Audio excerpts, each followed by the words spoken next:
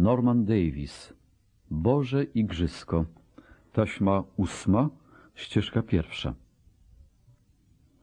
W odróżnieniu od nich, czyli od sabateistów, Hasydzi zapoczątkowali masowy ruch, którego celem miało się stać zapewnienie sobie posłuszeństwa niemal połowy Żydów europejskich.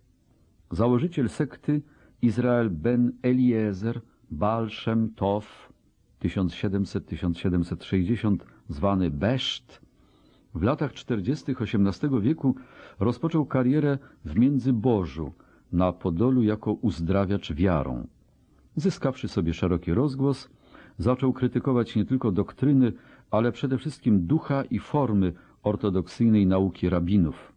Podobnie jak czynił to Luter w kontekście religii chrześcijańskiej, podkreślał wszechobecność Boga i pokazywał, jak zwykli ludzie mogą porozumiewać się bezpośrednio ze swoim Stwórcą, bez pośrednictwa rabinów i bez konieczności dogłębnych studiów talmudycznych. Jego ożywczy zapał zapalił światełko nadziei pośród coraz mroczniejszej rozpaczy żyjących w nędzy i ciemnocie mas żydowskiego proletariatu oraz ośmieszył pedanterię i elitaryzm rabinów. W tym sensie można go także przyrównać do współczesnego mu Anglika Johna Wesleya, twórcy ruchu metodystów. W odpowiednim czasie jego uczniowie całkowicie zerwali z ortodoksyjnym judaizmem i utworzyli odrębne kongregacje, na czele których stali cadycy przewodniczący modłom. Sam Beszt nie był autorem zbyt wielu istotnych prac. Nauki jego jednak zachowali dla potomności i szerzyli jego dwaj apostołowie. Dov Ber, Magit, czyli wielki kaznodzieja z Międzyrzeca, oraz Jakub Józef H. Kohen z Połonnego. Pod koniec stulecia, kiedy niektórym zaczęło się wydawać, że ekstatyczne i spirytualistyczne aspekty hasytyzmu zaczynają się wymykać spod kontroli, powstało bardziej racjonalne skrzydło tego ruchu. Znane było pod nazwą Chabad, utworzoną z pierwszych sylab hebrajskich słów mądrość, zrozumienie, wiedza, a jego twórcą był Szneor Zalman ben Baruch 1747-1812, który starał się nadać hasytyzmowi solidniejsze podstawy intelektualne. Krok ten na nowo rozpalił wściekłość i oburzenie wśród ortodoksyjnych rabinów. Od czasu zawieszenia autonomii Żydów w 1764 roku nie udawało im się skoordynować żadnego planu polityki obrony przed zalewem hasydyzmu. Aresztowanie i ekskomunika przywódców hasyckich w Wilnie w 1772 roku tylko podkopały ich własny autorytet. W 1797, wydając Zalmana w ręce carskiej policji, jeszcze bardziej pogłębili istniejące rozłamy. Zalmana, jak wielu innych rewolucjonistów przed nim i wielu po nim, wtrącono do twierdzy Pietropawłowskiej w Petersburgu i przemieniono w męczennika. Przygotowano w ten sposób scenę dla długich walk między Hasydami a ich ortodoksyjnymi przeciwnikami, mitnagedim, którzy szaleli wśród polskich Żydów przez cały XIX wiek.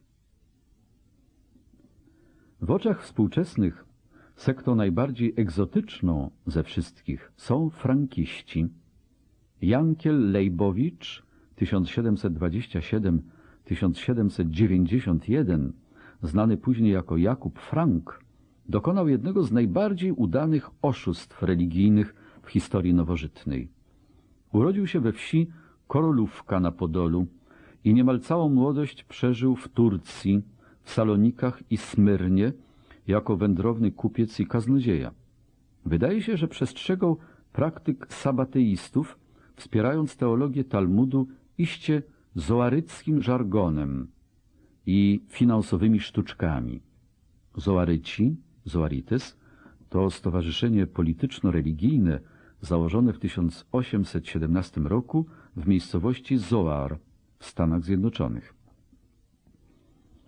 W 1754 roku oświadczył, że przechodzi na islam, naśladując w ten sposób swego mistrza Sabataja Cebi, który 90 lat wcześniej uśmierzył gniew władz otomańskich, wykonując dokładnie taki sam manewr. W następnym roku Frank powrócił na ojczyste Podole i szybko zgromadził wokół siebie tłumek uczniów wywodzących się z pękających w szwach przygranicznych get. Ortodoksyjne władze żydowskie wpadły we wściekłość. Pewnej zimowej nocy w 1756 roku rabini pośpieszyli do biskupa kamienieckiego, uprzednio zaskoczywszy frankistów in flagranti. Wdarli się na zebranie modlitewne nowicjatu we wsi Landskorona, gdzie według słów raportu przygotowanego przez biskupa natrafili na wielce rozpustną scenę. Był to początek skandalu, którego echa obiły się o najwyższe kręgi Rzeczypospolitej. Pouczywszy swoich uczniów, że mają głosić słuszność katolickich nauk o Trójcy Świętej i demaskować błędy Talmudu, Frank zbiegł za granicę.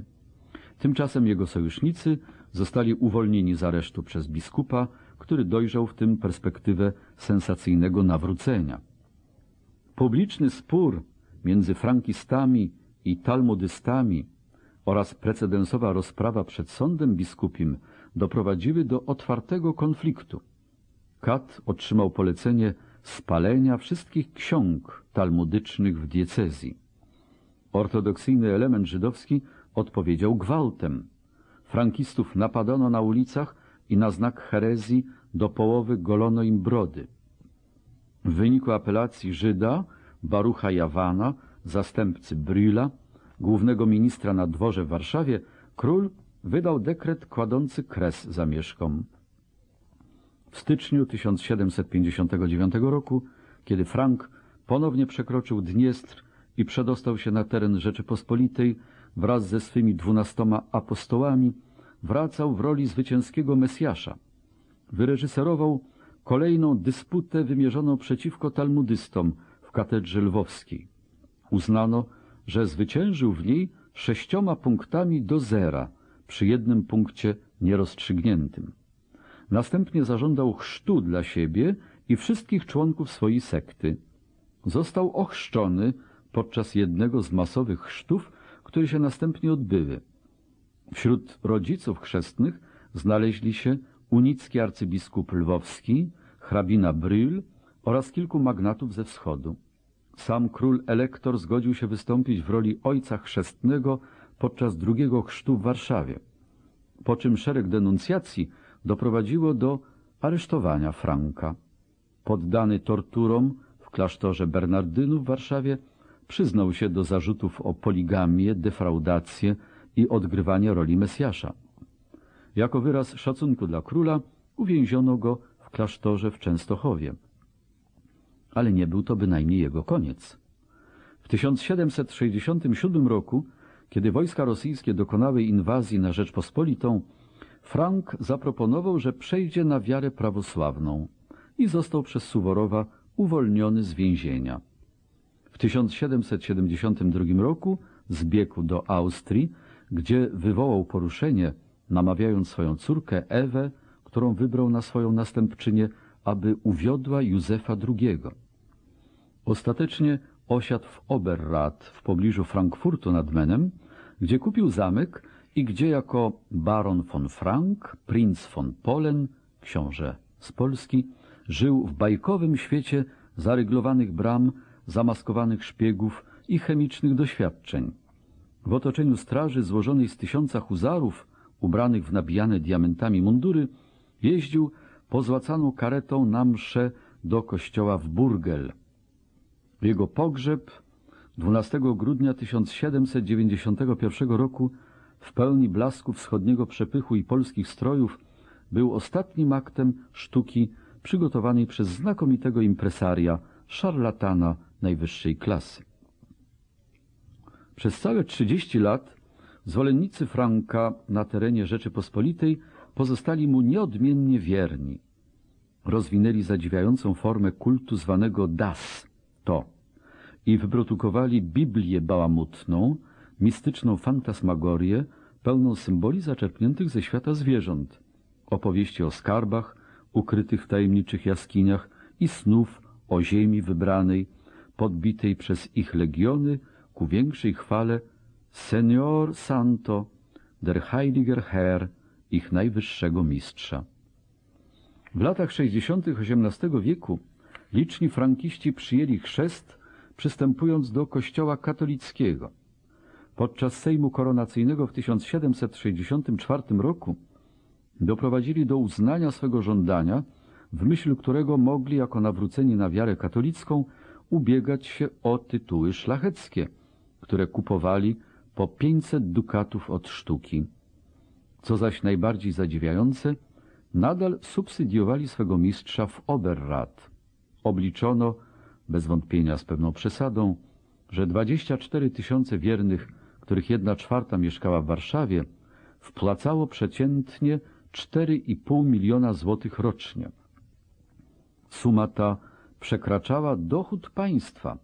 Jest ona miarą ekscesów sekciarstwa w katolickim rzekomo kraju. W porównaniu z kłopotami powodowanymi przez różnice wyznaniowe, czarna magia i polowanie na czarownice pociągały za sobą więcej ludzkiego cierpienia i gorsze prześladowania niewinnych niż wszystkie tamte przyczyny łącznie. Podobnie jak w innych miejscach Europy, rozróżnienie między bluźnierstwem, herezją, czarną magią i nekromancją nie zawsze było wyraźne, a ci, którzy te praktyki rzekomo uprawiali, nie mogli liczyć na łaskę. Na terenie Rzeczypospolitej szał polowania na czarownice osiągnął szczyt na Mazowszu w pierwszym ćwierćwieczu XVIII stulecia. Pojedyncze przypadki zdarzały się jednak na przestrzeni 300 lat. Podejrzenie o magię w obrębie niewielkich społeczności wiejskich rodziło się zazwyczaj w związku z klęskami naturalnymi, wybuchami zarazy, suszą, nieurodzajem lub po prostu z sąsiedzkimi urazami. Oskarżenia o uprawianie magii nieuchronnie przybierały rozmiary lawiny, ponieważ podczas przesłuchania nieszczęsne kobiety denuncjowały swoje sąsiadki i znajome, rozpaczliwie próbując uwolnić się od zarzutów. W XVII wieku zdarzały się przypadki pozbawionych skrupułów panów, którzy używali całych oddziałów czarownic jako narzędzi do prowadzenia swych prywatnych wojen. Specjalny stołek do plawienia czarownic wchodził w skład podstawowego wyposażenia każdej wsi, a tortury stanowiły zwykły element większości przesłuchań. Nieszczęsną kobietę podejrzaną o czary rozbierano do naga, golono od góry i od dołu, namaszczano świętym olejem i wieszano u sufitu, aby dotykając ziemi nie wezwała w sukurs diabla. Potem zaś przesłuchiwali ją sędziowie, krzepiąc się alkoholem i poganiając ją, aby jak najprędzej przyznała się do winy. Dwiema spośród tysięcy takich nieszczęśnic były Dorota Siedlikowa oraz jej wspólniczka, które przesłuchiwano w Kaliszu w 1612 roku. Dorotę podejrzewano o to, że za sprawą jej czarów skisło piwo sąsiada. Jej ojczym podsłuchał, jak mówiła, za sprawą potęgi Najświętszej Panny i przy pomocy wszystkich świętych, oby wszyscy tacy źli ludzie upadli, zaś miejsce ich zajęli dobrzy, w imię Ojca, Syna i Ducha Świętego. Jej wspólniczkę, która utrzymywała, że w krytycznym dniu nie dotrzymywała towarzystwa Dorocie, natychmiast przywiązano do koła tortur. Ligata nihil voluit fateri. Jedną ludzie chore obmywała ziółkami. Frakta. Nie była Dalibóg z nią u pani Wysocki na oborze i niewinna Dalibóg?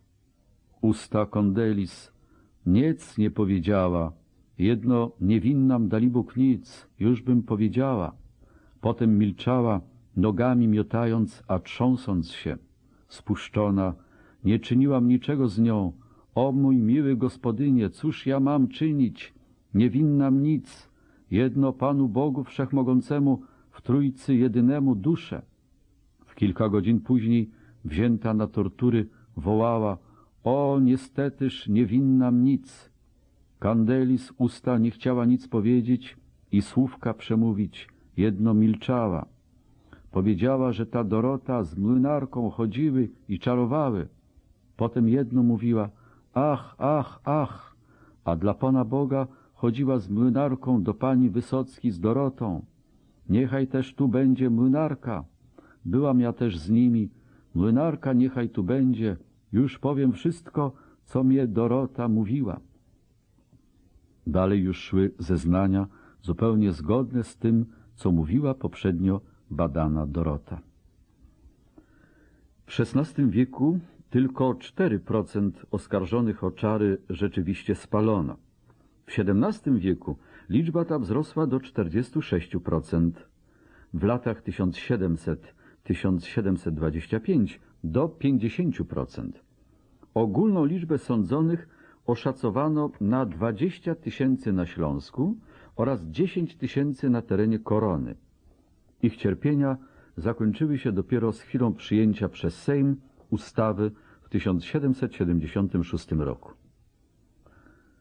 Do końca XVIII wieku sytuacja religijna w Polsce i na Litwie uległa znacznej zmianie. W roku 1569 po Unii Lubelskiej instytucji Kościoła katolickiego podlegała zdecydowana mniejszość społeczeństwa, w której skład wchodziły rozliczne grupy wyznaniowe. Natomiast w roku 1791, w przeddzień ostatecznych rozbiorów, Kościół katolicki sprawował zwierzchnictwo nad oczywistą większością ludności. Luteranów, Arian i wyznawców religii prawosławnej praktycznie wyeliminowano. Liczba unitów została zmniejszona, szeregi kalwinów zdziesiątkowane. Jedynie Żydzi dorównywali katolikom pod względem zarówno bezwzględnego, jak i względnego wzrostu liczebności. Ten triumf kontrreformacji w Polsce przytacza się czasem jako jedyny przykład kraju, w którym Kościół rzymskokatolicki skutecznie zaatakował i usunął zdobycze reformacji.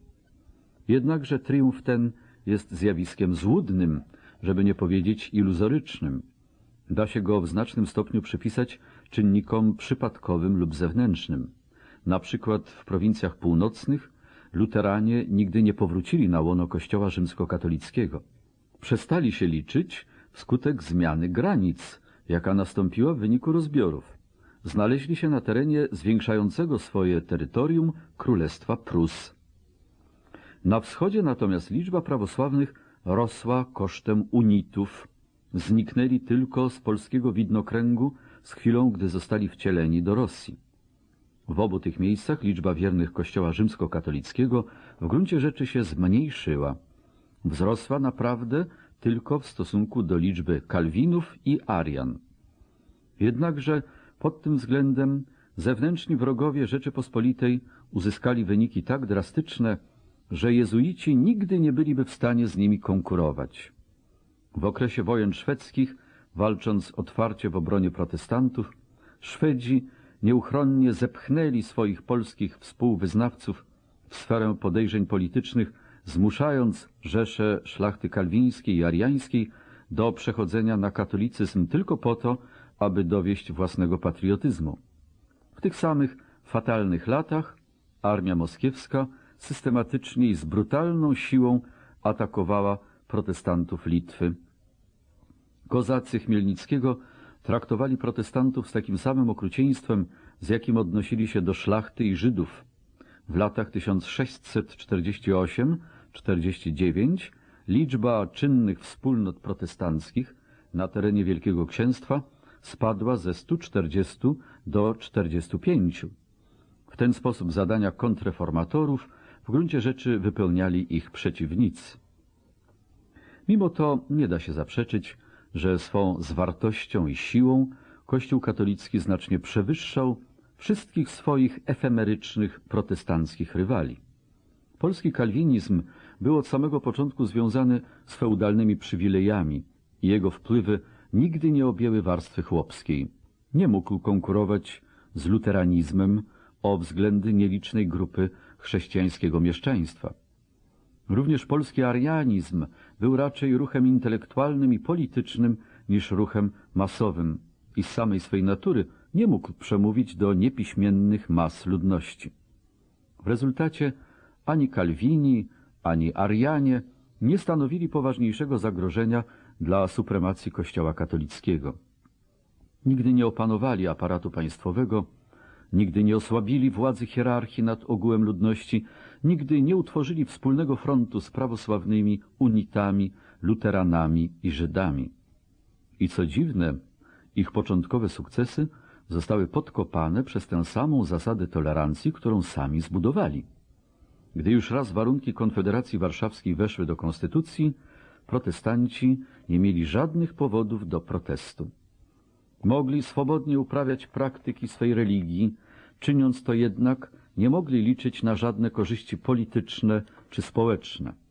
Sami odmawiali sobie szans na dworskie awanse oraz towarzystwa katolickich sąsiadów, nie żywiąc żadnej nadziei na doczesne nagrody. Innymi słowy, nie stanowili bodźca do prześladowań. W rezultacie ich szeregi topniały powoli, lecz stale na przestrzeni 60 czy 70 lat. Dwa pokolenia szlachty, która w drugiej połowie XVI wieku tak skwapliwie przyjęła zreformowane doktryny, w połowie XVII wieku już powoli wymierały. Ich synowie i wnuki na ogół po cichu powracali do katolickiej owczarni. Edykty o ograniczeniach praw, wymierzone przeciwko Arianom w 1658 i wszystkim protestantom w 1717, stanowiły formalne zamknięcie procesu, który praktycznie rzecz biorąc był już zakończony. Nawet pobieżny przegląd życia religijnego w Rzeczypospolitej może zatem nasuwać pewne kontrowersyjne wnioski. Po pierwsze, ani Polska, ani Litwa nie mogły w tym czasie rościć sobie pretensji do tego, aby być krajami równie monolitycznie katolickimi jak Hiszpania czy Włochy.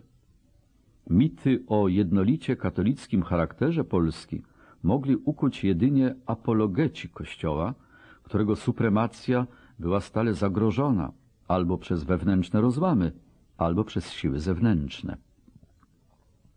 Po drugie, duch tolerancji był cnotą równie rzadką w Polsce, jak wszędzie indziej.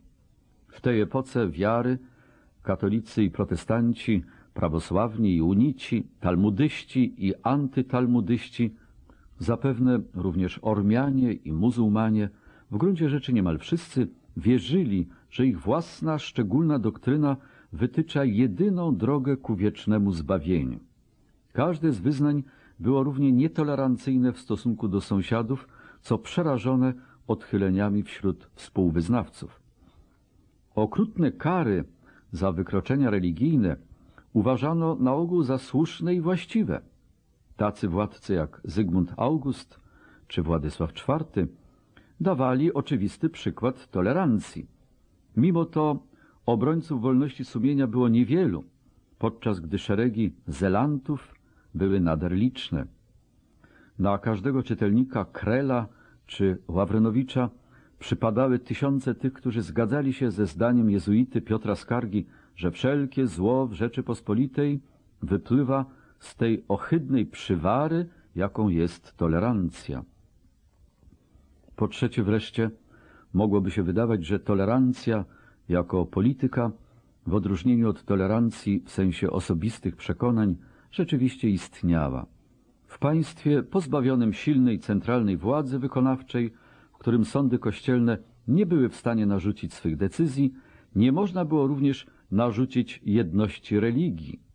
Szlachta wierzyła w co chciała i chroniła tych, których chciała chronić. Mieszczaństwo i Żydzi byli bezpieczni w obrębie granic swych autonomicznych stanów społecznych. Nikt nie mógł zburzyć instytucji Kościoła katolickiego. Nikt też nie był w stanie wprowadzić w życie jego bezwzględnych roszczeń. Rzeczpospolita była rzeczywiście krajem bez plonących stosów. Nie było akcji przymusowego nawracania, nie było wojen religijnych, żadnych oto da fy, żadnych nocy świętego Bartłomieja, nie było też ani Tomasza, ani Olivera Cromwella. Ograniczenia, jakimi z czasem obwarowano Konfederację Warszawską, były wręcz banalne w porównaniu z okropnościami, jakie działy się w większości krajów Europy. Polska anarchia i złota wolność szlachty stały się w tej samej mierze przeszkodą dla skutecznych rządów, co dla fanatyzmu religijnego. Rozdział siódmy. Szlachta, raj. Do czasu Unii Lubelskiej porządek społeczny ustalił się ostatecznie jako system odrębnych stanów. Każdy z czterech stanów, duchowieństwo, szlachta, mieszczanie i Żydzi, cieszył się dość znaczną autonomią. Każdy sprawował pełną jurysdykcję nad swoimi członkami we wszystkich tych sprawach, które nie wkraczały w dziedzinę przywilejów innych stanów, ani nie naruszały prerogatyw korony. Stan piąty, chłopstwo, utracił wiele ze swej wcześniejszej niezależności i z wyjątkiem niewielkiego sektora wolnych chłopów był w znacznym stopniu poddany władzy korony, kościoła lub szlachty. Zarówno z punktu widzenia ustroju, jak i stosunków społecznych istnieją powody, dla których koronę i jej poddanych należy uznać za odrębny stan sam w sobie. Oto podział na stany społeczne w Polsce i na Litwie według Korzona w roku 1791. Chłopstwo stanowiło 73% ogółu ludności. W tym chłopi poddani w majątkach szlachty to było 39,8%. Chłopi poddani w dobrach królewskich 9,5%. Chłopi poddani w majątkach kościelnych 10,4%. Ekonomii 2,2%. Wolni chłopi wraz z najemnikami 11,4%. Ormianie, starowiercy i Tatarzy 2%. Żydzi 10,2%. Mieszczanie 5,6%. Drobna szlachta 4,5% i posesjonaci, czyli bogatsza szlachta 3,5%. Razem 8% szlachty. Duchowieństwa było 1%. Łącznie ludzi w tym roku Korzon zanotował 8 milionów 531 tysięcy. Na samym początku należy podkreślić, że podział na stany społeczne, łacińskie status, we wczesnym okresie historii nowożytnej opierał się na kryteriach odmiennych od tych, które pozwalają wyodrębniać podstawowe grupy społeczne w wiekach późniejszych. W szczególności zaś nie wolno ich utożsamiać z klasami w sensie społeczno-gospodarczym, z którymi tak często je mylono. Podziału na stany społeczne nie określał ani stosunek do środków produkcji, ani też w istocie żadna inna miara bogactwa, dochodu czy sytuacji ekonomicznej, ale raczej przyznawana im funkcja w obrębie społeczeństwa, wyrażana wyłącznością praw i przywilejów. Śmiesznie byłoby utrzymywać, że według średniowiecznej teorii społecznej król miał rządzić, duchowny modlić się, szlachcic walczyć, mieszczanin handlować, Żyd być Żydem, a chłop uprawiać ziemię. Niemniej jednak jakieś założenie tego rodzaju z pewnością musiało leżeć u podstaw prawodawstwa, które stworzyło poszczególne stany w wiekach XIV, XV i XVI. Różnice gospodarcze oczywiście istniały i wywierały doniosły wpływ na życie społeczne.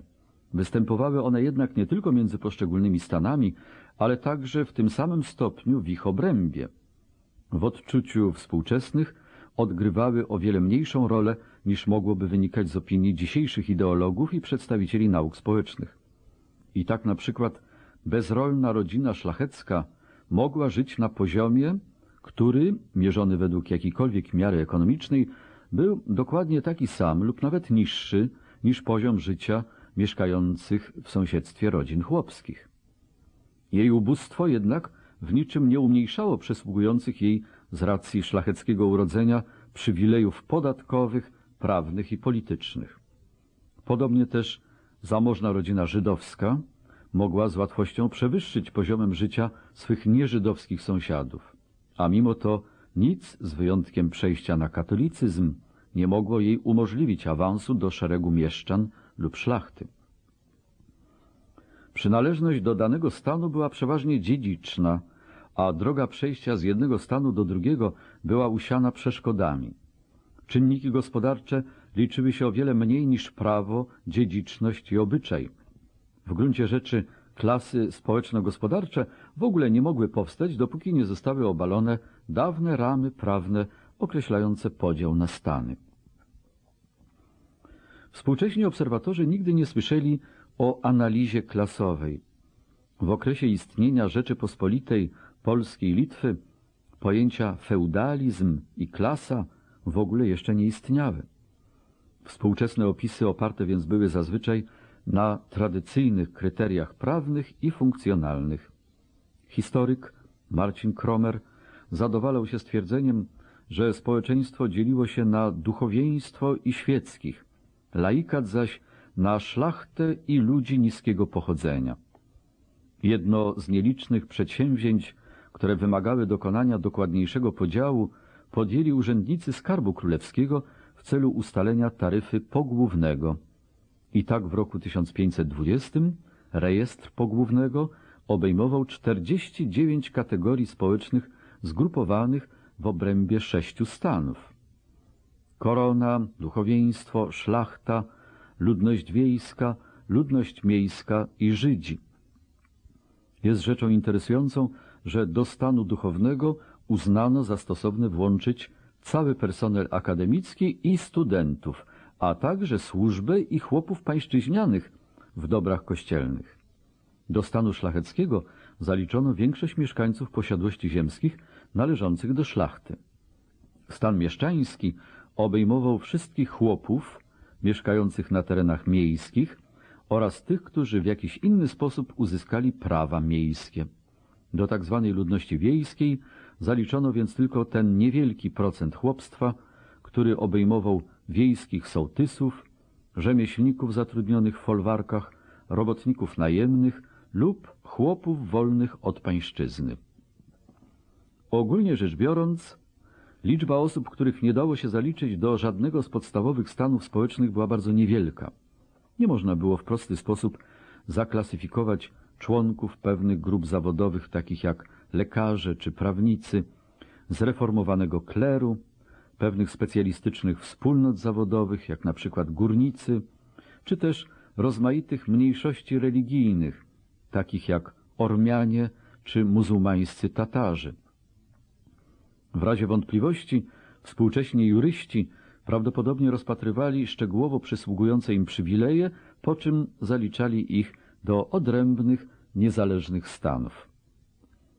Z powodów, które oni sami znają najlepiej, uczeni naszej doby często odrzucają ówczesną praktykę, wymyślając nowe grupy społeczne, po to, aby sprostać wymogom przyjętych z góry założeń.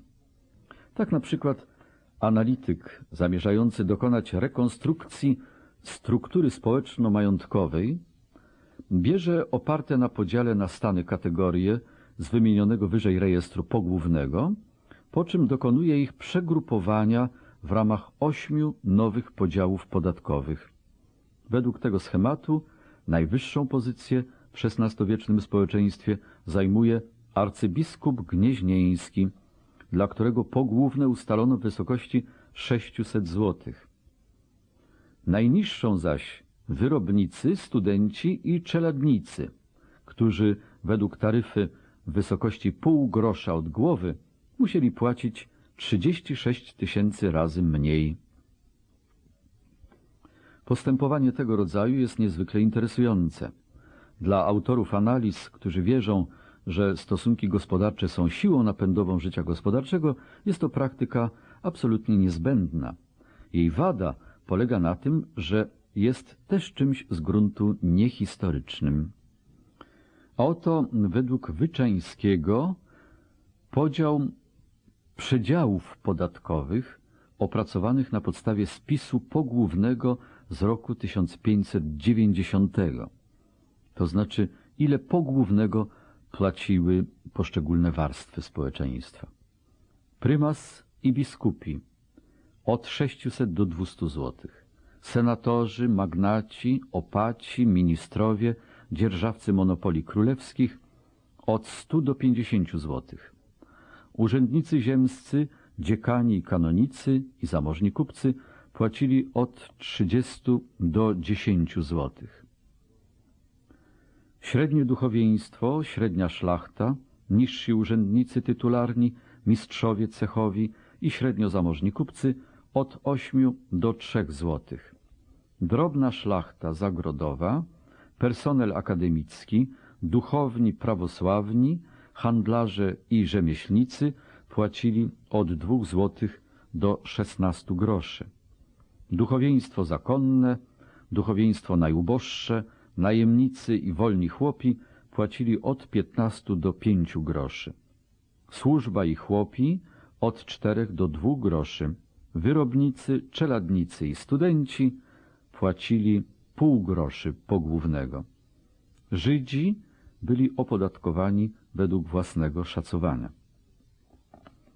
Spośród stanów autonomicznych najdalej sięga historia stanu duchownego. Jurysdykcja kościołów rzymskokatolickiego, unickiego i prawosławnego rozciągała się na wszystkie osoby posiadające święcenia oraz na wszystkie należące do nich dobra ziemskie i majątki.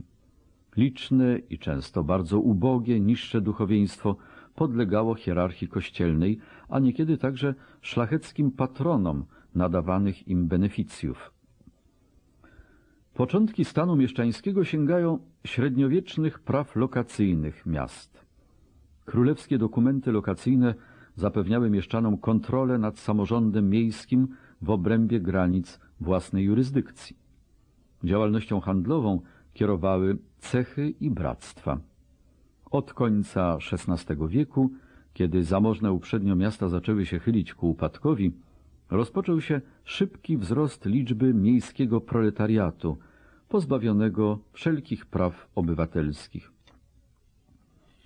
Zalążki stanu żydowskiego powstały w wiekach XIII i XIV, chociaż instytucjonalna autonomia Żydów rozwinęła się dopiero w połowie XVI wieku. Przez cały ten czas trwała ich rywalizacja z mieszczaństwem oraz przymierze ze szlachtą. Stan chłopski był oczywiście najliczniejszy. W roku 1569 liczył około 60% ogółu ludności. Biorąc pod uwagę, że znaczna część ludności, której przysługiwały prawa mieszczan, w gruncie rzeczy żyła jak chłopi, procent ten mógłby być odpowiednio wyższy. Chociaż instytucja pańszczyzny bardzo się już rozwinęła, pozostawała jeszcze zarówno grupa najemników, jak i w niektórych okręgach spora klasa wolnych chłopów. A zatem, mimo że szlachta wymyślała najbardziej fantastyczne legendy na temat swego sięgającego dalekiej przeszłości pochodzenia, był to w gruncie rzeczy stan, który wyłonił się najpóźniej. Jak zwykle w historii społecznej terminologia nasuwa szereg problemów.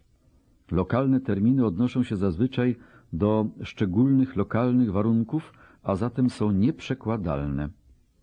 W historiografii polskiej terminu szlachta używa się często i równie często się go nadużywa. Nawet wśród tych historyków, którzy ważą słowa z dużą starannością, sposób użycia terminów oraz ich przekład na inne języki znacznie się od siebie różnią, w zależności od przyjmowanych kryteriów. Wielu współczesnych historyków upiera się przy antytezie szlachta magnateria, która oznacza przeciwstawienie masom szlacheckim oligarchii magnackiej, przy czym rozróżnienie to opiera się na kryterium braku proporcji w rozdziale władzy i bogactw. Krytycy anglosascy, być może wprowadzeni w błąd rozróżnieniem między angielskimi terminami gentleman i peer, mają skłonność do wprowadzania analogicznej opozycji. Zamiast polskiego szlachta używają oni na ogół angielskiego gentry.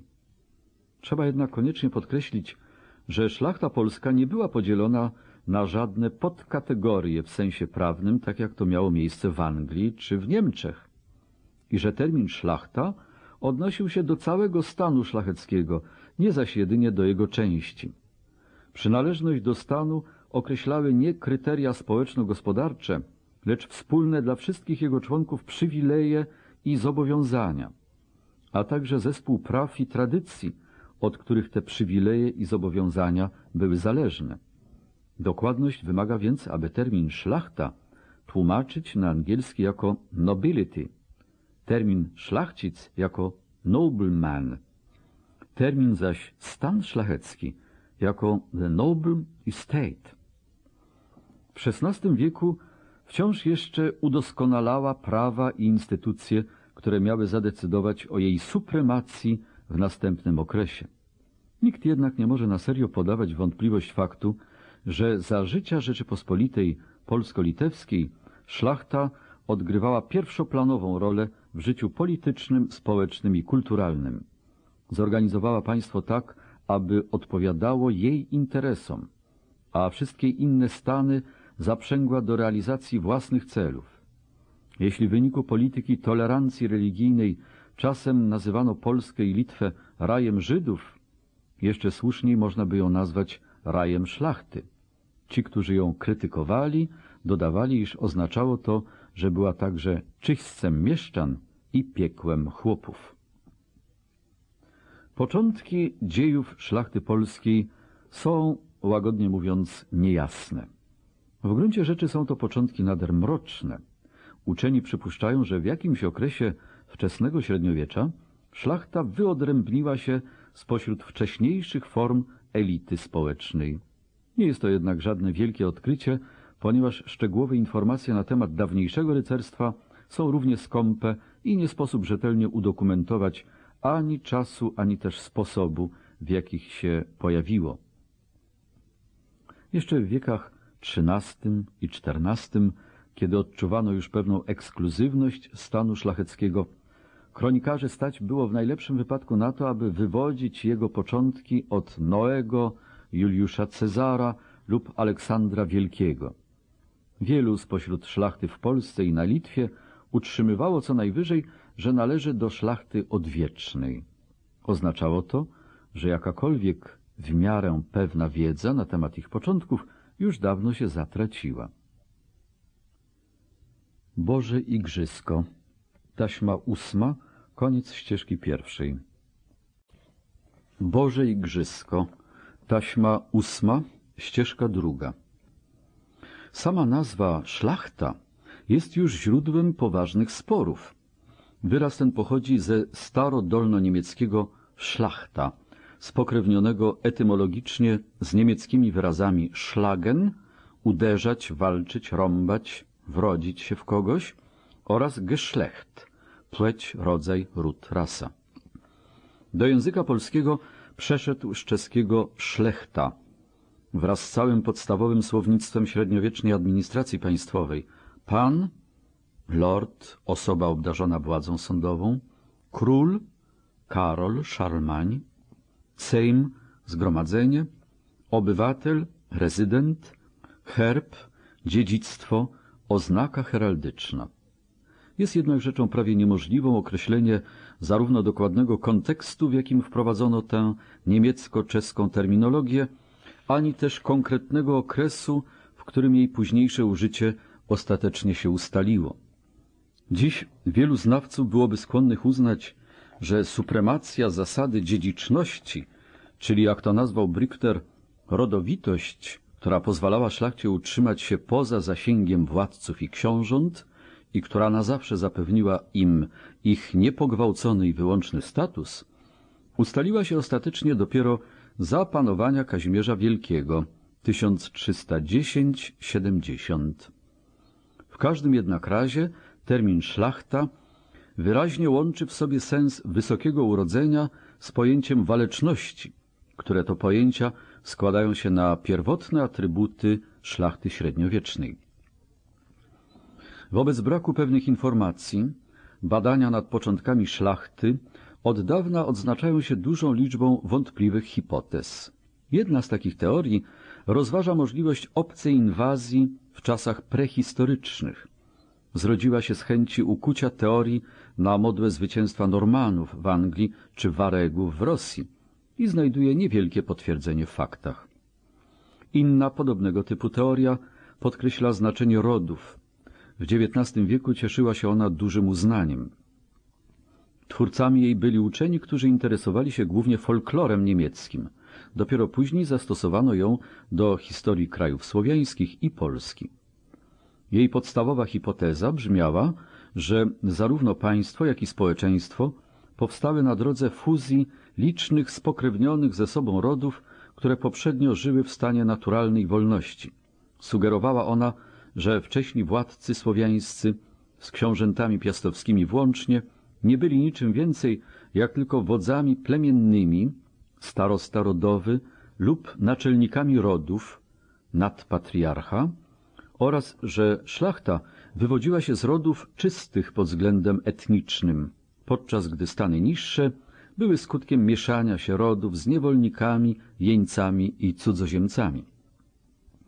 Podejmowano próby przyrównywania szlachty nie tylko do niemieckiego Geschlechtsverband i bałkańskiej rozszerzonej rodziny, czyli zadrugi, ale również do prawa brechonów w Irlandii i do klanów górali szkockich.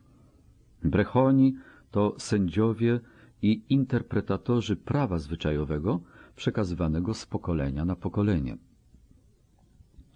Teoria rodów znalazła duże poparcie w specyficznych cechach polskiej heraldyki. W Polsce herbów nigdy nie nadawano ani pojedynczym osobom jak w Anglii, ani też pojedynczym rodzinom jak w Niemczech, ale jedynie większym grupom ludzi, którzy mieli wspólną tarczę herbową, zawołanie i godło. Polski szlachcic nie miał więc własnego herbu. Herb, którego używał, dzielił z dziesiątkami innych, którzy nawet nie musieli być z nim spokrewnieni. Taka wspólnota herbowa była w Europie zjawiskiem wyjątkowym. Co więcej, użycie słowa ród na określenie grupy heraldycznej nieuchronnie wzmacniało błędne wrażenie, że podstawę więzi stanowiło pokrewieństwo. Polski szlachcic dodawał do swego imienia nazwę swego rodu. Poza nazwiskami w formie przymiotników zakończonych na ski lub cki, polska szlachta miała zwyczaj umieszczać w podpisie formułkę z rodu takiego a takiego. Normalna forma przyjęta przez wszystkie rodziny szlacheckie w latach 1350-1450 brzmiała na przykład Piotr Lubomirski herbu Śreniawa lub Jan Zamojski herbu Jelita.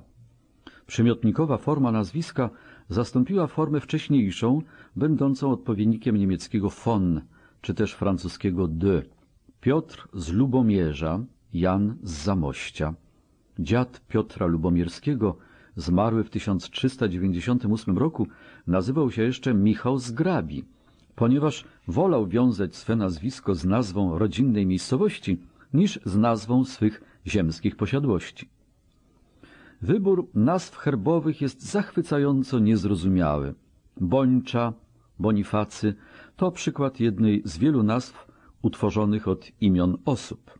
Śreniawa, Rawa czy Doliwa to nazwy miejscowości. Amadej z Węgier czy Rogala z Saksonii były nazwami importowanymi z zagranicy, podobnie jak Sas z saskiego Siedmiogrodu czy Prus z Prus. Dąb i poraj to rośliny. Aksak po tatarsku lis, lewart, lampart. Rak, gryf, łabędź, świnka i wężyk to zwierzęta. Krzywda, prawda, niezgoda, mądrostki to nazwy wartości moralnych. Oksza, siekiera i łodzia pochodzą od nazw przedmiotów codziennego użytku. Kategorie tego typu można by mnożyć bez końca. Nie da się natomiast powiedzieć, dlaczego wybierano akurat takie proklamy i na temat wielu z nich powstawały wręcz nieprawdopodobne legendy. Herb Jelita narodził się podobno po bitwie pod Plowcami w 1331 roku. Na polu bitwy król Polski miał ponoć znaleźć jednego ze swych rycerzy, Floriana Szarego, z brzuchem rozprutym trzema krzyżackimi oszczepami. W uznaniu dla jego bohaterstwa utworzono ród jelita z trzema skrzyżowanymi oszczepami jako godłem. Piszący w XV wieku Jan Długosz wymieniał w sumie 139 rodów. W 1584 roku Bartosz Paprocki podawał liczbę 108 rodów. We współczesnych genealogiach mówi się o kilkuset. Struktura rodu herbowego pozostaje do pewnego stopnia zagadką. Szczegółowe badania nie doprowadziły do ustalenia żadnej stałej zasady przynależności. Dawna teoria więzów krwi została wprawdzie zdyskredytowana, ale nie zastąpiono jej żadną inną. Członkowie tego samego rodu zazwyczaj walczyli obok siebie ramię w ramię, wspólnie tworząc podstawowe jednostki feudalnej armii. Na poparcie hipotezy, która podkreślała ten właśnie aspekt, można przytoczyć takie nazwy jak dołęga czy doliwa, które wyraźnie wywodzą się z okrzyków bojowych. Badania szły także w kierunku ustalenia patronatów. Utworzono termin ród klientarny. Czasami król pełnił rolę osoby wprowadzającej, przypisując nowych rycerzy do wybranych przez siebie rodów. Czasami wybitni przedstawiciele szlachty z własnej inicjatywy przyjmowali swoich przyjaciół i krewnych do własnego rodu. Patronat nie był tu w każdym razie bez znaczenia. Hipotezą być może najbardziej przekonywającą jest ta, która pojawienie się rodów herbowych wiąże z inną wyjątkową cechą sposobu życia polskiej szlachty, a mianowicie naganą szlachecką. W Polsce nie istniało kolegium heraldyczne, nie było też żadnej cieszącej się publicznym autorytetem instytucji, gdzie trzymano by do publicznego wglądu rejestry nadania tytułu i herbów szlacheckich. Jeśli czyjś tytuł do szlachectwa został zakwestionowany, jedynym miejscem, w którym mógł dowieść swych racji, były sądy. W takich przypadkach, szczególnie częstych w XV wieku, od pozwanego wymagano przedstawienia sześciu zaprzysiężonych świadków, którzy by mogli potwierdzić jego szlacheckie pochodzenie wstecz do trzech pokoleń, ze strony zarówno ojca, jak i matki. Jeśli mu się to udało, otrzymywał od sądu odpowiednie zaświadczenie. Jeśli nie, groziły mu najsurowsze kary. Jednak bez względu na to, czy się udało, czy nie, było to przecież ogromnie kłopotliwe i upokarzające. Można też z dużym prawdopodobieństwem założyć, że ród herbowy powstał po to, by uchronić swych członków przed koniecznością stawania w obliczu takiej próby. Wiążąc się z publicznym stowarzyszeniem powszechnie znanych osób, szlachcic mógł się ustrzec od złośliwych oskarżeń podających wątpliwość jego rangę i status. W niezbyt prawdopodobnym przypadku ewentualnych prześladowań mógł zawsze liczyć na to, że wśród członków jego rodu znajdzie się sześciu takich, którzy wystąpią jako świadkowie w jego obronie. Z takiego punktu widzenia ród herbowy tworzył coś w rodzaju towarzystwa wzajemnej adoracji. Służył interesom zarówno stanu szlacheckiego jako całości, jak i interesom jego poszczególnych członków. Eliminował też potrzebę istnienia kolegium heraldycznego, do którego król lub jego urzędnicy mogli byli się odwoływać, stosując je jako narzędzie kontroli. Jedną z konsekwencji wspólnoty herbowej była niezwykła prostota aspektu technicznego polskiej heraldyki. Nie trzeba było śledzić zawiłych labiryntów dziedziczności i małżeńskich związków, ani też modyfikować czy tworzyć nowych herbów w miarę rozwoju zmieniających się wciąż wydarzeń. Nie znano sztuki opisywania i zestawiania herbów. Nie stosowano rozróżnienia między starszą i młodszą linią rodu. Każdy ród miał jedno proste godło, jedną dewizę i jeden herb, które przez wieki pozostawały niezmienione. Wszystkie herby, jakie kiedykolwiek istniały, dadzą się pomieścić w jednym dość szczuplym tomie. Podczas gdy proces wyłaniania się szlachty jako odrębnego stanu społecznego był już dość zaawansowany za czasów panowania Kazimierza Wielkiego, proces umacniania i kodowania jej przywilejów prawnych trwał jeszcze przez co najmniej 200 lat. Na przestrzeni całego minionego okresu królowie polscy nadawali immunitety poszczególnym rycerzom i przedstawicielom duchowieństwa, zwalniając ich od poszczególnych podatków lub od obowiązku stawiania swych poddanych przed sądem królewskim. Ale już od końca XIV wieku podobne ustępstwa na rzecz szlachty egzekwowały nie jednostki, lecz cały stan, żądający jednakowych praw dla wszystkich swych członków. Okresy kryzysów w czasie wojny lub przed kolejną sukcesją dawały szlachcie dobrą okazję do przetargów. Raz uzyskane zdobycze rzadko wypuszczano z rąk. W 1374 roku Ludwik Węgierski, chcąc zagwarantować sobie sukcesję swej córki Jadwigi na mocy statutu koszyckiego, zwolnił szlachtę od wszelkich dotychczasowych świadczeń z wyjątkiem poradlnego z gruntów kmiecych w wysokości dwóch groszy od łana oraz zredukował do jednej szóstej taryfę podatków nakładanych na dzierżawców należących do stanu szlacheckiego. 2 października 1413 roku przyjęto w Chorodle nowe warunki Unii Polski z Litwą, rozszerzając przywileje szlachty polskiej na litewskich bojarów. 47 polskich rodów herbowych otwarło bramy na przyjęcie litewskiej szlachty. Przywileje nadane w roku 1422 w Czerwińsku, w roku 1430 w Wiedlnie i w 1433 w Krakowie dowodzą, że troska Władysława Jagiełły o przyszłość synów stopniowo brała górę nad jego niechęcią do neminem captivabimus, zasady odpowiadającej angielskiemu habeas corpus i chroniącej dobra oraz osobę szlachcica przed konfiskatą i aresztem, dopóki w jego sprawie nie zapadnie wyrok sądowy.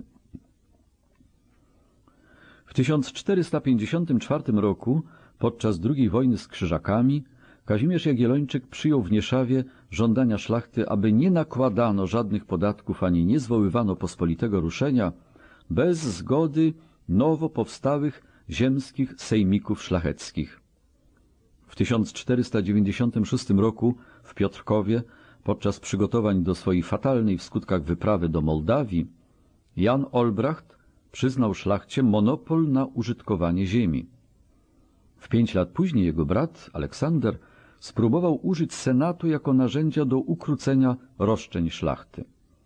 Na mocy przywileju Mielnickiego zadekretował, że senatorzy mogą podlegać jedynie równym sobie rangą. Ale Sejm wkrótce znalazł okazję do zemsty. Konstytucja Nihil Novi, uchwalona w Radomiu 14 czerwca 1505 roku, anulowała przywilej Mielnicki, ustalając równouprawnienie Izby Poselskiej i Senatu w kompetencjach ustawodawczych oraz zarządziła, że nic nowego nie może być postanowionym bez zgody obu Izb Sejmu. Odtąd prawodawstwo pozostawało pod ścisłą kontrolą szlachty. Slogan Nic o nas bez nas pozostał podstawową zasadą demokracji szlacheckiej.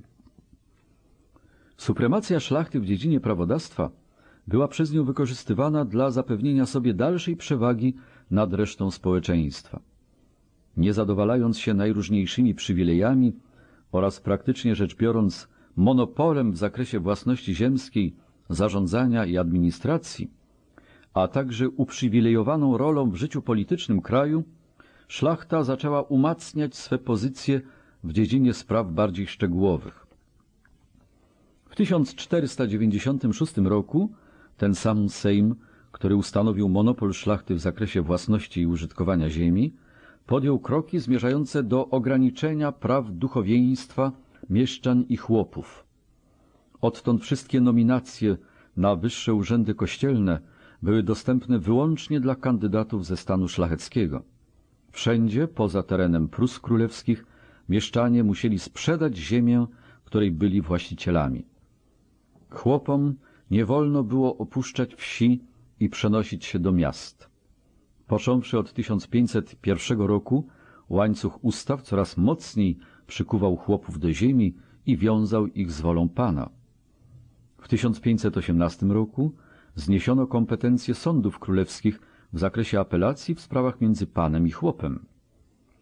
Na mocy statutu ustanowionego w 1520 roku w Toruniu i Bydgoszczy Chłopi zobowiązani byli do odrabiania pańszczyzny w wysokości jednego dnia tygodniowo od łana.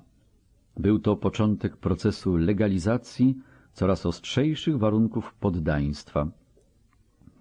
W 1550 roku zezwolono szlachcie na zakup domów na terenie miast i do ich zajmowania bez konieczności płacenia podatków miejskich, co było sprzeczne ze wszystkimi lokalnymi prawami.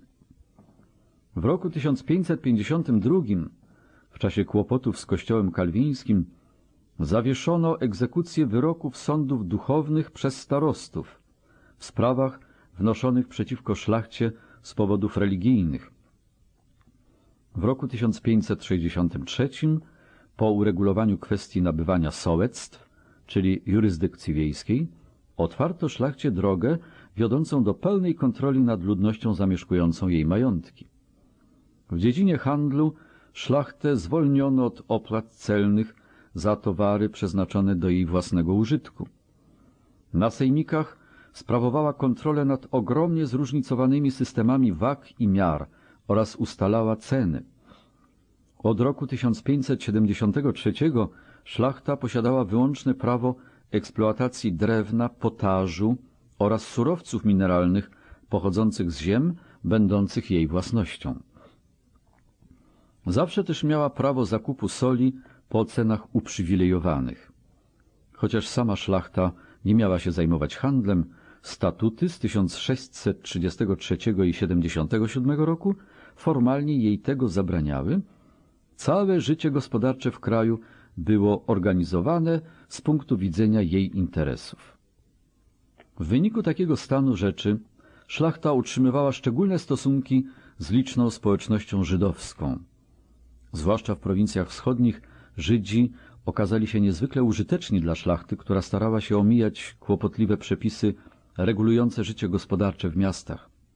Byli zatrudniani jako rzemieślnicy i handlarze, zyskując sobie epitet fuszerów, czyli partaczy, nadawany im przez cechy, których prawa omijali. Tradycyjnie pełnili funkcje lichwiarzy, karczmarzy, paserów i pośredników handlowych, o czym świadczy niekończący się łańcuch miejskich dekretów, które im tego formalnie zabraniały. Sejmiki przyznawały im korzystne stopy procentowe i żyli sobie dostatnio w służbie wielkich właścicieli ziemskich. Chociaż mnożące się rzesze ludności zamieszkującej getta czerpały niewielki profit z działalności swoich najzamożniejszych współbraci, odium spadło na wszystkich. Na Ukrainie potępiano ich powszechnie jako narzędzie w rękach polskich panów. Co zamożniejsi Żydzi otwarcie naśladowali styl życia szlachty. Edykt Zygmunta Augusta zabraniał im noszenia szabli i złotych łańcuchów. Mimo obowiązujących przepisów prawnych, często byli właścicielami ziemi, brali dzierżawy lub nabywali tytuły posiadania nieruchomości jako zastaw hipoteczny od szlachty. Niemało z nich uzyskało formalną nobilitację. Praktykowali nawet szlachecki nawyk niepłacenia podatków. Pretekstu dla przywilejów szlacheckich należy szukać w zobowiązaniu szlachty do sprawowania bezpłatnej służby wojskowej. Na przestrzeni całej epoki średniowiecza usprawiedliwieniem dla posiadania przez rycerzy ziemi była konieczność utrzymywania wojska. Koszta były wysokie, a zapotrzebowanie na jego usługi nieustanne. W XV-wiecznej Polsce i na Litwie ta prastara konwencja wciąż jeszcze nie była pozbawiona sensu, a stojąc w zbrojnych obozach przed przystąpieniem do walki z nieprzyjacielem, szlachta tradycyjnie żądała potwierdzenia lub rozszerzenia swych przywilejów. Jednakże z upływem czasu szlacheckie pospolite ruszenie utraciło swą użyteczność. Dowódcy, a także sama szlachta woleli stałe oddziały utrzymywane z podatków.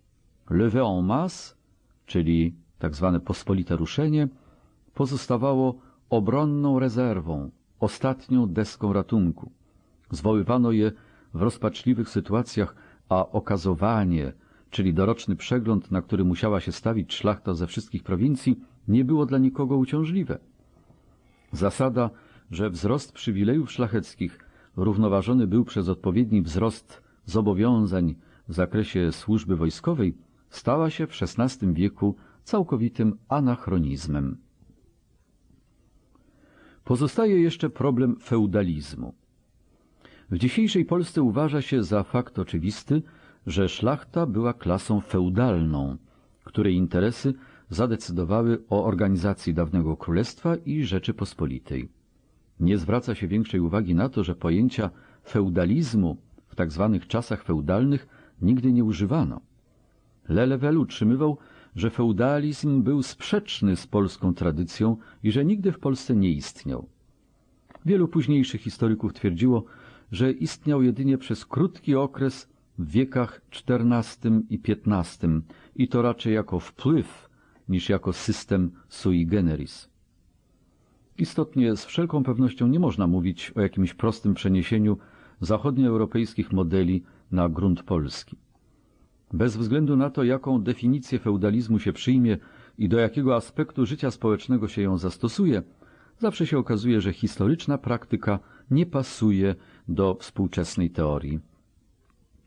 W dziedzinie prawa ziemskiego, na przykład jus feudale, rzeczywiście istniało obok jus terrestre.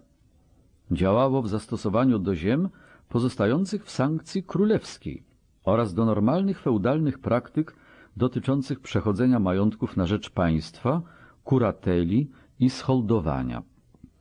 Jednakże po roku 1450, czyli właśnie w okresie, gdy ustalała się supremacja szlachty, zaczęło ono gwałtownie tracić na znaczeniu.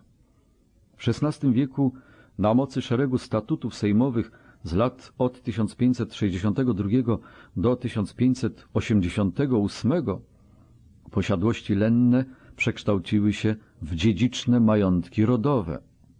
Obowiązek służby wojskowej spoczywał już nie tylko na szlachcie, ale na wszystkich ludziach wolnych.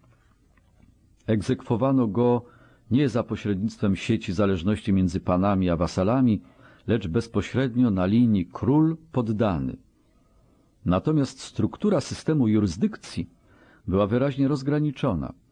Wysokie urzędy państwowe nie były związane z ziemią i nawet po uchwaleniu w 1538 roku konstytucji zakazującej królowi usuwania urzędników z urzędów pozostawały nadal w gestii króla. Jednakże związek jurysdykcji z ziemią istniał na poziomie lokalnym, a wymiar sprawiedliwości spoczywał w rękach szlachty. W dziedzinie polityki finansowej król nigdy nie zrezygnował z przysługującego mu prawa do bezpośredniego nakładania podatków na ogół ludności, mimo praktycznych ograniczeń, jakie mu narzucał Sejm. Biorąc zatem pod uwagę stale zmieniające się warunki oraz znaczne zróżnicowanie pod względem geograficznym, nie jest łatwo stwierdzić w sposób ostateczny, czy polski feudalizm był mitem, czy też rzeczywistością. W każdym razie do roku 1569, czyli do momentu utworzenia Zjednoczonej Rzeczypospolitej Polski i Litwy, szlachta zapewniła sobie supremację w państwie. W odniesieniu do norm europejskich była stanem niezwykle licznym. Około 25 tysięcy rodzin szlacheckich, czyli co najmniej około 500 tysięcy osób, stanowiło 6,6% ogółu ludności, liczącej wówczas 7,5 miliona. Pod koniec XVII wieku liczba ta miała wzrosnąć do około 9%, a w wieku XVIII stała się jeszcze wyższa. Pod tym względem nie mogły z Rzeczą Pospolitą rywalizować nawet Hiszpania czy Węgry, gdzie szlachta dochodziła do 5% ogółu ludności. Francja 1% i Anglia 2% stanowiły pod tym względem ostry kontrast. Formalne przywileje szlachty chroniły ją przed politycznymi roszczeniami ze strony króla, a także przed skutkami rozwoju nowoczesnego państwa. Jej względny dobrobyt gwarantowała cała masa szczegółowych przepisów prawnych. Był to zamknięty stan społeczny, który sprawował kontrolę nad własnymi losami, a także nad losami wszystkich pozostałych mieszkańców szlacheckiej Rzeczypospolitej. Obowiązki szlachty jako stanu rycerskiego były minimalne. O jej obowiązkach obywatelskich jako klasy panującej decydowały prywatne inklinacje. Do roku 1569 szlachta zdobyła swoją złotą wolność. Dopóki trwała szlachecka Rzeczpospolita, wolność ta trzymała całą szlachtę w niewoli. Szlachta na Litwie osiągnęła podobne cele, choć podążała ku nim nieco inną drogą.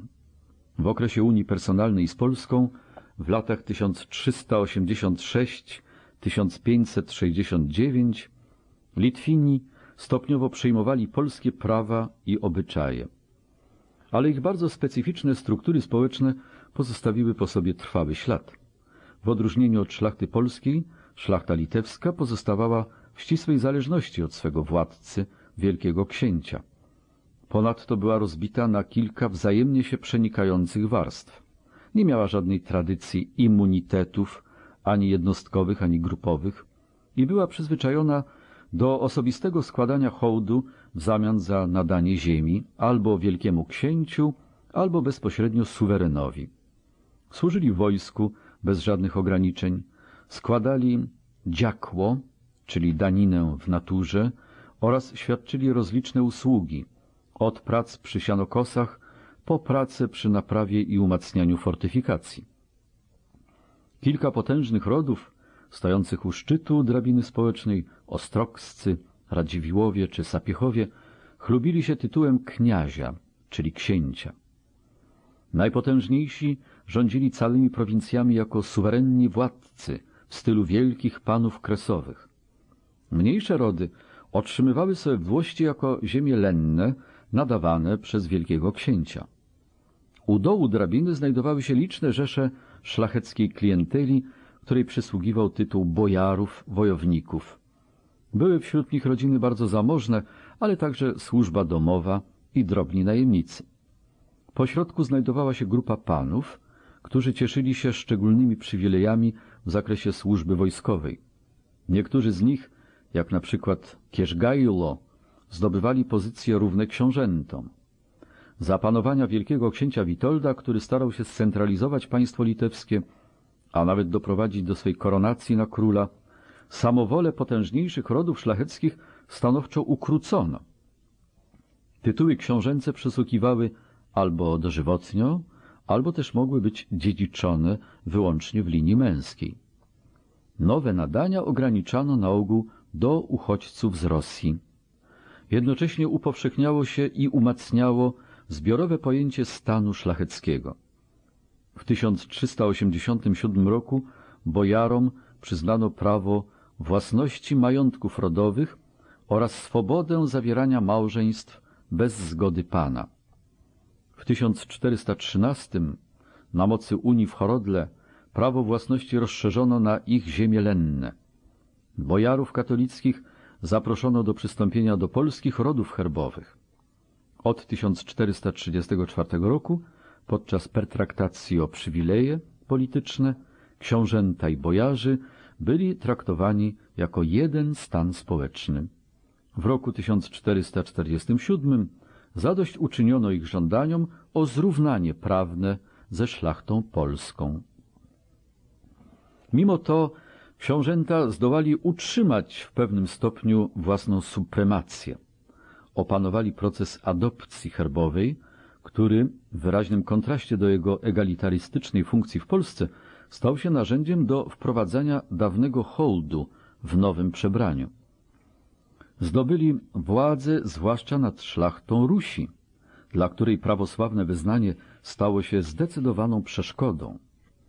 W dziedzinie sądownictwa zachowali niezależność aż do czasu drugiego statutu litewskiego z roku 1566, na który zgodzili się, podejmując w ten sposób daremną próbę przeciwstawienia się dążeniu bojarów do sfinalizowania nadchodzącej Unii Konstytucyjnej z Polską.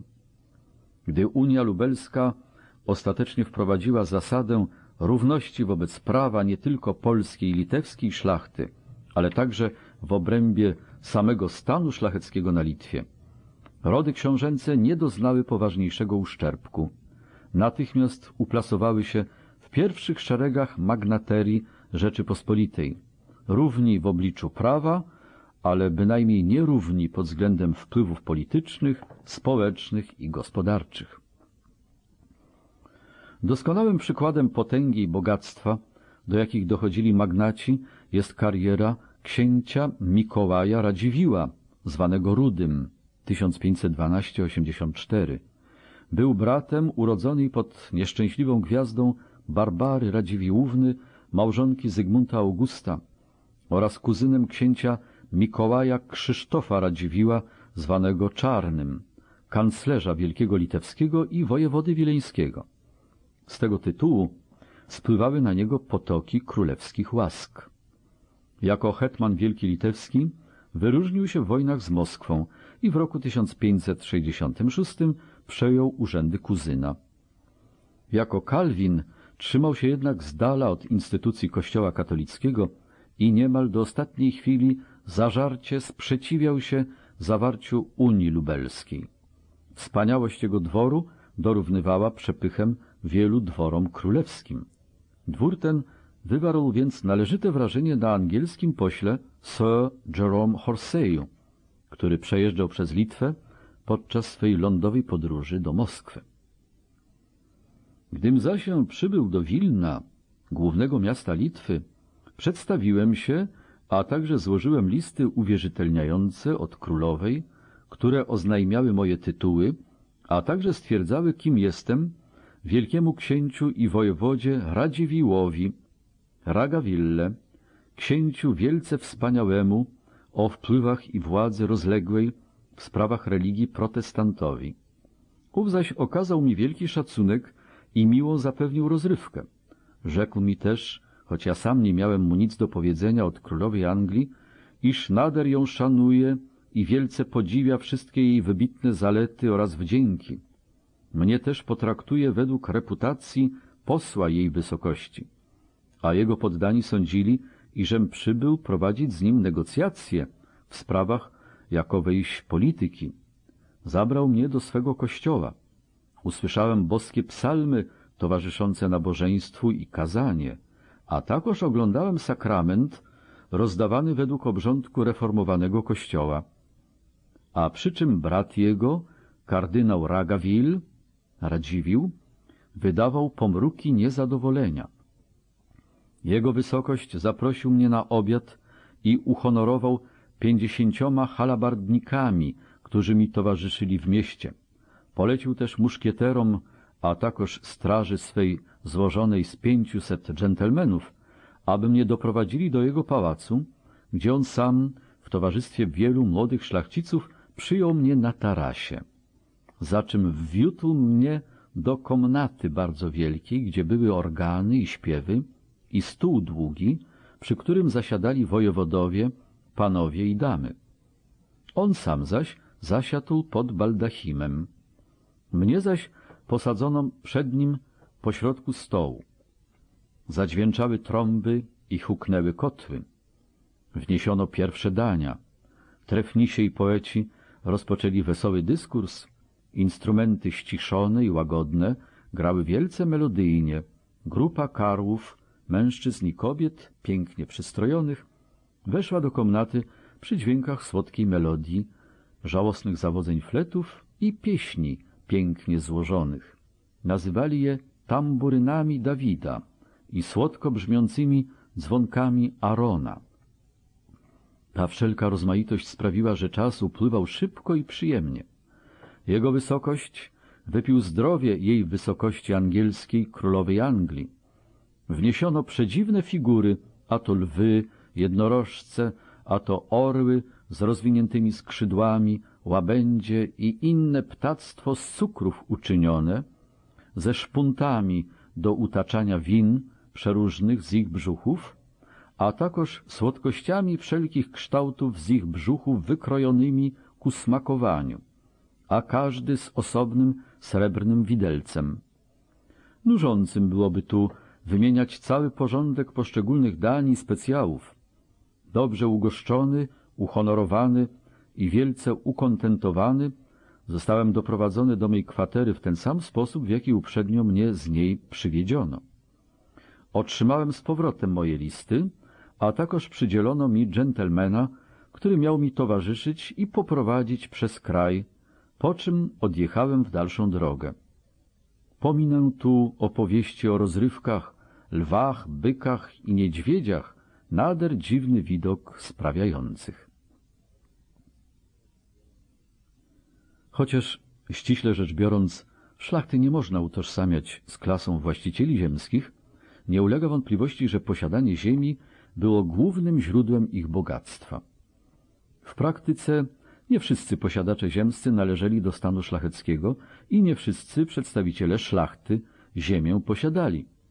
Jednakże relacja między bogactwem a szlachectwem sprowadzała się w znacznej mierze do rozdziału dóbr ziemskich. W roku 1569 majątki szlacheckie zajmowały mniej więcej 60% całego obszaru Rzeczypospolitej. 25% ziemi należało do kościoła, 15% zaś do korony. Praktycznie rzecz biorąc, sektor szlachecki był jednak jeszcze bardziej rozległy, ponieważ coraz więcej majątków królewskich oddawano w dzierżawę szlachcie. Biskupi zaś, do których należała większość majątków kościelnych, byli w gruncie rzeczy wywodzącymi się ze stanu duchownego magnatami. Ludność zamieszkała w majątkach szlachty, nie miała możliwości odwoływania się do sądów królewskich i była skazana niemal wyłącznie na łaskę swych panów. Rozkład geograficznych ziem znajdujących się w rękach szlachty był niezwykle złożony. Na niektórych obszarach, na przykład na Wołyniu, czy też na terenie województwa kijowskiego, przeważająca część ziem skupiona była w rękach kilku magnackich rodów. Na Litwie, w epoce poprzedzającej Unię, około jednej czwartej ziem szlacheckich należało do poniżej dwóch procent szlachty, podczas gdy pozostałe trzy czwarte podzielone były między ponad 13 tysięcy rodzin. Według popisu Wojska Polskiego z 1528 roku, w którym zamieszczono szacunek poszczególnych majątków będących w rękach szlachty, 23 rody miały obowiązek wystawiania przeciętnie po 261 rycerzy, w sumie 5993. Pozostałe 13 060 rodzin było jedynie w stanie wystawić wspólnym sumptem ogółem 19 842 rycerzy, czyli przeciętnie po jednym i 52 setnych na rodzinę. W innych prowincjach, takich jak Mazowsze czy Podlasie, magnaci nie odgrywali absolutnie żadnej roli, a sektor szlachecki obejmował w przeważającej części niewielkie działki należące do drobnej szlachty. Nawet w obrębie poszczególnych prowincji występowały znaczne różnice między sąsiadującymi ze sobą ziemiami. Na przykład w latach 70. XVI wieku w Prusach Królewskich sąsiadujące ze sobą województwa chełmińskie i malborskie znacznie się od siebie różniły pod kilkoma istotnymi względami. I tak na terenie województwa chełmińskiego Ilość ziemi będącej w posiadaniu szlachty była mniej więcej taka sama, jak ilość ziemi należącej do kościoła i korony. Natomiast w województwie malborskim majątki szlacheckie tworzyły zaledwie jedną szóstą dóbr ziemskich, a większych majątków kościelnych nie było tam prawie wcale. Największą rolę odgrywały więc dobra koronne i miasta królewskie. Podczas gdy w województwie chełmińskim Przeciętny szlachcic, posiadacz trzech do dziesięciu łanów ziemi, był właścicielem wąskich pasków gruntu położonych na terenie kilku wsi. W województwie malborskim o wiele mniejsza liczba rodzin władała rozleglejszymi dobrami, przeciętnie od dziesięciu do piętnastu łanów. Jednak w żadnym z tych województw nie było nikogo, kto mógłby się mierzyć z biskupem chełmińskim, należące do niego 112 wsi, tworzących cztery klucze, położone wokół zamku w Lubawie, składało się na jedyne wielkie latyfundium w tym rejonie. Warto zauważyć, że w XVI wieku również na terenie Małopolski majątki kościelne były większe niż dobra najbogatszych nawet właścicieli świeckich. Norman Davis Boże Igrzysko Taśma ósma, koniec ścieżki drugiej. Norman Davis Boże Igrzysko Taśma dziewiąta, ścieżka pierwsza. Mimo, że nadania dóbr koronnych szlachcie były największe właśnie w okolicy prastarej stolicy państwa, żadna szlachecka fortuna nie mogła rywalizować z fortuną biskupów krakowskich. Według pochodzących z 1564 roku taryf podatku gruntowego, sześć spośród dziesięciu największych majątków ziemskich w tej dzielnicy kraju wciąż jeszcze było własnością kościoła. Podczas gdy podatek nałożony na biskupa wynosił 457 zł, na opactwo tynieckie 311 zł, a na kapitułę krakowską 202 zł, wojewoda krakowski, Spytek Jordan, miał płacić 382 zł, starosta biecki 154 zł, starosta krzepicki 145 zł, wielkorządca krakowski zaś 143 zł. Jest rzeczą charakterystyczną, że w przypadku wszystkich najbogatszych magnatów akumulacja ogromnych fortun wiązała się bezpośrednio ze sprawowaniem przez nich wysokich urzędów publicznych. Wielkie prywatne majątki ziemskie w Polsce były jeszcze stosunkowo skromne i znacznie ustępowały ogromnym latyfundiom Litwy. Niemniej jednak przedziały ekonomiczne w obrębie stanu szlacheckiego dość dokładnie pokrywały się z podziałem odpowiadającym ilości posiadanej ziemi. Nie istniała żadna formalna hierarchia, ale licząc folwarki można było łatwo określić, czy ich właściciel powinien zostać zaklasyfikowany do grupy zamożnych, czy też do grupy ubogich, czyli używając języka tamtych czasów, czy jest tłusty, czy chudy. Majątki kilkudziesięciu rodów, stojących u szczytu społecznej drabiny, liczyło się w setkach i tysiącach. Członkowie tych właśnie rodów piastowali kluczowe urzędy państwowe i stąd też miały one licznych przedstawicieli w Senacie. Były wielkie zarówno pod względem bogactwa, jak i wpływów politycznych. Poszczególni magnaci nie mieli żadnych specjalnych praw ani przywilejów, ale jako grupa magnateria cieszyła się władzą i wpływami, które nie pozostawały w żadnej proporcji do jej liczebności. W odróżnieniu od nich przeciętny szlachcic mógł się uważać za szczęśliwego, jeśli posiadał dwa lub trzy folwarki. Ale jeżeli tylko ziemia należała do niego i jeżeli miał chłopów pańszczyźnianych, którzy mogli na niej pracować, nikomu nie musiał niczego zawdzięczać. Był possessionatus i dominus, czyli sobie pan. Współcześni zaliczali go do szlachty zamożnej. Niektórzy historycy chętnie używają terminu średnia szlachta, który obecnie odgrywa istotną rolę w teoriach na temat społeczeństwa i polityki okresu nowożytnego. Dolną granicę ich stanu posiadania ustalono na 20 łanów. Na terenie Rzeczypospolitej grupa ta liczyła od jednej trzeciej do dwóch piątych ogółu stanu szlacheckiego. U dołu drabiny znajdował się element najliczniejszy, skłębiony tłum drobnej szlachty. Jedna z tych grup, szlachta cząstkowa, zamieszkiwała cząstki większych majątków ziemskich podzielonych dla celów sprzedaży lub dzierżawy. Na ogół użytkowała ona wspólnie z sąsiadami zarówno siłę roboczą, jak i zasoby materialne całego folwarku. Wielu innych, tak zwana szlachta czynszowa, dzierżawiło folwarki i ziemię od swych zamożniejszych współbraci. Kolejna grupa, szlachta zagrodowa, posiadała wprawdzie ziemię, lecz nie miała chłopów pańszczyźnianych i sama musiała uprawiać swoje zagrody. Pod względem gospodarczym ich pozycja była taka sama jak pozycja chłopów.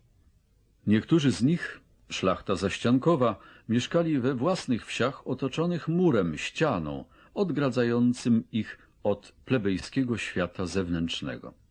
Natomiast grupa, która z upływem czasu stała się zdecydowanie najliczniejsza, tak zwana gołota, skupiała szlachtę, która nie miała ani ziemi, ani chłopów. Ludzie ci znajdowali zatrudnienie jako dzierżawcy, wyrobnicy najemni, służba domowa lub żołnierze, lub też zdegradowani do statusu szlachty brukowej, z trudem wiązali koniec z końcem, prowadząc nędzne życie w mieście. Magnaci zawdzięczali kumulację dóbr ziemskich zbiegowi rozmaitych okoliczności. Duchowni, piętnastu biskupów, dwóch arcybiskupów i garstka opatów, w momencie nominacji wchodzili w posiadanie fortun, które rosły nieprzerwanie od czasu założenia instytucji Kościoła w tysięcznym roku naszej ery. W roku 1512 arcybiskup Gnieźnieński posiadał już 292 wsie i 13 miast, a biskup krakowski 230 wsi i 13 miast. Było to w czasie, gdy największy z magnatów świeckich miał jeszcze najwyżej 30 takich dóbr. Na Litwie natomiast biskupstwo wileńskie, założone po nawróceniu się Wielkiego Księstwa na katolicyzm w 1387 roku, do XVIII wieku zgromadziło w swoich rękach około 600 wsi. Niektórzy duchowni piastowali również godności świeckie. W 1443 roku biskup krakowski Zbigniew Oleśnicki nabył położone na terenie Śląska księstwo siewierskie za sumę sześciu tysięcy srebrnych groszy. On sam i jego następcy utrzymali książęcy tytuł, jurysdykcję i dochody aż do upadku Rzeczypospolitej w 1795 roku. Poczynając od roku 1462 arcybiskup gnieźnieński miał tytuł księcia łowickiego, a swą rezydencję przeniósł do siedziby książęcej w Skierniewicach. W XVIII wieku biskup Plocki obnosi się ze swym tytułem księcia Pultuska. U drugiego końca skali znajdowali się biskupi nieposiadający majątków ziemskich. Po roku 1667, kiedy województwo smoleńskie zostało ostatecznie oddane Moskwie, rzymskokatolicki biskup smoleński utracił wszystkie swoje posiadłości i żył w Warszawie z wypłacanej mu przez rząd zapomogi w wysokości 20 tysięcy złotych rocznie. Wielu spośród magnatów świeckich zawdzięczało swą pozycję zasługom położonym w służbie króla. Inni zdobyli ją dzięki kolonizacji ziem ruskich na wschodzie. Jednakże największe fortuny magnackie powstawały w wyniku połączenia różnych czynników, korzystnych małżeństw, kupna, wymiany, podbojów, skutecznego zarządzania, królewskich łask, obsesyjnej ambicji, długowieczności, przewagi chromosomów męskich. Tylko nieliczne z nich, takie jak Fortuna Radziwiłłów na Litwie, czy Potockich i Tarnowskich w Polsce, przetrwały kilka stuleci. Większość ginęła równie szybko jak powstała. Upadek rodów kurozwęckich, szydłowieckich i melsztyńskich nastąpił z powodu braku męskich spadkobierców. Lubomirscy, których fortuna została w 1642 podzielona między trzech synów, a jednego z nich Jerzego w roku 1664 skonfiskowana, stracili dotychczasową pozycję. Wiele spośród tych rodów, które doczekały się swego rozkwitu pod koniec XVIII wieku, czartoryscy, poniatowscy, jabłonowscy i obie linie branickich, można by właściwie uważać za parweniuszy. Wielkie majątki magnackie były zorganizowane na zasadzie latyfundiów. Folwarki rozrzucone na danym obszarze podlegały kluczowi, który był ośrodkiem wspólnej dla wszystkich majątków administracji. Każdy taki klucz podlegał z kolei kwaterze głównej mieszczącej się w pałacu właściciela. W ten sposób administracją latyfundium objęte były wszystkie folwarki, a wkład każdej z części składowych przyczyniał się do sprawniejszego funkcjonowania całości. I tak na przykład według spisu inwentarza z 1739 roku latyfundium lubomirskich obejmowało 1071 posiadłości rozproszonych na terenie dziewięciu południowych województw Rzeczypospolitej, od Woli Justowskiej w pobliżu Krakowa po miejscowość Tetiew w okolicy Kijowa. W jego skład wchodziły większe i mniejsze miasta, wsie i kompleksy pól uprawnych. W skład klucza położonego w pobliżu Krakowa Wiśnicza, głównej siedziby lubomierskich, wchodziło 29 wsi. Klucz Jarosławia na Rusi Czerwonej skupiał 18 wsi. Klucz Kańczugi 13 wsi. Poza rodzinnymi posiadłościami, z tytułu sprawowanych urzędów państwowych i za sprawą królewskich łask, lubomirscy dzierżawili znaczną liczbę królewszczyzn. Za życia Aleksandra Michała Lubomierskiego, który zmarł w roku 1677, dzierżawy te obejmowały osiem miast i osiemdziesiąt dziewięć wsi. Mieli oni także kilkanaście posiadłości położonych za południową granicą kraju na terenie Węgier. Prawa sukcesji pociągały za sobą ogromne komplikacje. Obyczaj w Polsce wymagał, aby posiadłości rodzinne dzielić równo pomiędzy synów i niezamężne córki.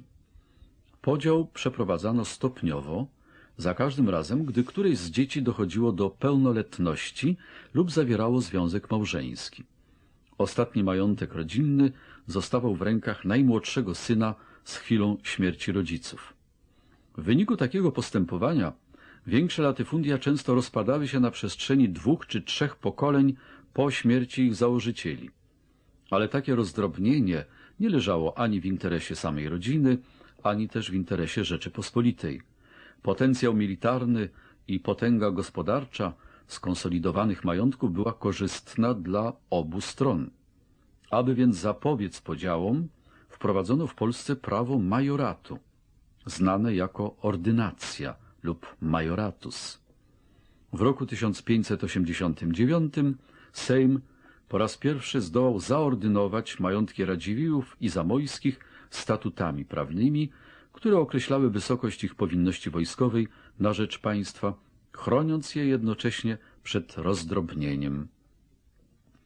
Zgodnie z ordynacją sporządzano listy wymienionych z nazwy posiadłości, które mogły być dziedziczone jedynie według ściśle ustalonej zasady męskiej prymogenitury i których właściciele nie mieli prawa pozbywać się ani drogą sprzedaży, ani przez darowiznę i podział, ani też na mocy testamentu.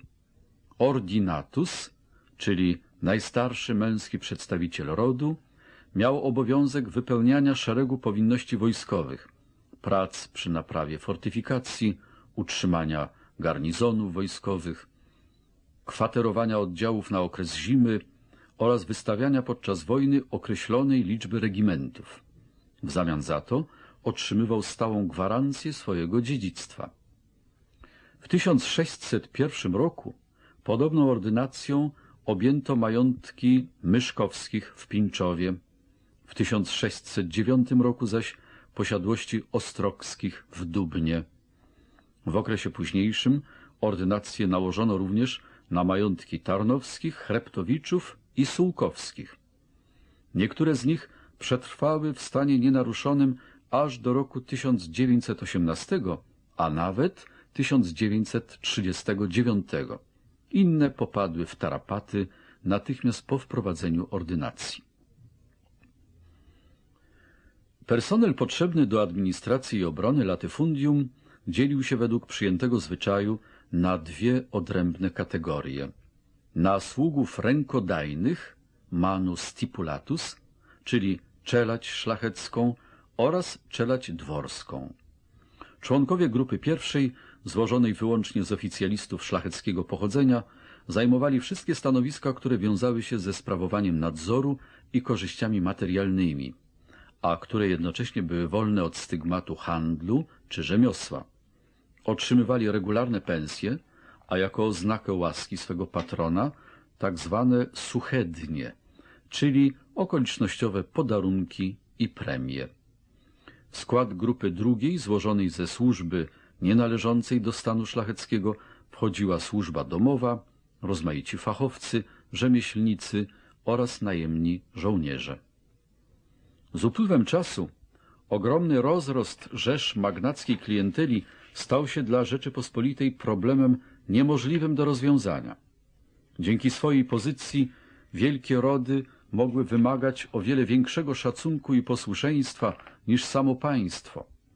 Rosnąca armia kłótliwych oficjalistów o ptasich muszczkach, zajadle broniących honoru i interesów swoich patronów, świadomych, że ich awanse i dobrobyt zależą od skutecznego spełniania pańskich kaprysów i uczestnictwa w ich prywatnych wojnach, stopniowo podkopywała pozycję rządu na szczeblu zarówno centralnym, jak i lokalnym. W epoce rozbiorów prywatna armia księcia Karola Stanisława Radziwiła z Nieświeża, zwanego panie kochanku, czyli tak zwana banda albeńska, od nazwy posiadłości Alba, będącej własnością Radziwiła, mogła bez trudu wystawić sześć tysięcy chłopa, mężczyzn ubranych od stóp do głów w biel i zdolnych bezkarnie stawić czoła każdej prywatnej lub królewskiej wojskowej formacji tego okresu. Rozmiary dworów magnackich były oczywistym wykładnikiem ich pozycji i bogactwa. Najskromniejsze składały się z garstki obdartych starych sług, przywodzących na myśl obraz Sancho Pansy. Najpotężniejsze obejmowały całe pułki wyszkolonych oficerów i zarządców i z powodzeniem mogły dorównać orszakom władców pomniejszych księstw. I tak na przykład w połowie XVII wieku wojewoda krakowski Stanisław Lubomirski z Wiśnicza utrzymywał na swoim dworze dwóch marszałków, dwóch kapelanów, czterech sekretarzy, czterech krajczych, dwudziestu szambelanów i sześćdziesięciu oficjalistów wyższej rangi. Dodatkowo dwór liczył jeszcze tłum aplikantów, komorników, rezydentów, podskarbich, stajennych, szatnych, koniuszych, pokojowych, posłańców, rotmistrzów i oczywiście analogiczny zestaw dam dworu i pokojówek pozostających w służbie pani. Personel niewywodzący się spośród szlachty obejmował nadwornego lekarza, chirurga, malarza, baletmistrza, cukiernika, ogrodnika, inżyniera, architekta, kapelmistrza, ekonoma, czyli zarządcę oraz zastęp kucharzy, dozorców więziennych, woźniców, cieśli, lokajów, piwnicznych i służby domowej. Przestrzegano też egzotycznej tradycji utrzymywania na dworze błaznów, cudzoziemców, karłów i historyków. Nie było też rzadkością wśród polskich magnatów trzymanie niemieckich baronów. Odpowiednikiem tatarskiego zwyczaju jasyru, czyli brania w niewolę jeńców, było utrzymywanie na dworach w charakterze osobistych służących jeńców tatarskich lub murzynów. Plagę tłumów służby i oficjalistów na szlacheckich dworach tak opisywał, nie szczędząc ostrej ironii, biskup warmiński Ignacy Krasicki. Jaśnie wielmożny tyran, Bożek okoliczny, dla większej wspaniałości raczy mieć dwór liczny. Stąd wyższe urzędniki, niższe posługacze. Pan koniuszy, co bije, masztalerz, co płacze, pan z podskarbi, co kradnie, piwniczny, co zmyka, sługa pieszy, dworzanin, co ma pacholika, pokojowiec przez zaszczyt wspaniałemu sercu, a dlatego, że szlachcic bierze na kobiercu. Pan architekt, co plany bez skutku wymyśla, pan doktor, co zabija, sekretarz, co zmyśla, pan rachmistrz, co łże w liczbie, gumienny, co w mierze, plenipotent, co w sądzie, komisarz, co bierze więcej jeszcze, jak daje, a złodziejów mniejszych kradnąc, sam jest użyty do usług ważniejszych. Łowczy, co je zwierzynę, a w polu nie bywa, stary szafarz, co zawsze panu potakiwa, pan kapitan, co Żydów drze, kiedy się proszą, żołnierze, co potrawy na stół w gale noszą, kapral, co więcej jeszcze kradnie niż dragoni, no i doboż, co pod okna capstrzyk tarabani. A kiedy do kościoła jedzie z gronem gości, bije w dziurawy bęben jegomości. Szerzyła się zatem korupcja, obejmując wszystkich od góry do dołu. Sprzedajność, zadłużenie i zależność od możnych protektorów sprawiały, że szlachta nie była w stanie zmieniać się wraz ze zmianą czasów. Wielcy wykorzystywali mniejszych, mniejsi zaś małpowali tych, którzy uważali za lepszych od siebie. Gwałtowny wzrost liczby ordynacji w epoce wazów dowodzi wyraźnie, że oligarchia magnacka zapuszczała w tym okresie głębokie korzenie. Z tego też powodu ogół stanu szlacheckiego gwałtownie przeciwko niej występował. Nie brak jednakże dowodów na to, że przynajmniej do połowy XVII wieku majątki średniej szlachty prosperowały równie dobrze jak posiadłości wielkich rodów magnackich. Według Andrzeja Wyczańskiego, który odtworzył hipotetyczny model takich majątków na podstawie dokumentów sądowych pochodzących z lat 60. XVI wieku, ich przeciętne rozmiary wynosiły około 130 hektarów. Z tego do 50 hektarów, czyli około 40% ogółu ziem ornych, wchodziło w skład majątku samego właściciela i przynosiło 94% ogółu jego dochodów. Pozostałe 80 hektarów dzierżawiono chłopom. Ziemie te praktycznie nie dawały żadnych dochodów, stanowiąc źródło utrzymania chłopów pańszczyźnianych, których praca potrzebna była do obrabiania gruntów pana. Tej siły roboczej rzadko jednak wystarczało. Zaspokajała ona około dwóch trzecich całości potrzeb i trzeba ją było uzupełniać, zatrudniając najemników oraz robotników sezonowych. Przeciętny dochód roczny wynosił 214 zł brutto, 185,7 zł netto. Uwzględniając obowiązujące w tym czasie na rynku krakowskim ceny, za 186 zł można było nabyć 96 metrów wełnianej materii lub 385 par obuwia lub 35 wołów lub wreszcie 900 litrów malmazji. Właściciel czy dzierżawca z reguły mieszkał w swym majątku i zarządzał nim bez pomocy licznej służby i oficjalistów.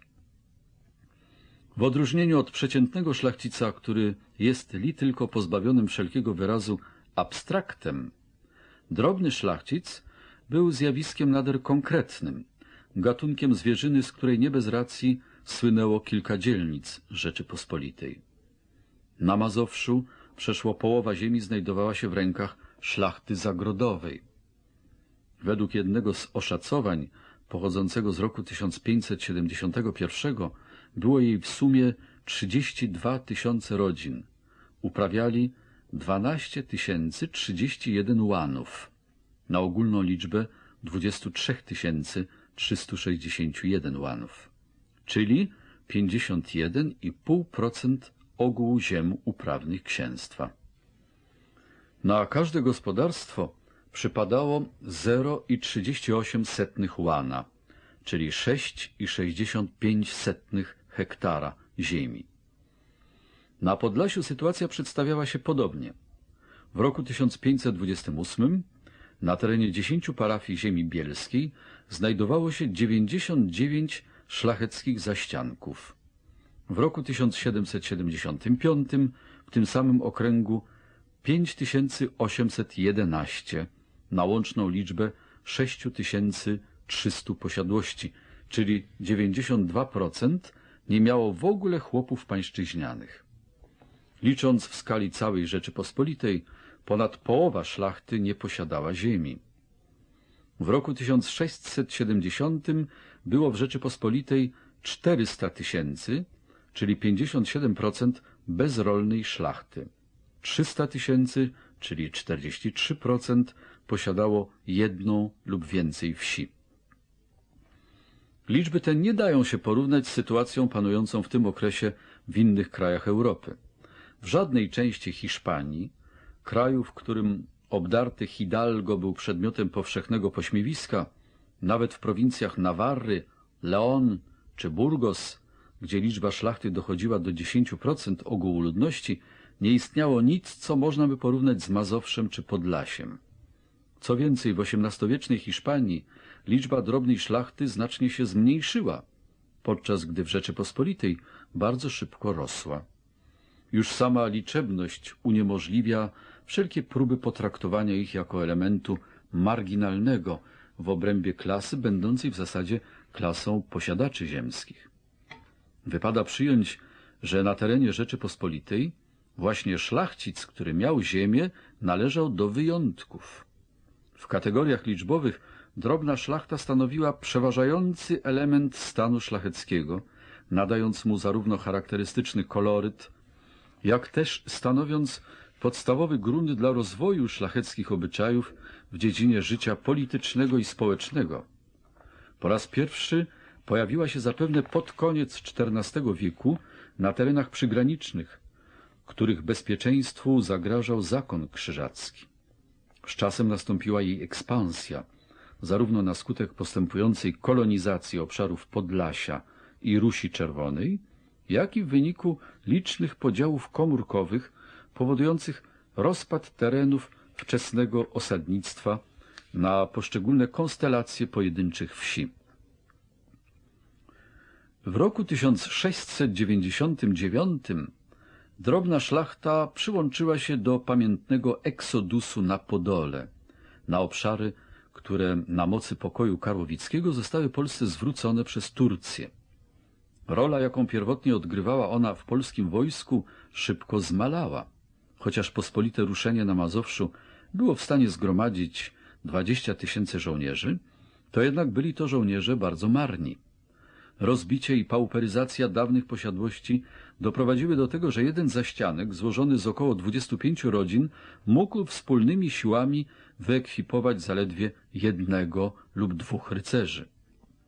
Płodność ludności Mazowsza w połączeniu z ubóstwem produktów rolnych tych terenów prowadziła do bezustannych podziałów i ciągłego ubożenia rodzinnych majątków. Począwszy od XVI wieku, przedstawiciel drobnej szlachty, mimo że niezdolny do wyposażenia samego siebie, nadal hołdował wojskowej tradycji swojej kasty, albo podejmując służbę w zawodowych pułkach wojsk królewskich, albo też zaciągając się do prywatnych oddziałów wielkich magnatów. Ponieważ drobna szlachta była uboga i pozbawiona wszelkiego zabezpieczenia, jej pozycja była pod wieloma względami gorsza od pozycji chłopów pańszczyźnianych. Na przestrzeni XVIII wieku można znaleźć liczne przykłady dobrowolnego przechodzenia szlachty do stanu chłopskiego. Ale nawet jako pańszczyźniani czy biedota miejska nie tracili oni swego statusu szlachty, ani też swoich przywilejów prawnych. Nad gankami ich chat wisiały tarcze herbowe. Jeśli nie mieli szabli ze stali, nosili drewniane.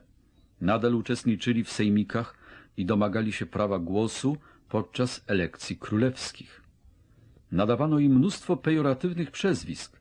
Nazywano ich pankami, szarakami, ponieważ nie było ich stać na karmazynowe kontusze, będące tradycyjnym strojem szlachty, zagończykami, ponieważ musieli sami obrabiać własne zagony, chudopachołkami, którzy tak często pojawiają się w literaturze tego okresu, czy też szlachtą chodaczkową, milites in caligulo.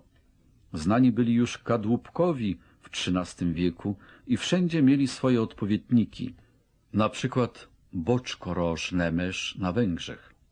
Ale byli czymś par excellence polskim, zarówno jako zjawisko zadziwiające z punktu widzenia historyka, jak i jako podpora szlacheckiego stanu.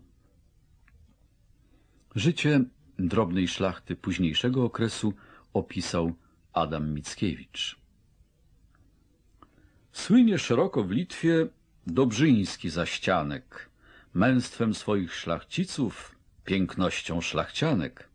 Niegdyś możny i ludny, bo król Jan III obwołał pospolite ruszenie przez Wici, chorąży województwa z samego Dobrzyna, przywiódł mu sześćset zbrojnej szlachty. Dziś rodzina zmniejszona, zubożała, dawniej w pańskich dworach lub wojsku, na zajazdach, sejmikowych zborach, zwykli byli dobrzyńscy żyć o łatwym chlebie. Teraz zmuszeni sami pracować na siebie jako zaciężne chłopstwo.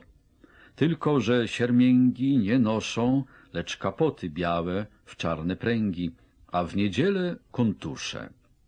Strój także szlachcianek najuboższych różni się od chłopskich katanek. Zwykle chodzą w drylichach albo perkaliczkach, bydło pasą nie w łapciach skory, lecz w trzewiczkach i tną zboże, a nawet przędą w rękawiczkach. Różnili się dobrzyńscy między Litwą bracią, językiem swoim, tudzież wzrostem i postacią. Czysta krew lacka, wszyscy mieli czarne włosy, wysokie czoła, czarne oczy, orle nosy. Z dobrzyńskiej ziemi ród swój starożytny wiedli, a choć od lat czterystu na Litwie osiedli, zachowali mazurską mowę i zwyczaje. Jeśli który z nich dziecku imię na chrzcie daje, zawsze zwykł za patrona brać koronijasza, świętego Bartłomieja albo Matyjasza. Tak syn Macieja zawsze zwał się Bartłomiejem, a znowu Bartłomieja syn zwał się Maciejem. Kobiety wszystkie chrzczono Kachny lub Maryny. By rozeznać się wśród takiej mieszaniny, brali różne przydomki, od jakiej zalety lub wady, tak mężczyźni, jako i kobiety. Więc Matyjasz Dobrzyński, który stał na czele całej rodziny, zwan był kurkiem na kościele. Potem z 794 rokiem, odmieniwszy przydomek, ochrzcił się Zabokiem. Toż królikiem dobrzyńscy mianują go sami, a Litwini nazwali Maćkiem nad Maćkami. Jak on nad Dobrzyńskimi, dom jego nad siołem panował, stojąc między karczmą i kościołem. Widać rzadko zwiedzany, mieszka w nim hołota, bo brama sterczy bez wrot, ogrody bez plota, niezasiane, na grzędach już porosły brzoski. Przecież ten folwark stał się być stolicą wioski. Iż kształtniejszy od innych chat, bardziej rozległy i prawą stronę, gdzie jest świetlica, miał z cegły. Obok lamus, spichrz, gumno, obora i stajnie. Wszystko w kupie, jak bywa u szlachty zwyczajnie. Wszystko nadzwyczaj stare, zgniłe. Domu dachy świeciły się, jak gdyby od zielonej blachy, od mchu i trawy, która buja jak na łące. Po strzechach gumien, niby ogrody wiszące różnych roślin, pokrzywa i krokos czerwony, żółta dziewanna, szczeru, barwiste ogony, gniazda ptastwa różnego, w strychach gołębniki, w oknach gniazda jaskółcze, u progu króliki białe skaczą i ryją w niedeptanej darni. Słowem dwór na kształt klatki albo królikarni. A dawniej był obronny, pełno wszędzie śladów, że wielkich i że częstych doznawał napadów. Pod bramą dotąd w trawie, jak dziecięca głowa, wielka leżała kula żelazna, działowa, od czasów szwedzkich. Niegdyś skrzydło wrót otwarte bywało o tę kulę jak o głaz oparte. Na dziedzińcu, z pomiędzy piołunu i chwastu, wznoszą się stare szczęty krzyżów kilkunastu na ziemi nieświęconej. Znak, że tu chowano poległych śmiercią nagłą i niespodziewaną. Kto by uważał z bliska lamus, spichrz i chatę, ujrzy ściany od ziemi do szczytu pstrokate, niby rojem owadów czarnych. W każdej plamie siedzi we środku kula, jak czmiel w ziemnej jamie.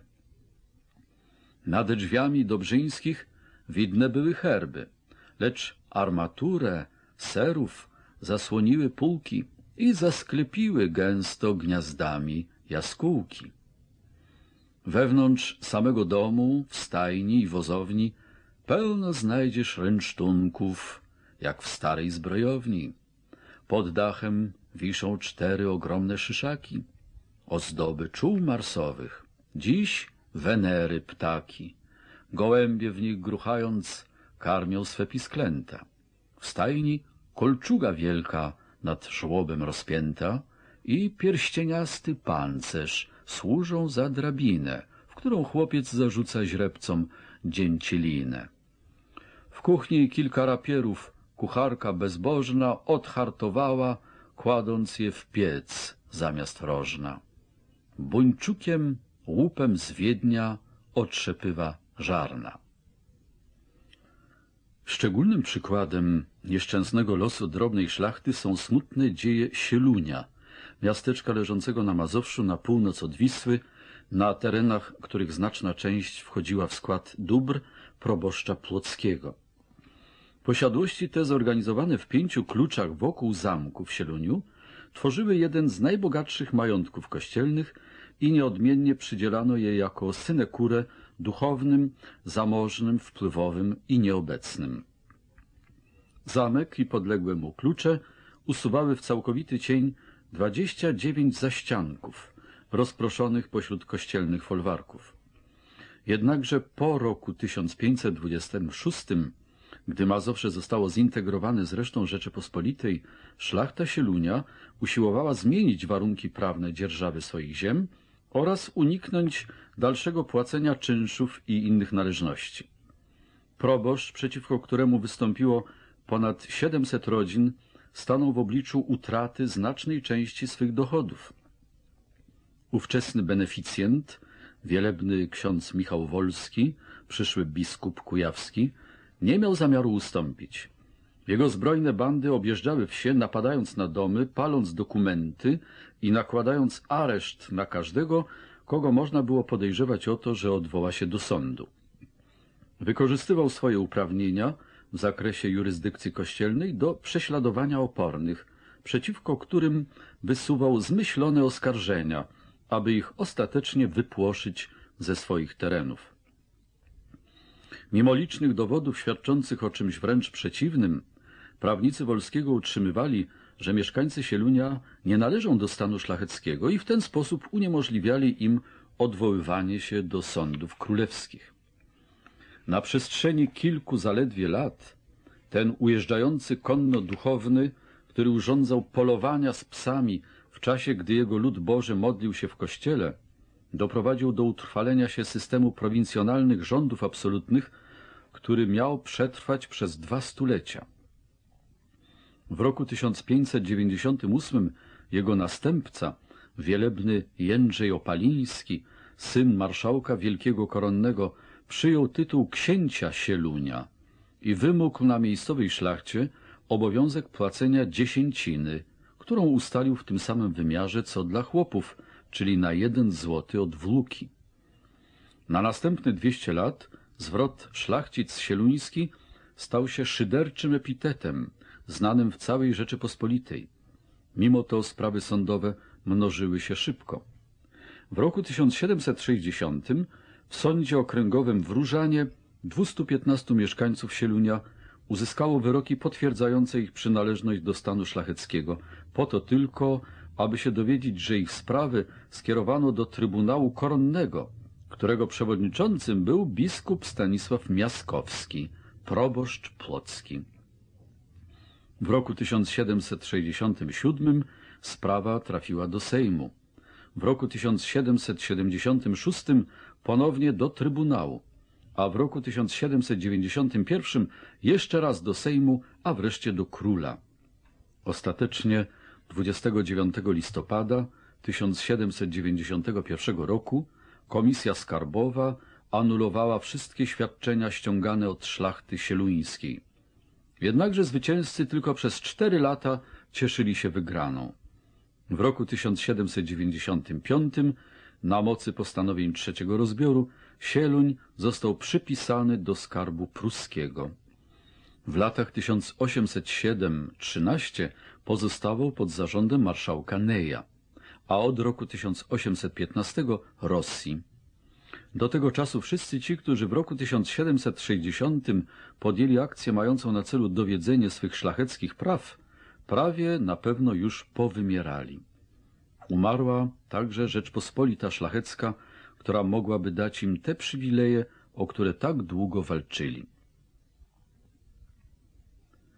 Biorąc pod uwagę ogromną różnorodność interesów gospodarczych wśród przedstawicieli stanu szlacheckiego, można by oczekiwać, że będą oni reprezentować bardzo różne postawy i stanowiska. Tak jednakże nie było. W okresie istnienia Rzeczypospolitej poglądy szlachty cechowała godna uwagi jednolitość, zwłaszcza w trzech zasadniczych kwestiach statusu szlachty, równości oraz modelu życia na łonie natury. Wiara szlachty w ekskluzywność zalet własnego stanu prowadziła do praktyk, które dziś można określić jedynie jako wyraz rasizmu.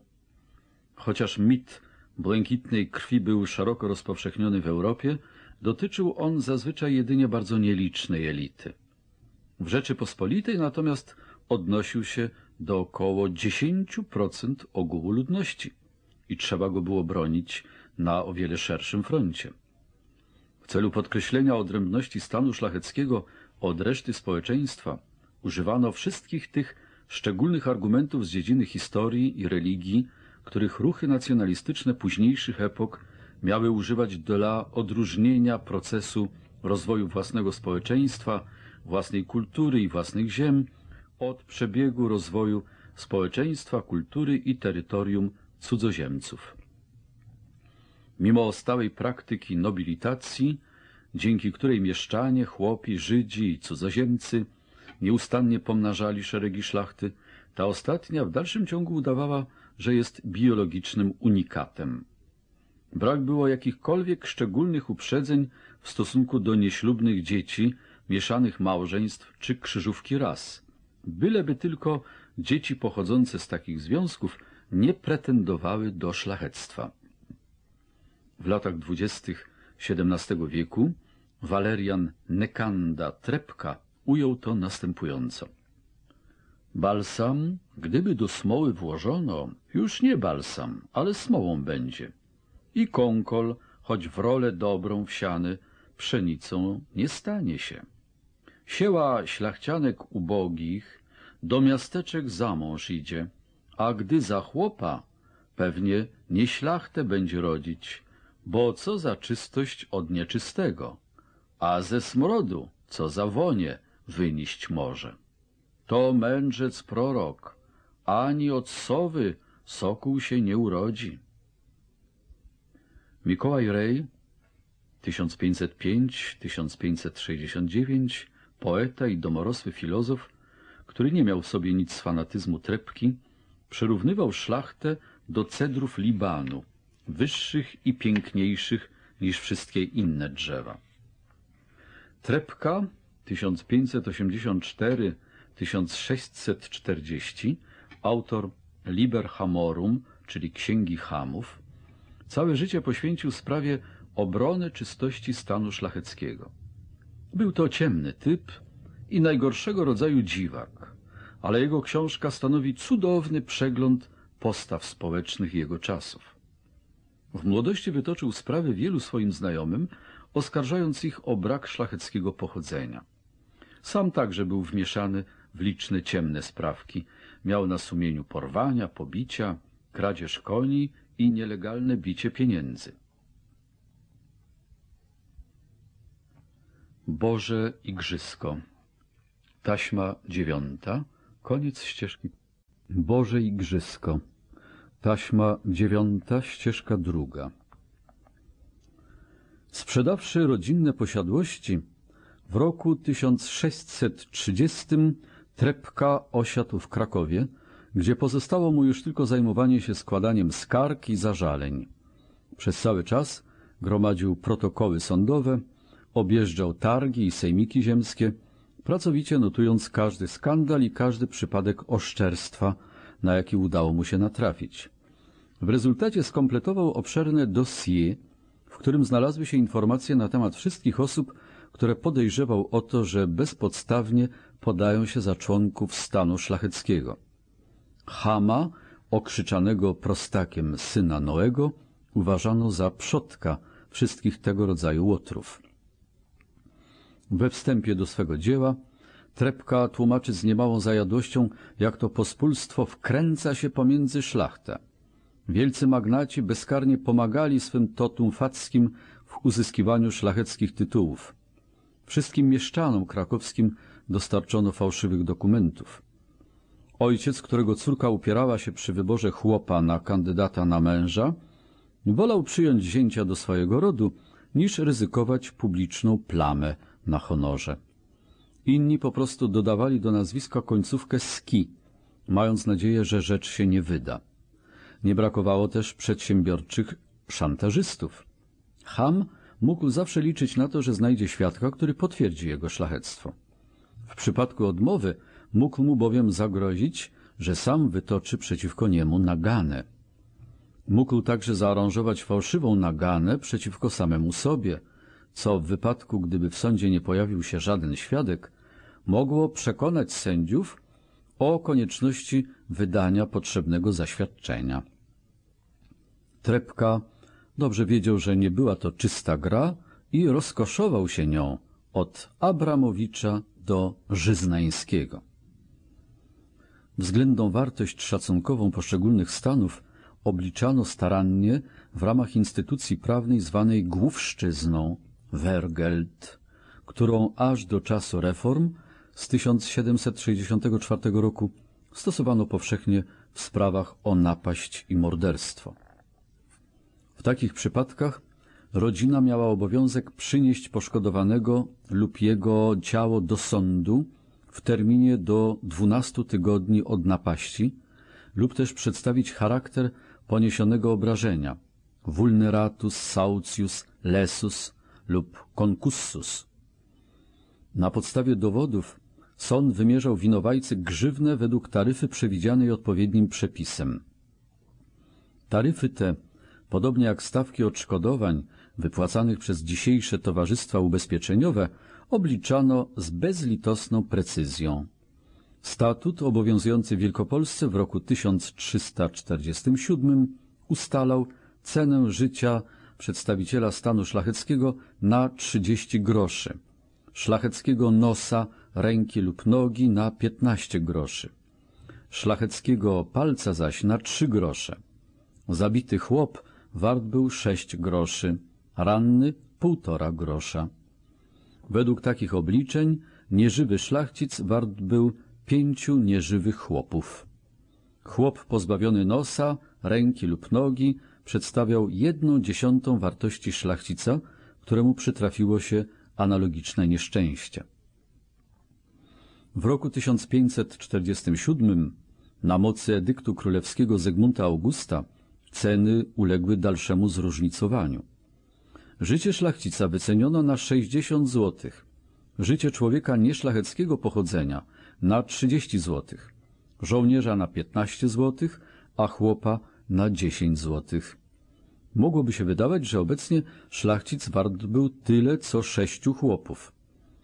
Ale przepis, według którego odszkodowanie za chłopa dzielono w stosunku 6 zł wdowie i 4 zł panu ofiary, nakłania do dalszych refleksji. Gdyby szlachcicowi zachciało się zabić jednego ze swych własnych chłopów, to zakładając, że jego własny sąd zadałby sobie trud ustalenia odszkodowania, musiałby on jedynie zapłacić różnicę między sumą, którą winien był wdowie, a kwotą, której miał prawo żądać dla siebie. Bilans wynosi dwa złote, a więc trzydzieści razy mniej niż suma, która wchodziłaby w grę, gdyby odwrócić rolę mordercy i ofiary. W roku 1588 grzywny uległy dalszej podwyżce. Wprowadzono też karę więzienia. Morderca, winien śmierci szlachcica, musiał przez 58 tygodni przebywać w zamkniętym lochu oraz zapłacić grzywnę w wysokości 240 groszy. W wypadku zbrodni popełnionej przy użyciu broni palnej kara wynosiła 116 tygodni więzienia i 480 groszy grzywny. Nogi, ręce, oczy i nosy wyceniono po 120 groszy od sztuki, krwawe rany po 80 groszy, palce po 30 groszy, a zęby po 20 groszy. O ofiarach pochodzących ze stanu chłopskiego nie wspomina się już ani słowem. Widocznie nikt nie uważał, aby takie drobiazgi były warte zachodu sądu. W gruncie rzeczy morderstwo uważano za przestępstwo nieco mniejszej wagi niż wykroczenia innego rodzaju. Było rzeczą naturalną, że szlachcic, który zawsze nosił przy boku szable, będzie walczył we własnej obronie. Morderstwo było więc uważane za uczciwe ryzyko w odróżnieniu od gwałtu czy stwarzania fałszywych pozorów. Statut obowiązujący na Mazowszu w 1448 roku przewidywał karę śmierci za gwałt popełniony na szlachciance przez mężczyznę nienależącego do stanu szlacheckiego i grzywnę w wysokości 60 groszy za gwałt popełniony na kobiecie z pospólstwa. Według tego rachunku jedna zgwałcona szlachcianka była warta tyle samo, co dwóch zabitych szlachciców, wycenionych według starej ceny. Błona dziewicza zaś młodej chłopki była warta dziesięć razy więcej niż życie jej ojca. Człowieka, który złośliwie zaaranżował fałszywą naganę, karano w Polsce śmiercią, na Litwie zaś chłostą. Trup, bezpodstawnie udający szczątki ofiary morderstwa, mógł łatwo ściągnąć na głowę inicjatora takiej maskarady taką samą karę jak za morderstwo. Wiara Polaków w znaczenie szlachectwa wywoływała liczne komentarze za granicą. W tekście napisanym w Londynie w 1728 roku Daniel Defoe cytował Wenecję i Polskę jako dwa kraje szczególne, w których pojęcie szlachectwa z urodzenia doprowadzono w tym czasie do najwyższej, a najbardziej śmiesznej krańcowości. W Polsce próżność ona, płynąca ze szlachetnego urodzenia, doprowadzona bywa do tak przeogromnej ekstrawagancji, iż samo już imię szlachcica oraz tytuł starosty, wojewody lub kasztelana przynosi mu wyższość nad wszystkimi wasalami, jako też i prostym ludem. Większą nieporównanie od tej, jaką się cieszy król lub cesarz, władzę nad nimi bardziej absolutną i możność większego ich unieszczęśliwienia, niźli nieszczęście poddanych Grand Seniora, Sik lub Hana Tatarów, tak iż depcą lud uboższy jakoby psów, a także często ich mordują. Kiedy zaś to uczynią, nikomu z owego postępku nie muszą zdawać sprawy. Weźmy bowiem szlachty i ziemiaństwo Polski, tak jak się nam one jawią w historii. Po pierwsze, są to najbardziej wyniośli władczy i skłonni do zadawania zniewag innym ludziom w świecie. Pewien bardzo wybitny historyk naszych czasów powiada, że są pyszni, zuchwali, porywczy i zawzięci. Tacy też są w rzeczy samej owi szlachcice z urodzenia. Jeśli zapytasz Polaka, czym jest, odpowie ci, że jest polskim szlachcicem, a tak wielce się cenią na podstawie owego imienia, że mają się za wyniesionych ponad wszystkich, a związanych regułami honoru, które są jedynym prawem szlachcica, ba wspierają się nawzajem w czynach najohydniejszych i najbardziej czarnych i oczekują przyzwolenia od samych niebios z racji ich urodzenia i wartości, czego przykładem wybitnym jest pewien łotr niegodny, niejaki kapitan Wrac, Polak, który z zimną krwią zamordował angielskiego dżentelmena, szanownego Tomasa Tynę, strzelając doń, gdy ów jechał swym powozem z muszkietu naładowanego siedmioma kulami. Onże, na dzień przed tym, nim go za ten czyn wieszać miano, gdy go ojciec duchowny na śmierć chciał przygotować, odrzekł, iż nie wątpi wcale, że Bóg okaże mu szacunek jako szlachcicowi. Daniel Defoe oddawał jednak Polakom sprawiedliwość, przyznając, że owe złe cechy zrównoważone były zaletami, zwłaszcza w dziedzinie wykształcenia. Szczególne wrażenie zrobiła na nim powszechność kultury łacińskiej. Człowiek, który potrafi mówić po łacinie, donosił, może odbyć podróż z jednego końca Polski na drugi z taką łatwością, jak gdyby urodził się w tym kraju. Mój Boże, cóż by uczynił dżentelmen, któremu by przyszło podróżować po Anglii, a który nie znałby żadnego języka prócz łaciny? Nie mogę się nie użalić nad kondycją takowego podróżnika. Gdy już szlachta stała się zamkniętym stanem społecznym, gdzie o przynależności decydowała dziedziczność, zaczęto zazdrośnie strzec wszystkich dróg, którymi można się było do niego dostać. Chociaż w okresie istnienia Rzeczypospolitej król zachował przywilej nadawania szlachectwa, Sejm domagał się wprowadzenia jeszcze ściślejszej kontroli. W 1578 roku uchwalił ustawę, na mocy której król mógł nadawać szlachectwo jedynie w czasie trwania sesji sejmowych lub w nagrodę za męstwo okazane na polu bitwy. W roku 1601 uchwalono, że żaden przypadek uszlachcenia nie jest ważny, dopóki nie zostanie zatwierdzony przez Sejm. A w wypadku przedstawiciela stanu chłopskiego bez zgody jego pana. W roku 1641 Sejm rozszerzył swoje kompetencje w zakresie nadawania szlachectwa cudzoziemcom na mocy tzw. Tak indygenatu. Wskrzesił też półszlachecką kategorię scartabelli, nowej szlachty, której rodziny mogły uzyskać pełne prawa polityczne przysługujące stanowi szlacheckiemu dopiero w trzecim pokoleniu. W roku 1775 posiadanie ziemi zostało uznane za wzgląd naczelny przy przyjmowaniu kogokolwiek w szeregi szlacheckiego stanu. W efekcie liczba nobilitacji nie była zbyt duża.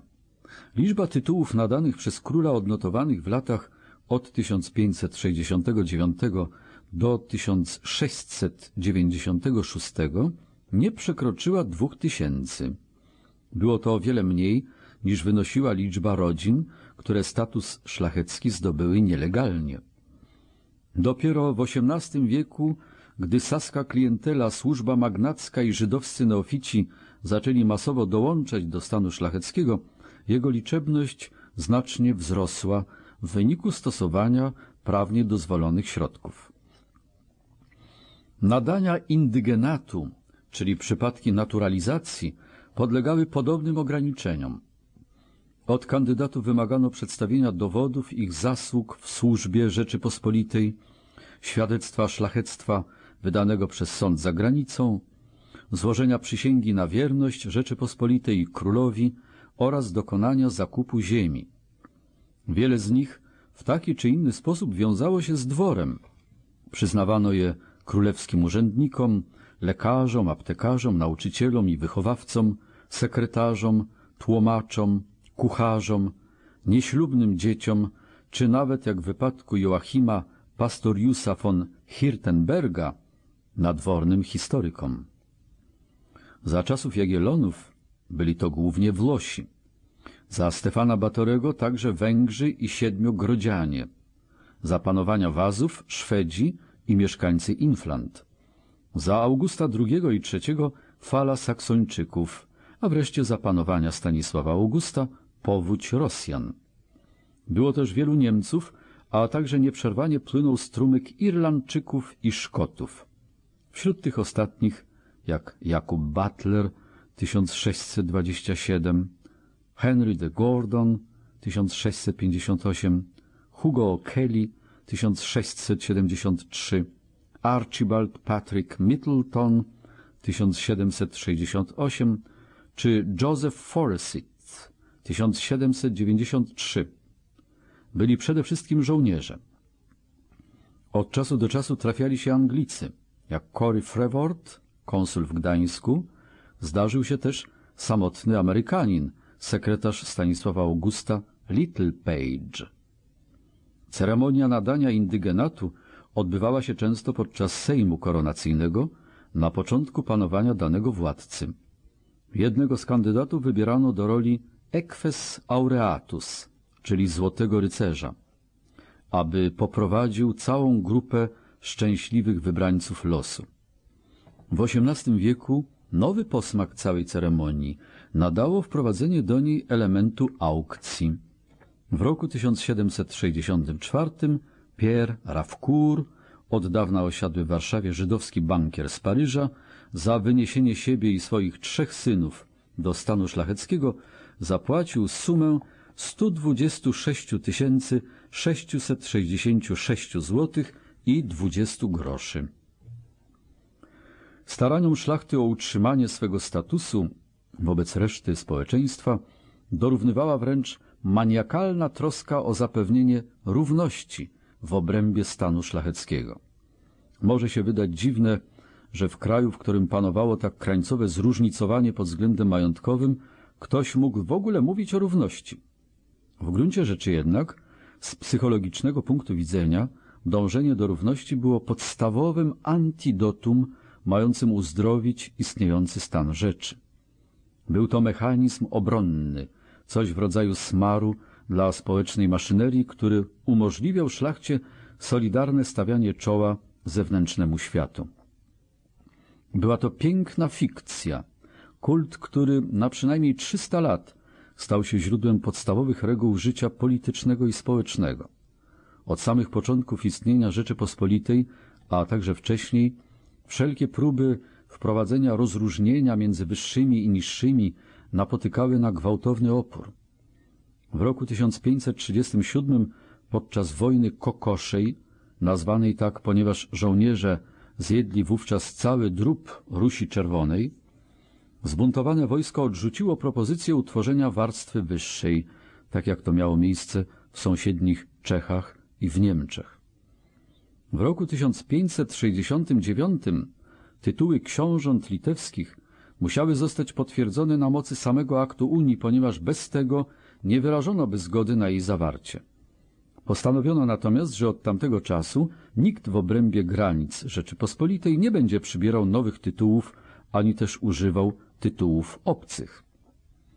W roku 1638, a także później w latach 1641-1673, wobec licznych przypadków naruszania tego postanowienia Sejm zabronił przyjmowania tytułów pod karą utraty czci i praw obywatelskich. W roku 1699, gdy posłowie szlacheccy odkryli, że do protokołów sejmowych wkradły się takie sformułowania jak szlachta mniejsza i szlachta większa, kazali je stamtąd usunąć jako kontra equalitatem, czyli sprzeczne z zasadą równości. W celu umocnienia idei równościowych wprowadzono skomplikowane konwenanse społeczne. Publicznie szlachta polska zwykła się do siebie zwracać per, panie bracie. W wojsku każdy był dla każdego towarzyszem. W gronie znajomych używano form trzeciej osoby, zwrotów wasza miłość lub waść, czy też wać pan, podobnie jak Hiszpanie używają zwrotu usted, Włosi zaś zwrotu lei.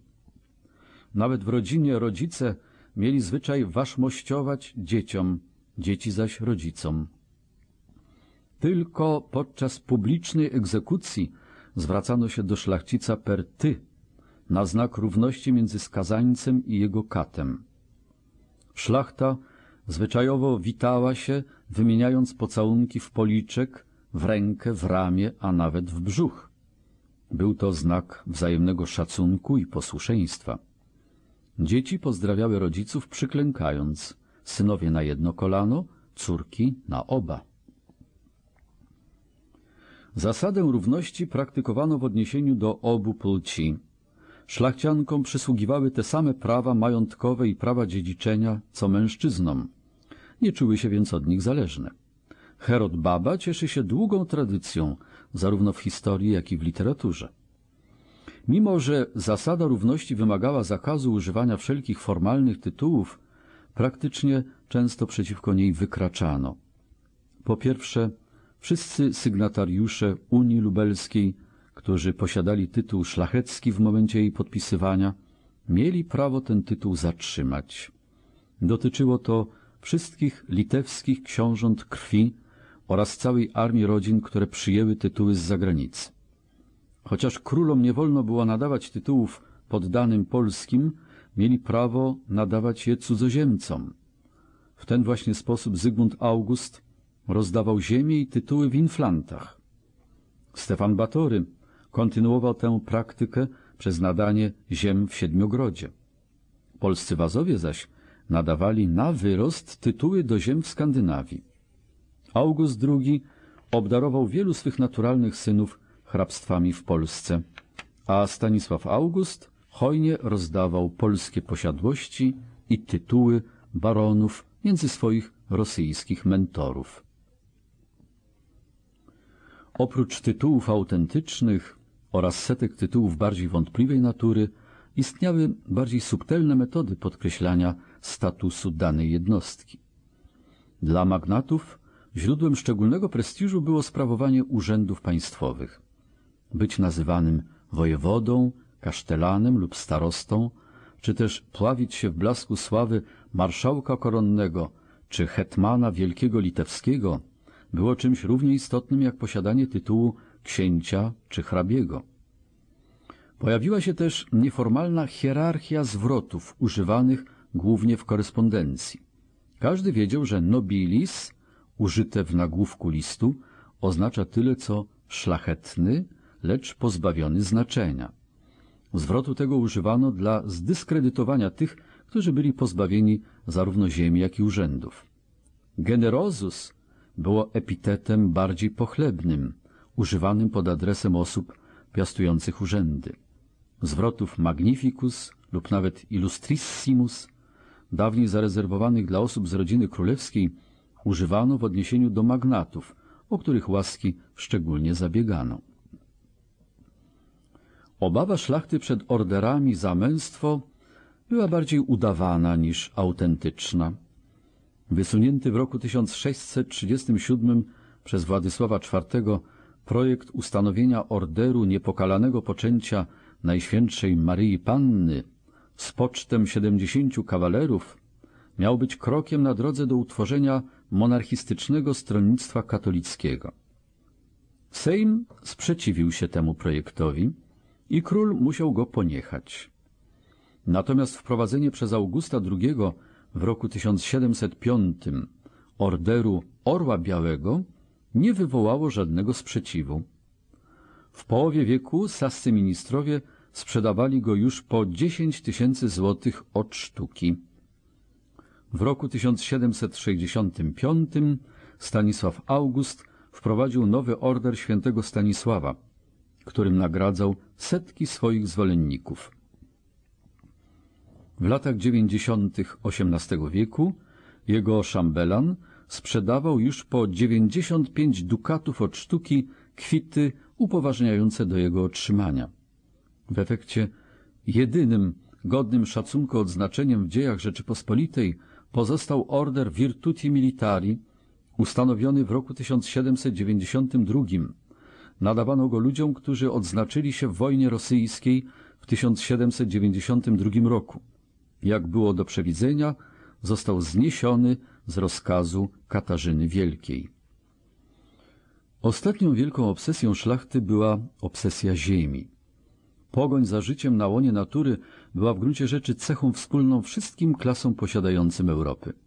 Ale w Polsce była ona szczególnie silna i szczególnie mocno zabarwiona sentymentalizmem. Na terenie Rzeczypospolitej odległości między poszczególnymi osadami ludzkimi były większe niż w Europie Zachodniej i ludzie żyli w większej izolacji. Poczucie lokalnej wspólnoty było silne, a poczucie wspólnoty narodowej słabe. W warunkach pogłębiającego się regresu gospodarczego szlachcic najchętniej siedział u siebie w domu, dbał o własne gospodarstwo i cieszył się tym, co przynosił mu los. Odcięty od świata zewnętrznego, był głęboko przekonany, że reszta ludzkości żyje w nędzy. Mimo swych licznych i oczywistych przywar, szlachta niewątpliwie zdołała wytworzyć poczucie lokalnej solidarności, które, jeśli wierzyć świadectwu literackiemu, wyraźnie triumfowało nad względami bardziej przyziemnej natury.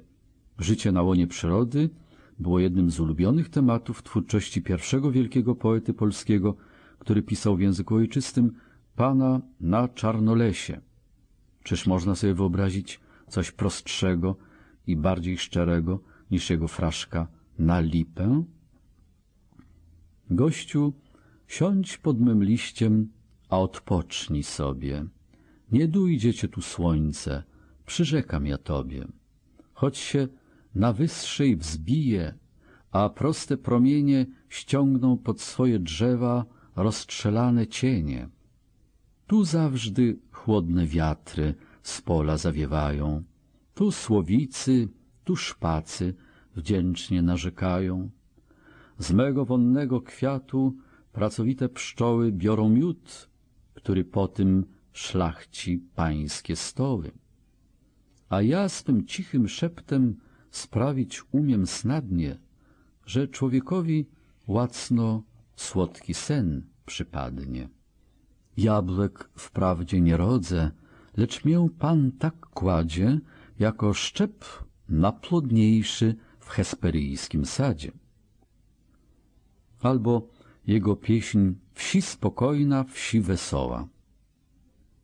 Wsi spokojna, wsi wesoła, który głos Twej chwale zdoła? Kto Twe wczasy, kto pożytki może wspomnieć zaraz wszystki? Człowiek w Twej pieczy uczciwie, bez wszelkiej lichwy żywie. Pobożne jego staranie i bezpieczne nabywanie. W dwieście lat później biskup Naruszewicz dawał w swej poezji wyraz dokładnie takim samym sentymentom. Kto chce zupełnie być uszczęśliwionym, więcej poczciwym, ma być niż uczonym, więcej przyjaciół niźli miłośników, więcej niech ma cnót niż umie języków, więcej niech będzie zdrów niźli bogaty, więcej o pokój dba niż o intraty. Mały folwarczek, niedłużny nikomu, mały ogródek, mały stolik w domu, mały arześki chłopiec do posługi, mały koniczek i jeden i drugi, mały sąsiadów poczet, a poczciwy, gdy to mam wszystko, prawdziwiem szczęśliwy. Harmonia społeczna była podstawowym składnikiem szlacheckiej sielanki. Częstym deklaracjom braterskiej miłości między przedstawicielami szlachty dorównywało bezustanne odwoływanie się do miłosierdzia i zrozumienia wobec innych grup społecznych. Przez wieki podczas niezliczonych zebrań wznoszono szlachecki toast Kochajmy się. Był on nie tylko wyrazem silnego przywiązania do zasad chrześcijańskich, ale także wezwaniem do łagodzenia konfliktów społecznych. Choć o pozycji i losie człowieka przesądzały boskie wyroki, to jednak obowiązkiem każdego, a w szczególności szlachcica, było łagodzenie antagonizmów społecznych oraz wspomaganie uciskanych. Już w XVI wieku Mikołaj Rej, ów rzecznik średniej szlachty, podnosił tę kwestię w swojej słynnej, krótkiej rozprawie między panem, wójtem a plebanem. Podkreślał, że szlachectwo usprawiedliwić może jedynie dawanie przykładu uczciwości, pobożności, umiarkowania i poczucia obowiązku. Siła szlachcica leży w jego miłości do chłopa. Być może nie była to myśl oryginalna. Nobilitas sola atque unica virtus. Było to jednak konieczne przypomnienie. Jeszcze w XIX wieku ultrakonserwatywny poeta Kajetan Koźmian oglądał się wstecz na te same tradycje, szukając w nich ostatecznej linii wiodącej ku narodowemu zbawieniu. Miłość bliźniego była szlachetną cnotą w stopniu nie mniejszym niż miłość do ziemi i przyrody. Wy, których smak niewinny, czyli bloga dola, skłania kochać zagrody i łąki i pola, czy zamieszkacie chaty, czy świetne podwoje, szukajcie szczęścia drugich, a znajdziecie swoje. Nie potrzeba tu bogactw, ani starań wielu. Ścieżka dobroczynności powiedzie do celu. Tam, co serce wam każe, niech czyni prawicę. Najpiękniejszą ozdobą wsi wesołe lice. Mierność dobrem najwyższym, zaletą swoboda. Ze złota łańcuch ulgi więźniowi nie doda, ani ściany z marmuru, ani szczyt pod spiżą. Podniosą się lepianki, gdy się gmachy zniżą. W ostatnich czasach poglądy szlachty na kwestie harmonii społecznej były często odrzucane jako bzdurne. Jeden z autorów potępił je jako panegiryk na cześć wegetacji. Miłość, pisze, jest ideologiczną ornamentacją ziemiańskiej jedności szlachty folwarcznej, której fundamentem jest interes klasowy zagrożony przez magnatów, przez wyższy kler i przez łaknącą ziemi szlachtę drobną. Z pewnością nie da się zaprzeczyć, że przepaść między ideałem a rzeczywistością istotnie była głęboka. Z punktu widzenia współczesnego obserwatora może się wydawać czymś okropnym, że ci sami ludzie, którzy notorycznie uprawiali okrucieństwo wobec swych chłopów i którzy nie ukrywali swej pogardy dla mieszczań i Żydów, mogli jednocześnie głosić zasadę powszechnej miłości i pojednania. Na przykład niezrównany Jan Pasek, przyłapawszy chłopa na nielegalnym chwytaniu w sidła zająca, z zimną krwią kazał pechowemu kłusownikowi żywcem zjeść nieszczęsne zwierzę. Jego pozorna obojętność wobec człowieczeństwa własnych chłopów pozostaje w ostrym kontraście z ekstrawaganckim afektem dla oswojonej wydry. Najzwyklejsze okrucieństwo było stałą cechą życia społecznego. Nawrodzone lenistwo, pijaństwo i złodziejstwo chłopstwa szlachcic z reguły odpowiadał okrutnymi nakazami i karami. Batok i knut stanowiły przyjęte symbole władzy szlacheckiej. Chłopów bito za oddalanie się z folwarku bez pozwolenia, za bójki i wszelkie wykroczenia, za nieprzestrzeganie praktyk religijnych. Ciemnica wraz z łańcuchami, kajdanami, dybami, hakami i narzędziami tortur należała do regularnego wyposażenia folwarków. W przypadkach powtarzających się kradzieży i niesubordynacji bez wahania wykonywano w różnych formach wyroki śmierci. Chociaż w zasadzie przestrzegano form prawnych, prawa magdeburskiego w niektórych osadach średniowiecznych oraz prawa zwyczajowego w większości wsi polskich, mało co mogło powstrzymać pana od dania upustu własnej fantazji. W rodzinach chłopskich było rzeczą niemal nie do pomyślenia, aby chłopcy mogli odmówić żądaniom dodatkowych posług, dziewczęta zaś służby we dworze lub posłuszeństwa wobec perfidnego droit seigneur, czyli prawa seniora. Na obronę szlachty trzeba dodać, że zdawała sobie ona w pełni sprawę z własnych przywar. Rej zapoczątkował silną tradycję satyry społecznej, która zakorzeniła się głęboko w polskiej literaturze. Jego krótka rozprawa obfituje w celne obserwacje nielogiczności postępowania szlachty. Gdy pan kończy oczernianie kleru, pleban zaś oczernianie szlachty, wójt udziela im obu przykładnej lekcji hartu i pogody ducha. A tak swój ubogi stan, tak rad noszę, jako i pan. I w tym doczesnym żywocie snać o mniejszym wiem kłopocie. Siedzę jako człowiek prawy, nie bodą mnie cudze sprawy, acz mię trochę nędza gniecie, to też odcierpię na świecie. A gdy się każą prowadzić, a co mi więc ma zawadzić? Mało mi żal z tej pociechy, wylecę jako wróbl z Trzechy. W sto lat później Krzysztof Opaliński ostro potępiał sposób traktowania chłopów, upatrując w nim przyczynę gniewu Bożego, tak oczywiście dotykającego grzeszną Rzeczpospolitą. Rozumiem, że Bóg Polski za nico nie karze, więcej jak za poddanych srogą opresją i gorzej niż niewolą, jakoby chłop nie był bliźnim nie tylko twoim, ale i człowiekiem. Serce się oraz lęka, skóra drży, wspomniawszy na tę niewolę, która cięższa niż pogańska. A dla Boga, Polacy, czyście oszaleli? Wszystko dobro, dostatek, żywność, wszystkie zbiory z waszych macie poddanych. Ich ręce was karmią. Przecie się tak okrutnie z nimi obchodzicie. Nawet Koźmian, który bezwzględnie sprzeciwiał się wszelkim formom wyzwolenia narodowego i społecznego, nie wahał się piętnować żałosnej kondycji stanu pozostającego w stosunku zależności wobec szlachty. Pisał, że bydło żyje jak ludzie, zaś pospólstwo żyje jak bydło.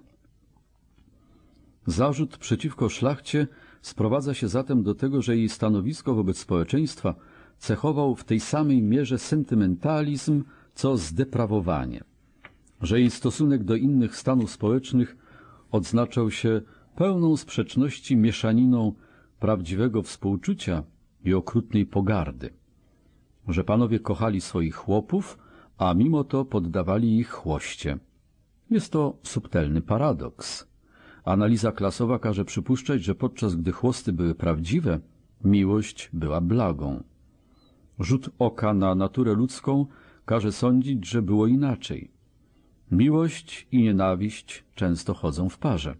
Są to dwie skrajności tej samej reakcji uczuciowej na więzy wzajemnej zależności.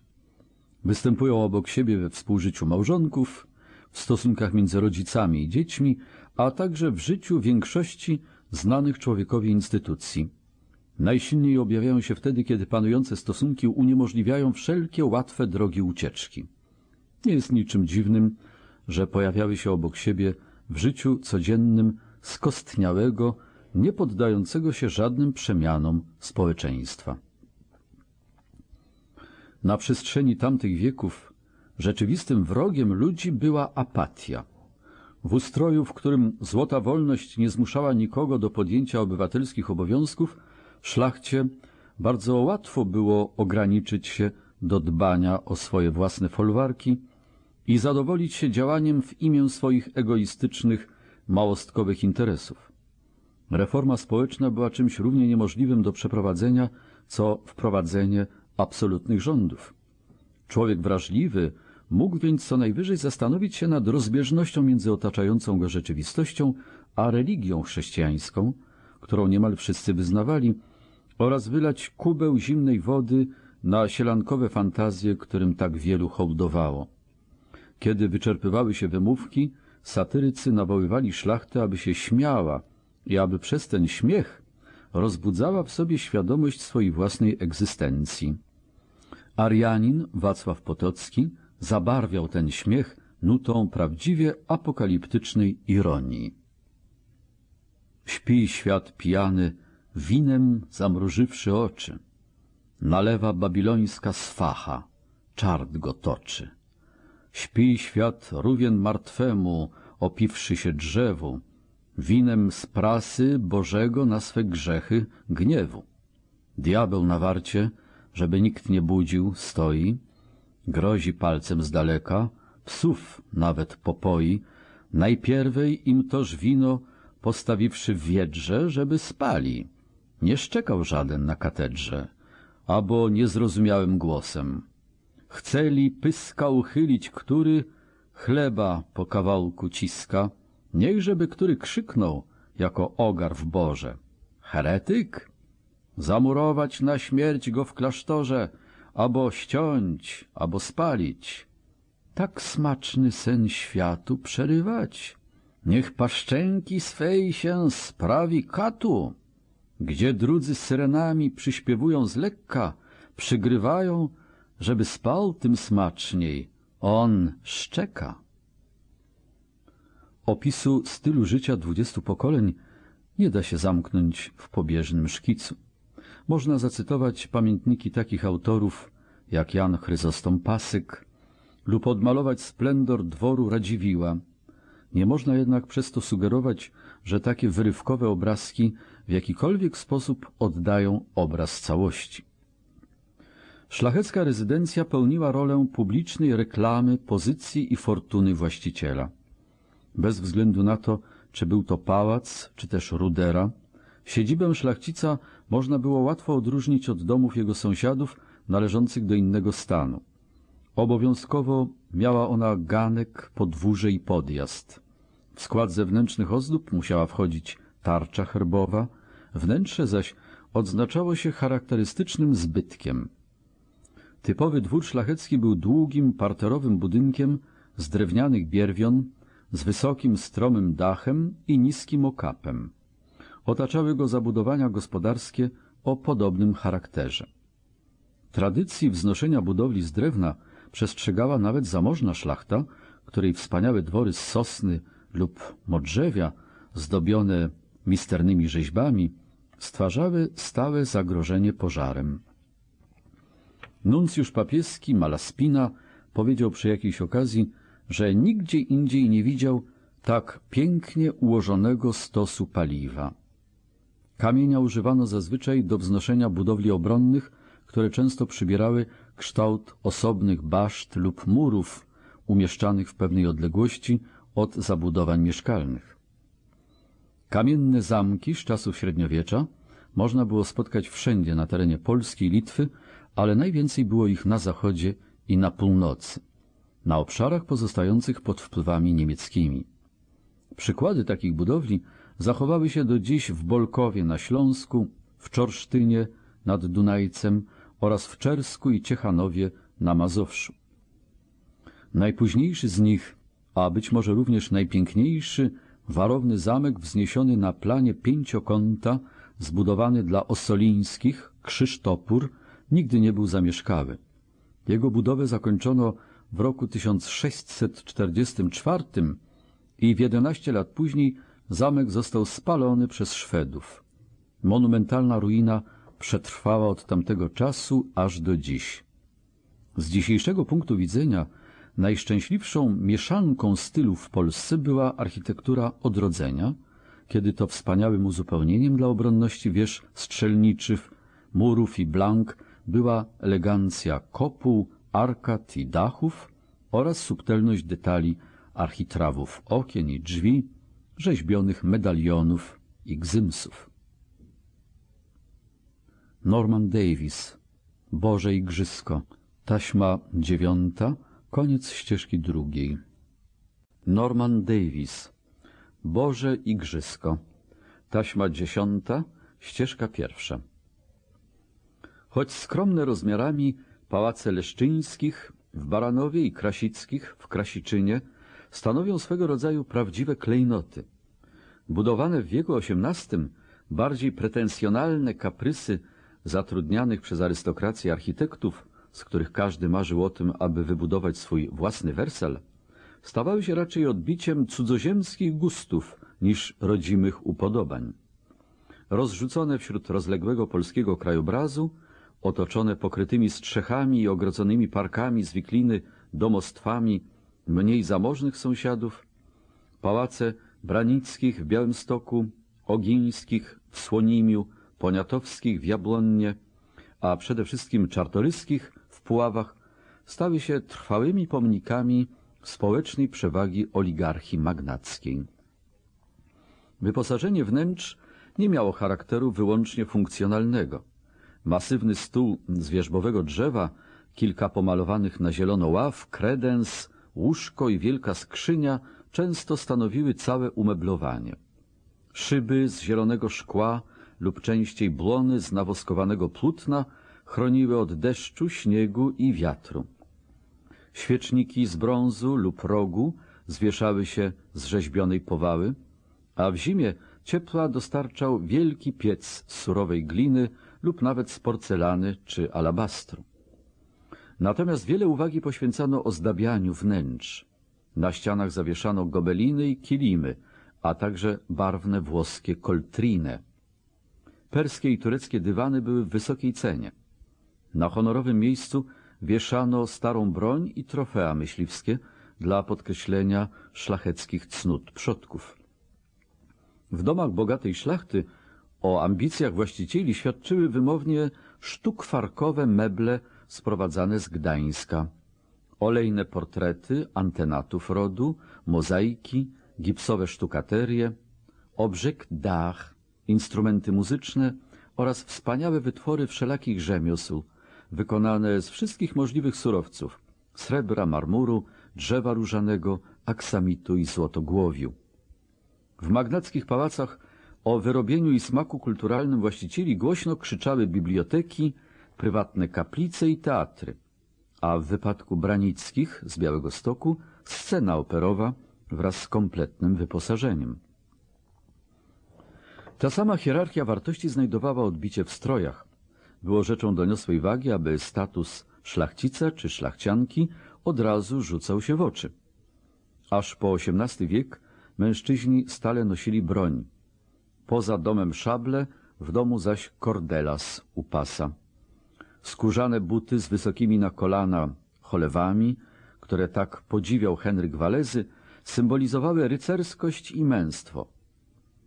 Spodni nie było widać, zasłaniał je długi pokostki żupan, kamizela bez rękawów, zwana delią, oraz nakładany na wierzch obszerny kontusz. Zwykłym nakryciem głowy była w Polsce przylegająca do głowy czapka, na Litwie zaś wysoki kołpak z futra. Przez parę stuleci moda damska wymagała noszenia sukien do ziemi. Wszyscy badacze zgadzają się co do tego, że futro z soboli było w Polsce tradycyjnym elementem stroju zarówno mężczyzn, jak i kobiet. Robiono z niego obramowania i podbicia, a także słynne soroki, obszerne zimowe futra z czterdziestu skórek. Często wspomina się także o tym, że przy okazjach publicznych noszono ogromne ilości złota i klejnotów, spinki, szpilki, broszki, zapinki, guzy oraz wszelkie inne możliwe ozdoby. Zubożali szlachcice prędzej by umarli z głodu, niż rozstali się ze swoim dziedzictwem.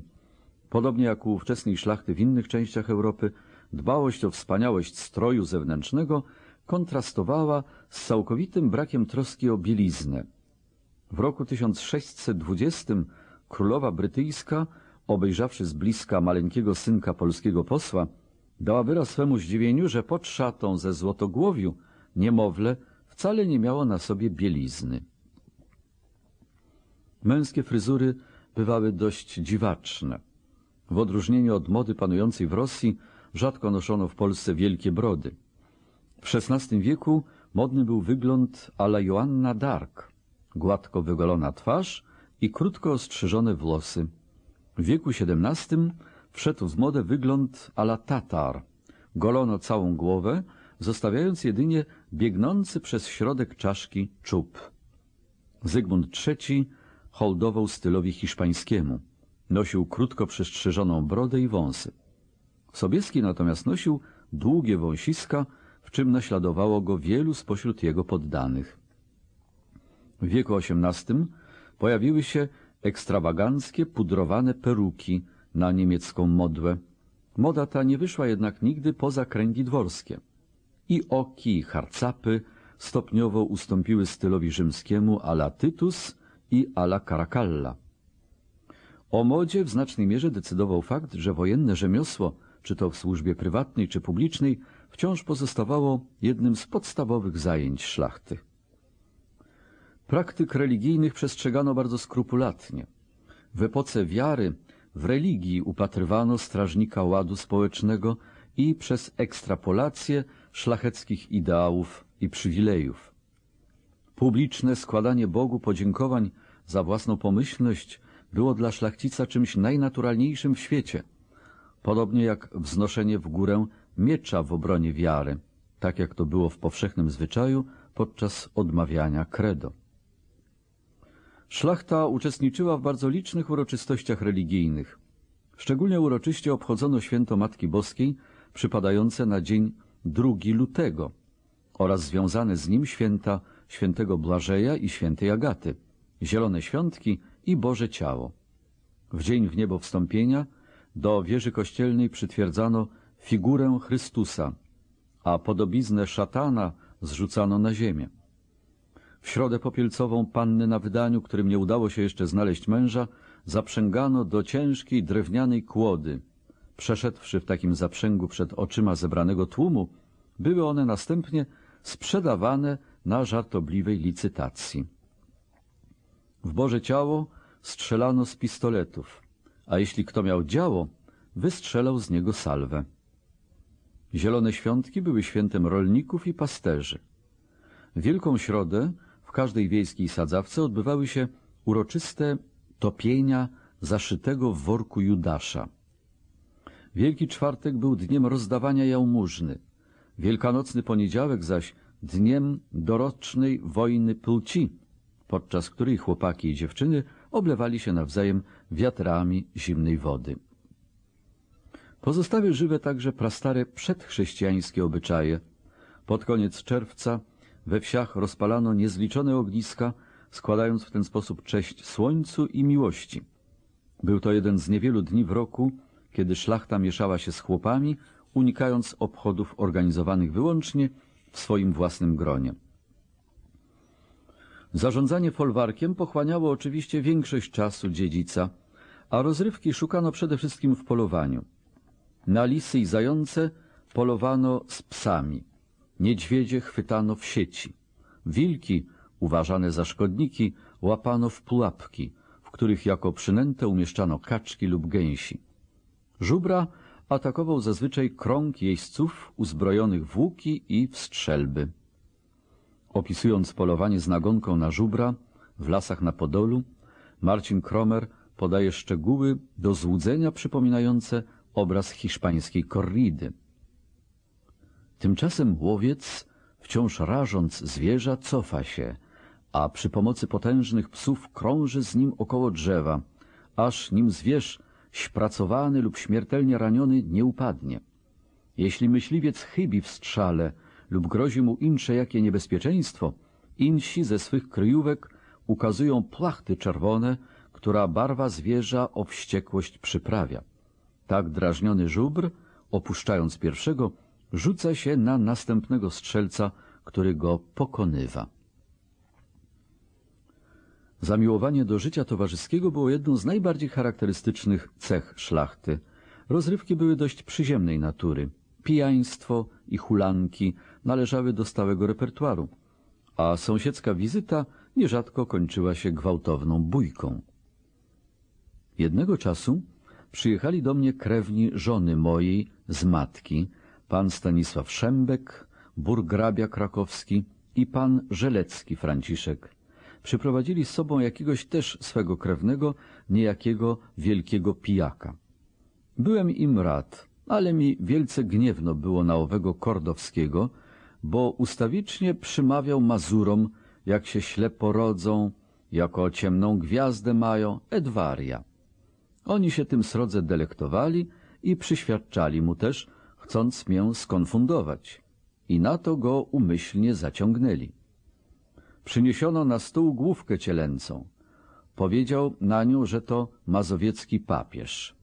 Obaczył ciasto, kładzione pod cielęciną żółto. Powiedział, że to mazowieckie komunikanty. Zgoła wielkie dawał okazyje. Po wieczerzej poszedł w taniec szembek. Żelecki mówi do mnie, poćwa mu służyć. Odpowiem dobrze. Tańcujemy tedy, aż skoro już wielkiego poczęli tańcować, a on, stojąc na trakcie, począł śpiewać. Mazurowie nasi po jaglanej kaszy słone wąsy mają, w piwie je maczają. I tak ową piosenkę kilka razy powtarza. Mnie też już gniewno się uczyniło. Wezmę owego Żeleckiego na ręce, tak jak dzieci noszą, bo chłopek był mały. Rozumieli oni, że ja to czynię z kochania. I idę z nim, a pomijając Kordowskiego śpiewającego tę piosenkę, uderzę go w piersi Żeleckim. Padł w znak, srogi chłop jak dąb, dosiągł jakoś ławy głową, uderzył się w tył, zemdlał. Żelecki też, bo nim o drugiego ze wszystkiej siły uderzył. Nie mógł wstać. Po tym do szabel. Wróciłem się do Szembeka, przyłożę mu sztych do tłustego brzucha, zawoła Stój, com ci winien? A owi dwaj na ziemi leżą. Dopiero mówię, bodej was zabito, na coście przyjechali, żebyście mnie konfundowali? Że to ja widzę, że mi przez tego pijaka przez cały dzień kurzycie pod nos. A ja cierpiałem. Dłużej też znieść tego nie mogę. Skoczyły kobiety, stój, stój! Daliśmy sobie pokój. Dopiero pana Żeleckiego podnosić z ziemię, pana Kordowskiego trzeźwić, wódki w nos lać, zęby rozdzierać, a potem i po cyrulika biegać, bo sobie łeb rościon o ławę. Poszedł wtedy Szembek z Żeleckiem spać. Jam sobie pił na fantazję i czeladzie swoi dawać kazałem. A potem z pijanymi im pacholożami cuda robili, w nos im papier zapalali, wąsy im różnymi rzeczami smarowali, bo to leżało jako drwa po sieniach i lada gdzie, i jakie się mogły wymyślić konfuzyje, takie mieli. Przepraszaliśmy się nazajutrz, ale po tym, ile razy ze mną siedzieli, zawsze poważnie i wielkiej modestyjej mnie już lepiej szanowali.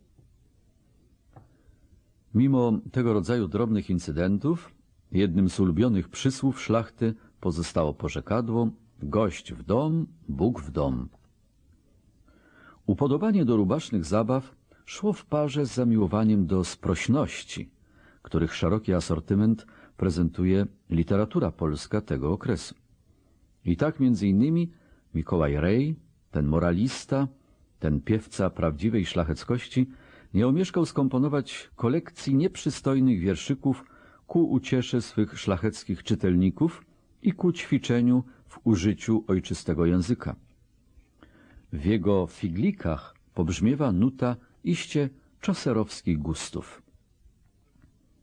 Pleban, kiedy dziecię krzcił, chciał mu oczy mazać, plunął na dłoń, a babie kazał prochu podać. A baba się schylając, okrutnie pierdziała. Ksiądz rzekł, patrz, jaką świętość chwalebna moc miała.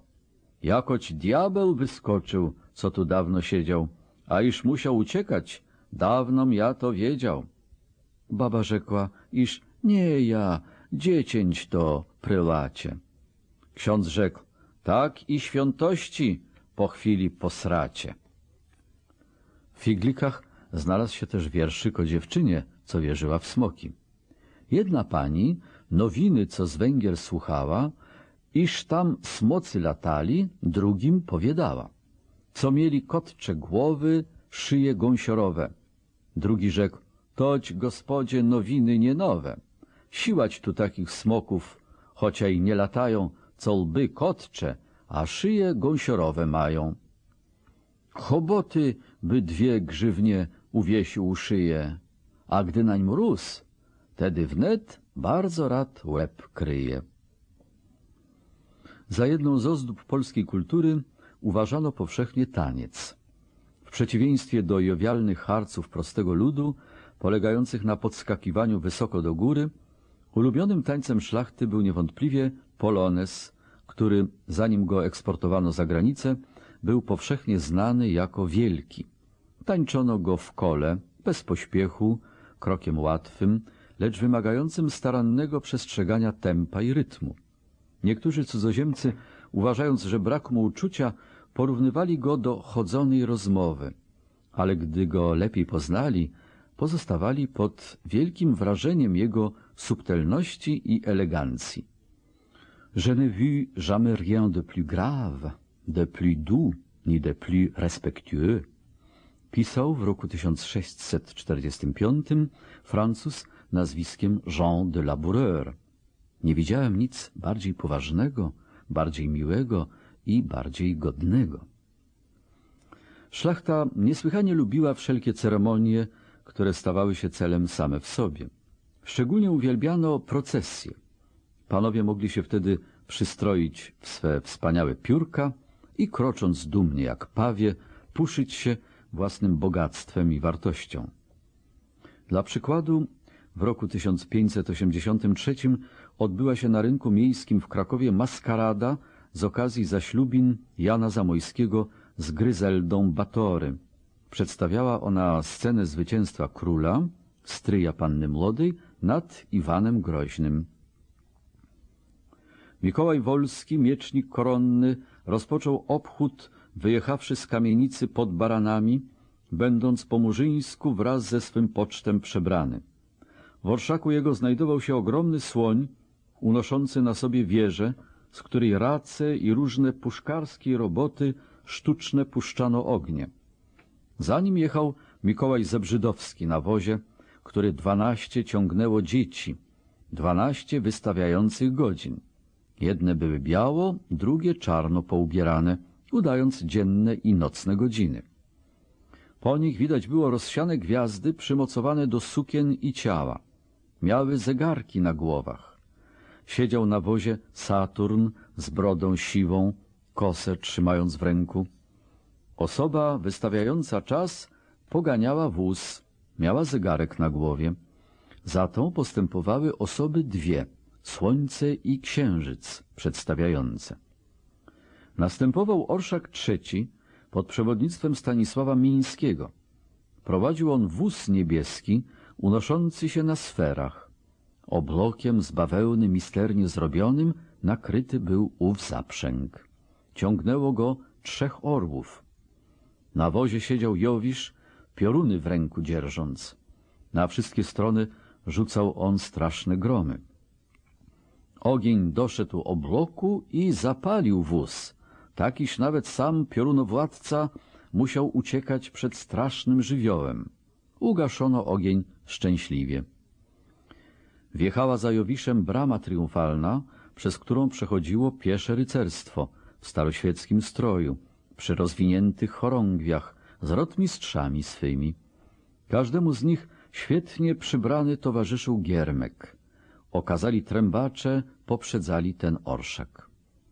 Jechał za nim triumfalny wóz, na którym były wizerunki ziem nieprzyjacielskich, tudzież więźniów w niewolę wziętych i zdobytych łupów.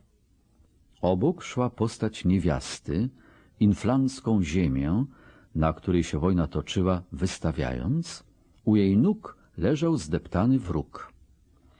Za niewiastą szedł wóz drugi, czterema białymi ciągniony końmi, do którego łańcuchem przykuty nieprzyjaciel szedł ze swymi hetmany, rycerstwem i ludem. Postępujący za nim błazen naśmiewał się z przechwałek, które robił przed wojną. Cały ten poczet otaczały białogłowy, gnuśność przedstawiające nieprzyjaciela. W ręku niosły lampy, z których drogie wychodziły wonności.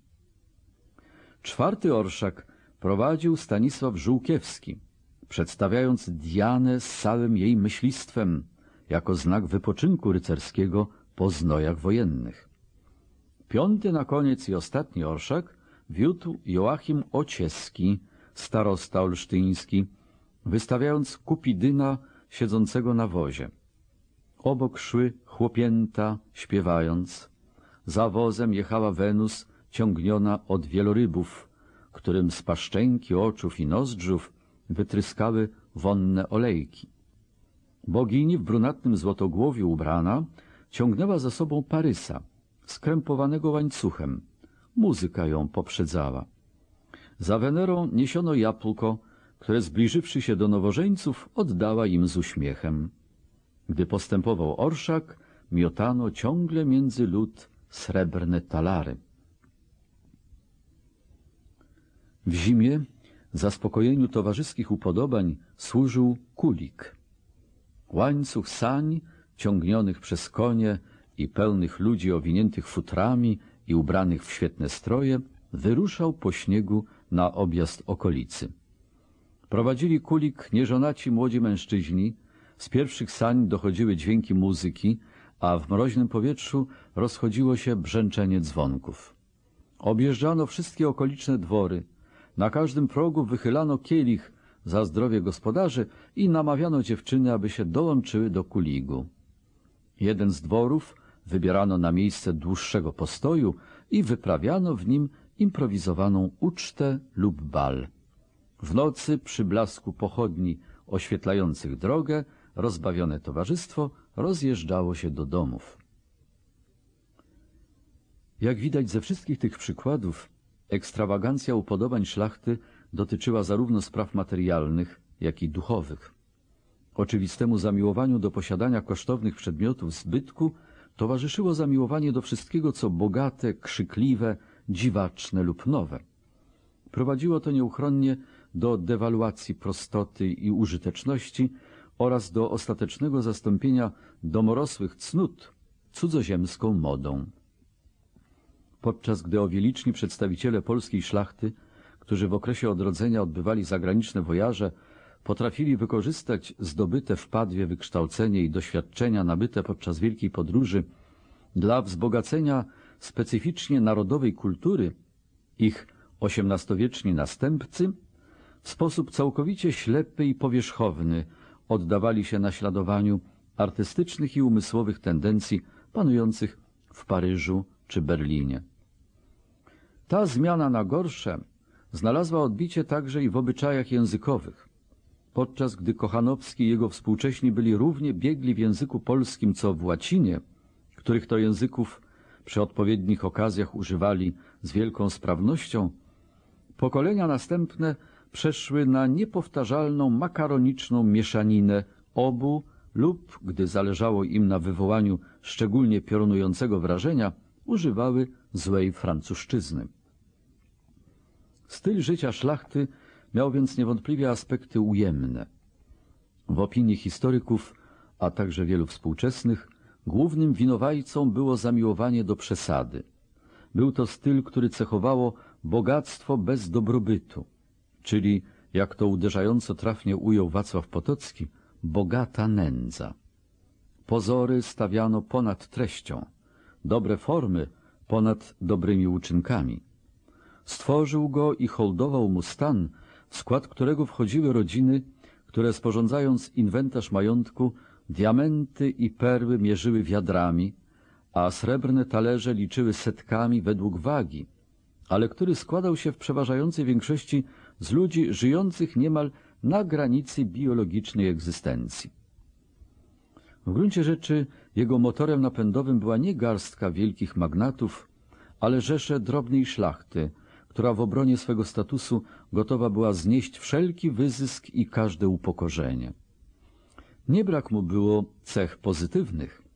Nie można jednak twierdzić, że nie był w żaden sposób związany z narastaniem sztywnego konserwatyzmu politycznego, z zastojem gospodarczym, z niedolą, jaką cierpiały inne stany, czy też z samowyniszczającą słabością całej Rzeczypospolitej Szlacheckiej. Na przestrzeni mniej więcej dziewięciu pokoleń, które żyły w okresie istnienia Zjednoczonej Rzeczypospolitej, struktury społeczne nie pozostały niezmienione. Choć nie nastąpiła żadna większa zmiana, którą dałoby się przyrównać do tych, jakie miały miejsce w wieku XIX, punkt równowagi między poszczególnymi stanami oraz ich częściami składowymi znacznie się przesunął. Nie istnieją żadne dokładne statystyki, Główne tendencje są jednak wyraźnie widoczne. Upadkowi stanu mieszczańskiego, zarówno w bezwzględnych kategoriach liczbowych, jak i w stosunku do liczebności innych warstw, towarzyszył równoległy wzrost liczby ludności żydowskiej. W roku 1791 skład ludności miejskiej wykazywał już wyraźny wzrost liczebny elementu żydowskiego. Jak można było oczekiwać, Liczba duchowieństwa pozostała bez zmian. Zdecydowanie natomiast wzrosła liczebność stanu chłopskiego i szlachty. Społeczeństwo Polski i Litwy było teraz większym niż przed dwoma wiekami stopniu społeczeństwem rolniczym. W obrębie stanu chłopskiego stale wzrastała liczba chłopów poddanych, zwłaszcza w majątkach szlachty. W obrębie stanu szlacheckiego natomiast liczba szlachty bezrolnej dawno już przekroczyła wciąż malejącą liczbę posesjonatów. Wszystkie te cechy wskazują na znaczny stopień pauperyzacji społeczeństwa. Na tym tle musi się poddać wątpliwość zasługi ustroju, w którym władzę sprawowała rzekomo egalitarna i demokratyczna szlachta. Nie można natomiast kwestionować trwałości tradycyjnego polskiego społeczeństwa. Podczas gdy wiele spośród charakterystycznych cech dawnej Rzeczypospolitej zniszczono lub zmieniono nie do poznania, jej struktury społeczne i jej tradycje w zasadzie pozostały nienaruszone przez kilka stuleci, wykazując tym samym godną podziwu odporność na wszelkie przemiany polityczne i gospodarcze. Dzięki tej odporności nierzadko udało im się przetrwać okres rozbiorów, tworząc jeden z niewielu wątków o względnej stałości i ciągłości, jakie przewijają się przez historię nowożytną Polski. Rozdział ósmy Handel Polski handel zbożowy Okres powstania szlaku handlowego na Wiśle można ustalić dokładnie na połowę XV wieku. W okresie, gdy całe dorzecze Wisły, od źródeł do ujścia, znalazło się na terenach zjednoczonych w obrębie jednej władzy politycznej, zewnętrzne zapotrzebowanie na polskie zboże zbiegło się z perspektywą zwiększonych dostaw wewnętrznych. Wzrost cen w Europie Zachodniej sprawił, że kupcy zaczęli zapuszczać się coraz dalej, a hanzeatycki port Gdańsk nie był bynajmniej najodleglejszym celem ich wypraw. W tym samym czasie produkcja zbóż w Polsce zbliżyła się do tego doniosłego momentu, w którym można było zacząć produkować regularne nadwyżki. Napływ kupców, głównie Holendrów, którzy kupowali zboże w wielkich ilościach, rozpoczął się akurat wtedy, gdy przed ziemiaństwem zaczęły się wyłaniać możliwości sprzedaży. Z tych też powodów handel gdański miał się rozrosnąć, wychodząc daleko poza skromne granice nakreślone na przestrzeni półtora wieku, jakie minęło od zdobycia miasta przez zakon krzyżacki w 1308 roku. W roku 1454 Gdańsk przestał uznawać zwierzchnictwo państwa krzyżackiego i stając na czele Związku Pruskiego zwrócił się z prośbą o ochronę do króla Polski Kazimierza Jagiellończyka. Delegacja z Prus przybyła do Krakowa podczas uroczystości zaślubin króla z Elżbietą Austriacką, córką cesarza. Wśród zażaleń przeciwko krzyżakom zawartych w dokumencie inkorporacyjnym znalazła się skarga, że pewien kupiec z Pomorza został skazany na śmierć za to, że wysłał na swoich statkach towary Wisłą do Krakowa. Po zakończeniu wojny trzynastoletniej w 1466 roku Gdańsk stał się najważniejszym miastem nowej polskiej prowincji Prus Królewskich. Od tego czasu na przeszło trzy stulecia miasto zapomniało o swej mniej świetnej przeszłości stanowiło naturalne okno na świat dla rozległych terenów państwa polskiego położonych w głębi lądu, łącznik między handlem morskim i rzecznym.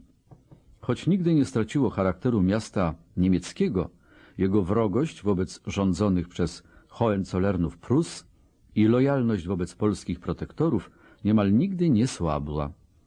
Było niemieckim klejnotem w polskiej koronie, głównym składem towarów i oknem wystawowym wielonarodowościowej Rzeczypospolitej.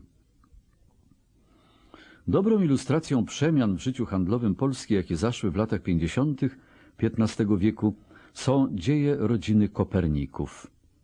Do połowy wieku Mikołaj Kopernik był mieszczaninem Krakowa, stolicy położonej na południu kraju. Jak na to wskazuje już samo nazwisko, zajmował się handlem wyrobami metalowymi, Rodzina wywodziła się bowiem z osady Koperniki na Śląsku. Trudnił się też pośrednictwem w handlu miedzią, który szedł ze Słowacji przez Kraków na północ kraju. W 1454 roku przyjechał do Gdańska w interesach. W cztery lata później, jeszcze przed zakończeniem wojny krzyżackiej, zdecydował się osiąść na stałe w pobliskim Toruniu, który był ważnym portem przeładunkowym na Wiśle. Tam też poślubił Barbarę Wacenrodę, córkę toryjskiego patrycjusza. I tam 19 lutego 1473 roku przyszło na świat jego czwarte dziecko, syn, także Mikołaj, czyli Nikolaus. W ten sposób wczesne dzieciństwo wielkiego astronoma było ściśle związane z handlem wzdłuż Wisły. Dzięki dobrobytowi materialnemu ojca oraz krewnym ze strony matki w kręgach duchowieństwa, otrzymał kosmopolityczne wykształcenie w Królewcu, w Krakowie, a później w Bolonii i Padwie.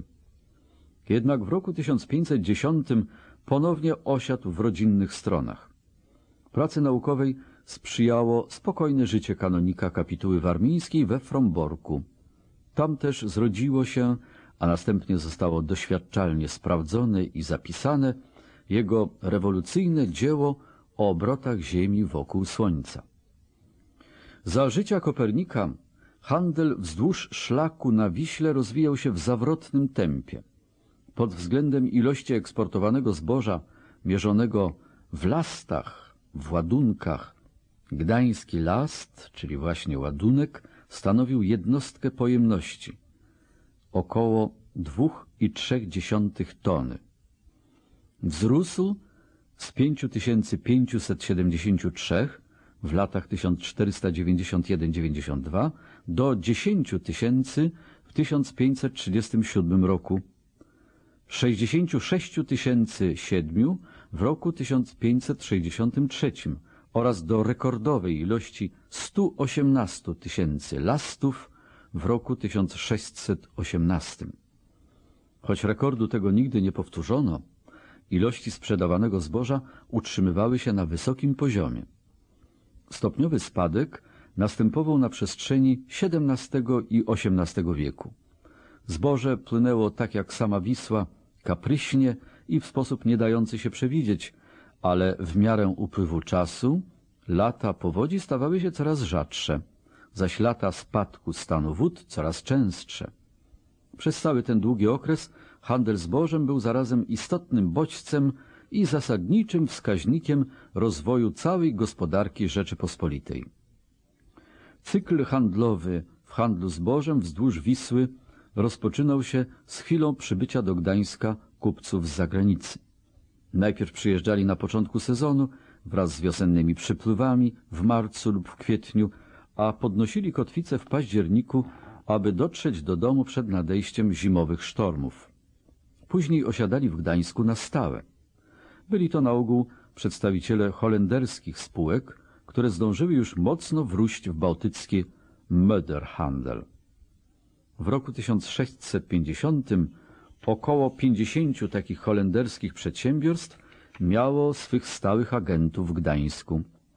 Byli to często młodsi synowie kupieckich rodów, tacy jak Arndt Pilgrom, Helmut von Tvenhuisen, Dirk van der Wolf, Markus i Peter Pelsowie, Daniel de Meyers, Gilles Thibault, Jan Woyrknecht, Hans Gibrechtsen, de Ver czy Jakob Jakobsen, których macierzyste firmy handlowe znajdowały się w Amsterdamie. Wielu z nich, przykład Cornelius Flaming czy Floris Hakeler de Jonge, uzyskiwało pełne prawa obywatelskie Gdańska. Mieszkańcy Gdańska zaś, jak Wessel Schenk, Hans Schulz czy Ernest Kleinfeld, często nawiązywali stałe więzy rodzinne i handlowe z Amsterdamem. W tym samym okresie w Gdańsku mieszkało około 20 agentów brytyjskich, głównie Szkotów, którzy dali początek rozwijającej się świetnie kolonii. Zagraniczni przedsiębiorcy, pobierający prowizje od partnerów rozproszonych po całej Europie, opanowali bankowość oraz sieć operacji kredytowych i głównych transakcji handlowych.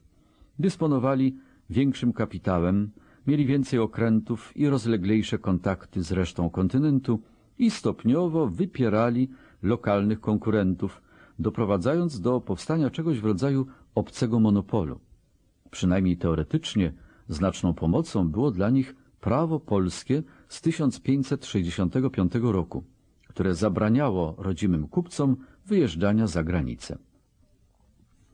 Flota amsterdamska stale rosła. W 1642 roku do portu w Gdańsku zawinęły aż 2052 statki. Co dnia, a zwłaszcza podczas targów sierpniowych, które rozpoczynały się w dniu świętego Dominika, u nabrzeży Motławy cumowało od 400 do 500 statków. Rosły też rozmiary jednostek floty handlowej. Chociaż w roku 1641 964 spośród 1741 statków miało pojemność poniżej 50 lastów, około 115 ton, 103 mogły przewieźć ponad 150 lastów. Różne były także ich miejsca przeznaczenia. Około połowa pozostawała w basenie Bałtyku, kierując się do Lubeki, Kopenhagi, Sztokholmu, Libawy, Rygi lub Wyborga. Pozostałe płynęły przez cieśninę Sund. Najczęstsza trasa prowadziła z Gdańska przez Amsterdam do Setubal lub Faro w Portugalii, gdzie w zamian za zboże otrzymywano sól i wino. Dłuższe trasy śródziemnomorskie Genua, Livorno, Wenecja, Cypr, Lizbona, Amsterdam lub prowadzące z hiszpańskich portów Huelva, San Lucas de Barrameda, Kadyksu, Malagi i Barcelony do Amsterdamu bardzo popularne w drugiej połowie XVI wieku, później ustąpiły rejsom krótszym, zwłaszcza do Francji lub Anglii, lub też do samego Amsterdamu. W okresie trzech lat, między rokiem 1615-18, jeden tylko lizboński kupiec Andres Lopez Pinto wysłał do Gdańska aż 200 statków, wymieniając sól na żyto, które następnie było przewożone do Tangeru i Seuty w Afryce Północnej. W latach późniejszych typowe kontrakty dotyczyły przewozu soli z La Rochelle lub Bruage, którą wymieniano na zboże, przewożone następnie do Amsterdamu. Istnieją dowody każące przypuszczać, że od czasu do czasu, aby uniknąć wysokich opłat celnych ściąganych w Gdańsku, towary transportowano drogą lądową do Szczecina. Drogą bezpośrednią, przy korzystnych wiatrach, trasę długości 850 mil morskich do Amsterdamu można było pokonać w ciągu tygodnia. Trasa okrężna do Portugalii zabierała co najmniej kilka miesięcy. Rejs śródziemnomorski trwał zapewne cały sezon. Interesom zagranicznych firm handlowych służyły operacje prowadzone przez około 500 miejscowych kupców.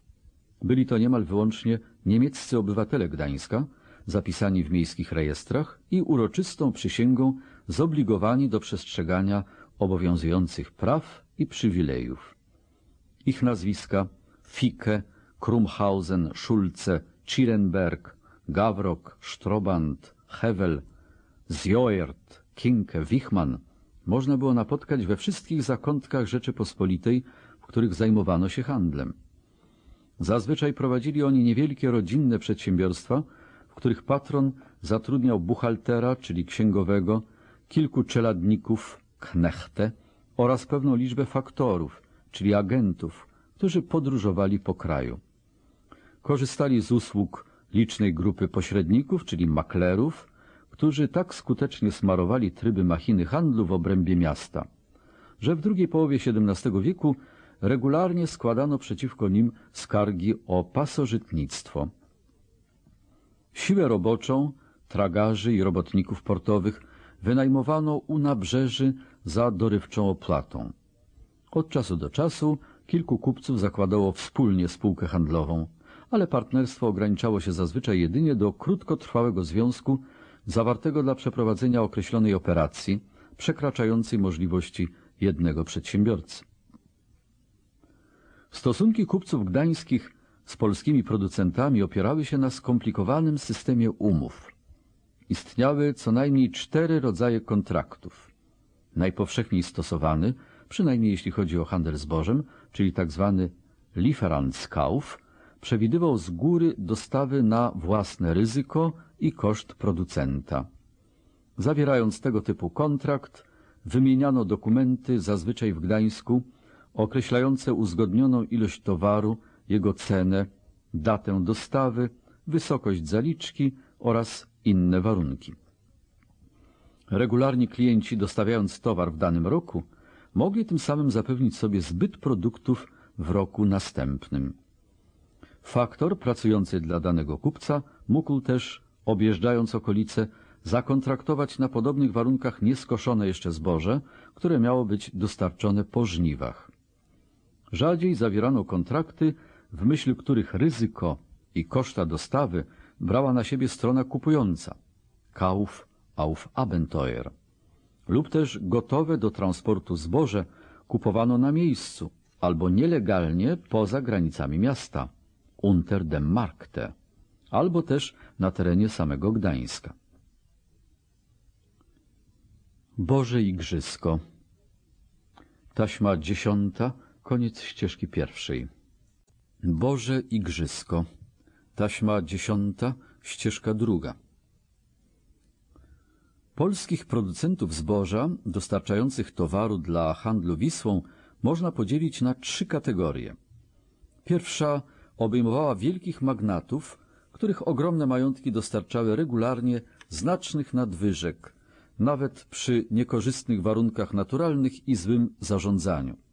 Kategorię drugą stanowili właściciele ziemscy mniej zamożni, którzy przy wysokiej wydajności i osobistym nadzorze mogli wyprodukować przeznaczoną na handel nadwyżkę zboża z terenów obejmujących kilka wsi. Trzecia kategoria i ostatnia obejmowała dostawców przypadkowych, drobną szlachtę, chłopów i dzierżawców, którzy uprawiali zboże głównie na własny użytek, ale od czasu do czasu mogli jego część przeznaczyć na sprzedaż. W XVI wieku na rynku przeważała kategoria średnia. Później znacznie wzrósł udział magnaterii. Przykładem produkcji zboża w majątkach magnackich może być gospodarka w latyfundium rodziny lubomirskich w okresie od roku 1654 do 1750. Latyfundium to, które w roku 1739 obejmowało ogółem 1050 majątków, rozciągało się na całej przestrzeni południowych regionów Rzeczypospolitej. Niektóre majątki Wiśnicz, Zator, Baranów, Opatów i Jarosław specjalizowały się w produkcji owsa. Inne, jak Niepołomice czy Osiek, produkowały znaczne ilości zarówno owsa, jak i żyta. Kilka, Nisko, Ryki, Tuszów i Lubartów specjalizowało się wyłącznie w produkcji żyta. Wszędzie uprawiano też nieco jęczmienia, około 10-14% wszystkich upraw oraz pewną ilość pszenicy, do 20%.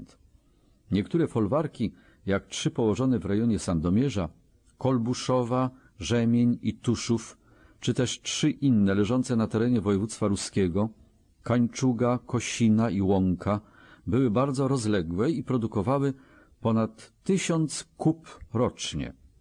Kopa, jako jednostka liczeniowa, była równa 60 snopom.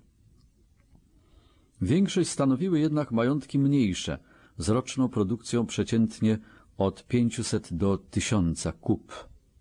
Kilka przynosiło mniej niż 500 kup. Przeciętna całkowita produkcja czterech gatunków zbóż, obliczona dla lat 1658-62, wynosiła 40 tysięcy kup rocznie. W produkcji występowały znaczne wahania. Niewiele było lat, w których nie zdarzyłyby się jakieś klęski będące dziełem człowieka lub przyrody, uderzające w tę lub inną część latyfundium.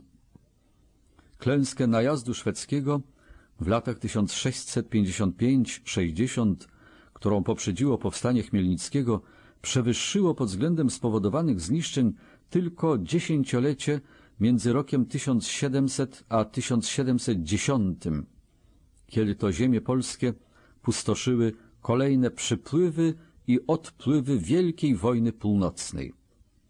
Dzieła zniszczenia dokonywały też susze, powodzie, burze, choroby zbóż i zaraza.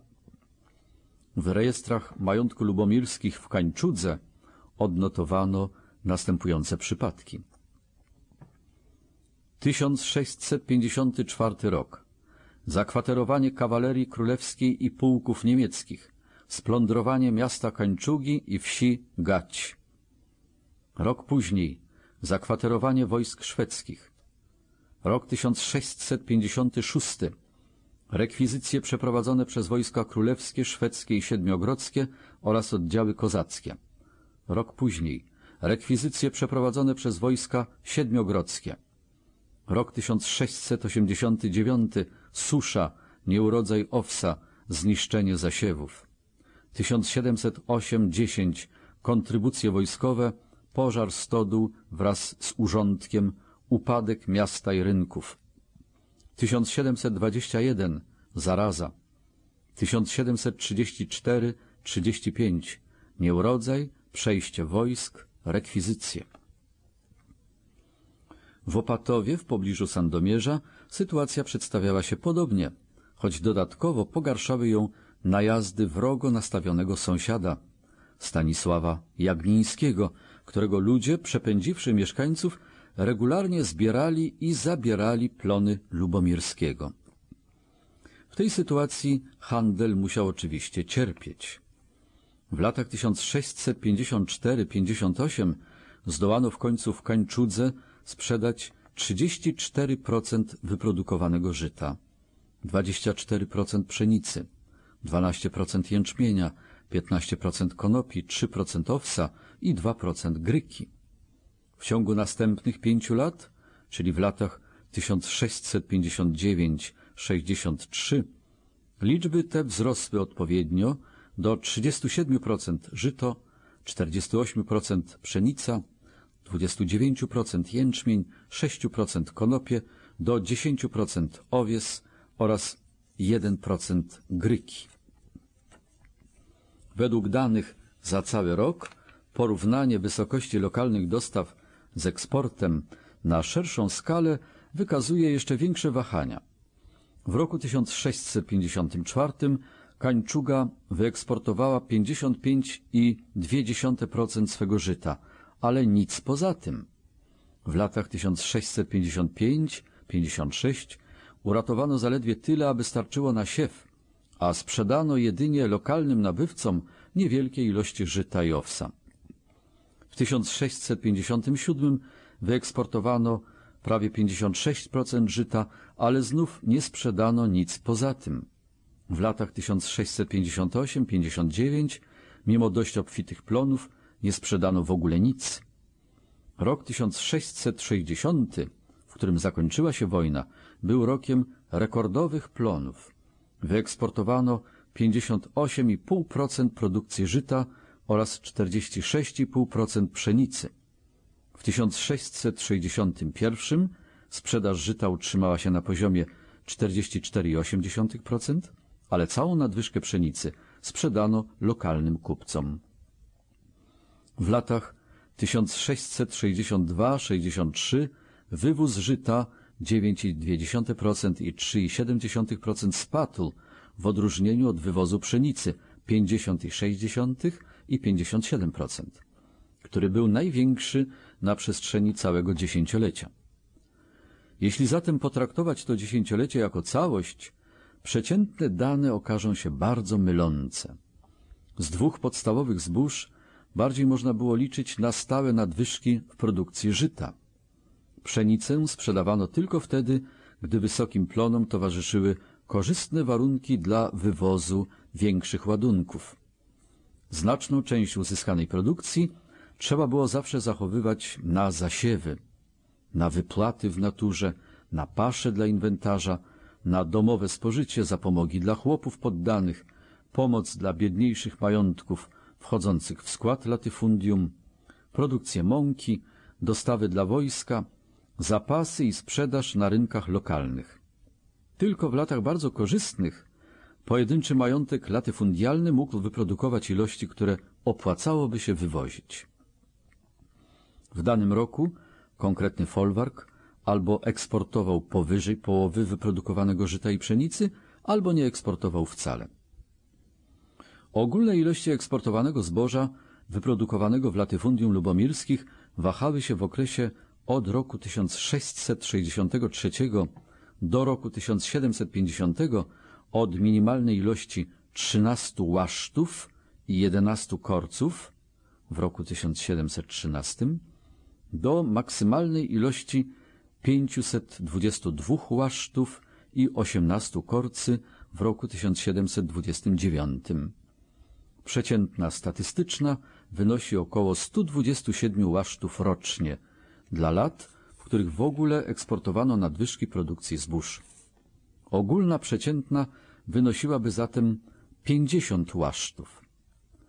Same w sobie cyfry te znaczą niewiele. Kontrastują one jednak w sposób uderzający z przeciętną ilością 533 łasztów rocznego eksportu z majątków lubomirskich położonych na nieco innych terenach w latach 1614-49, czyli w okresie przed recesją. Dają też bardzo ogólne pojęcie o rozmiarach prowadzonych przez wielkich magnatów operacji handlowych dotyczących handlu zbożem.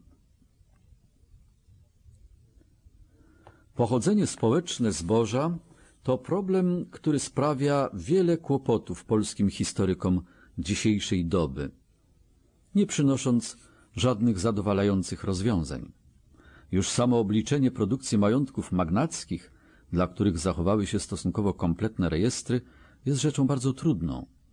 O wiele trudniejsze muszą więc być obliczenia dotyczące zboża sprzedawanego przez szlachtę i chłopów. Nie można się tu oprzeć na dostatecznie pełnej dokumentacji. Brak też wyraźnych ekonomicznych kryteriów rozróżnienia między poszczególnymi klasami. W kontekście operacji ilościowych nie jest też rzeczą łatwą dedukcyjne przechodzenie od wartości znanych do nieznanych. Z tego, że dany szlachcic posiadał trzy wsie położone w pobliżu należącego do wielkiego magnata kompleksu piętnastu wsi, niekoniecznie musi wynikać, że produkował on proporcjonalnie mniej zboża, czy to na własny użytek, czy z przeznaczeniem na sprzedaż. Pomyślność w dziedzinie gospodarczej pozostaje w stosunku postępu geometrycznego do ogółu dostępnych środków.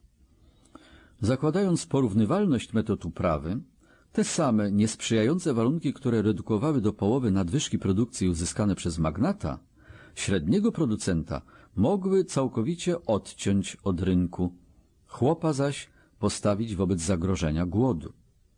Z drugiej strony te same korzystne warunki pozwalały chłopu wyprodukować worek zboża na sprzedaż, szlachcicowi uzyskać ilość wystarczającą na pełen ładunek statku, magnatowi zaś wypełnić spichrze na całe dziesięć lat. Nie można jednak zapominać, że metody uprawy nie były porównywalne. Mimo tak dużych zastrzeżeń, badania nad produkcją polskiego zboża przyniosły szereg interesujących wyników, wywołując żywą dyskusję przypominającą debaty nad powstaniem czy też upadkiem angielskiej gentry, czyli szlachty. Na ich podstawie wydaje się obecnie rzeczą oczywistą, że producenci rekrutujący się spośród magnatów nie cieszyli się żadnymi szczególnymi przywilejami dotyczącymi warunków handlu. W każdym razie nie przed rokiem 1650. Jest także oczywiste, że istniały znaczne różnice regionalne.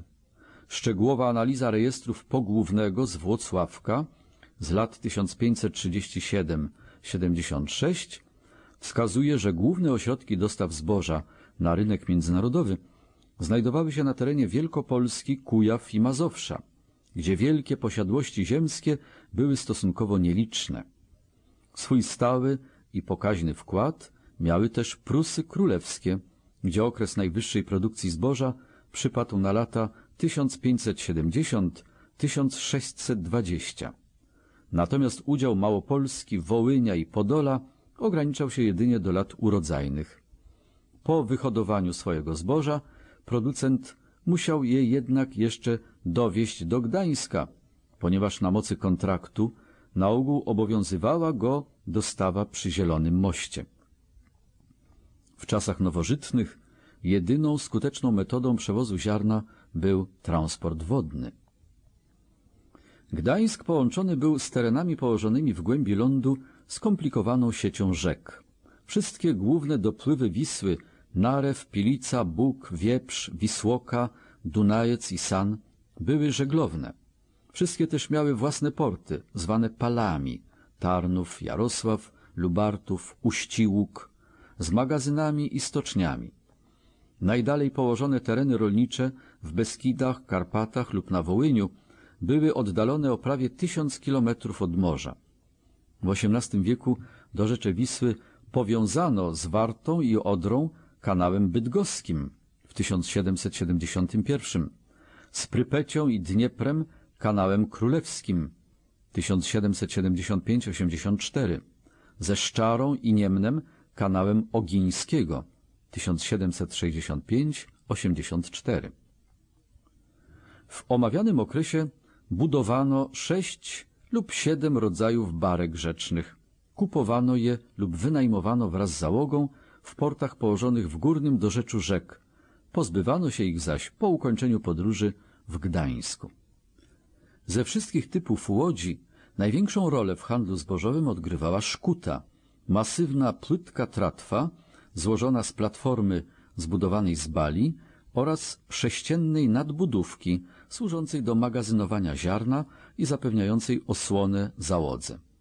Napęd stanowił głównie prąd rzeczny, wspomagany wiosłami załogi, a niekiedy także dużym, kwadratowym żaglem.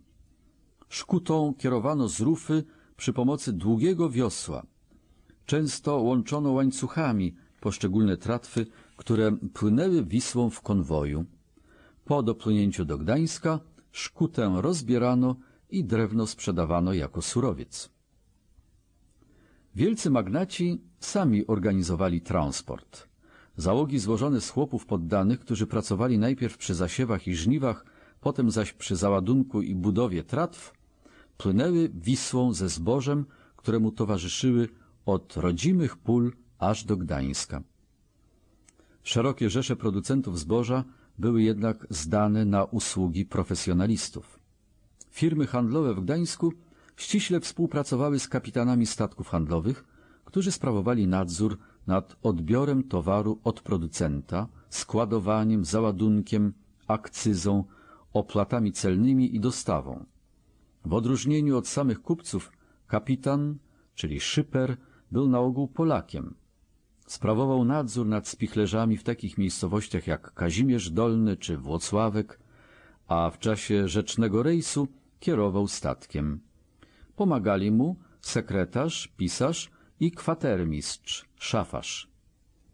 Samym doprowadzeniem statku do miejsca przeznaczenia zajmował się cech przewoźników, którego członków można było wynająć w każdym porcie rzecznym.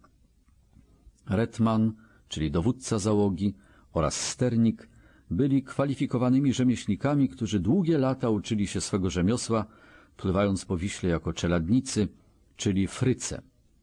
Ich zarobki zależały od długości rejsu i pory roku, a także od aktualnego zapotrzebowania na ich usługi.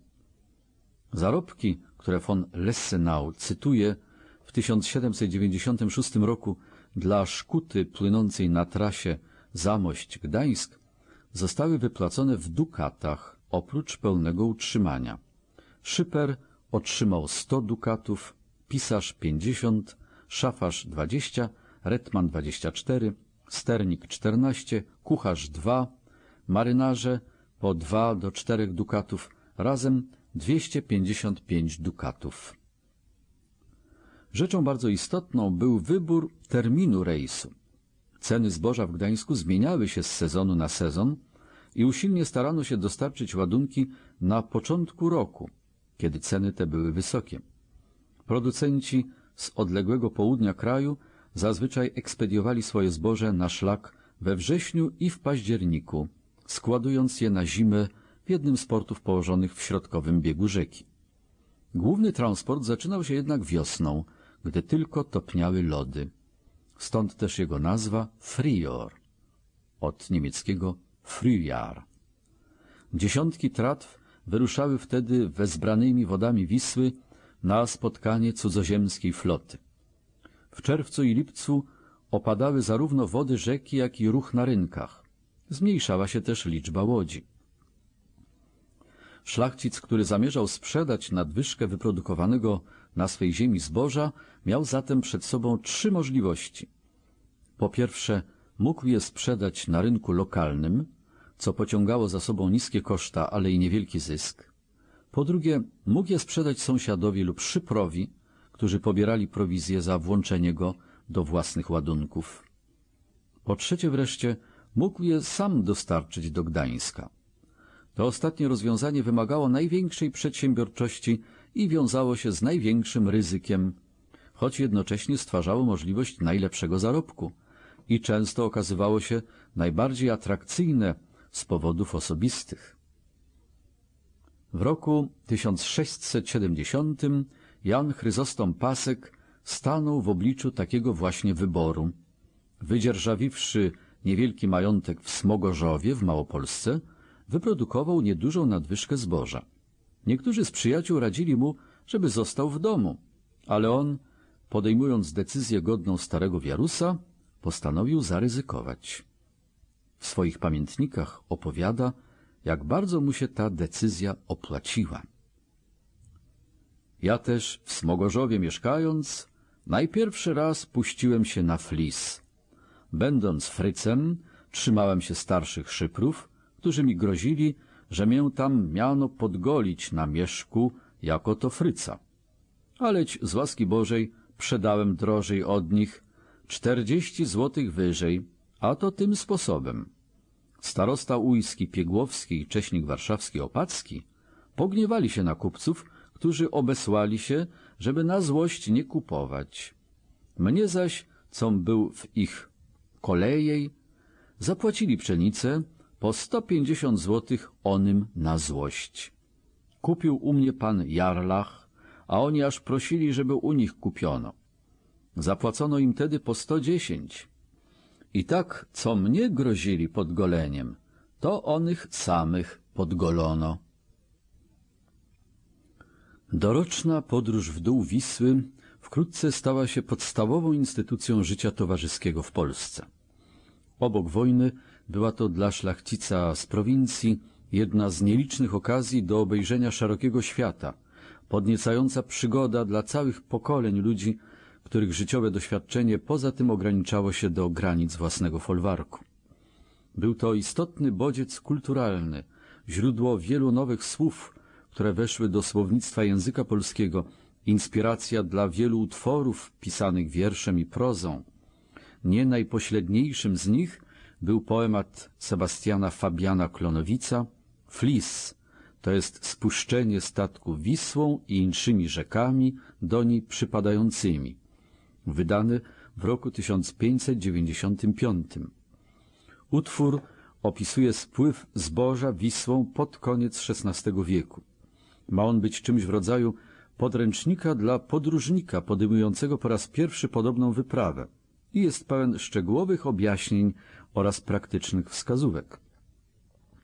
Jak w wypadku większości utworów tego okresu, autor poematu popisuje się swoim klasycznym wykształceniem, ale jego urok leży w atmosferze naiwnego podziwu i radosnego podniecenia, jakie towarzyszą podróży.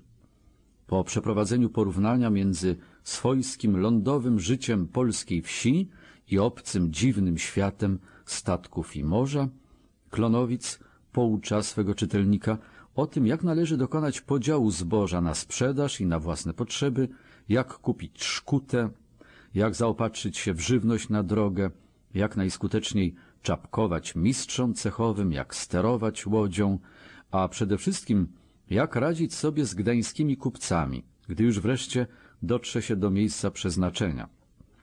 Podaje krótki słowniczek żargonów lisaków, głównie niemieckiego pochodzenia, oraz ostrzega przed niebezpieczeństwem wpłynięcia na mieliznę lub zderzenia z zatopionymi drewnianymi kłodami zwanymi wilkami, czy też zaplątania się w cumy pływających młynów, które ze względu na charakterystyczny odgłos wydawany przez obracające się koło nazywano bździelami lub, co byłoby rzeczą najbardziej wstydliwą, kolizji z wielką drewnianą belką zamykającą wejście do portu w Gdańsku.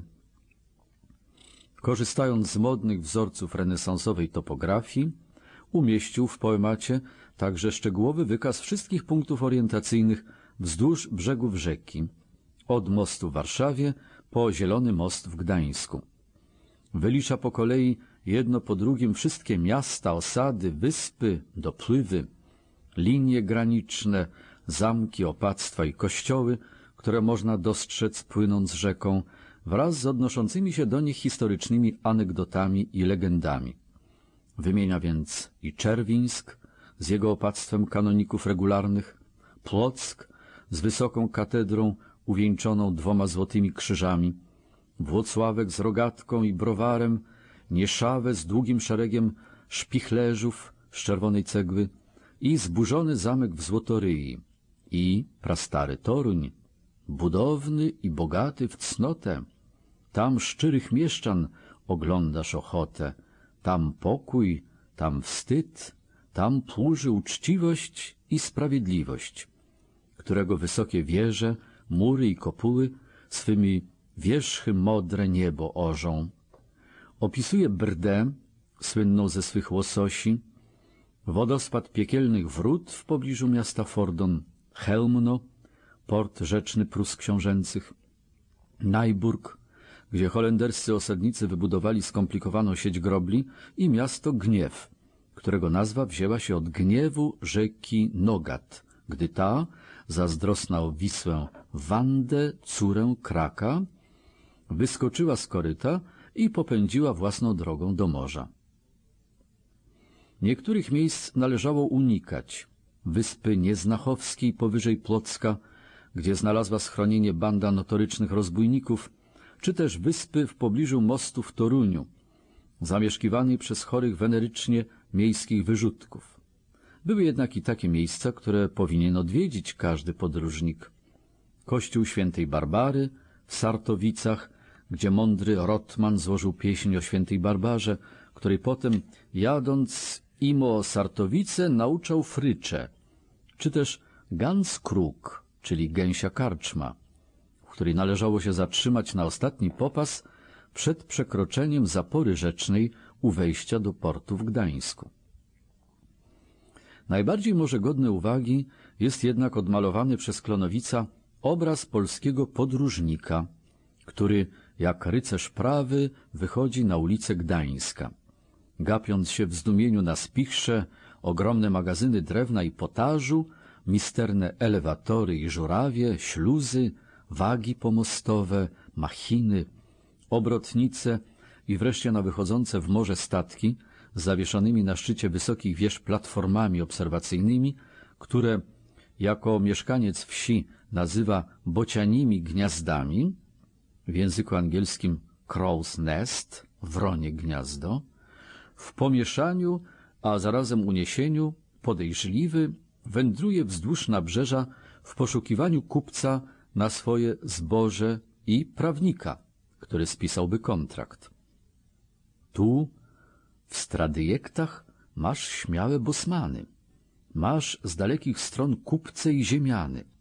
Przedawaj, kupuj, handluj, bij dłonią w dłoń, zysk sobie ugoń. Chwal przedawając, gań kupując. Kupca nie chciej mądrego, szukaj sobie głupca. Mali gotowe, naprzód o to pytaj, dopieroż się z nim przez tłumacza witaj. Albo więc, jeśli umiesz, sam z nim szprachaj, mędrka się strachaj. Trzeba ci tłumacza, trzeba ci ceklarza i w zatrudnionej sprawie forytarza. Albo więc musisz mówić z tą drużyną dziwną łaciną. Heus mane quieso faciesque grautum indica nuobis puer advocautum. Omnium sub quo dirimuntur omnes indice cause. Pocz marter! rzecze łaciną ogromną wysmukły Niemiec i mową nieskromną. Kwyt folund, aut me tomini poloni indice querunt, his vere causas adsit advocatus. Judicat fero dirimitque nostro, mores cultetus, focitatque taito nomines holzorum. Ficus est fungus, tomus alta doto eminet fico, padet ilia cuifis, istas culteti tomus est in gilla dziura ministrat. Rzeczesz drugiemu, słyszysz to, Marcinie, czy po niemiecku, czyli po łacinie? Mówi ten Kryksman. Pójdźże zaś dalej, co cię spotka, bowiem rzecz tobie, bracie, nieomylną powiem, jak przed sołtysem ugajnego prawa pójdzie twa sprawa. Więc za tym najdą pozew być jałowy, a ty, nieboże, znowu proś o nowy.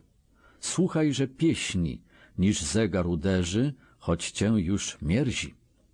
U dworu też zaś wytrwasz miesiąc ruski, nieźli przybiją na drzwi rejestr pruski. Rzeczesz, prawie mi za żywe zabito, za moje żyto. Gdańsk od bardzo dawna cieszył się reputacją miasta słynnego z wszelkich uciech i pełnego wszelkich przywar.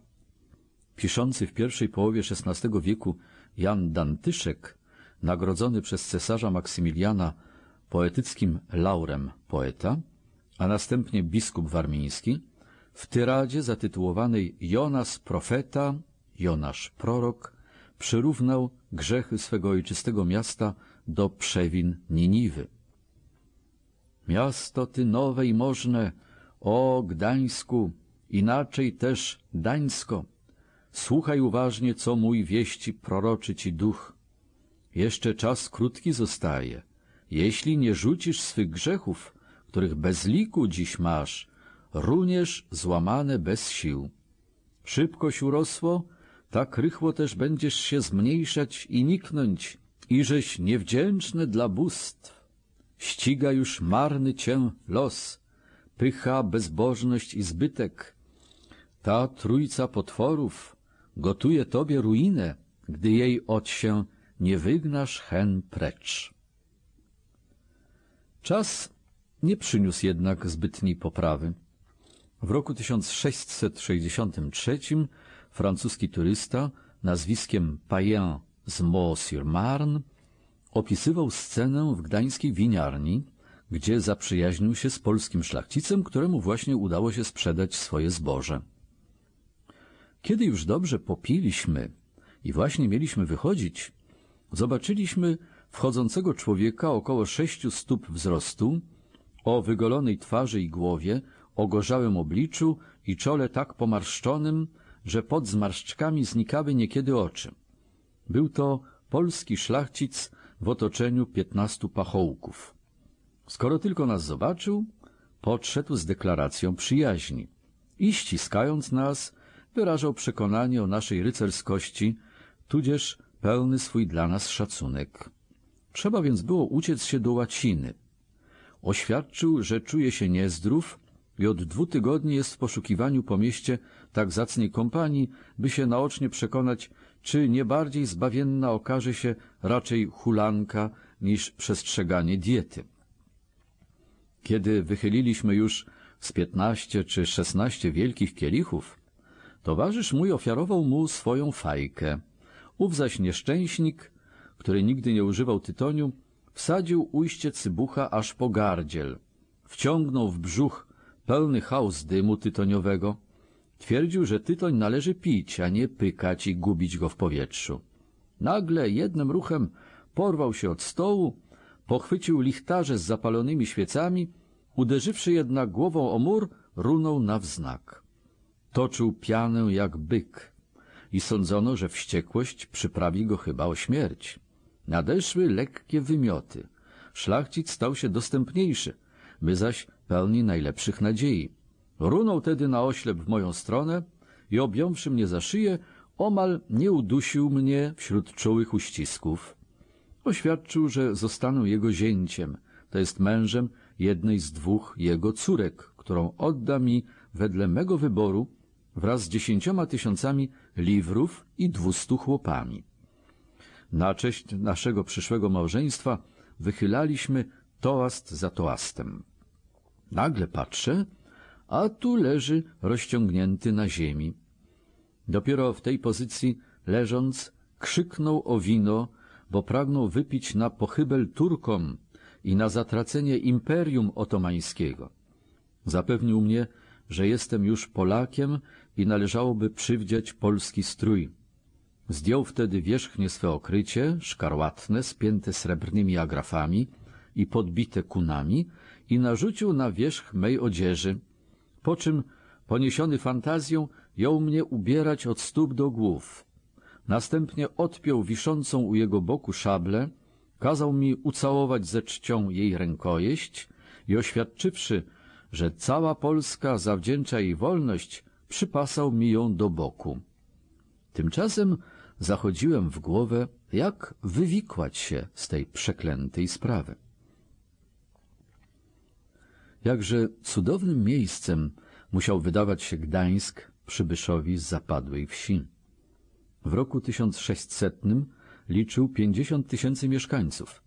Był pięć razy większy od królewskiej stolicy Warszawy i ponad trzy razy większy od Krakowa czy Poznania. Był rzeczą pospolitą w Rzeczypospolitej. Na mocy przywilejów nadanych przez Kazimierza Jagiellończyka i rozszerzonych przez Batorego miał własny samorząd. Prowadził własną politykę finansową i miał swoje własne mennice. Miał też własną milicję, wyszkoloną w walce w warunkach oblężenia i do roku 1641 również własną flotę wojenną, która stanowiła rdzeń floty królewskiej. Jego społeczeństwo było zorganizowane w ramach złożonego systemu warstw społecznych i cechów, z których każdy przestrzegał swoich własnych wyłącznych praw i reguł dotyczących członkostwa. Człowiekowi, który właśnie przybył z jakiejś położonej w głębi lądu wsi, gdzie trwający przez pełny rok ciężki trud dziesiątków chłopów przynosił owoc w postaci marnych kilku worków zboża, miasto musiało się wydawać niewiarygodnie zamożne, a życie w nim pełne wszelakiego dobrobytu. W trzech tysiącach warsztatów wytwarzano wszystkie wyobrażalne w tamtych czasach przedmioty zbytku, aksamit, jedwab, meble, biżuterię, książki i obrazy. Przede wszystkim zaś miasto było oknem wystawowym życia ówczesnej Europy. Jego mieszkańcy znali wszystkie ostatnie nowiny, każdą najświeższą modę i wszelkie najnowsze herezje. Nosili hiszpańskie stroje i mieszkali w domach budowanych w stylu flamandzkim.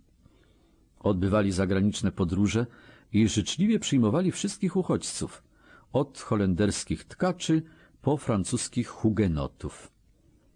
Gdańscy patrycjusze, jeśli akurat nie rozmawiali o interesach, uczestniczyli w życiu wspaniałego świata polityki, muzyki, bibliotek, kolekcji dzieł sztuki i eleganckich willi otoczonych wypielęgnowanymi ogrodami. Rzemieślnicy i robotnicy pracowali ciężko w atmosferze wielkiej niepewności i wielkich szans. Płace były wysokie, lecz konkurencja bezlitosna. Przywilejów strzeżono zazdrośnie, nie cofając się przed warcholstwem i buntem, a miejskie instytucje dobroczynne patrzyły złym okiem na lenistwo. Gdańsk był ruchliwym mrowiskiem pracy, dobrobytu i kultury, zjawiskiem dobrze znanym we Włoszech czy Niderlandach, lecz absolutnie niespotykanym w Polsce. Stanowił więc niewątpliwie największą atrakcję. Był czymś w rodzaju materialistycznej Mekki, która kusiła i przyciągała polskiego szlachcica, zapraszając go, aby tu kupował i sprzedawał.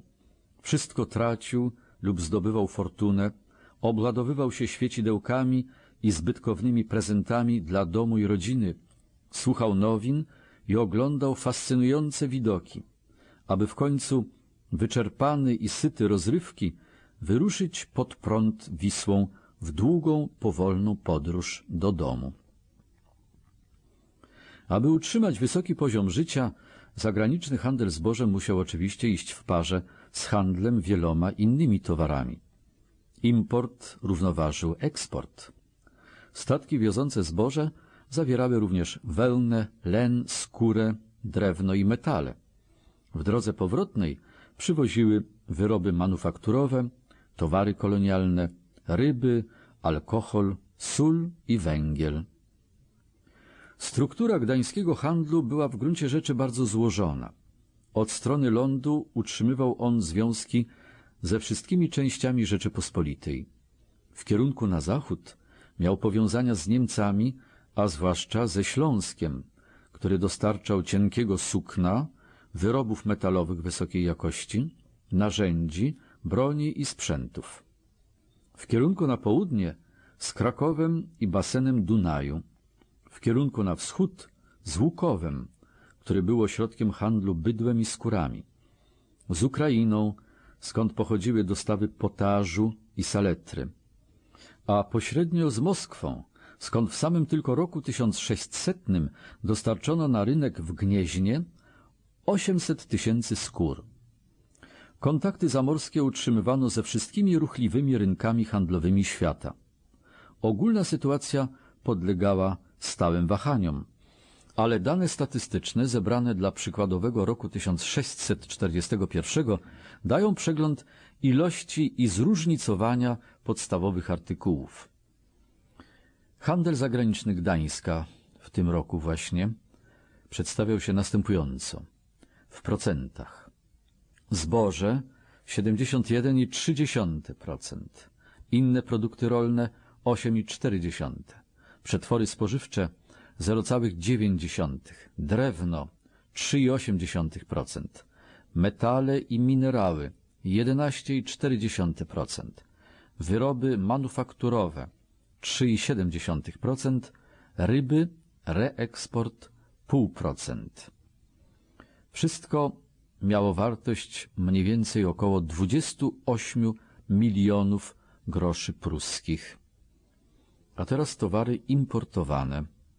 Wyroby manufakturowe 40,7%, wyroby kolonialne 21,2%, ryby i tran 10,4%, alkohol, wino i spirytus 10,3%, sól 2,1%, produkty rolne 0,9%, paliwa, węgiel 10,9%, skóry i futra 3,5%. Cały import miał wartość około 18 milionów groszy pruskich. W tej epoce prosperity Gdańsk obsługiwał około 3 czwartych całego handlu zagranicznego Rzeczypospolitej.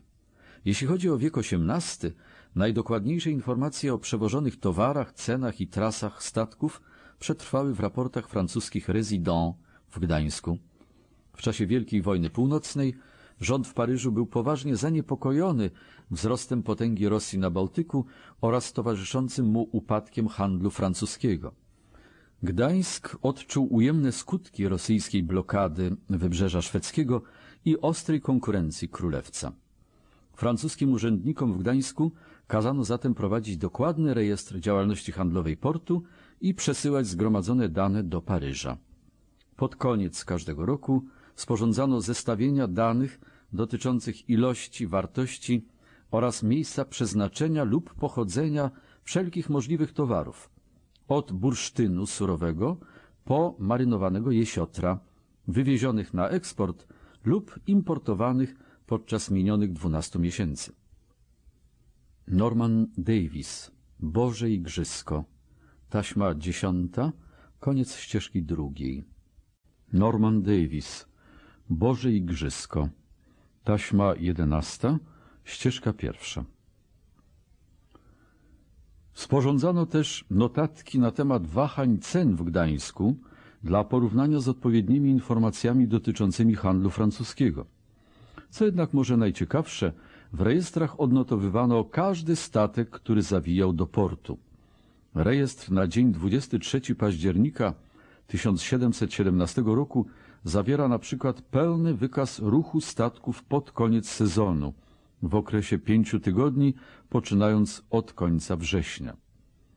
Trudno sobie wyobrazić, aby rząd francuski mógł rzeczywiście w jakiś istotny sposób wykorzystywać te raporty, ponieważ w grę wchodziło bardzo niewiele statków francuskich. Można podejrzewać, że handlowe zainteresowania wypełniały rezydentowi czas w długie zimowe wieczory, wolne od wykonywania o wiele poważniejszych zadań związanych z jego rolą oficera wywiadu wojskowego. Francuzom o wiele bardziej zależało na informacjach dotyczących stanu rosyjskiej floty w Królewcu niż cen potażu w Gdańsku, chociaż kapitanowie Doring, Camby i Rogers prawdopodobnie byli w stanie dostarczyć im i jednych i drugich danych. Skutki panującej sytuacji zaczęli w tym czasie odczuwać nie tylko kupcy francuscy. Kampanie okresu Wielkiej Wojny Północnej i wojny domowe w Rzeczypospolitej zakłócały życie handlowe wewnątrz kraju, a popyt zewnętrzny zmniejszał się drastycznie.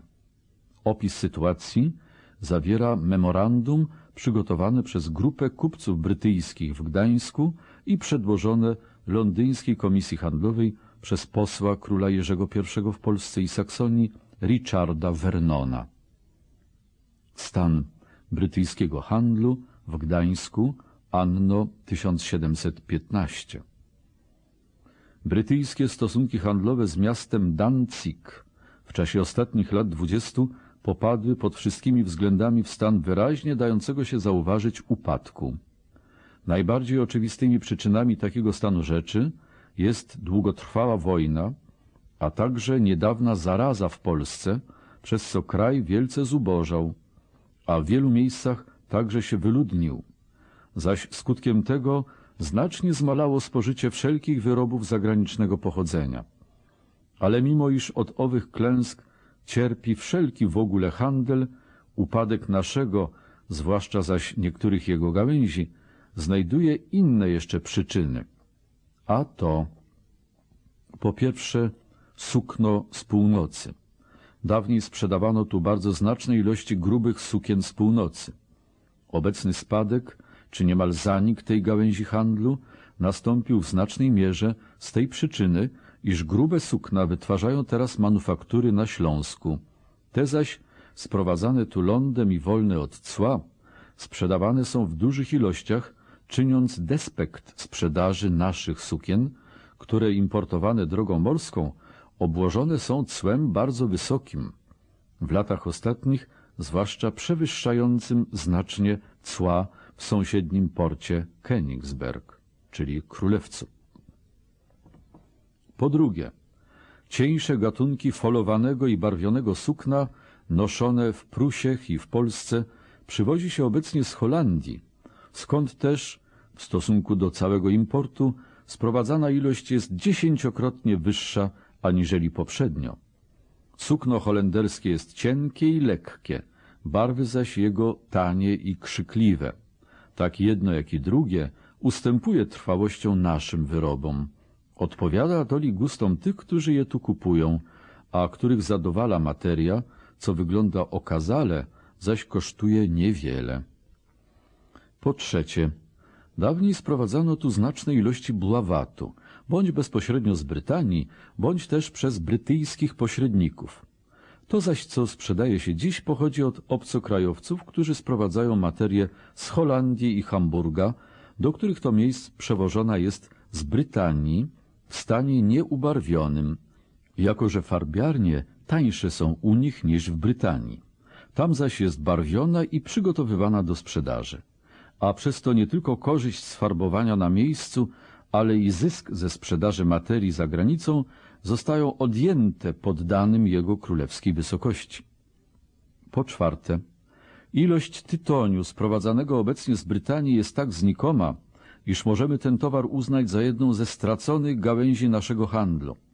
Zwijany tytoń angielski był dawniej jednym z najbardziej powszechnie tu sprzedawanych towarów, a używano go w bardzo znacznych ilościach. Ostatnio wszakże Holendrzy, osiągnąwszy wielki rozwój swego kraju, a także Niemcy, przetwarzając pewną roślinę z Virginii za cenę równą połowie tej, za którą zwykliśmy sprzedawać własny nasz towar, zaopatrują cały kraj.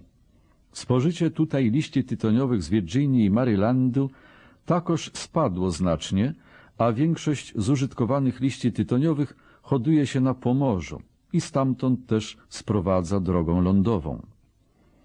Co się zaś tyczy śledzi, ołowiu, cyny, skóry i korzeni, to upadek handlu tymi towarami jest skutkiem wielkiego ubóstwa kraju. Handel korzenny prowadzą przede wszystkim Holendrzy, których zapasy są ogromne, zaś sposób życia niezwyczajnie oszczędny. Kontentują się oni tak niewielkim zyskiem, że udało im się niemal w pełni przejąć całą tę gałąź handlu, odbierając ją Brytanii, a biorąc w ręce własne.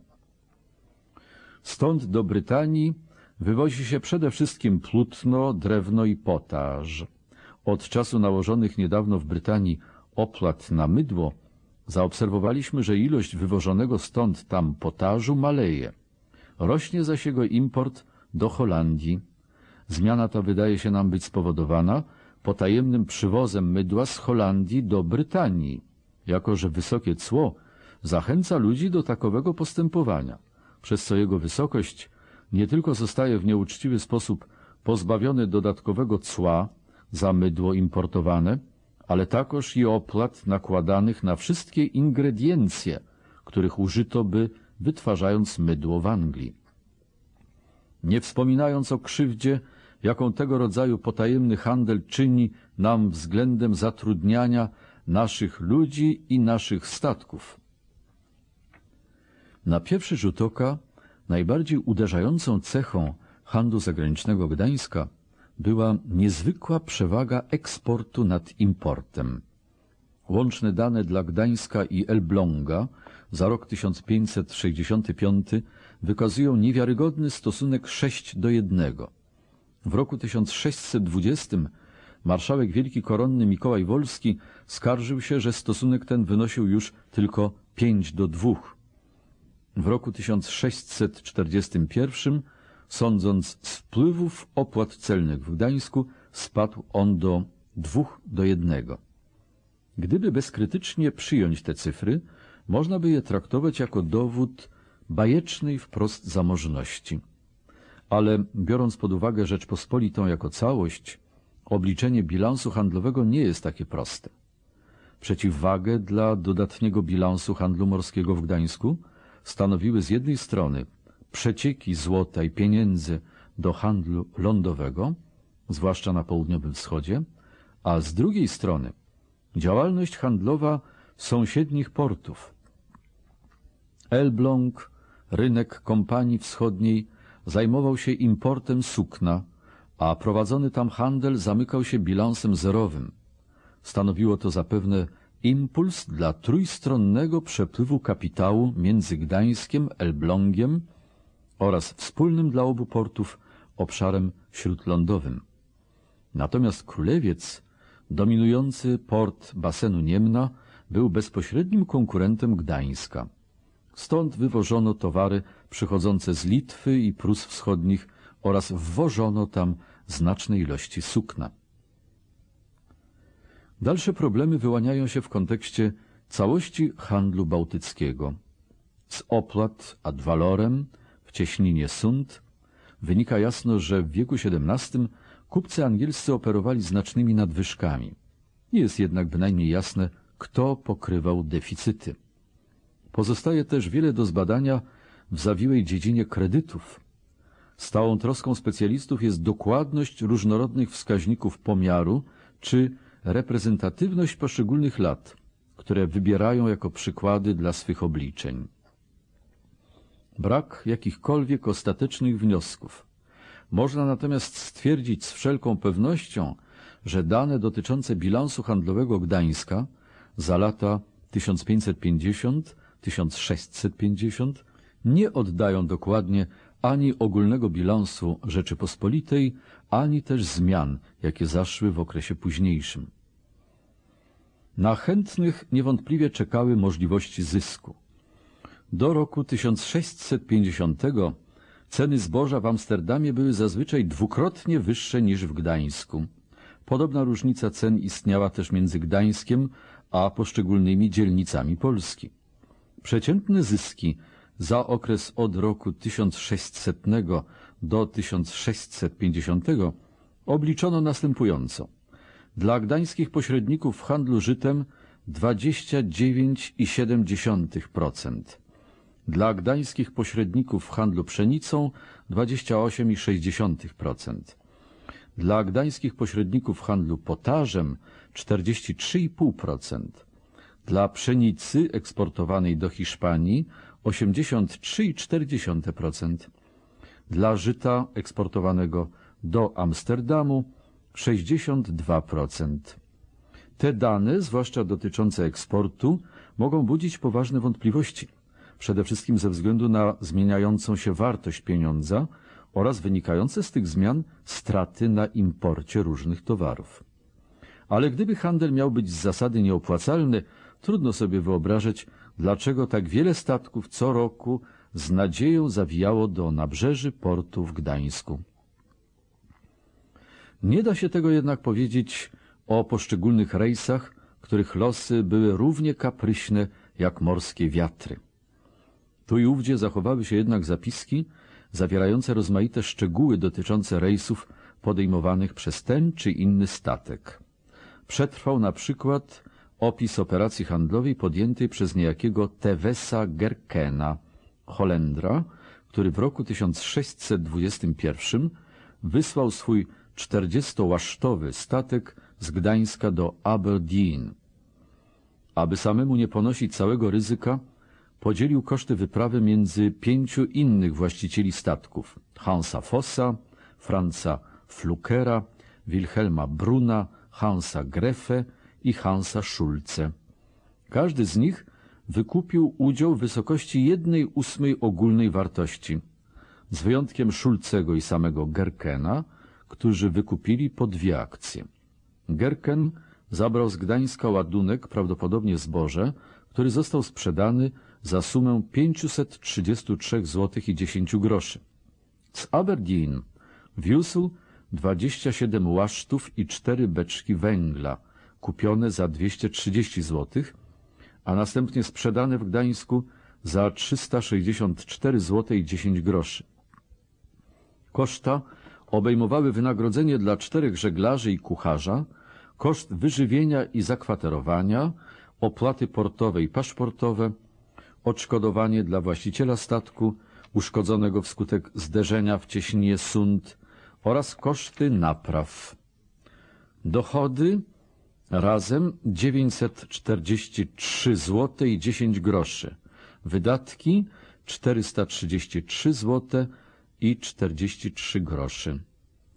Po zakończeniu rejsu każdy z udziałowców otrzymał sumę 61 zł i 20 groszy od akcji. Przyjąwszy, że wstępne koszta zamykały się sumą 432 zł, czyli 54 od każdej akcji, zysk wyniósł około 14% w okresie mniej więcej jednego miesiąca. Innymi słowy, mimo zderzenia w cieśninie, rejs okazał się opłacalny. Powrót Gerkena do Gdańska, podobnie jak powrót setek innych kapitanów statków handlowych, stanowił ostatnie ogniwo w łańcuchu kolejnych etapów handlu wzdłuż szlaku na Wiśle.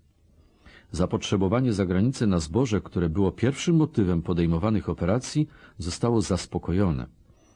Producent przywiózł polskie ziarno Wisłą do Gdańska, gdzie kupił je gdański kupiec. Ten sprzedał je holenderskiemu eksporterowi, który z kolei dowiózł je do zagranicznego portu. Statki powróciły stamtąd z ładunkiem importowanych towarów i teraz czekały z pustymi lukami na następny ładunek zboża. Kolejny cykl był zakończony. Społeczne następstwa handlu zbożowego na Wiśle stanowią przedmiot nieustających kontrowersji, a sprzeczne ze sobą wnioski nie pozwalają badaczowi na stworzenie sobie jasnego obrazu. Przy obecnym stanie badań byłoby rzeczą rażącą twierdzić ponad wszelką wątpliwość, że w Rzeczypospolitej Polskiej Litwy istotnie miało miejsce zjawisko zwane poddaństwem spowodowanym przez rozwój eksportu. Wzrost feudalnych świadczeń był spowodowany wyłącznie presją ekonomiczną w związku z rozwojem handlu zbożowego. Z drugiej strony byłoby rzeczą nierozsądną przeczyć, że imponującemu wzrostowi eksportu zboża towarzyszyło znaczne zaostrzenie się warunków poddaństwa chłopów oraz że w wieku XVI i na początku XVII wieku te bliźniacze procesy społeczno-gospodarcze były ze sobą w ten czy inny sposób ściśle związane. Według jednej z możliwych do przyjęcia teorii, rosnące ceny w Gdańsku stwarzały ciągłe zapotrzebowanie na zboże, co z kolei oznaczało coraz większy nacisk na jedyny element gospodarki wiejskiej, który można było bardziej intensywnie eksploatować na siłę roboczą. Aby sprostać zapotrzebowaniu, właściciele ziemscy wymagali od swoich chłopów więcej pracy oraz życia w bardziej uciążliwych warunkach. Jako jedyna warstwa posiadająca prawo reprezentacji w Sejmie, szlachta mogła bez trudu przekonać zarówno króla, jak i Sejm, aby zmienili prawa na jej korzyść, prawa istniejące zaś mogła stosować zgodnie z własnymi interesami.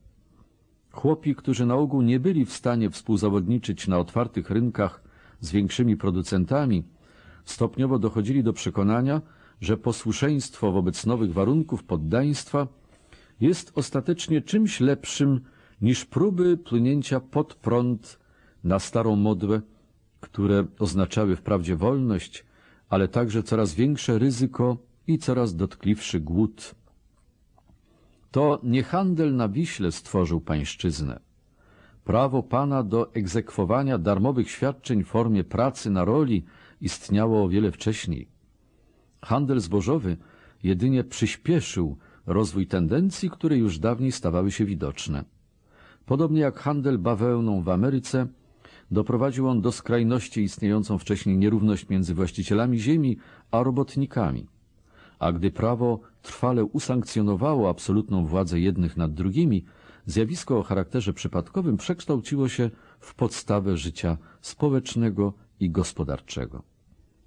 Stosunki pańszczyźniane w Polsce i na Litwie ustaliły się mniej więcej w tym samym okresie, co niewolnictwo w Ameryce i trwały prawie tak samo długo.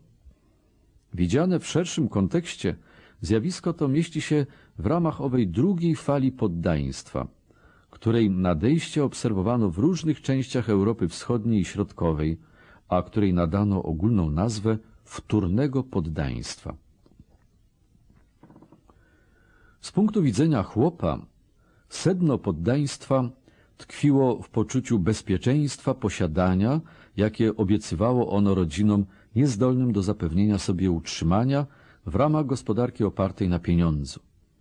Oddając swoją siłę roboczą do dyspozycji pana, chłop otrzymywał w zamian gwarancję posiadania rodzinnej działki ziemi, którą w innej sytuacji być może musiałby sprzedać. Tak długo, jak warunki poddaństwa były do zniesienia, poddaństwo uważano za poprawę, żeby nie powiedzieć postępową zmianę losu chłopa. Podczas gdy pan mógł zmusić chłopa do posłuszeństwa groźbą rugów, chłopi mogli łatwo zrujnować pana lenistwem, pijaństwem, sabotażem, podpaleniem, a w ostateczności groźbą ucieczki. Szlachcic, który obrażał swych chłopów lub przepędzał ich ze swej ziemi, sam szukał własnego nieszczęścia. We wspólnym interesie i pana, i chłopa wyraźnie leżała współpraca w atmosferze wzajemnego zrozumienia. Mimo to na przestrzeni XVI wieku warunki poddaństwa uległy pogorszeniu. W 1496 roku wydano zarządzenie głoszące, że z każdej wsi wyjechać mógł tylko jeden chłop rocznie i to tylko w celach, które uzyskały aprobatę jego pana do szkół lub do nauki rzemiosła. W ten sposób masy chłopstwa zostały skutecznie przywiązane do ziemi. Począwszy od roku 1518, sądy królewskie były zamknięte dla chłopa, który chciałby wnieść skargę przeciwko swemu panu. Odtąd chłopi poddani w majątkach szlacheckich pozostawali wyłącznie na łasce dziedziców. Zależeli od nich nie tylko w sensie prawnym, ale i pod względem gospodarczym, a zależność ta obejmowała wszelkie najdrobniejsze sprawy życia codziennego. Potrzebowali ich zgody na zawarcie małżeństwa, na wyjazd na targ, na pójście do szkoły. Oprócz wzrastających świadczeń w robociźnie, musieli płacić czynsz w gotówce lub naturze panu, dziesięcinę księdzu i podatek królowi. Stratyfikacja w obrębie warstwy chłopskiej utrzymywała się nadal, chociaż uległa zmianom. Niewielka grupa zamożnych chłopów zdołała się oprzeć postępującemu poddaństwu. Kupując sobie zwolnienie ze świadczeń pańszczyźnianych, zachowali wolność osobistą. Zatrudniając najemników, uczestniczyli w dobrodziejstwach, jakie dawało posiadanie ziemi. Wszyscy byli na drodze do społecznego awansu, włączenia się w szeregi albo zajmującej się handlem burżuazji, albo nawet szlachty. Jednak ogólnie rzecz biorąc, dawna samodzielność gospodarcza niezależnych chłopów, znanych pod nazwą kmieci, gburów lub włókników, była coraz bardziej ograniczona i nieuchronnie popadali oni w mniejszą lub większą zależność od mieszkającej w sąsiedztwie szlachty. Natomiast bardziej liczna grupa chłopów małorolnych, znanych jako zagrodnicy, chałupnicy lub ogrodnicy, stała się głównym źródłem zasilającym coraz liczniejsze szeregi chłopów poddanych. Rzecz dziwna, najbiedniejsza warstwa chłopów bezrolnych, komorników, kątników i parobków, stanowiła mniejszą pokusę dla ewentualnego przyszłego pana, ponieważ nie posiadała ziemi i dzięki temu miała większą szansę uniknięcia losu, jaki ich współbraciom narzucał feudalizm. Nadal utrzymywały się istotne różnice między poszczególnymi regionami kraju. W Prusach Królewskich dzierżawa gruntów i czynsze w gotówce były w dalszym ciągu istotnym elementem sektora wiejskiego. Natomiast na Litwie, gdzie gospodarka folwarczna rozwijała się powoli, rentę płacono zazwyczaj w naturze. Na Podolu i Ukrainie, na terenach kolonizacji szlacheckiej, chłopscy pionierzy byli na pierwsze 10, 20 lub nawet 30 lat zwalniani z obowiązku odrabiania pańszczyzny. Na wsi polskiej podstawową instytucją związaną z powstaniem stosunków poddaństwa był folwark. Majątek dworski specjalnie przystosowany do skutecznego wykorzystywania siły roboczej chłopa i w ramach technicznych ograniczeń epoki nastawiony na maksymalną produkcję zboża. Nazwa wywodzi się od niemieckiego słowa Vorwerk, które początkowo oznaczało zabudowania przylegające do dworu, później zaś gospodarstwo dworskie. W ciągu ponad 300 lat stał się charakterystyczną cechą polskiej wsi, wyciskając piętno zarówno na strukturze polskiego społeczeństwa, jak i na topografii kraju. Folwark powstał z dawniejszych wspólnot wiejskich, jakie już wcześniej tworzyły się wokół szlacheckiego dworu. Jego poprzednikiem były średniowieczne predia militaria, majątki wojskowe stworzone dla zapewnienia utrzymania rycerstwa. Stopniowo nabierał nowego kształtu przez rozrastanie się pól szlacheckich kosztem gruntów chłopskich, przez zakup ziemi na drodze umów lub też wchłaniając nieużytki, lasy i nieuprawiane wcześniej grunty orne. Ponieważ był zależny od chłopskiej siły roboczej, rugi chłopskie nie przynosiły mu korzyści. Natomiast dawny system wąskich pasów pól z czasem przekształcił się w sieć rozległych pól dworskich. Osobny mniejszy obszar przeznaczony był na indywidualne poletka chłopskie. Obliczono, że w latach 1560-70 przeciętne rozmiary folwarku w Królestwie Polskim, z wyłączeniem Prus, wynosiły 3,6 łana, czyli 60 hektarów.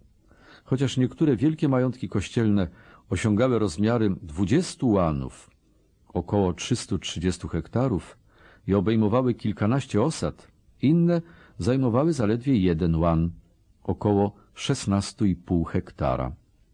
Typowy układ chłopskie chaty skupione wokół dworu i zabudowań dworskich pozostał niezmieniony do XIX wieku. Dopiero wówczas, wraz z upadkiem poddaństwa i systemu świadczeń pańszczyźnianych, rugi chłopskie i przywłaszczanie gruntów spowodowały ponowną zmianę tego modelu. W żadnym okresie system folwarczny nie zmonopolizował jednak areału gruntów ornych.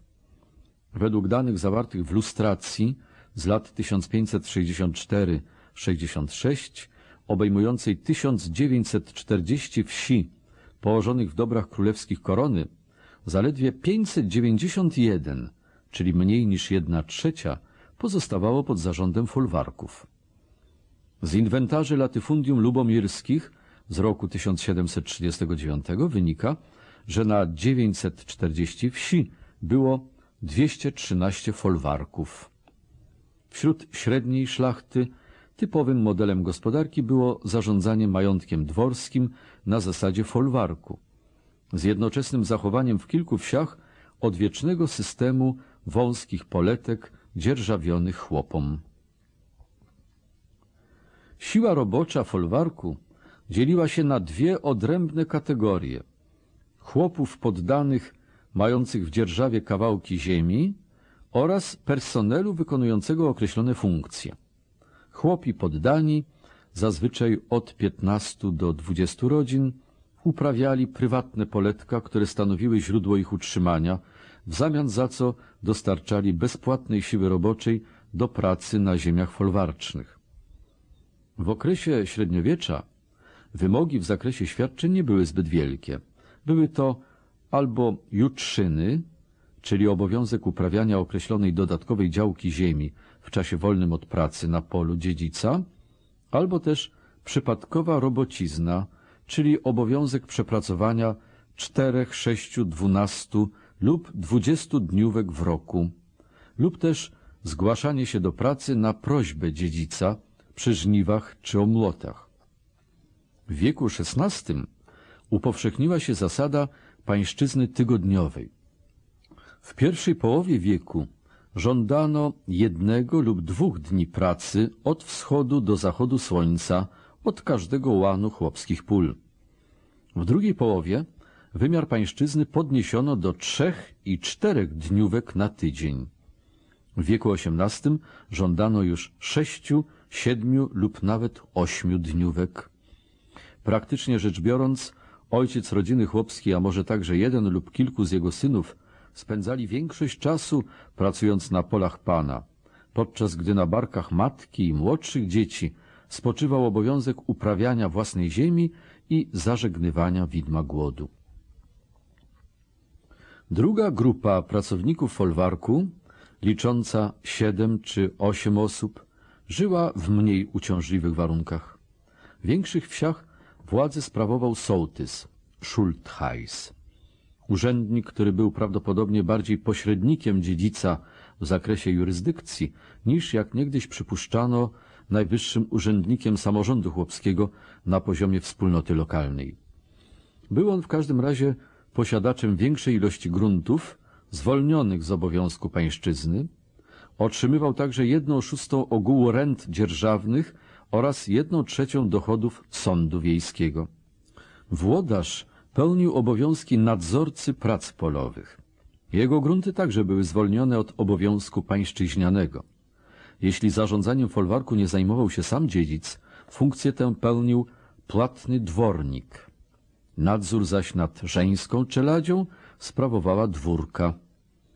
W pobliżu dworu mieszkali woźnica, parobek, pasterz, owczarz i dojarki. Otrzymywali oni ubrania, obuwie, codzienne posiłki oraz wypłacane na święta Bożego Narodzenia niewielkie roczne wynagrodzenie w wysokości 36 do 60 groszy. Z tych szczegółów wynika wyraźnie, że jak na współczesne normy stopień specjalizacji w rolnictwie był bardzo niski. Zarządca folwarku mógł myśleć o wyprodukowaniu nadwyżki zboża dopiero gdy osiągnął samowystarczalność w produkcji mleka, mięsa, wełny, chleba, jarzyn, skóry, piwa i wszystkich innych produktów, które były w danym momencie niezbędne. Przeciętny dochód w gotówce z typowego folwarku szlacheckiego w roku 1565 obliczono na 239 zł rocznie w Małopolsce i 142 zł w Wielkopolsce. Ogólna średnia wynosiła 186 zł. W mniej wydajnych, większych majątkach koronnych, kościelnych lub magnackich folwarki przynosiły mniejsze dochody. Nie da się jednak porównać dochodu otrzymywanego ogółem z folwarków 48 zł od łana ziemi uprawnej ze skromną sumą 2,5 złotego dochodu z łana ziemi chłopskiej. Jest oczywiście faktem, że istotny wkład w dochód folwarku stanowi bezpłatna praca, która w innych warunkach mogłaby się przyczynić do wzrostu dochodu z chłopskich działek. W każdym razie rozbieżność była ogromna. System gospodarki folwarcznej działał zgodnie z zasadą zapewnienia chłopu minimum ziemi i zabezpieczenia przy jednoczesnej maksymalizacji zysków w gotówce dziedzica. Z przyczyn, które nie zostały w pełni wyjaśnione, pod koniec XVI wieku wydajność folwarków osiągnęła poziom, którego już nigdy nie przekroczyła. Aż do tego momentu intensyfikację poddaństwa można uważać za jeden z elementów reakcji na perspektywę podniesienia dobrobytu. Później należy się w niej dopatrywać środka stanowiącego próbę zapobieżenia obniżaniu się stopy życiowej. Impulsem dla rozwoju poddaństwa były więc, w sposób paradoksalny, zarówno rozwój, jak i upadek handlu zbożowego wzdłuż Wisły. Jak się okazało, ziarno nie było najlepszym towarem, na którym dałoby się opierać losy państwa i społeczeństwa. Handel zbożowy nie pociągnął za sobą rozwoju zbyt wielu nowych umiejętności, technik czy form organizacji. Nie wymagał żadnych procesów przemysłowych poza młynarstwem, ani żadnych surowców, których import mógłby zrównoważyć eksport owoców pracy wsi. Sprzyjał znacznemu importowi zagranicznych środków płatniczych, które natychmiast wydawano na przedmioty zbytku obcego pochodzenia.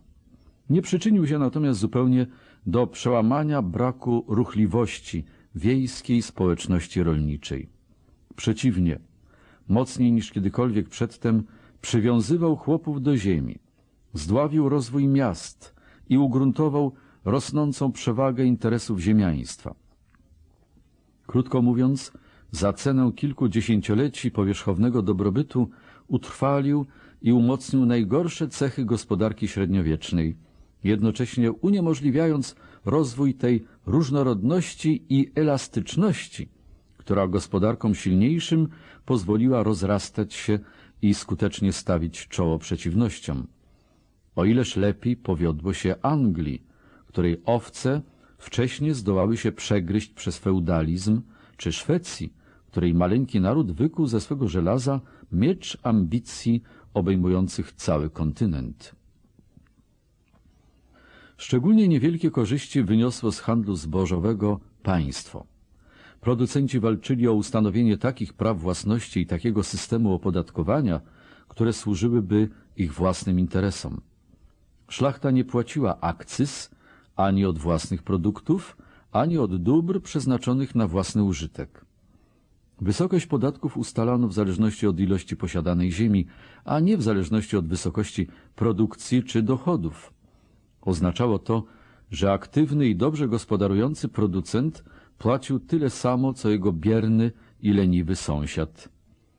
W latach pomyślnych wzrastający dobrobyt przynosił państwu tylko niewielkie korzyści i nie gromadziło ono żadnych funduszy, które pomogłyby przetrwać lata ciężkie, gdy poziom podatków był z konieczności niski.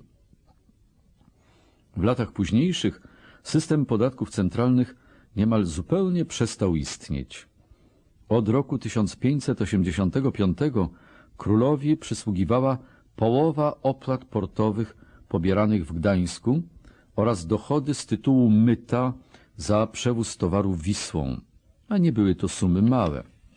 Uważa się, że w latach 1626-29, kiedy kontrolę nad handlem na Wiśle sprawował Gustaw Adolf, dochody z opłat przewozowych pokryły jedną czwartą ogółu kosztów poniesionych w związku z wojną z Niemcami. Były one jednak wręcz groszowe w porównaniu z zyskami z handlu zbożowego w okresie jego szczytowego rozwoju. Sumy naprawdę duże wędrowały za granicę jako zyski holenderskich przedsiębiorców lub pozostawały w Gdańsku w kufrach finansistów, właścicieli manufaktur i kupców. Gdańscy patrycjusze byli równie zamożni jak wielcy magnaci, z których wielu było zresztą u gdańszczan zadłużonych po uszy. Ci, którzy skarżyli się na lichwiarskie procesy pożyczek, wynosiły one od 18% do 20% i były trzy lub cztery razy wyższe od procentów obowiązujących w operacjach między samymi gdańszczanami, czy też na bezwstydne przekupstwo stosowane wobec wybitnych polityków, wkrótce odkrywali, że praktycznie rzecz biorąc niewiele da się w tej sprawie zrobić. Król Stefan Batory powiedział kiedyś ze smutkiem, że gdańszczanie strzelają złotymi kulami. W roku 1637 sam Władysław IV pożyczył od gdańszczanina Georga Hawelki sumę jednego miliona złotych. Gdańsk żył i to dobrze z Rzeczypospolitej. Pod niejednym względem handel wzdłuż szlaku na Wiśle był interesem korzystnym tylko dla jednej ze stron. Upadek handlu zbożowego po roku 1648 zbiegł się z upadkiem potęgi i dobrobytu całej Rzeczypospolitej. Wielu współczesnych historyków byłoby skłonnych twierdzić, że pierwsze stało się przyczyną drugiego. Inni, przecząc istnieniu tak ścisłego związku przyczynowego między życiem gospodarczym i politycznym, musieliby mimo to przyznać, że jest to zbieg okoliczności raczej dość niezwykły. Niemal wszystkie dostępne wskaźniki nieuchronnie prowadzą do wniosku, że w połowie XVII wieku w Rzeczypospolitej Polskiej Litwy rozpoczął się nieodwracalny proces regresu gospodarczego. W roku 1750 Gospodarka kraju była już znacznie słabsza, jego mieszkańcy zaś znacznie biedniejsi niż dwa wieki wcześniej. Badania stanu dóbr arcybiskupa gnieźnieńskiego, rozproszonych na terenie całej korony, wskazują, że nie tylko dramatycznie spadła produkcja rolna, ale również dramatycznie pogorszyły się metody uprawy. Jeśli się przyjmie rok 1500 za wskaźnik równy 100, cyfry wykazują stały wzrost na przestrzeni XVI wieku, katastroficzny spadek w drugiej połowie XVII wieku i tylko częściową poprawę w wieku XVIII. Na przykład tereny uprawne. Rok 1500, 100, 1600, 110, 1660, 65, 1894. Produkcja zboża. Chłopi. W 1500 100, 100 lat później również 100, 160 lat później 30 i 300 lat później 63. Folwarki 100, 125, 45 i 118. Razem w 1500 100, 1600 104, 1660 27, 1800 63. Inwentarz żywy 100, 86, 60, 67. Odłogi 13%, potem 5%, w 1660 40%, w 1800 26%. Na tym przykładzie widać, że jedynym sektorem, w którym nastąpiła w ogóle jakaś poprawa, była produkcja zboża w gospodarstwach folwarcznych. Co najgorsze, wydajność zbóż spadła do poziomu z okresu średniowiecza. Przeciętna wydajność produkcji wynosiła około roku 1750 1 do 3 dla żyta i 1 do 3,5 dla pszenicy. Analogiczne wskaźniki dla roku 1600 wynoszą odpowiednio 1 do 3,5 i 1 do 5. Masy ludności pracowały coraz ciężej, a ich trud przynosił coraz mniejsze owoce. Podobnie przedstawiała się sytuacja w handlu zbożowym. Chociaż różni badacze posługują się różnymi metodami pomiaru, uzyskane przez nich wyniki wykazują te same prawidłowości.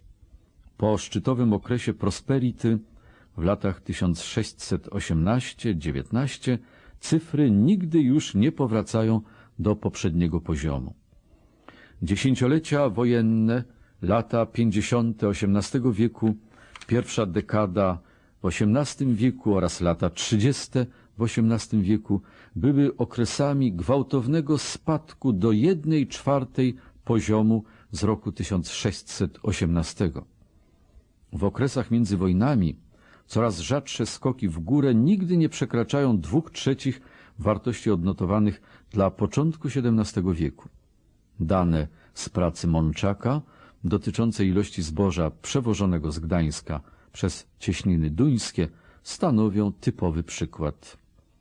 Rok 1618 85 tysięcy łasztów. 1644 już tylko 59 tysięcy łasztów. 20 lat później 47 tysięcy. Rok 1680, 90, 48. 1700, 1720, 20 tysięcy łasztów. Szalony spadek. 1724, 54 tysiące. 1731 do 50, 20 tysięcy łasztów. Znów duży spadek. 1751, 50 tysięcy łasztów.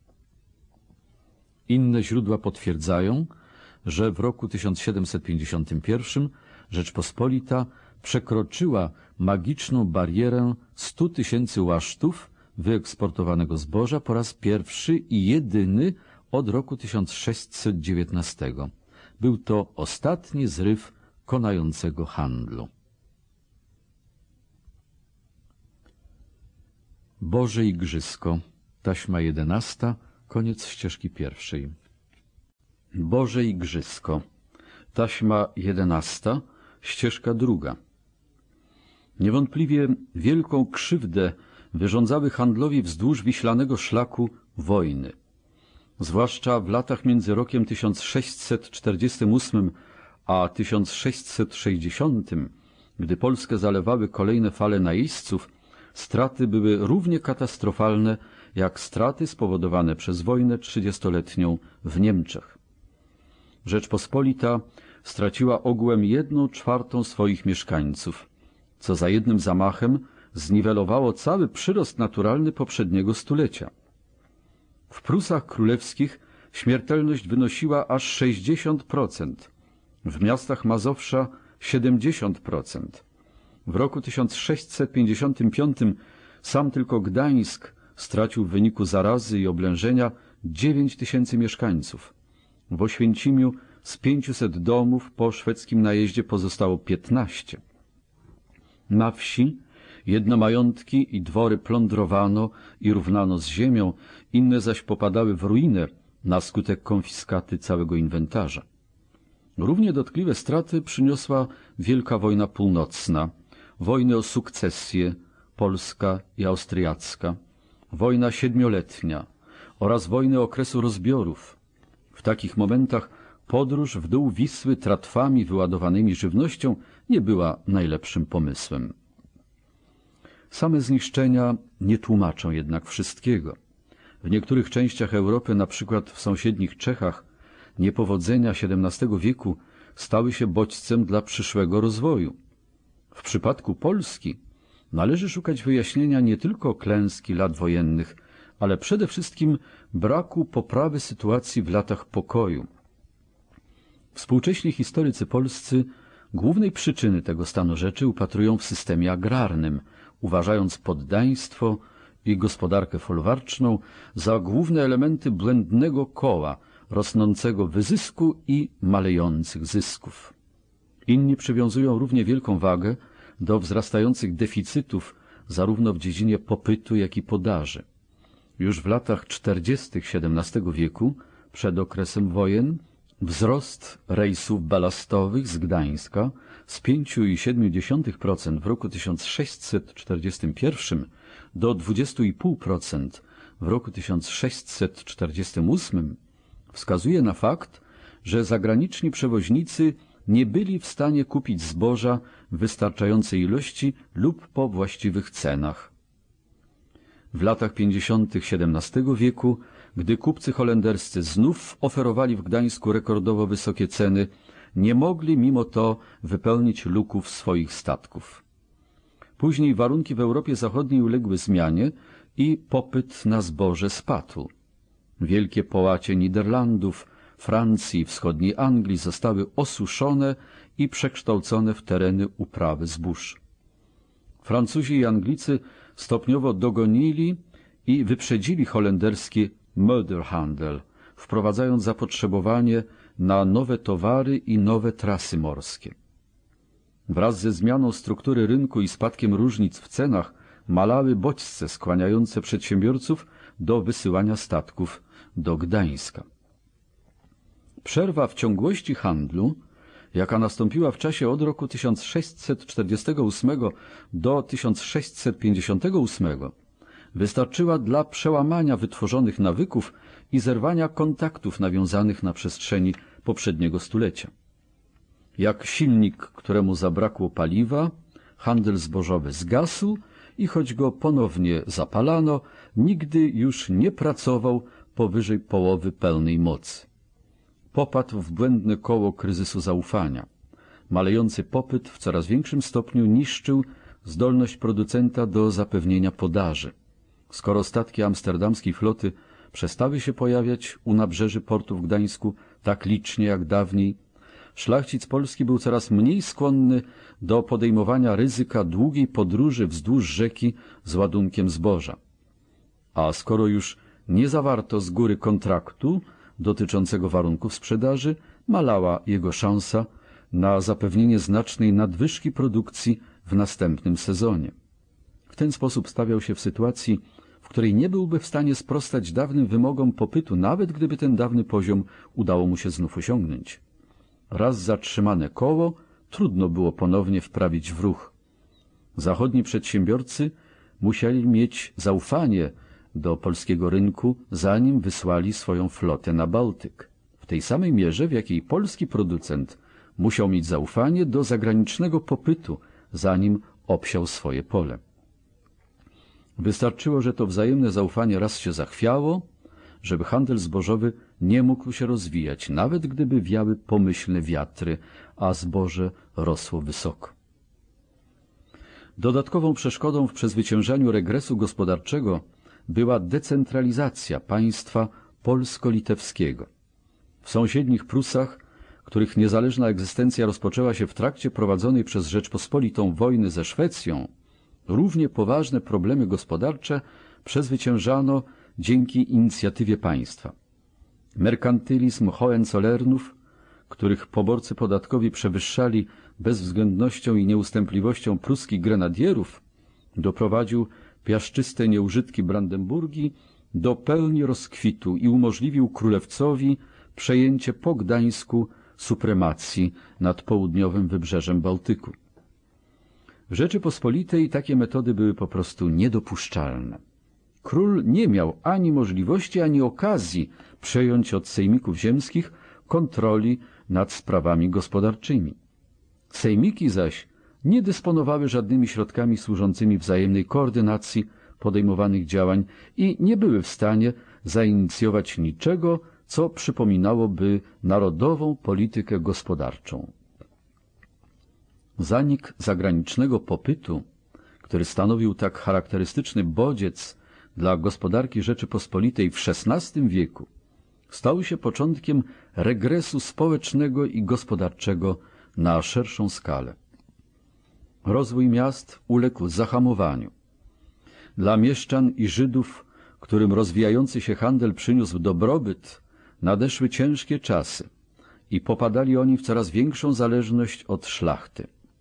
Średnia szlachta, która zajmowała tak wybitną pozycję w życiu gospodarczym i politycznym poprzedniego okresu, nie była już w stanie tej pozycji utrzymać. W braku wystarczających powodów do podejmowania wysiłków stopniowo upadał w niej duch przedsiębiorczości ojców, a w miarę spadku zysków zaczęła wyprzedawać nagromadzone dawniej dobra.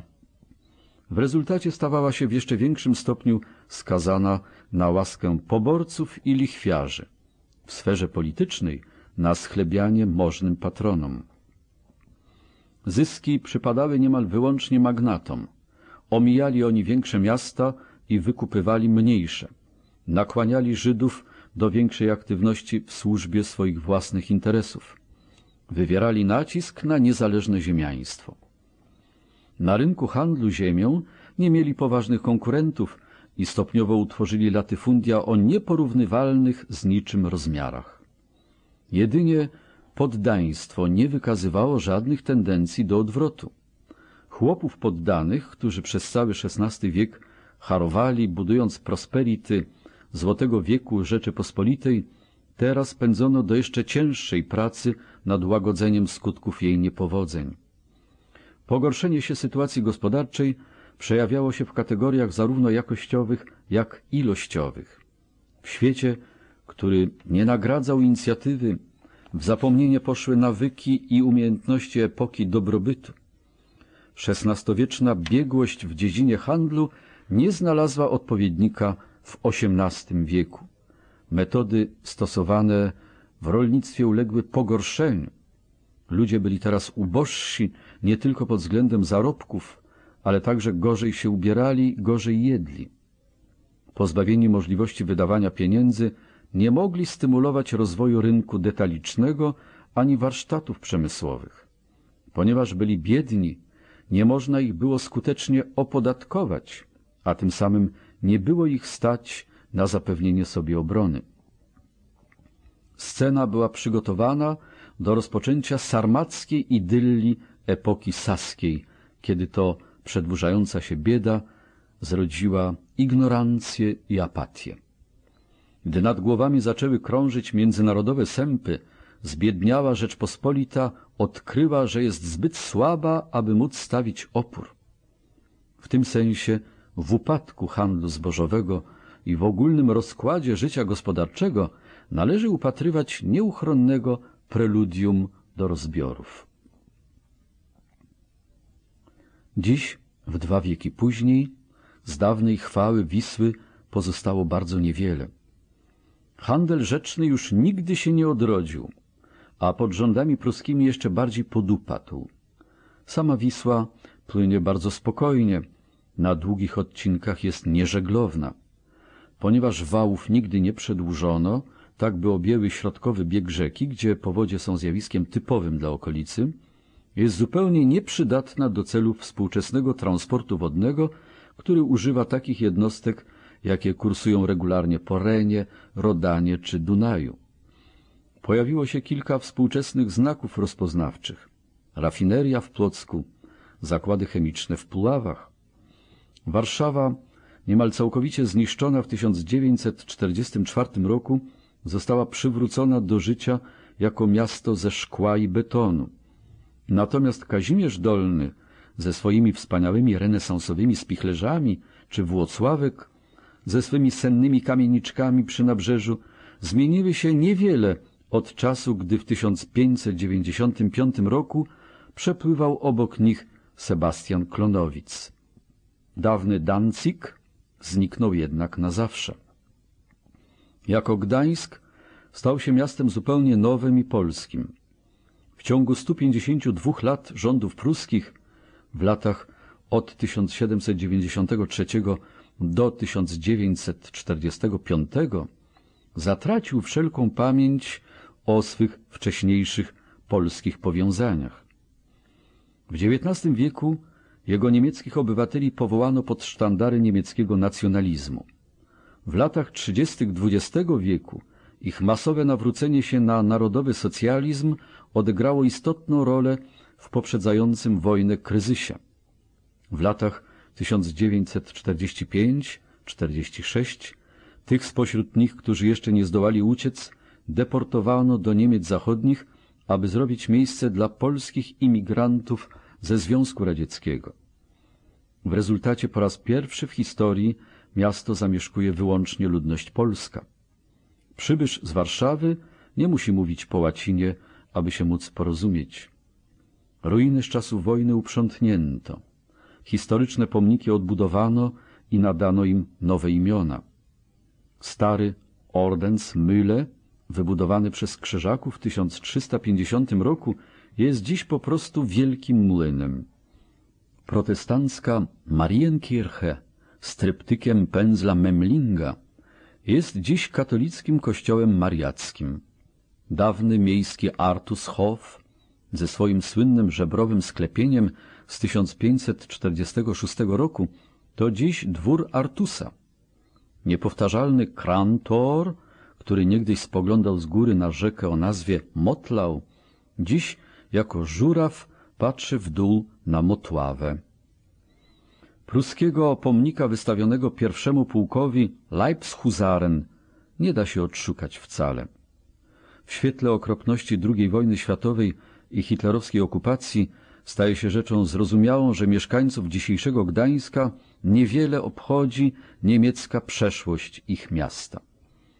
Władze dokładają zresztą wielu starań, aby ją ukryć.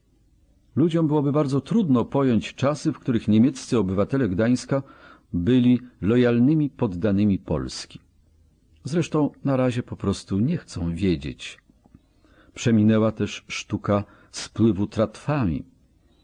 Żeby zaznać przyjemności spływu, współczesny podróżnik musi udać się do Czorsztyna nad Dunajcem, ponad 700 kilometrów od morza, gdzie górale w starych strojach ludowych przewożą grupy żądnych wrażeń turystów przez przełom Dunajca.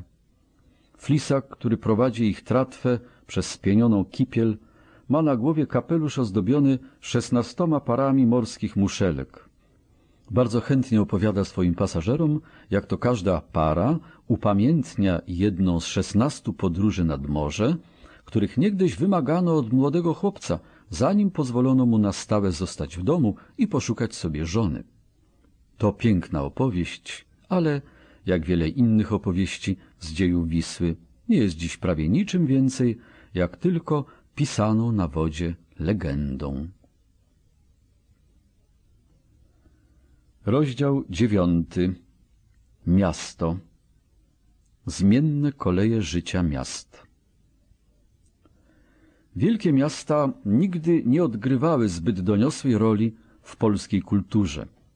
Ich początki w epoce średniowiecza wykazywały tak silne powiązania niemieckie, że przez długi czas historycy uważali je wyłącznie za kolonizacyjne narośle wyrosłe w wiejskim ze swej natury polskim krajobrazie. Krótkie okresy prosperity w wieku XVI i na początku XVII minęły tak szybko, że pozostawiły po sobie tylko nieliczne trwałe tradycje. Późniejszy zaś upadek miast był tak kompletny, że nie pozostało niemal nic, co mogłoby wzbudzić zainteresowanie współczesnych. A jednak jest to zagadnienie, bez którego nie da się należycie zrozumieć procesu rozwoju polskiej gospodarki i polskiego społeczeństwa. Nie należy zapominać, że w tradycji średniowiecznej miasto, łacińskie civitas, było raczej pojęciem prawnym niż zjawiskiem geograficznym. Nazwa ta w żadnym sensie nie odpowiadała temu, co dziś można by określić mianem terenów miejskich. Przeciwnie, większość terenów położonych w granicach miasta była przeznaczona pod uprawę i na oko nie dałoby się ich odróżnić od otaczających je wiejskich okolic. Jedynie zlepek domów, kościołów, ulic i budynków komunalnych w centrum miasta miał charakter zdecydowanie miejski, ale i tam uparta obecność ogrodów, pól i małych działek ziemi uderzyłaby współczesnego obserwatora jako widok bardziej godny wsi niż ośrodka miejskiego. W gruncie rzeczy miasta definiowano w kategoriach przywilejów prawnych zawartych w ich aktach lokacyjnych, zupełnie niezależnie od sposobu użytkowania jego terenów. Jego granice wytyczało prawo. Miasto stanowiło określony obszar jurysdykcji, na którym król lub patron na stałe zrzekł się na rzecz sądów miejskich swoich dawnych praw. Co więcej, na skutek stopniowego wzrostu ilości rozlicznych immunitetów oraz upowszechniania się jurysdykcji prywatnej, powstała sytuacja, w której kilka odrębnych miast mogło ze sobą współistnieć w obrębie jednej konglomeracji miejskiej, obok licznych, prawnie nieokreślonych osad i przedmieść. I tak na przykład w skład średniowiecznego miasta Krakowa nie wchodziły odrębne miasta Kazimierz i Klepasz. W jego granice wchodziły natomiast całe kilometry kwadratowe gruntów położonych poza murami miejskimi, które aż do dziś zachowały swój zasadniczo rolniczy charakter. Warszawa składała się z dwóch miast. Starego miasta, założonego w roku 1300 oraz nowego miasta, założonego w roku 1412. Wokół tych dwóch ośrodków miejskich mnożyły się odrębne jurydyki królewskie, kościelne lub prywatne, z których każda miała swoje własne prawa i własny zarząd. W oczach przypadkowego obserwatora widok z wierzchołka wieży katedralnej przedstawiał bezładną plątaninę rozproszonych zlepków zabudowań. Natomiast w oczach jurysty całkowity ład wprowadzała w ten chaos sieć niewidocznych linii oddzielających od siebie poszczególne jurysdykcje.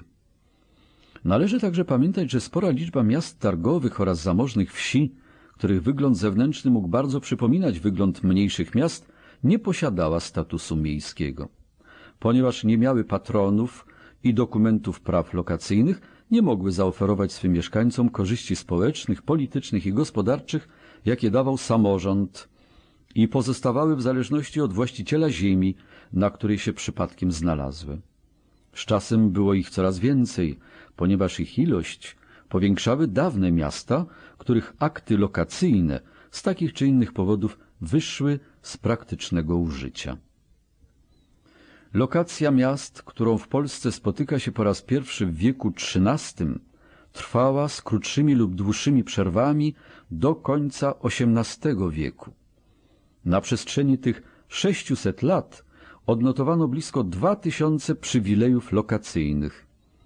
We wczesnych wiekach inicjatywę zazwyczaj przejmował król lub panujący książę, a w niektórych przypadkach także kościół. I tak na przykład śląskie miasto Nysa, Najse, otrzymało od biskupa wrocławskiego przywilej na prawa miejskie w roku 1220, na 22 lata przed lokacją samego Wrocławia.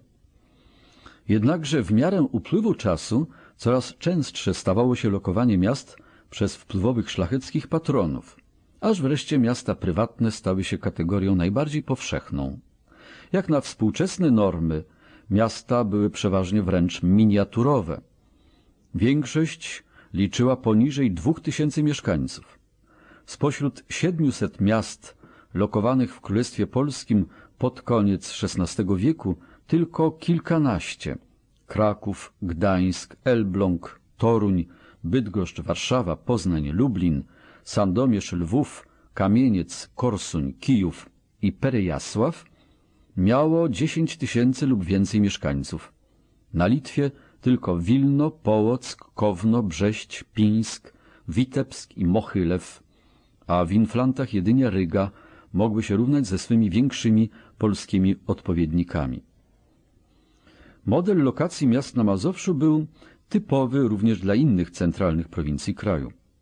Pierwsze miasto Mazowsza, Płock, rozpoczęło swą karierę jako rozległa osada otaczająca zamek i katedrę położone na brzegach Wisły. Przywilej lokacyjny otrzymało od księcia mazowieckiego w 1237 roku. Lokowany w 1257 roku Pultusk i w roku 1298 Łowicz były miastami kościelnymi.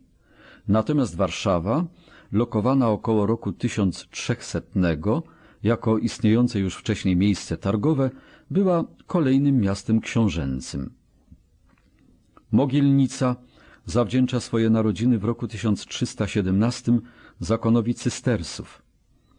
Pierwsze lokacje szlacheckie Budziszowice 1358 i Bolimów 1370 pojawiły się w czasie, w którym przeważały jeszcze przywileje kościelne i książęce. W XV wieku lokowano największą liczbę nowych miast Mazowsza, w sumie 43. W wieku XVI lokacje szlacheckie 82% zdobyły przewagę nad innymi rodzajami przywilejów na prawa miejskie. W wiekach XVII i XVIII w bezpośrednim sąsiedztwie Warszawy szlachta założyła liczne jurydyki. Na innych terenach działalność lokacyjna była w tym okresie niewielka. Przywileje nadane w roku 1670 Górze Kalwarii przez Kościół i w roku 1791 Myszyńcowi przez króla należały już w owym czasie do rzadkości. W sumie na łączną liczbę 156 przywilejów lokacyjnych nadanych na Mazowszu w okresie od 1237 do 1791 roku 36% zostało nadanych przez księcia lub króla, 15% przez kościół, 49% zaś przez szlachtę. Miasta Prus Królewskich zajmowały pozycję szczególną. Większość z nich otrzymała przywileje lokacyjne w okresie przed rokiem 1454, czyli w czasie, gdy wchodziły one w skład państwa krzyżackiego i zachowała szereg charakterystycznych cech. Po pierwsze Elbląg, Elbing, Tczew, Dirschau, Fromborg, Frauenberg, Chojnice, Konic, Braniewo, Brauensberg i Hel były jedynymi miastami w Polsce, które przyjęły prawo lubeckie, a nie magdeburskie. Po drugie, były to miasta jednolicie niemieckie. Co zaś najistotniejsze, zostały przyjęte do Królestwa en bloc, jako miasta członkowskie Związku Pruskiego, co dawało im możliwość negocjowania daleko idących ulg podatkowych oraz autonomicznych przywilejów. W okresie między 1454 rokiem a 1569 w dalszym ciągu wysyłały swoich przedstawicieli na zgromadzenia stanowe w Prusach Królewskich i nadal miały głos w sprawach politycznych wykraczających poza granice ich własnych murów. Po roku 1569, podobnie jak Kraków i Wilno, wysyłały obserwatorów na Sejm Zjednoczonej Rzeczypospolitej. W latach późniejszych, dzięki bliskiemu sąsiedztwu Królestwa Prus i dobrodziejstwom handlu bałtyckiego, ucierpiały na skutek recesji gospodarczej mniej niż miasta położone w głębi kraju. Prusy królewskie były jedyną dzielnicą połączonego Królestwa Polski i Litwy, gdzie stan mieszczański mógł stawić czoło naporowi szlachty. Społeczność miejska tworzyła kilka odrębnych grup i warstw. Tradycyjnie przynależność do stanu mieszczańskiego była ograniczona do płatników podatków będących chrześcijanami, którym przysługiwały pełne prawa obywatelskie. Tworzyli oni od jednej do dwóch trzecich ogółu ludności miejskiej. Warstwa ta dzieliła się wyraźnie na patrycjat, czyli oligarchię z jednej strony oraz pozostałych obywateli, pospólstwo, czyli komunitas z drugiej. W wieku XVI ówcześni komentatorzy często wymieniali trzy stany miejskie. Senat złożony z rajców miejskich, stan drugi złożony z miejskich urzędników oraz stan trzeci, czyli gmin. Członkowie wielkich patrycjuszowskich rodzin pierwszego i drugiego stanu miejskiego w starej stolicy królewskiej Krakowie często byli dziedzicami fortun, którym początek dali przodkowie przybyli z Niemiec, Węgier lub Włoch. Opanowywali urzędy publiczne i przedsiębiorstwa handlowe w miastach w tym samym stopniu, w jakim na skalę całej Rzeczypospolitej czyniła to magnateria, a udzielane królom pożyczki i służba na królewskim dworze zapewniały im wpływy polityczne przy równoczesnej niezależności od szlachty. Taką samą pozycję, jaką rodziny Turzonów, Bonerów czy Montelupich zajmowały w Krakowie Jagiellonów, w XVII i XVIII-wiecznej Warszawie zdobyły rodziny Blanków i Teperów. Pospólstwo natomiast rekrutowało się spośród członków bractw cechowych i konfraterni kupieckich. Uważali się oni za strażników demokracji miejskiej, która w ich opinii była zagrożona w tym samym stopniu przez arogancję patrycjuszy, co przez uprawianą poza prawem działalność nielicencjonowanych rzemieślników i rękodzielników. Poza stanem mieszczańskim ludność miast obejmowała tzw. Plebs oraz Żydów. W niektórych miastach plebs stanowił bezwzględną większość mieszkańców.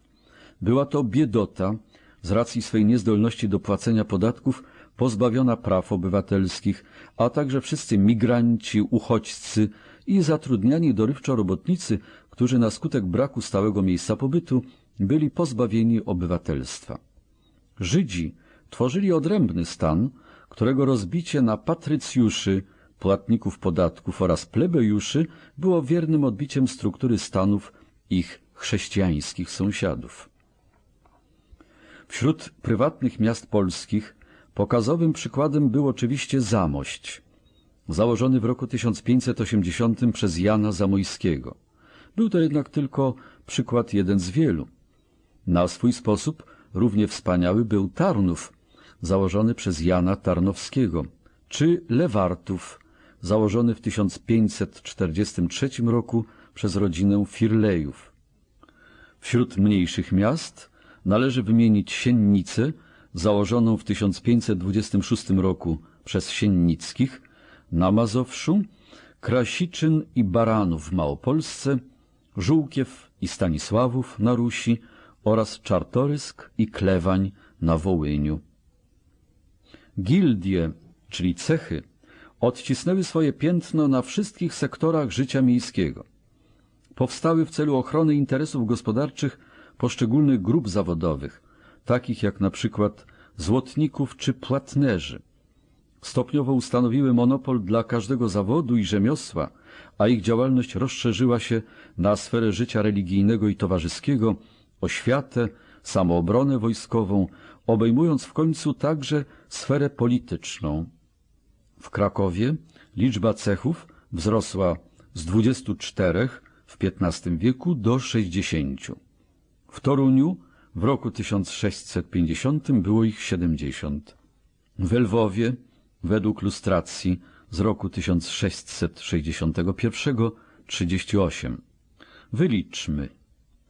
Rzeźnicy, piekarze, szewcy, złotnicy, kuśnierze, krawcy, cyrulicy, pasamonicy, miecznicy, konwisarze, szychterze, ślusarze, kowale, kotlarze, bednarze, cieśle, stolarze, kołodzieje, stelmachy, garbarze, kordybanicy, tkacze, miechownicy, rymarze, miodowarzy, piwowarzy, słodownicy, garncarze, powroźnicy, tokarze, czapnicy, olsternicy, mularze, iglarze, nożownicy, płatnerze, haftarze, siodlarze i inni.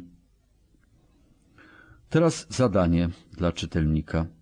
Prosimy rozszyfrować, czym zajmowali się pasamonicy, konwisarze, szychterze, kordybanicy, miodowarzy, powroźnicy, olsternicy, iglarze. Prosimy do nas napisać. Każdy cech miał swój własny statut, określający reguły i zasady postępowania oraz sprawował kontrolę nad swoimi członkami. Sporów na temat linii demarkacyjnych było bez liku. Wojna między krawcami i kuśnierzami o to, kto ma szyć futra, trwała przez całe stulecia. Rozwój rzeźby artystycznej w okresie odrodzenia dał początek niekończącym się sporom murarzy z malarzami. Zamieszki i bójki między bandami czeladników bezustannie zakłócały spokój miejskich ulic. Jednak w obliczu nacisków z zewnątrz cechy na ogół zwierały szeregi. Punktami zapalnymi były szczególnie przypadki naruszania zasady zamkniętego warsztatu w obrębie granic miasta. Cechy skarżyły się też stale na Żydów, partaczy i kupców prowadzących nielegalny handel, których oskarżano o pozbawianie członków cechów części należnego im zarobku. Utworzenie konkurencyjnych cechów żydowskich dla wszystkich ważniejszych gałęzi rzemiosła stało się główną przyczyną ponawianych żądań pozbawienia Żydów prawa mieszkania w mieście. Przynależność do cechu wiązała się z podjęciem zobowiązania na całe życie. Członek cechu uczestniczył w nabożeństwach w kaplicy swojego cechu, grał w orkiestrze swojego cechu i wraz z rodziną odwiedzał swój dom bracki. Jako czeladnik przez siedem lat mieszkał i pracował w domu swego mistrza, który był bezpośrednio odpowiedzialny za jego naukę i zachowanie. W młodości odbywał podróż, która trwała rok i sześć tygodni i podczas której zdobywał praktykę w swym rzemiośle w obcych miastach lub nawet w obcych krajach.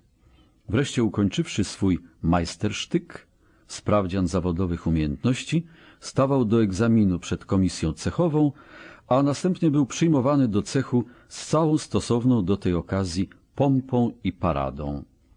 Gdy już uzyskał tytuł towarzysza, socjusz albo gezelle, jego obowiązkiem było nabyć dom w mieście, poszukać sobie żony, złożyć przysięgę na wierność cechowi i wpisać się do rejestru pełnoprawnych obywateli.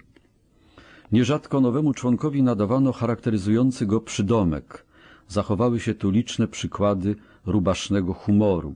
Moczy gęba, kłopoczy baba, mokrowstal czy nawet pierdzik krzyczywą. Od tego czasu miał prawo zabierać głos podczas ogólnych zgromadzeń cechu, tak zwane Morgensprache, czyli rozmów porannych, oraz głosować w wyborach członków cechowej starszyzny. Pod pewnymi względami życie cechów było wysoce demokratyczne. Wszystkie decyzje i wszelką działalność podejmowano zbiorowo. Jednak w sensie ogólniejszym działalności tej często przyświecał duch partykularyzmu. Broniono interesów członków cechu wbrew interesom społeczeństwa jako całości. Właśnie z tej przyczyny na początku XVI wieku Jan Ostroruk, kasztelan, następnie wojewoda poznański i jurysta, starał się o ograniczenie ich rozwoju, a nawet wręcz zalecał ich rozwiązanie. Konfraternie kupieckie, czyli gildie, były instytucjami bardzo podobnymi do cechów rzemieślniczych. W Krakowie kupcy byli uważani za odrębny stan miejski ordo mercatorum w odróżnieniu od ordo mechanicorum i cieszyli się nieco odmiennymi przywilejami. W innych miastach uważano ich po prostu za trudniący się handlem odłam organizacji cechowej. Swoje początki zawdzięczali wysoko cenionemu prawu składu, dzięki któremu wzbogaciło się tak wiele miast średniowiecznych. Pilnie strzeżony monopol utracił swą wartość dopiero wtedy, gdy wyszły z użycia dawne przepisy dotyczące handlu. Życie polityczne w miastach koncentrowało się wokół działalności zmierzającej do ograniczenia samowolnych poczynań Rady Miejskiej.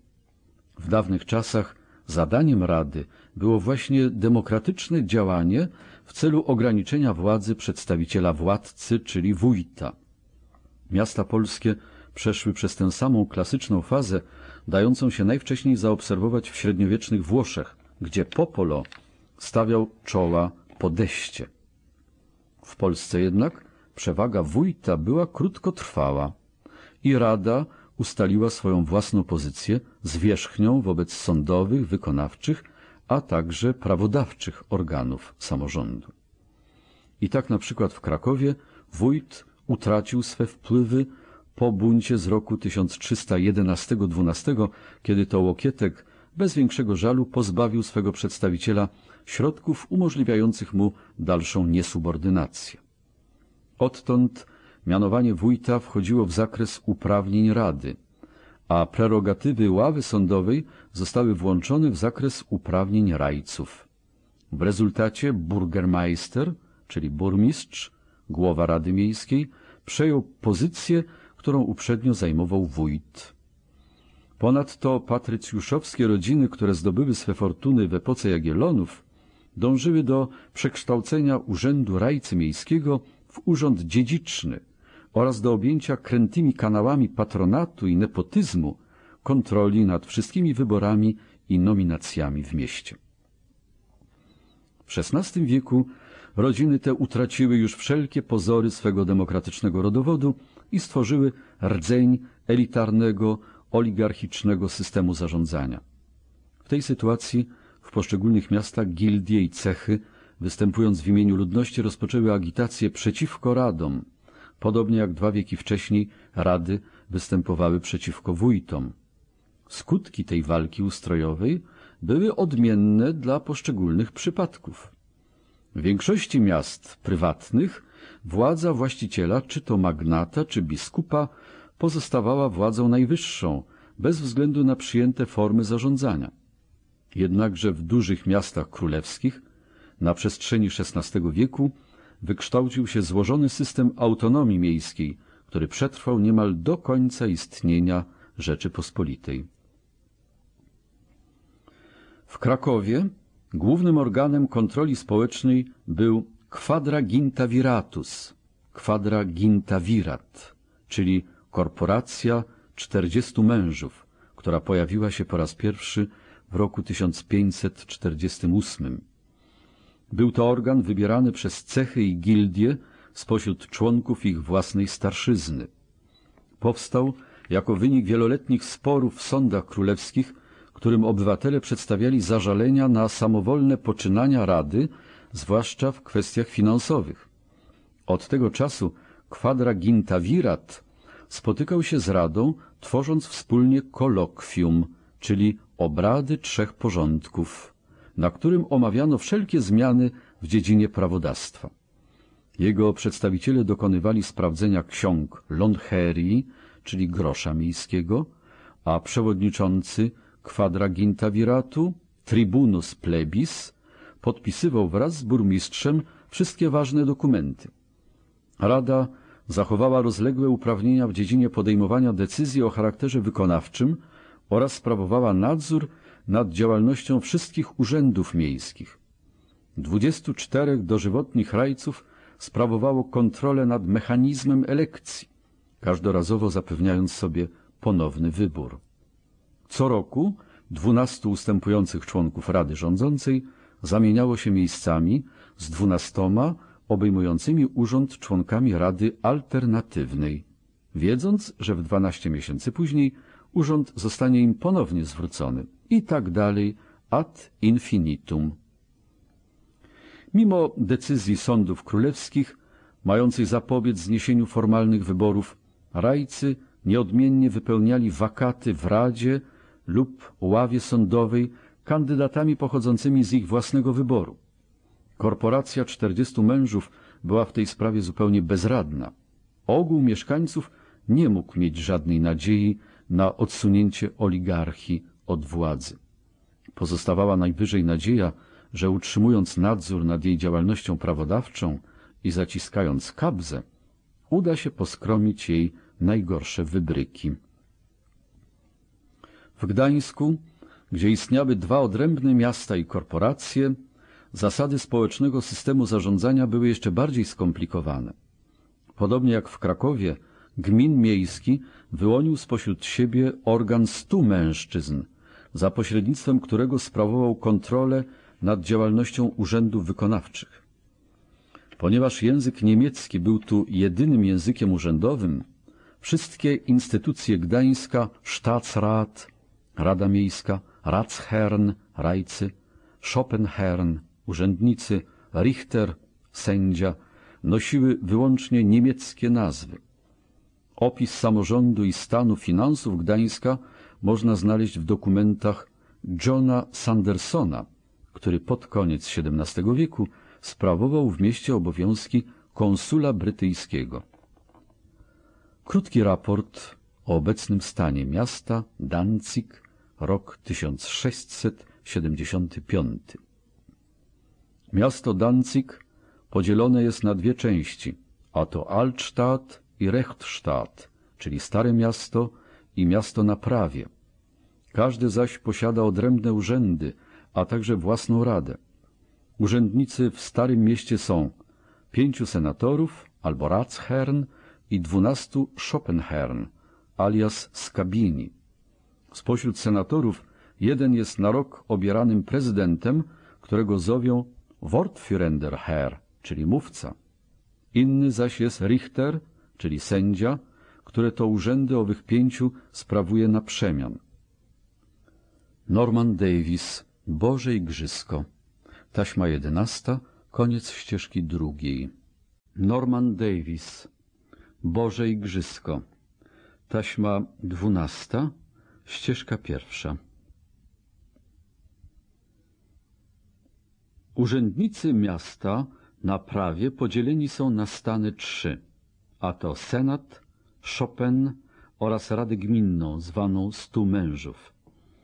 Senat złożony jest z czterech burmistrzów i czternastu Ratsherrn, czyli senatorów, którzy to wraz z jednym senatorem z Rady Starego Miasta, który przybywa zawsze na ich posiedzenia, tworzą urząd najwyższy, mający władzę we wszystkim, co całego miasta w ogóle dotyczy, a także zarząd nad wszystkimi ich prawami, nie tylko cywilnymi, ale i kościelnymi, jako że mocą przywileju danego od króla Kazimierza i Stefana mają jus episkopale ponad wszystkimi kościołami na swojej ziemi. Tych zaś jest dziesięć w obrębie miejskich murów, trzy na przedmieściach, a jeszcze dziesięć lub jedenaście po wsiach podległych miejskiej jurysdykcji. Tylko zaś kościoły rzymskokatolickie są spod niej wyłączone, których jest dwa należących do ojców dominikanów i karmelitów, jeden zaś należący do sióstr zakonu świętej Brygidy. Wszystkie zaś leżą w obrębie miejskich murów. Spośród czterech burmistrzów jeden jest co roku obieranym prezydentem, et jeden jego zastępcą, które to urzędy wszyscy oni pełnią za koleją, jako to dla przykładu. Bürgermeister Krumhausen jest teraz prezydentem, zaś Van Brummeln jego zastępcą.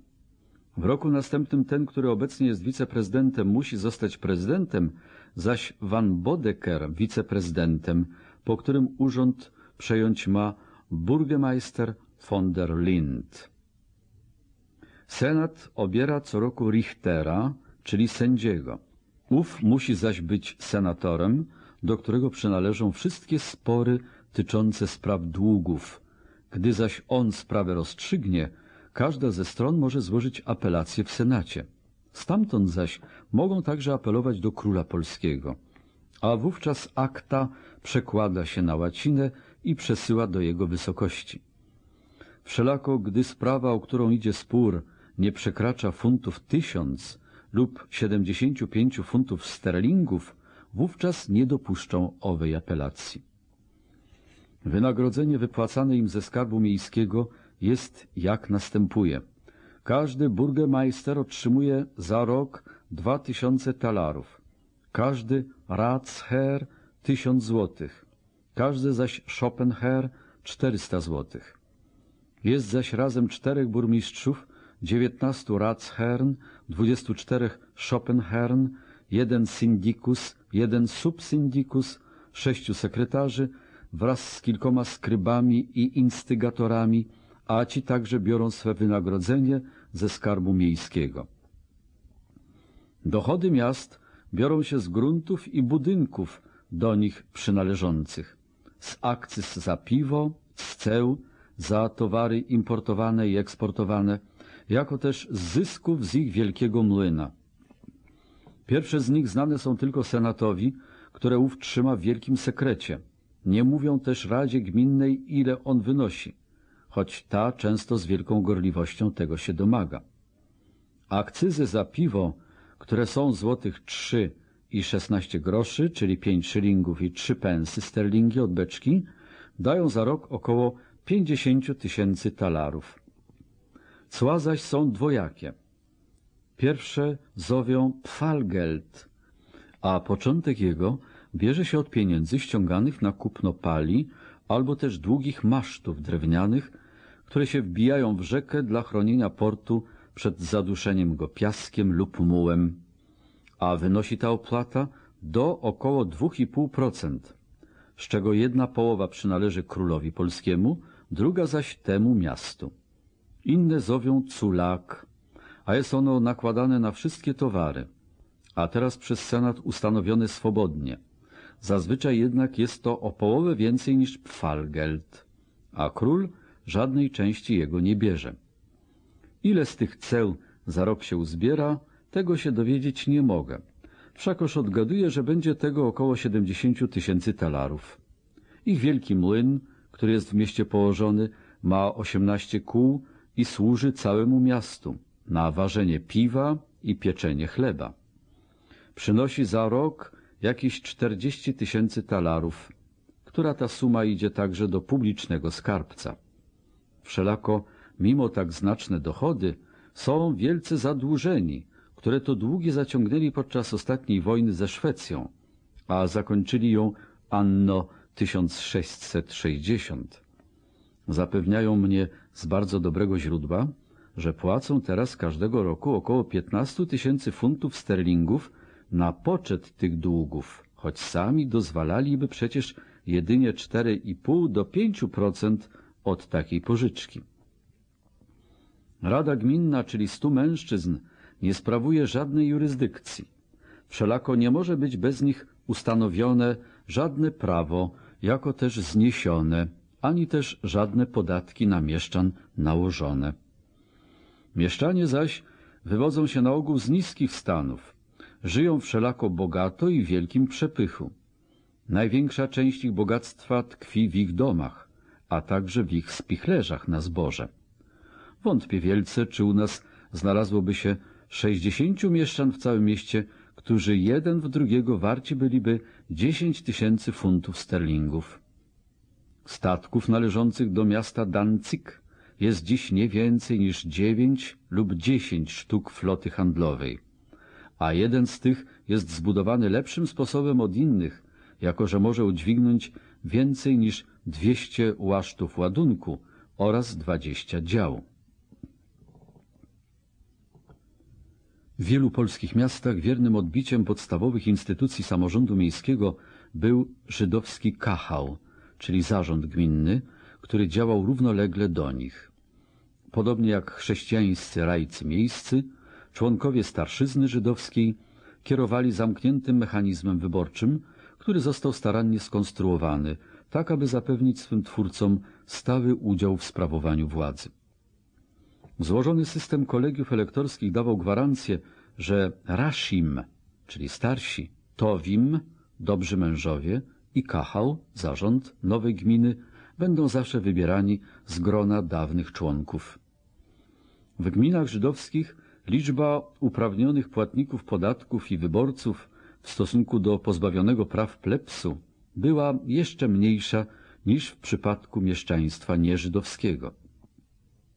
W kwestiach prawnych i ustrojowych starsze miasta często stawały się przykładem dla nowszych korporacji miejskich.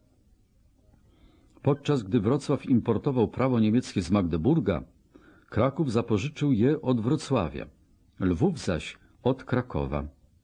Akty lokacyjne Chełmna, Kulm w Prusach Królewskich czy Środy Śląskiej, Neumarkt na Śląsku stanowiły lokalne wzory, na podstawie których formułowano późniejsze dokumenty. Decyzje starszych sądów działających na terenie większych miast, znane jako Urteils lub Ortele, służyły jako precedensy i pouczenia prawne udzielane sądom mniejszych miast. W XVI wieku krakowski system quadragintawiratu przeszczepiono na grunt kilku innych miast. Między innymi w roku 1577 wprowadzono go we Lwowie.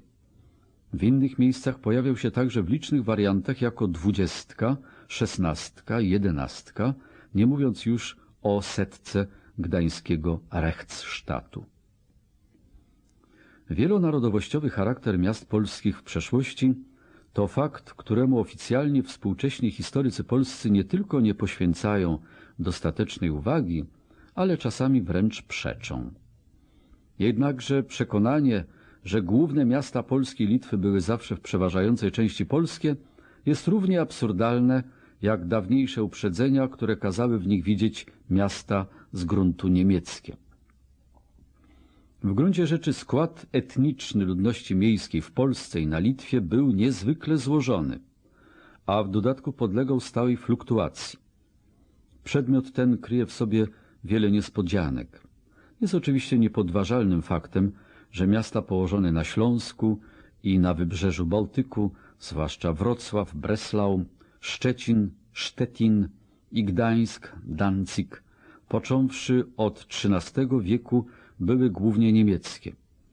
Może się natomiast wydać dziwne, że miasta średniowiecznej Małopolski miały także przeważnie niemiecki charakter, podczas gdy miasta Wielkopolski, położone w bliższym sąsiedztwie Niemiec, były przeważnie polskie.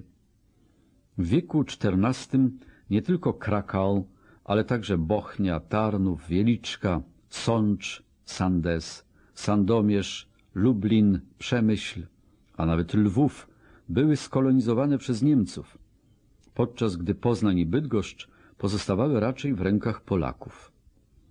W XVI wieku natomiast, gdy Kraków zaczął szybko przyjmować kulturę polską, Poznań dostał się w sferę silnych wpływów reformacji luterańskiej i stawiał pierwsze kroki na drodze do germanizacji. W latach 30. XVI wieku niedzielne nabożeństwa w kościele Najświętszej Maryi Panny w Krakowie odprawiano rano po polsku, po południu zaś po niemiecku.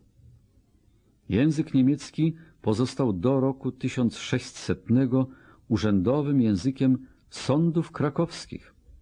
W tym samym czasie w Wilnie przedstawiciele czterech narodów Litwini, Polacy, Rusini i Niemcy kolejno pełnili funkcje starszych cechowych. W Lwowie ograniczenie praw obywatelskich do wyznawców religii rzymskokatolickiej stało się impulsem do przyswajania sobie kultury polskiej.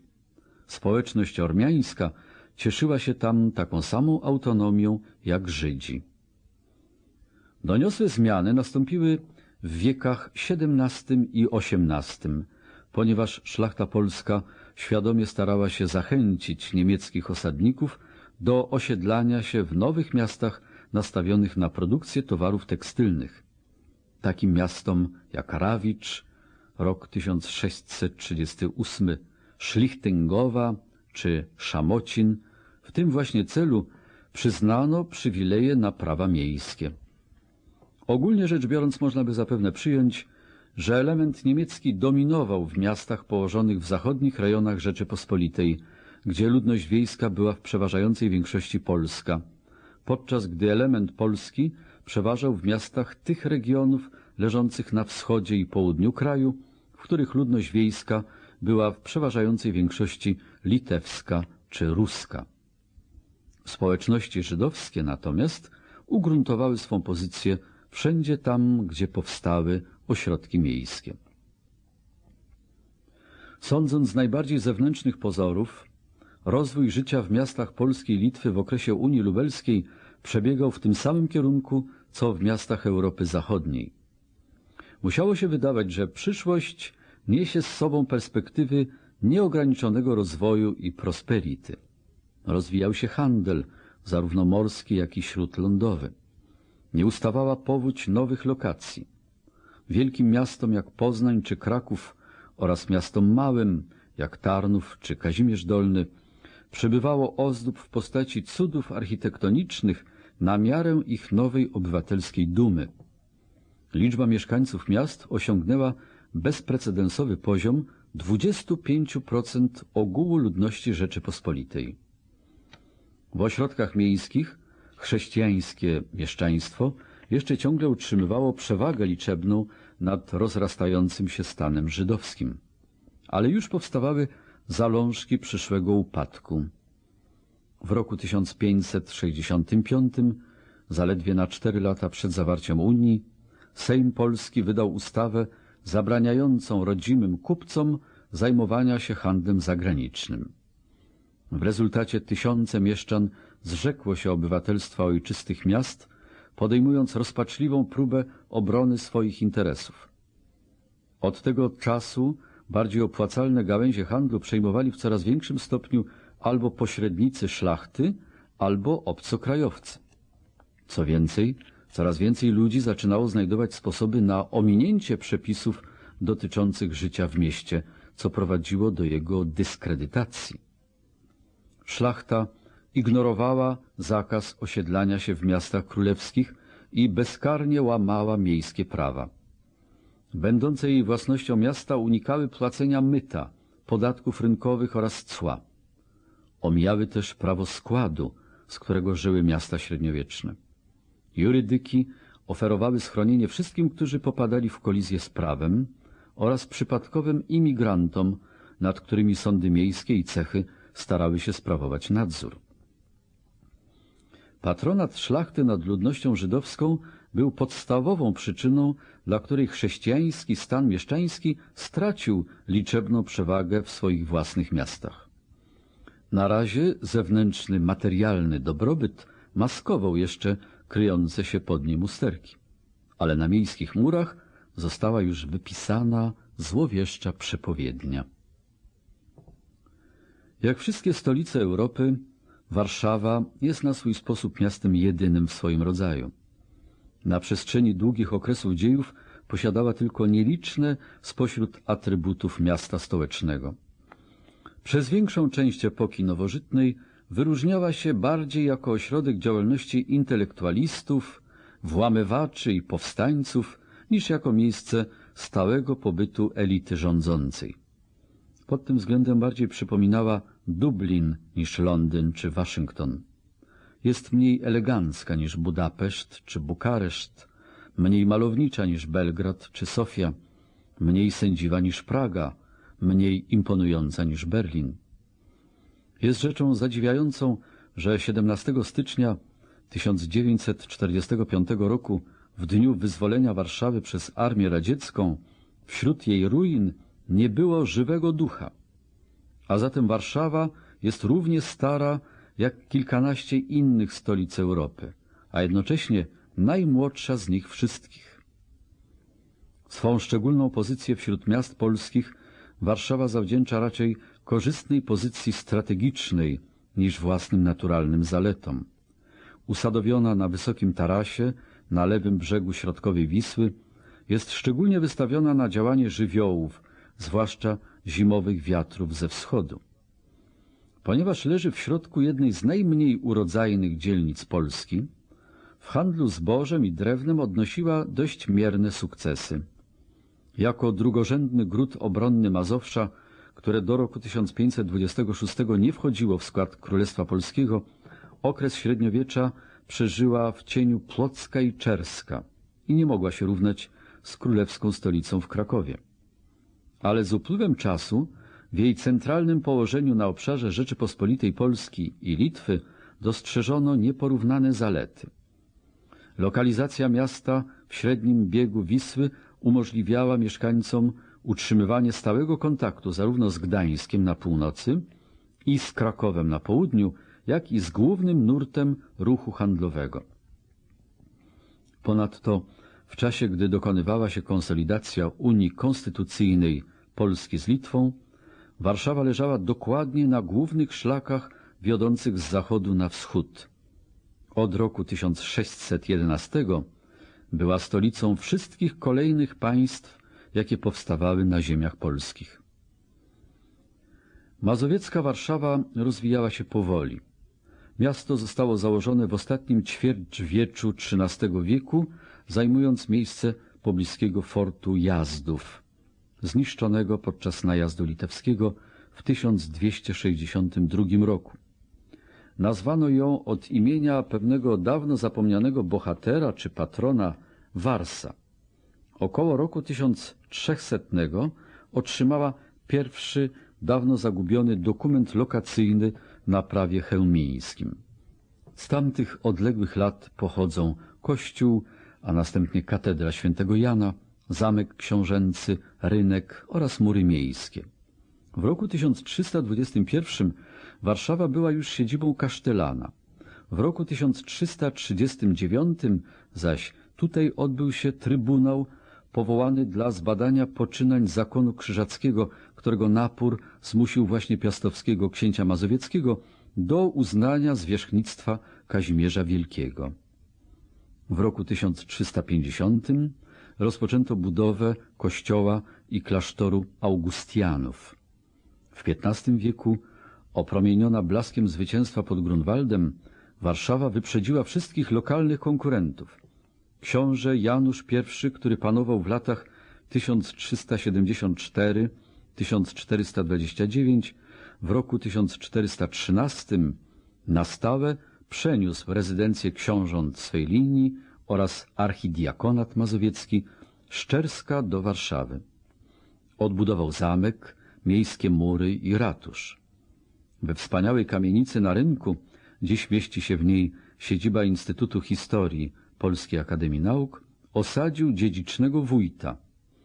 W roku 1408 zaś założył nowe miasto, które otrzymało własny dokument lokacyjny.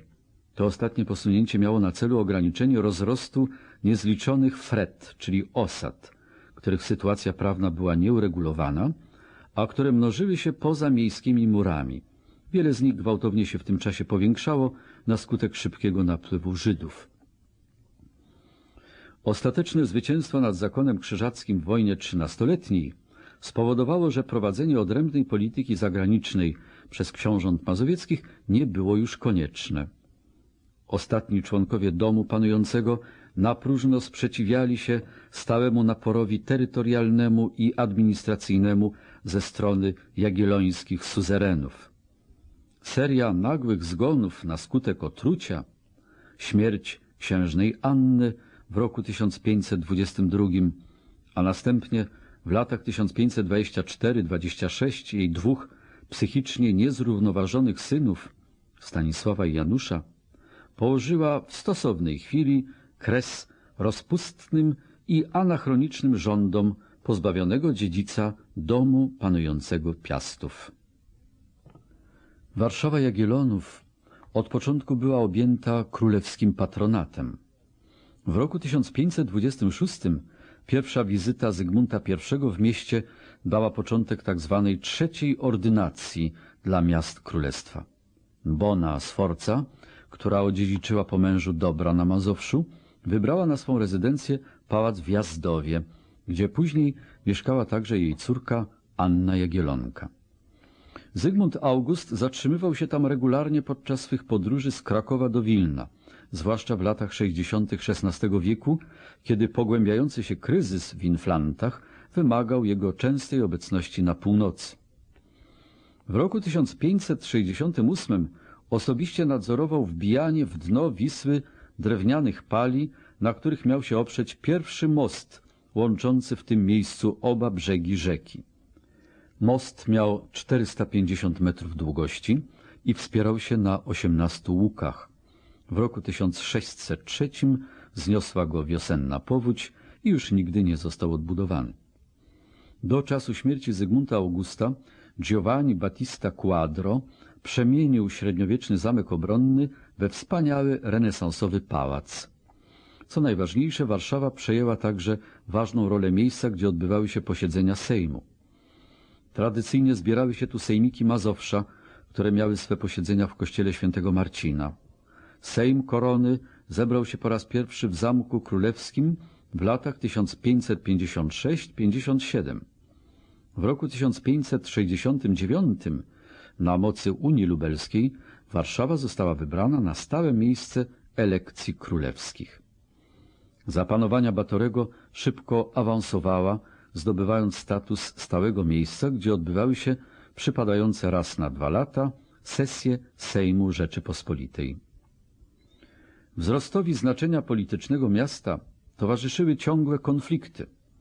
Rywalizację między patrycjatem i cechami dodatkowo komplikowała obecność w mieście Żydów, którzy w opinii chrześcijańskiej części ludności prowadzili swą działalność na przekór wszystkim ustalonym instytucjom. Ludność, która początkowo zamieszkiwała getto, po raz pierwszy wymienione w dokumentach z 1414 roku, została wprawdzie w roku 1483 przepędzona poza mury miejskie, ale niebawem powróciła do miasta. Trzeciej ordynacji z 1526 roku towarzyszył dekret de non tolerandis judeis, ale i on odniósł niewielki skutek. Od tego czasu getto rozrastało się i prosperowało na peryferiach miasta, na terenie między murami Starego Miasta a Nowym Miastem. Tymczasem cechy, które reprezentowały około 70 różnych gałęzi rzemiosła, energicznie broniły własnych przywilejów i monopoli. Walkom między cechmistrzami i czeladnikami towarzyszyły intrygi całych organizacji cechowych, wymierzone przeciwko klanom kupieckim oraz akcje wszystkich konkurencyjnych ugrupowań, które tworzyły wspólny front, sprzymierzając się przeciwko kupcom żydowskim zajmującym się nielegalnym handlem.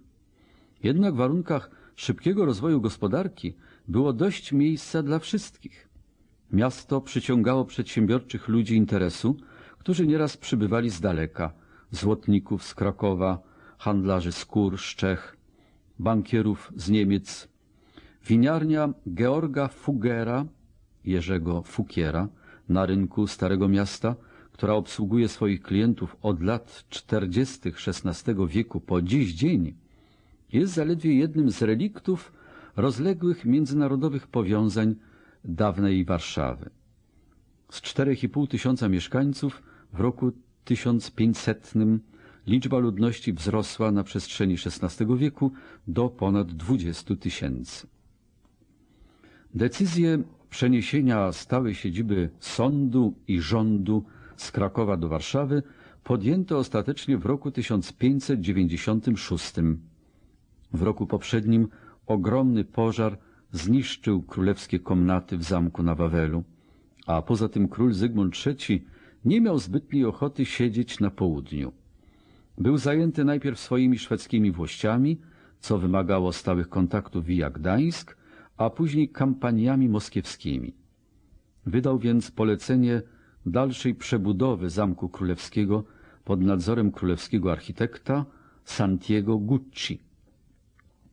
Chociaż prace trwały 20 lat, nowy zamek był gotowy na przyjęcie króla powracającego do stolicy w chwale zwycięstwa odniesionego pod Smoleńskiem w roku 1611 i stał się świadkiem aktu poddania się wziętego do niewoli cara rosyjskiego Wasyla Szujskiego.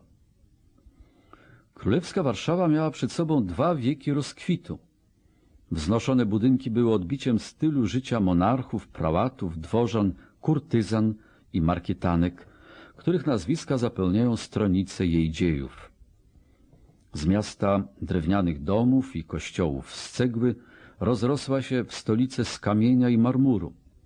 Ciągłemu upiększaniu Zamku Królewskiego, zwłaszcza przez dodanie okrągłej baszty z izbą senatorską, teatru i sali marmurowej, zapanowania wazów, towarzyszyła budowa licznych dodatkowych rezydencji. Siostra króla, Anna Waza, kazała wybudować pałac kazimierzowski, który jest dziś głównym budynkiem Uniwersytetu Warszawskiego. Jej bratanek Władysław IV zakończył budowę zamku ujazdowskiego na południowych krańcach miasta. Zasługą Sobieskiego było powstanie letniej rezydencji królowej na północy, na Marymoncie oraz wspaniałej Ville Nowe, Wilanów na południu. August II wybudował pałac i ogród Saski na zachodzie. Stanisław August zaś rozkoszny pałac łazienkowski od strony ujazdu. Pierwszy publiczny pomnik Warszawy, kolumna Zygmunta, wzniesiona przez Władysława IV na cześć ojca, górował nad krakowskim przedmieściem aż do chwili, gdy został zburzony w 1944 roku. Po wojnie został odbudowany. Kontreformacja pozostawiła po sobie niezatarte ślady. W 1602 roku kościół świętego Jana otrzymał barokową fasadę i krytą galerię, łączącą go z Zamkiem Królewskim. W roku 1608 jezuici uczcili nadejście pomyślnych dla siebie losów, wznosząc w sąsiedztwie tego kościoła wspaniałą świątynię z dwudziestoma marmurowymi ołtarzami. W roku 1623 franciszkanie reformaci wybudowali na miejscu dawnej drewnianej kaplicy kościół z kamienia, a w roku 1638 dominikanie wznieśli swój nowy kościół pod wezwaniem świętego Jacka. Wiele innych barokowych kościołów, których budowę rozpoczęto na początku XVII wieku, czekało na ukończenie jeszcze długo po zakończeniu okupacji szwedzkiej. Należał do nich kościół karmelitów, wybudowany w 1630 roku na krakowskim przedmieściu, oraz kościół Pijarów na ulicy Długiej 1681, klasztor sióstr Sakramentek wybudowany przez królową Marysieńkę na Nowym Mieście, kościół Kapucynów i kościół Świętego Krzyża 1696, dzieło Bellotiego, usytuowany w pobliżu Pałacu Kazimierzowskiego. Motywy dewocyjne stały się inspiracją dla Augusta II, który w latach 1724-31 zbudował Aleje Ujazdowskie, długą, prostą aleję, której lipy kryły w swym cieniu 28 kaplic stacji męki pańskiej. Za panowania Stanisława Augusta katolickie budowle Warszawy przyćmiła swą wspaniałością rotunda kościoła ewangelickiego, zaprojektowana w latach 1777-79 przez Szymona Bogumiła Cuga. Równie aktywnymi budowniczymi byli magnaci. W XVI wieku mieszczanie Warszawy często skarżyli się królowi na spustoszenie, jakie w ich ogrodach i domach, a także pośród ich żon i służby czyniły magnackie świty, z rozkazu marszałka koronnego przymusowo kwaterowane podczas sesji sejmowych. Dworacy najwyraźniej potrzebowali własnych domów w mieście. Blask pierwszych takich budowli Kazanowskich, Koniec Polskich, Krasińskich, Ossolińskich, Daniłowiczów czy Radziwiłłów szybko przyćmiło całe znakomite pokolenie magnackich pałaców z czasów panowania Sobieskiego, których projektantem był holenderski architekt Tilman van Gameren. Nowy Pałac Krasińskich, zamówiony przez referendarza koronnego Jana Dobrogosta Krasińskiego, czy też błękitny Pałac Potockich dorównywały rozmachem samemu Zamkowi Królewskiemu. W wieku XVIII wśród olśniewających elegancją punktów orientacyjnych stolicy znalazł się zbudowany na planie podkowy Pałac Mniszchów w 1714, przebudowany Pałac pod Blachą 1720, przylegający do Zamku Królewskiego, podarowany później księciu Poniatowskiemu przez jego królewskiego stryja, czy hotel Franciszka Bielińskiego z wnętrzami w stylu francuskiego rokoka. Magnatom miasto zawdzięczało w dużej mierze swą planową rozbudowę, zwłaszcza na terenie jurydyk, czyli dzielnic posiadających własne dokumenty lokacyjne i wyłączonych spod władzy miejskiej. Były one miniaturowymi replikami prywatnych miast magnackich na terenie kraju i każda z nich miała własną odrębną administrację. Jako pierwszy dał przykład w tej dziedzinie starosta Jan Grzybowski, który w roku 1610 otrzymał od króla przywilej na założenie Grzybowa. Wkrótce potem założono dziekankę w 1617 roku i Zadzikowską w 1638. Nowe Leszno 1648 należało do kalwińskiej rodziny leszczyńskich i było gniazdem dysydenckiej polityki. Muranów wziął swą nazwę od nazwiska nadwornego architekta sobieskiego Wenecjanina Bellotti da Murano. Położony na prawym brzegu Wisły Skaryszew, własność biskupa Plockiego, stał się zaczątkiem przyszłego przedmieścia Warszawy, Pragi. Leżący na południu Czerniaków należał do Stanisława Herakliusza Lubomirskiego, który ufundował tam klasztor Bernardynów oraz wybudował sztuczne jezioro i rodzinne mauzoleum. Wielopole, położone w części zachodniej, było dziełem kanclerza wielkiego koronnego Jana Wielopolskiego. Tamka, Aleksandria, Kapitulna, Kałeczyn, Bożydar i Ordynacka rozciągały się wzdłuż dzisiejszego Nowego Światu. Ostatnia z warszawskich jurydyk, wybudowana w 1739 roku przez wojewodę podolskiego Jana Jakuba Zamojskiego, leżała wokół przebudowanego pałacu Gnińskich, obecnie siedziba Towarzystwa imienia Fryderyka Chopina. Bielino założył marszałek wielki koronny Franciszek Bieliński w rejonie dzisiejszej ulicy Marszałkowskiej.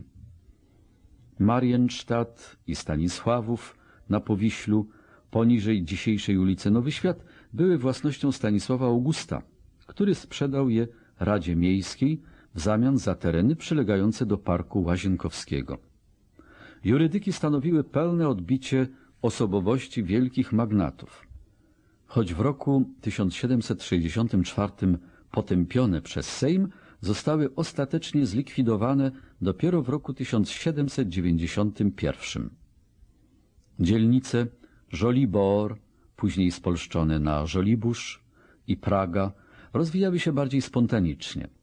Pierwsza, skupiona wokół klasztoru Pijarów i baraków Gwardii Królewskiej, stała się mieszczańskim przedmieściem pełnym eleganckich willi i ogrodów należących do wysokich urzędników. Druga rozciągała się na południe i wschód. Położoną na prawym brzegu Wisły Saską Kępę, dawną holenderską osadę rolniczą, zwaną niegdyś Holendry, upiększył letni pawilon Augusta III. Przyciągała ona coraz więcej zamożnych rezydentów. Wschodnie krańce Pragi, położone wzdłuż drogi na Radzymin, Stanisław August oddał w dzierżawę żydowskiemu handlarzowi bydłem Szmulowi Zbytkowerowi.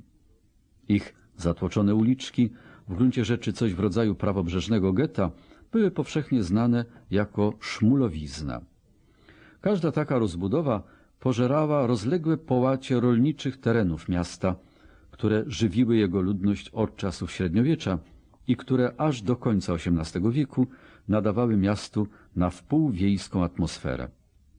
Z wyjątkiem prowizorycznego mostu pontonowego, który począwszy od roku 1776 instalowano każdego lata pod kierownictwem cieszącego się złą sławą Adama Ponińskiego, obu części miasta nie łączył żaden stały most.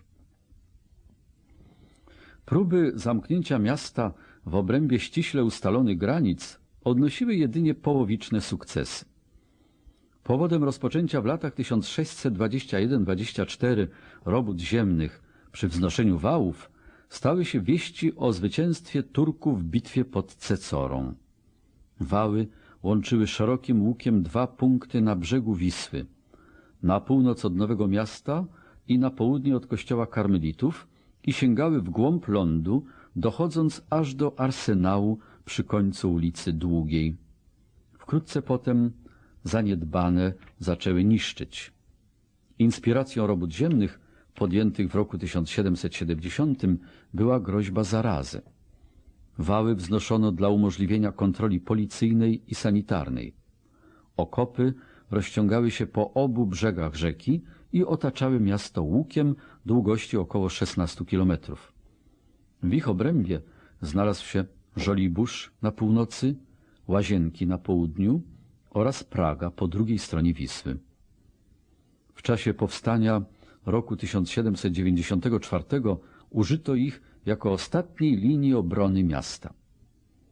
W XIX wieku pełniły funkcję naturalnej granicy, której nie mogły przekraczać linie kolejowe, elektrownie, gazownie oraz miejskie cmentarze.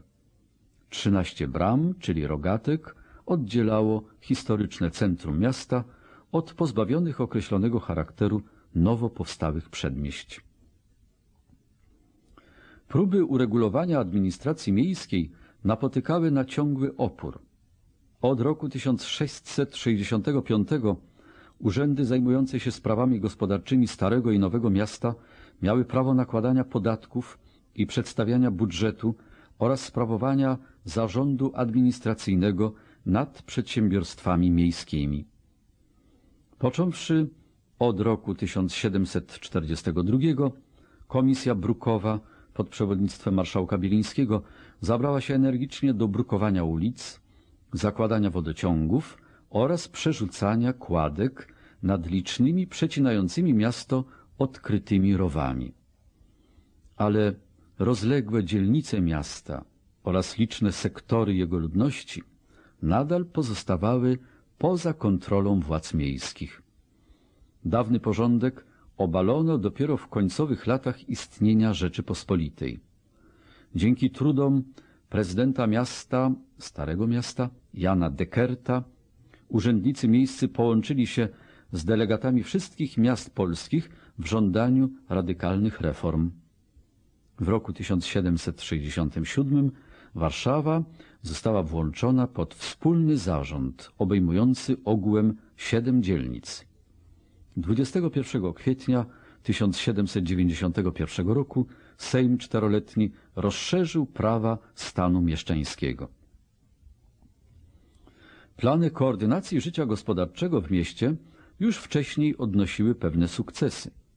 W latach 1691-95 wybudowano imponującą halę targową wzorowaną na paryskim Palais Royal, gdzie pod jednym dachem miał się koncentrować handel detaliczny artykułami zbytku i towarami importowanymi. Nazwano ją Marieville, Marieville, podobnie jak Marymont na cześć Marysienki Sobieskiej.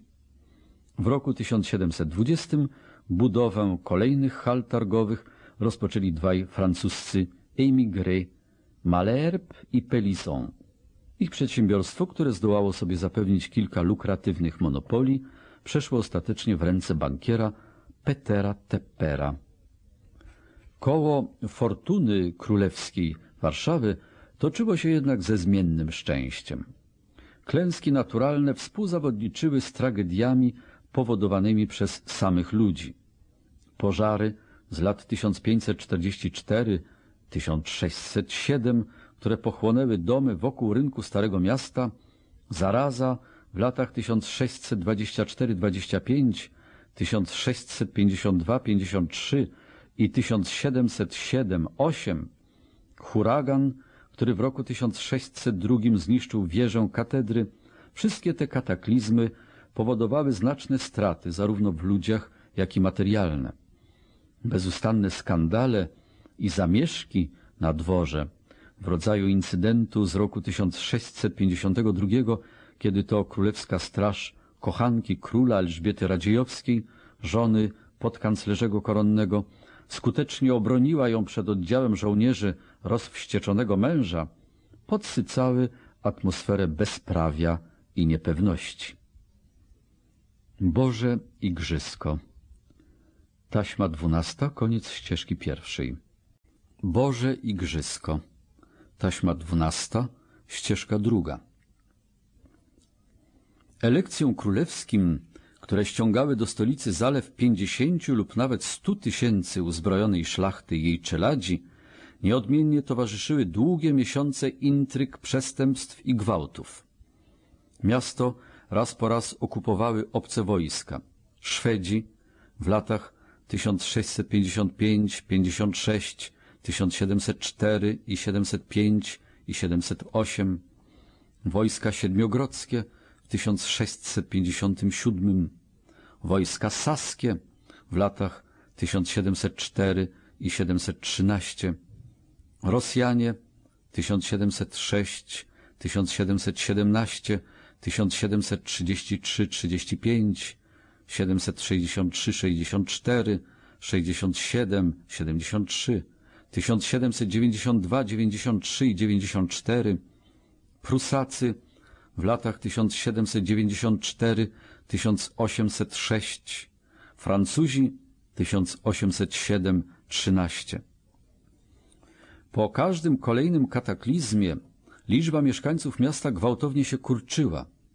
Z 18 tysięcy w roku 1655 spadła do 6 tysięcy w 1659, a po trzecim rozbiorze ze 150 tysięcy w roku 1795 do 70 tysięcy w roku 1806. Mimo to rozwój Warszawy tworzył wyraźny kontrast z sytuacją innych miast Rzeczypospolitej. Mimo klęski niepowodzeń w zasadzie rozwijała się i rozrastała w czasach, gdy większość z jej konkurentów doświadczała już katastrofalnego upadku. Ruinę miast w Polsce i na Litwie, podobnie upadek gospodarczy całej Rzeczypospolitej, łatwiej jest opisać niż wyjaśnić. Począwszy od roku 1648 armie najejszcze straszliwie pustoszyły kraj, zwłaszcza w czasie wojen szwedzkich w latach 1655-60 i podczas Wielkiej Wojny Północnej w latach 1700-1721. Te nieliczne miasta, którym udało się uniknąć zagłady podczas pierwszego najazdu, nieuchronnie padały ofiarą drugiego. Mniejsze ośrodki, które nie miały możliwości skutecznej obrony, były szczególnie narażone na zniszczenie. Lustracje dóbr królewskich, przeprowadzone po każdej z wojen, dają pewne pojęcie o pogarszających się warunkach. Aby zacytować jeden tylko drobny przykład, w roku 1661 miasto Jaworów na Rusi, dzierżawione w tym czasie przez chorążego koronnego Jana Sobieskiego, nie było nawet w stanie przedstawić rejestrów.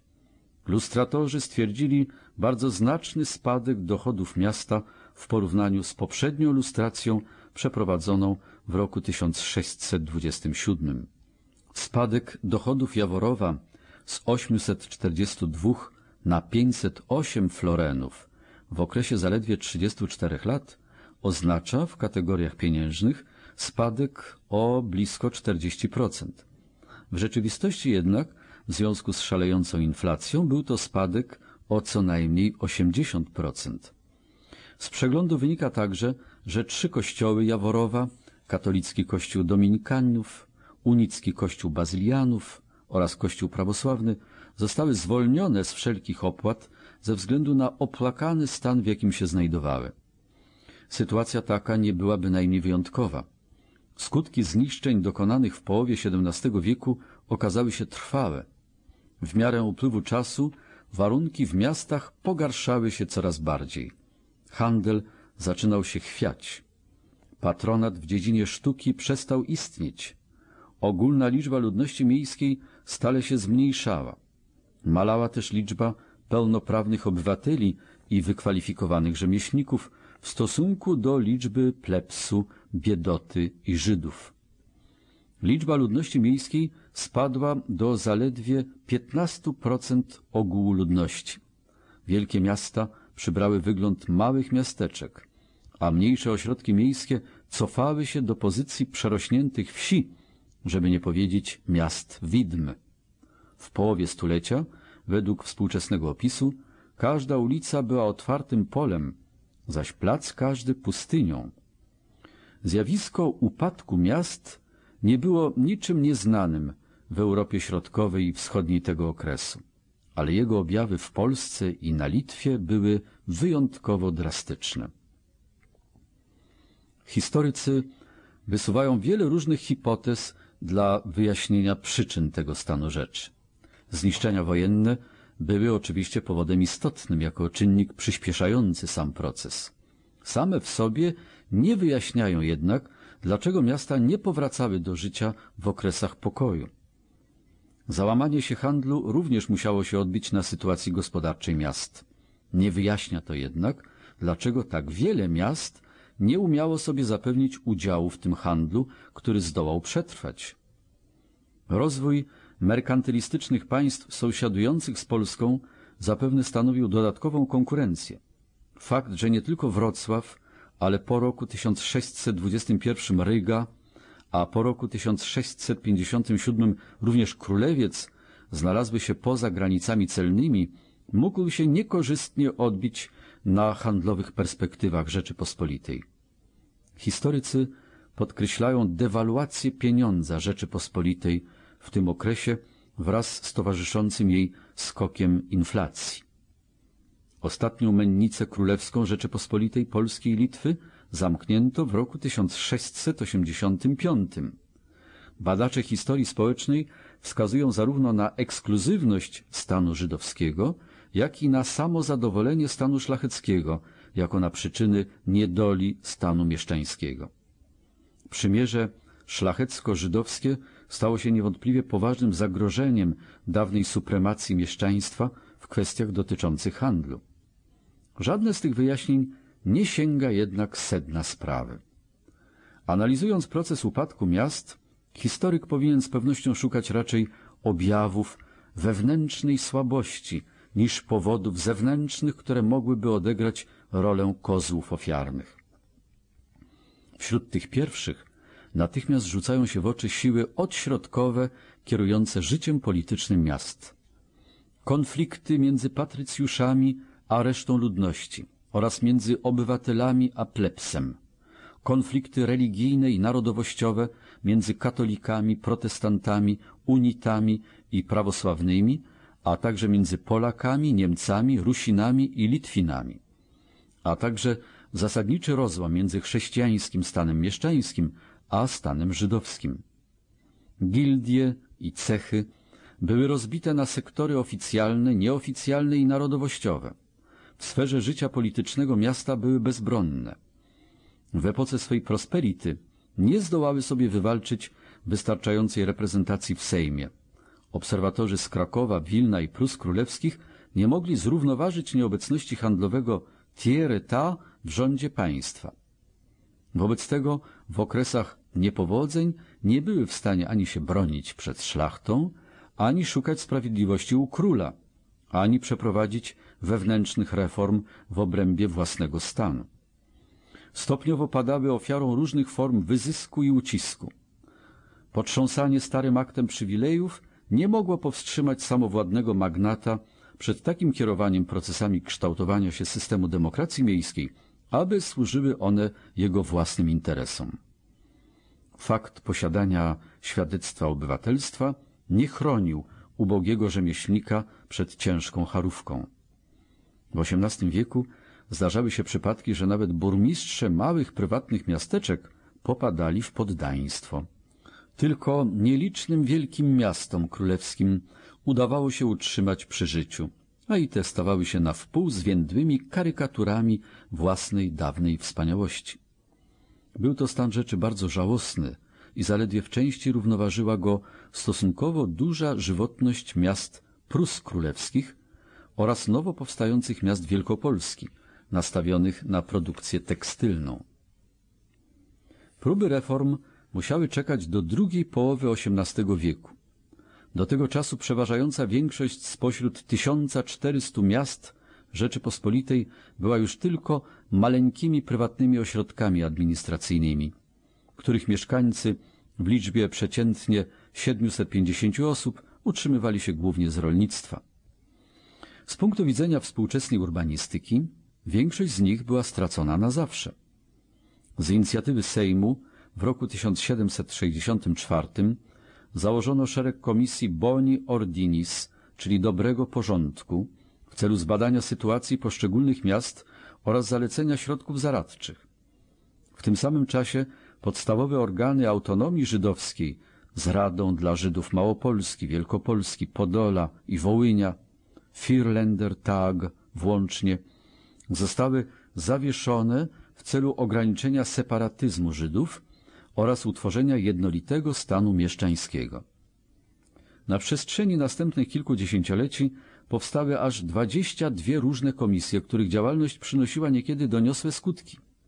I tak na przykład w Warszawie w roku 1767 zniesiono odrębność jurysdykcji Starego i Nowego Miasta oraz zlikwidowano szlacheckie jurydyki. Zostały one zastąpione przez połączone sądy i radę pod przewodnictwem nowego prezydenta miasta. W Krakowie dawną korporację zniesiono w roku 1775. Na jej miejsce utworzono nową, sprawną Radę Miejską, złożoną z dwunastu obieralnych członków, sprawujących nadzór nad czterema departamentami publicznymi sądowym, ekonomii, opieki i policji. Przez krótki okres wydawało się, że miasta Polski i Litwy zdołają powrócić do dawnego dobrobytu gospodarczego i niezależności politycznej. Odrodziło się życie intelektualne i artystyczne. Ponownie rozpoczęto pracę przy wznoszeniu budowli publicznych. Synowie mieszczan tłumnie uczęszczali do szkół Komisji Edukacji Narodowej i zaczęli w sposób rozumny interesować się własnymi prawami i własną przyszłością. W roku 1791 w efekcie czynnej kampanii prowadzonej przez prezydenta Warszawy Jana Dekerta uzyskano prawne potwierdzenie dopuszczenia mieszczan do Sejmu oraz zezwolenia im na obejmowanie urzędów publicznych i nabywanie dóbr ziemskich. Był to jednak triumf pozorny. Dzieło Sejmu Czteroletniego zostało unicestwione jeszcze zanim zdołało przynieść pierwsze owoce. Na mocy trzeciego rozbioru w 1795 roku miasta Polski i Litwy zostały zdane na łaskę poszczególnych zaborców, których tradycyjne przekonania na temat roli miast w ramach panującego porządku politycznego bardzo się różniły od tradycyjnych poglądów Rzeczypospolitej. Rozdział dziesiąty Anarchia Demokracja szlachecka Na przestrzeni okresu nowożytnego głównym elementem historii większości krajów europejskich jest rozwój państwa. Powstawanie państw narodowościowych w XV i XVI wieku, skłonność do absolutyzmu w wieku XVII i do absolutyzmu oświeconego w wieku XVIII oraz dążenie do zaprzęgnięcia władzy państwowej w służbę programów społecznych, gospodarczych i oświatowych w wiekach XIX i XX, wszystkie te procesy przebiegały bez zwracania większej uwagi na przejawy oporu i odmiennych zapatrywań. Do czasu I wojny światowej argumenty przeciwników tej tendencji dotyczyły w istocie przede wszystkim kierunków, metod i priorytetów rozwijającej się władzy państwowej, a jedynie w rzadkich przypadkach dotykały podstawowego pytania o to, czy władza państwowa jest w ogóle sama w sobie czymś pożądanym lub koniecznym. Dopiero po dwóch wojnach światowych które spowodowały nieznany dotąd ogrom zniszczeń i po doświadczeniu skutków tych rządów, które pochłonęły miliony ofiar ludzkich, okrucieństwa i nadużycia popełniane przez państwo, dały początek zakrojonemu na szerszą skalę uczuciu zażenowania wobec osiągnięć politycznych minionego pięćsetlecia. W tym kontekście analiza funkcjonowania jednego z bardzo nielicznych państw, których silne tradycje bezustannie przeciwstawiały się dążeniom władz centralnych, może się okazać pouczająca. W Rzeczypospolitej Polskiej Litwy, która ukształtowała się w okresie od zawarcia Unii w roku 1569 do trzeciego rozbioru w roku 1795, anarchizm polityczny stał się jednym z przewodnich ideałów demokracji szlacheckiej. Jej slogan Nie rządem Polska stoi zawiera w sobie paradoks, który mógłby podziwiać sam Proudhon.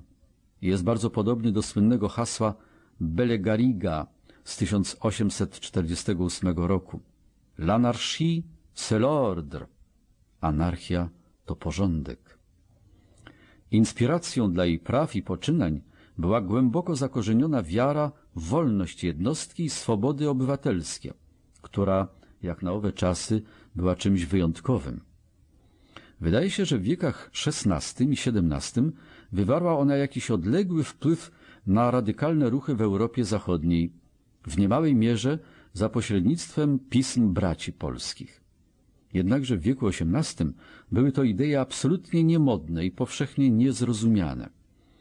W epoce oświecenia słowa anarchii używano jako obraźliwego epitetu, równoznacznego z chaosem i terrorem.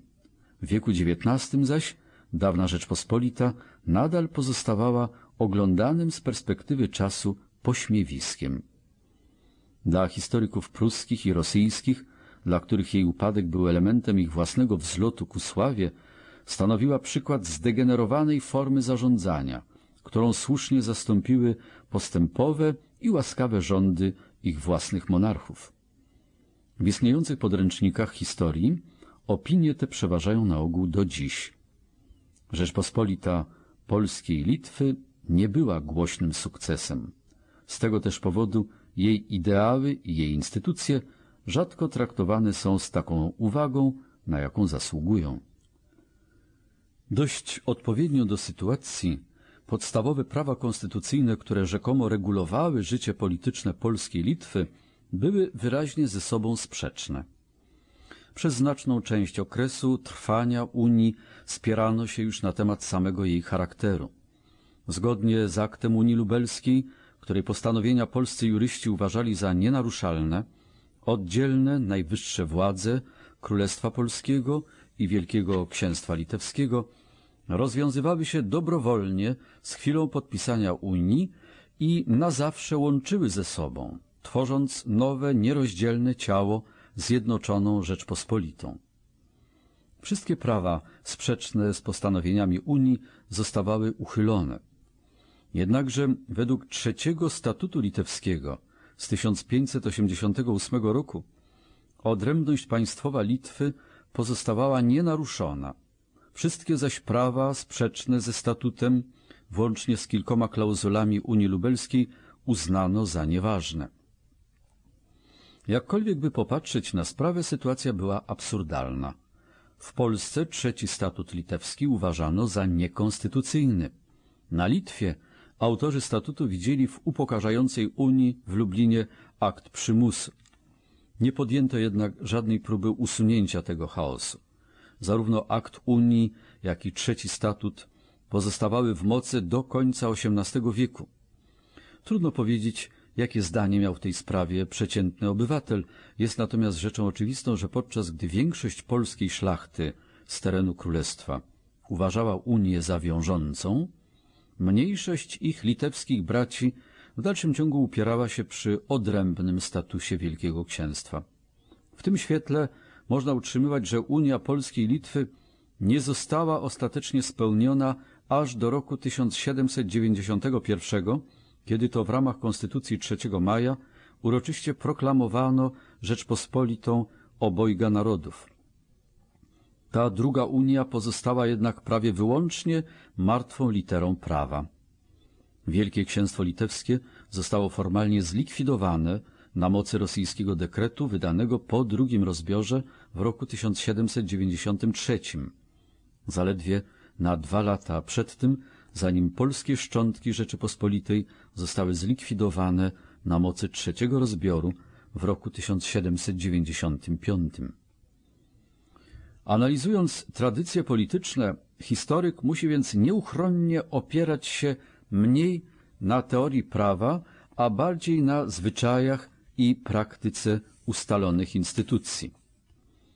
Podstawową jednostką życia politycznego w Polsce i na Litwie był sejmik. Zarówno ta nazwa, jak i nazwa sejm wywodzą się od starego czeskiego słowa sejmować, zbierać się lub zwoływać. Wykrystalizował się na przestrzeni XV wieku z wcześniejszych form spotkań organizowanych przez szlachtę przeważnie w celach wojskowych i przekształcił się w stałą instytucję doradczą we wszystkich prowincjach królestwa, a później Rzeczypospolitej. Moment przełomowy w jego dziejach nadszedł w roku 1454 w Nieszawie, na początku II wojny krzyżackiej, kiedy to król zgodził się przyjąć zasadę, że nie będzie ani zwoływał wojska, ani też nakładał podatków bez uprzedniej konsultacji ze szlachtą. Od tego czasu szlachta każdej dzielnicy spotykała się w krótkich odstępach czasu dla omówienia własnych interesów w dziedzinie polityki i ustawodawstwa oraz rozważenia polityki króla. Gdy z biegiem czasu ustaliła się instytucja Sejmu i Trybunału Koronnego, każdy sejmik ziemski wyznaczał delegatów, którzy mieli dbać o lokalne interesy swojej ziemi w okresach działalności centralnych organów ustawodawczych i sądowych. W XVI wieku odbywały się już cztery rodzaje spotkań, nieraz w tym samym czasie, nieraz zaś kolejno. Sejmik poselski był zwoływany w celu wybrania dwóch posłów, których zadaniem było przekazywanie Sejmowi instrukcji od szlachty danej prowincji.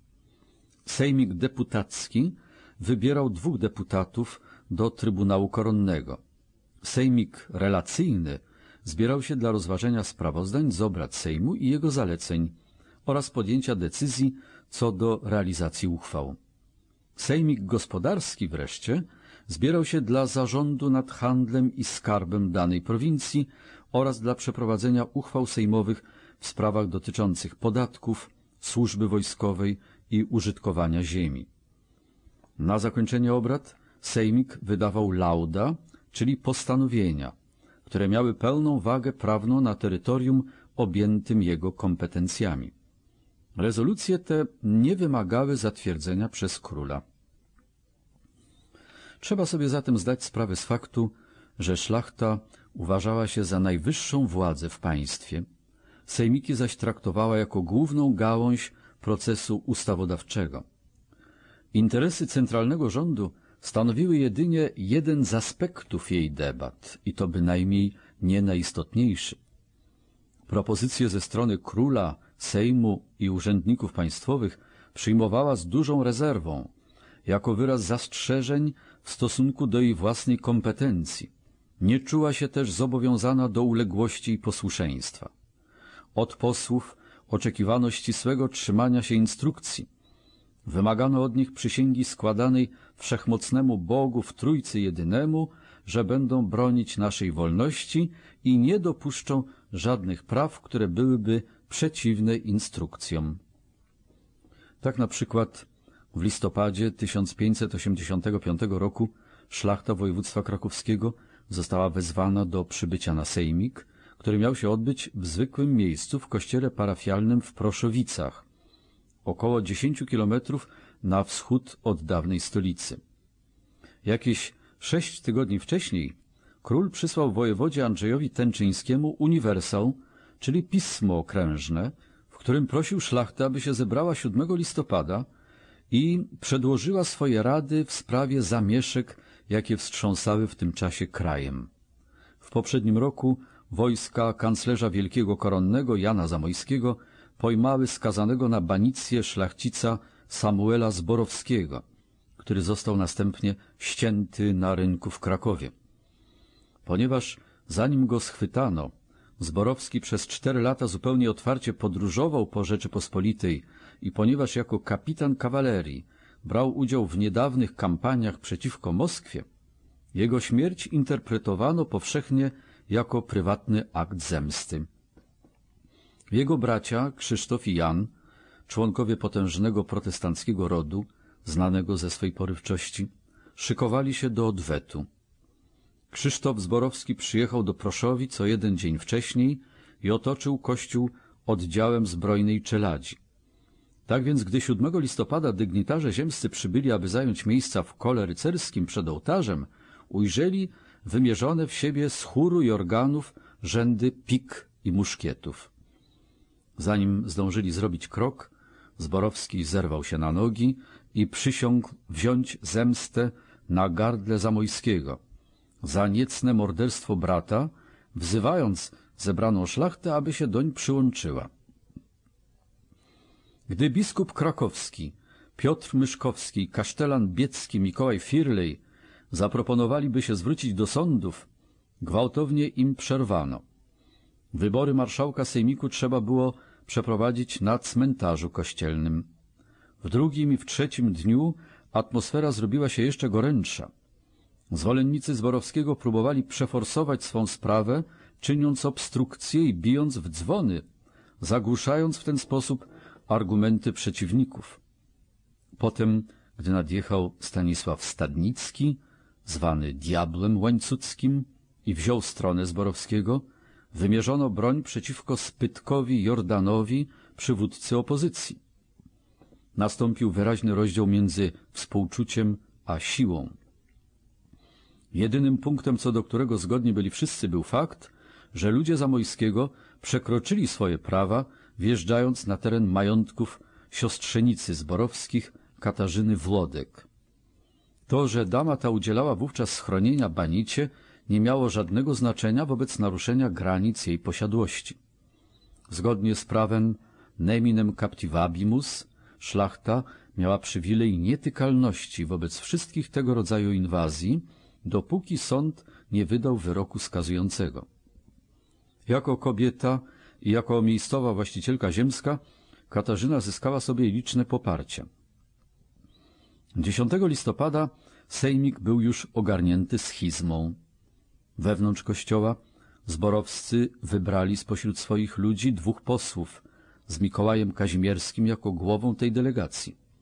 Na zewnątrz, na cmentarzu kościelnym, opozycja wybrała drugą ekipę, na której czele stanął Spytek Jordan. Z największym trudem udało się namówić rywalizujące grupy, aby podjęły wspólną rezolucję i dokonały wyboru pisarza dla spisania instrukcji. Ostatecznie spośród 37 punktów instrukcji tylko jeden dotyczył zborowskich. Punkt numer 20 zalecał posłom złożenie w Sejmie protestu przeciwko naruszeniu posiadłości wdowy Wlotkowej oraz domagania się sprawiedliwego przesłuchania dla Zborowskich. Partykularny, prowincjonalny charakter instrukcji sejmików ziemskich daje obraz najżywszych trosk szlachty. W roku 1667 Jan Chryzostom Pasek pełnił funkcję marszałka sejmiku w Rawie na Mazowszu.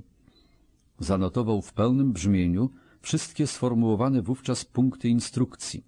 Chociaż był to okres zamieszek wywołanych rokoszem Lubomirskiego i słabością władzy króla Jana Kazimierza, szlachta prowincji wykazała niezwykłe wprost zainteresowanie pieniackimi drobiazgami. Instrukcja Ich mościom, panom, posłom ziemi rawskiej, jegomości panu Adamowi Nowowiejskiemu, wiceinstygatorowi koronnemu, sędziemu grodzkiemu rawskiemu i jegomości panu Anselmowi Piekarskiemu, cześnikowi rawskiemu, zgodnie obranym na Sejm dwuniedzielny z koła rycerskiego Dana. Wszystkiemu jawno to światu, jak ubolewać cała ojczyzna musi, wziąwszy przed oczy, w jak ciężkie przez nieżyczliwe malewolorum conatus zachodzi labirynty, gdy w tak niebezpiecznym, zostawująca paroksyzmie, miasto pociechy, niewdzięczność i żadnej w obronie swojej przez rozerwane sejmy nie odnosi nadzieje.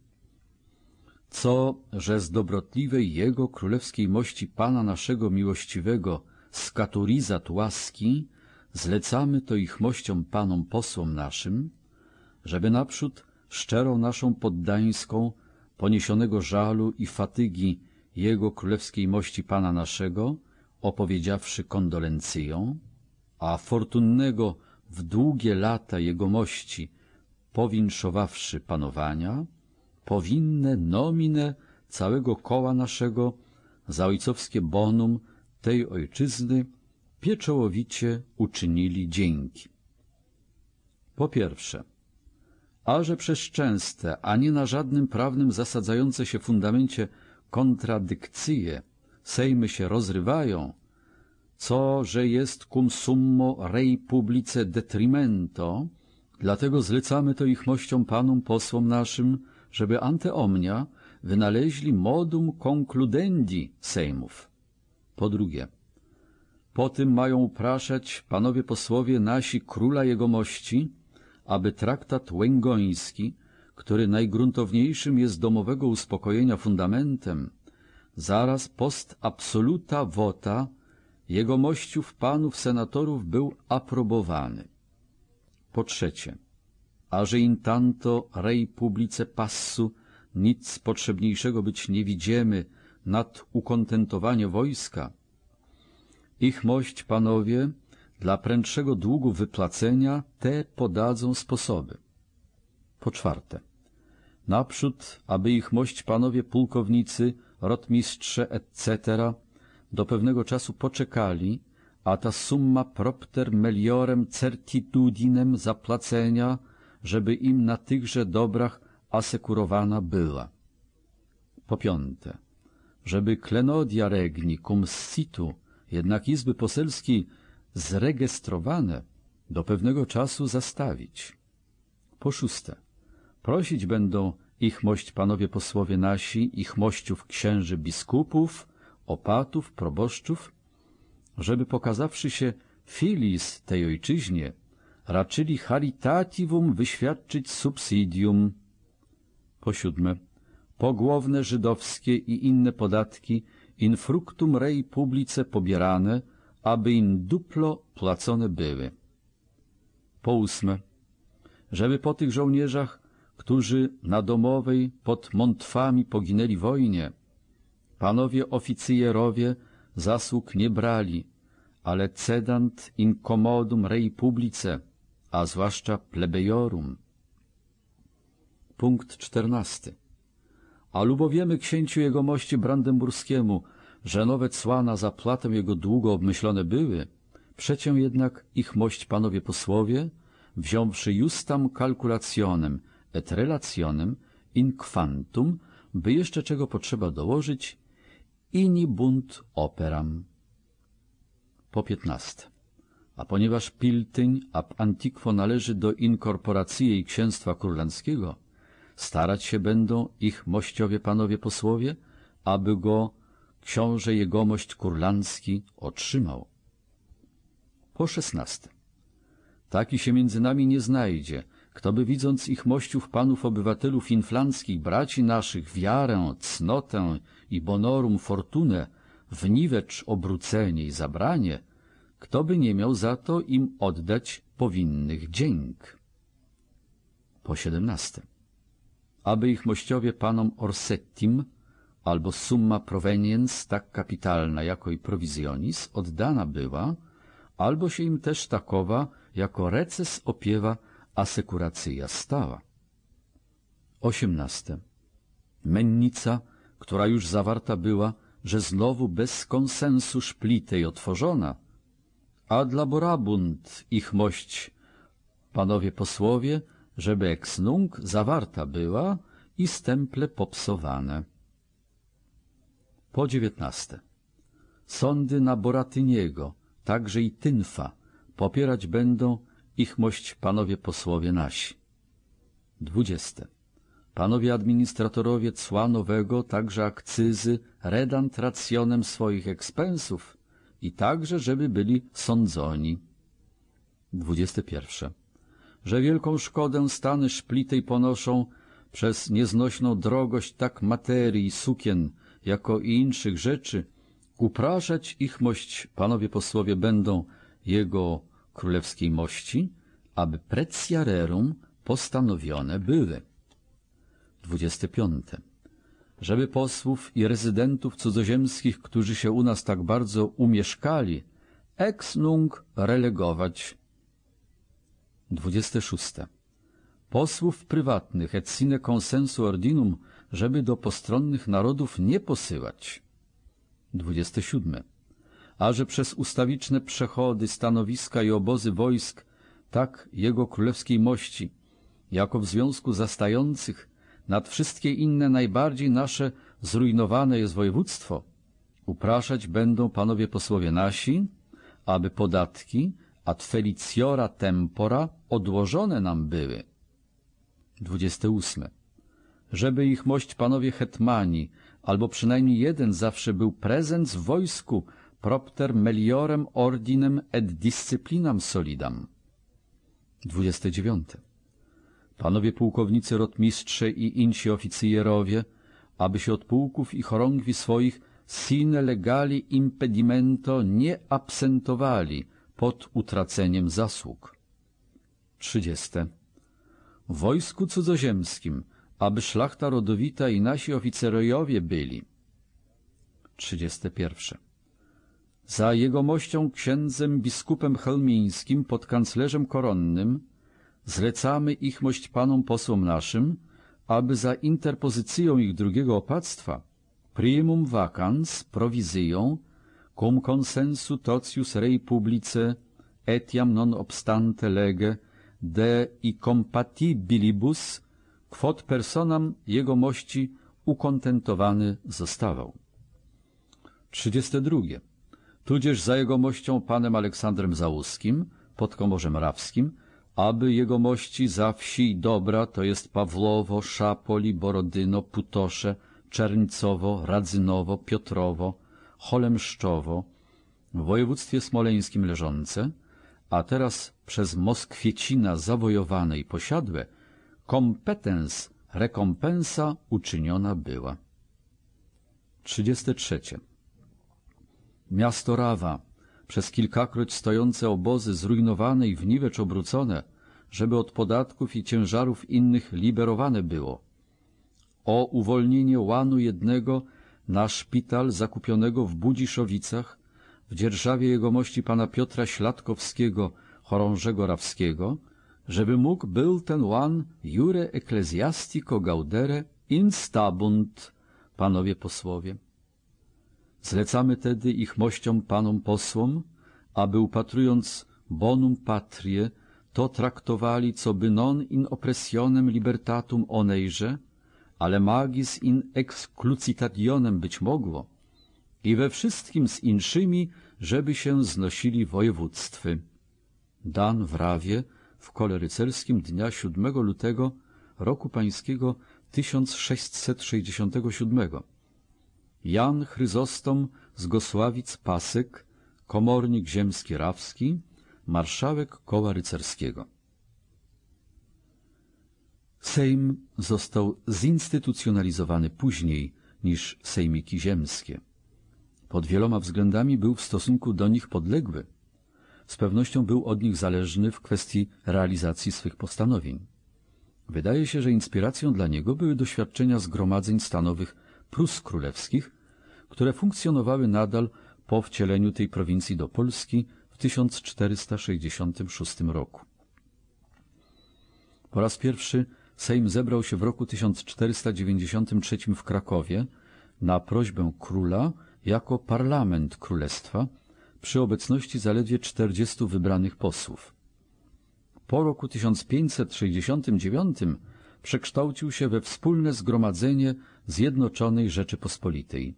Składał się z dwóch izb Senatu, złożonego ze 140 senatorów oraz Izby Poselskiej, złożonej ze 170 posłów. 122 z Królestwa i 48 z Wielkiego Księstwa. Senat składał się z najwyższych urzędników kościelnych i państwowych, dwóch arcybiskupów, trzynastu biskupów rzymskokatolickich, czterech marszałków, czterech kanclerzy, dwóch podskarbich, 31 wojewodów, 83 kasztelanów, starosty Żmudzkiego. Czterech hetmanów było jedynymi wysokimi urzędnikami, którzy nie mieli rangi senatora. Przewodniczył mu marszałek wielki koronny, a sesje odbywały się w obecności króla. Wziął swe początki od średniowiecznej Rady Królewskiej, a poza funkcją Izby Prawodawczej utrzymywał swą początkową funkcję najwyższego organu władzy wykonawczej. Na czas między sesjami mianował szesnastu senatorów rezydentów, którzy pozostawali przy królu i zajmowali się bieżącymi sprawami rządu. 140 członków Senatu było zorganizowanych według dawnej zasady starszeństwa. Zasiadali w prostokątnej sali obrad. Po jednej stronie król na swym tronie, po drugiej biskupi na fotelach, po bokach urzędnicy państwowi i wojewodowie w fotelach, z tyłu sali kasztelanowie. W Izbie Poselskiej zasiadało z reguły po dwóch posłów z każdego sejmiku ziemskiego oraz dwóch posłów z miasta Krakowa. W wiekach XVII i XVIII, gdy w Sejmie nadal zasiadali przedstawiciele ziem utraconych przez Rzeczpospolitą i gdy niektóre prowincje, na przykład Prusy Królewskie, przysyłały aż po ośmiu i więcej posłów, początkowo liczba 170 wzrosła do około 190 w połowie XVII wieku, a w roku 1764 wyjątkowo aż do 236. Przewodniczył marszałek Sejmu, wybierany przez posłów na początku każdego posiedzenia. Zgodnie z artykułami henrykowskimi Sejm miał się odbywać przynajmniej raz na dwa lata. W okresie od roku 1717 do 1768 terminy sesji ustalono na długi czas z góry, zazwyczaj na pierwszy poniedziałek po dniu świętym Michała, co drugi rok. Jeśli te sesje, Sejm walny, trwały pełne sześć tygodni i odbywały się w normalnym okresie kadencji, zwane były Sejmem ordynaryjnym. Natomiast jeśli Sejm zwołany był przez króla, w razie pilnej potrzeby na okres krótszy, był to Sejm ekstraordynaryjny. Z chwilą śmierci króla Sejm był automatycznie zwoływany przez prymasa, który obejmował funkcję interrexa, czyli regenta. Jego zadaniem było przygotowanie wyborów następcy. Sesję taką nazywano Sejmem konwokacyjnym. Na Sejmie elekcyjnym przed wyborem nowego króla układano i zatwierdzano zobowiązania elekta sformułowane w pakta konwenta. Norman Davis. Boże Igrzysko. Taśma dwunasta Koniec ścieżki drugiej. Norman Davis. Boże Igrzysko. Taśma trzynasta Ścieżka pierwsza. Następnie odbywał się Sejm koronacyjny.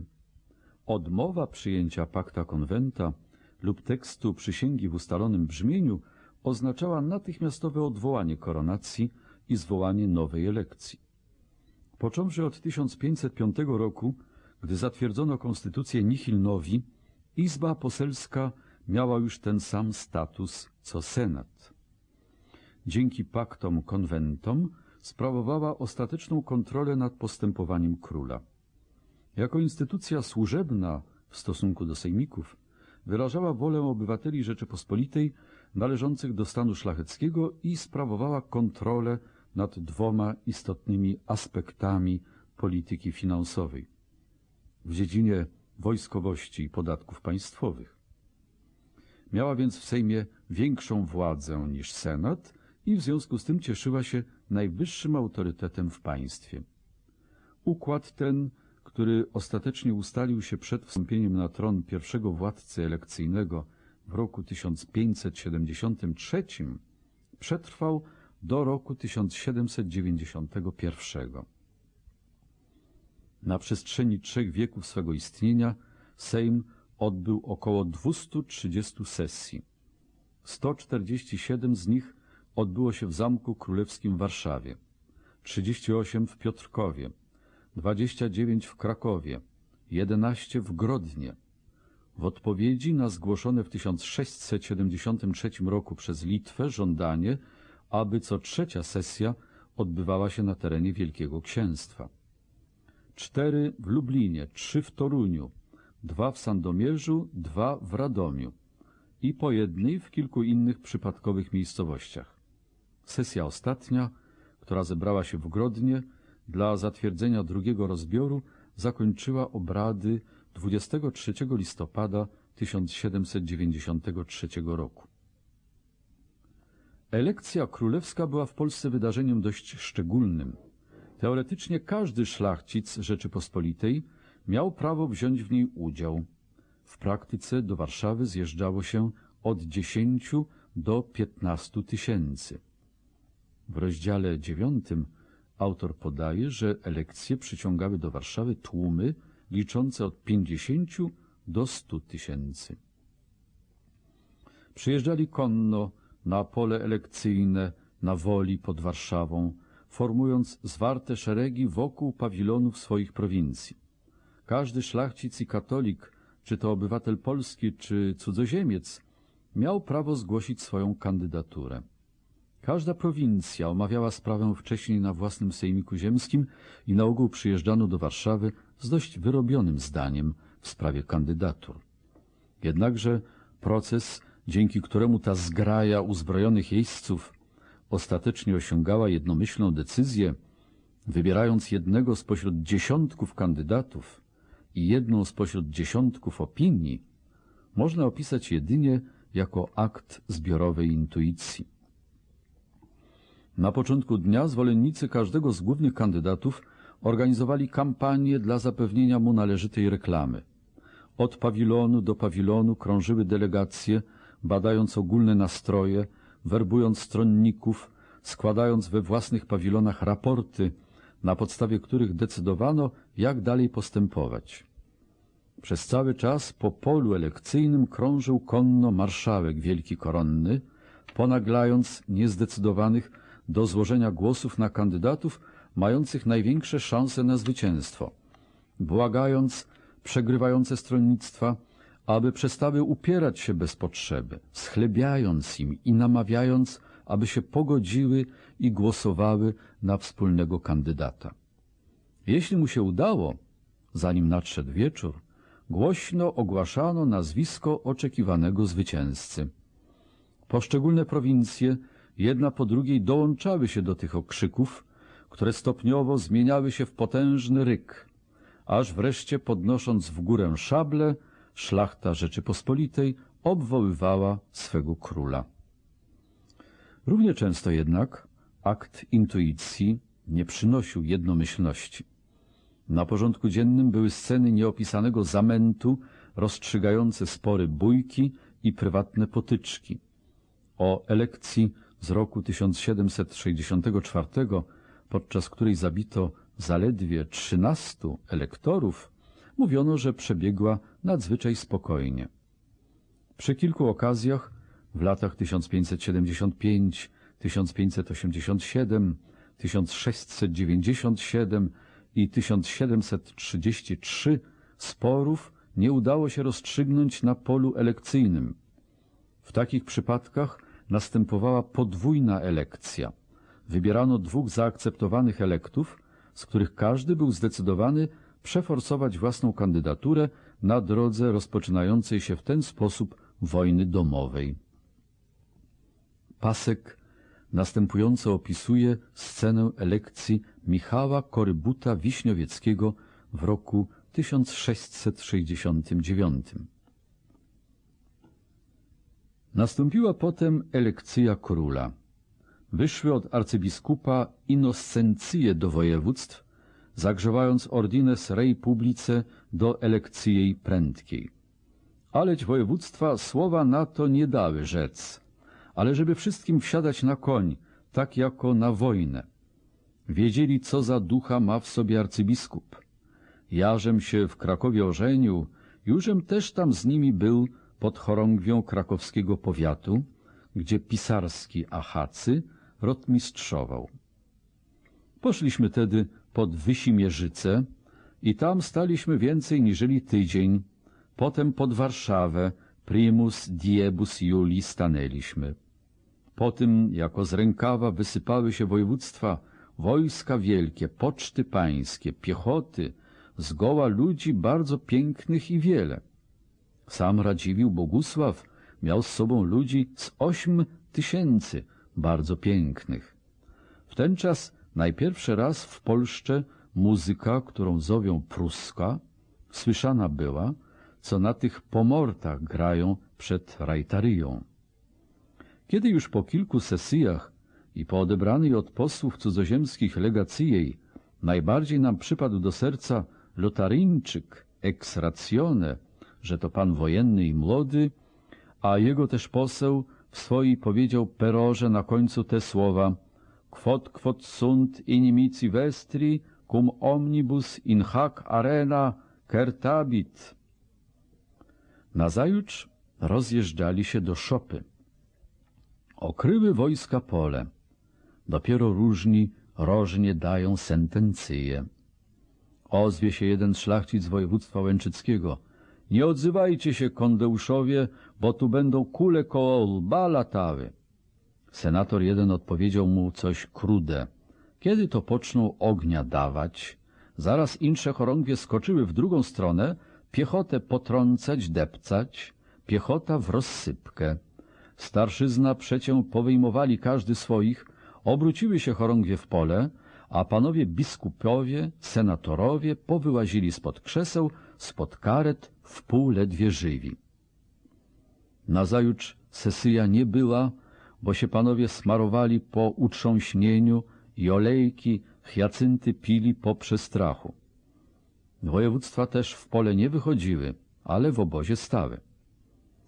Posyłają województwa 16 junii do arcybiskupa, żeby wyjechał na sesję i zagaił według prawa kontynuacjonem operis.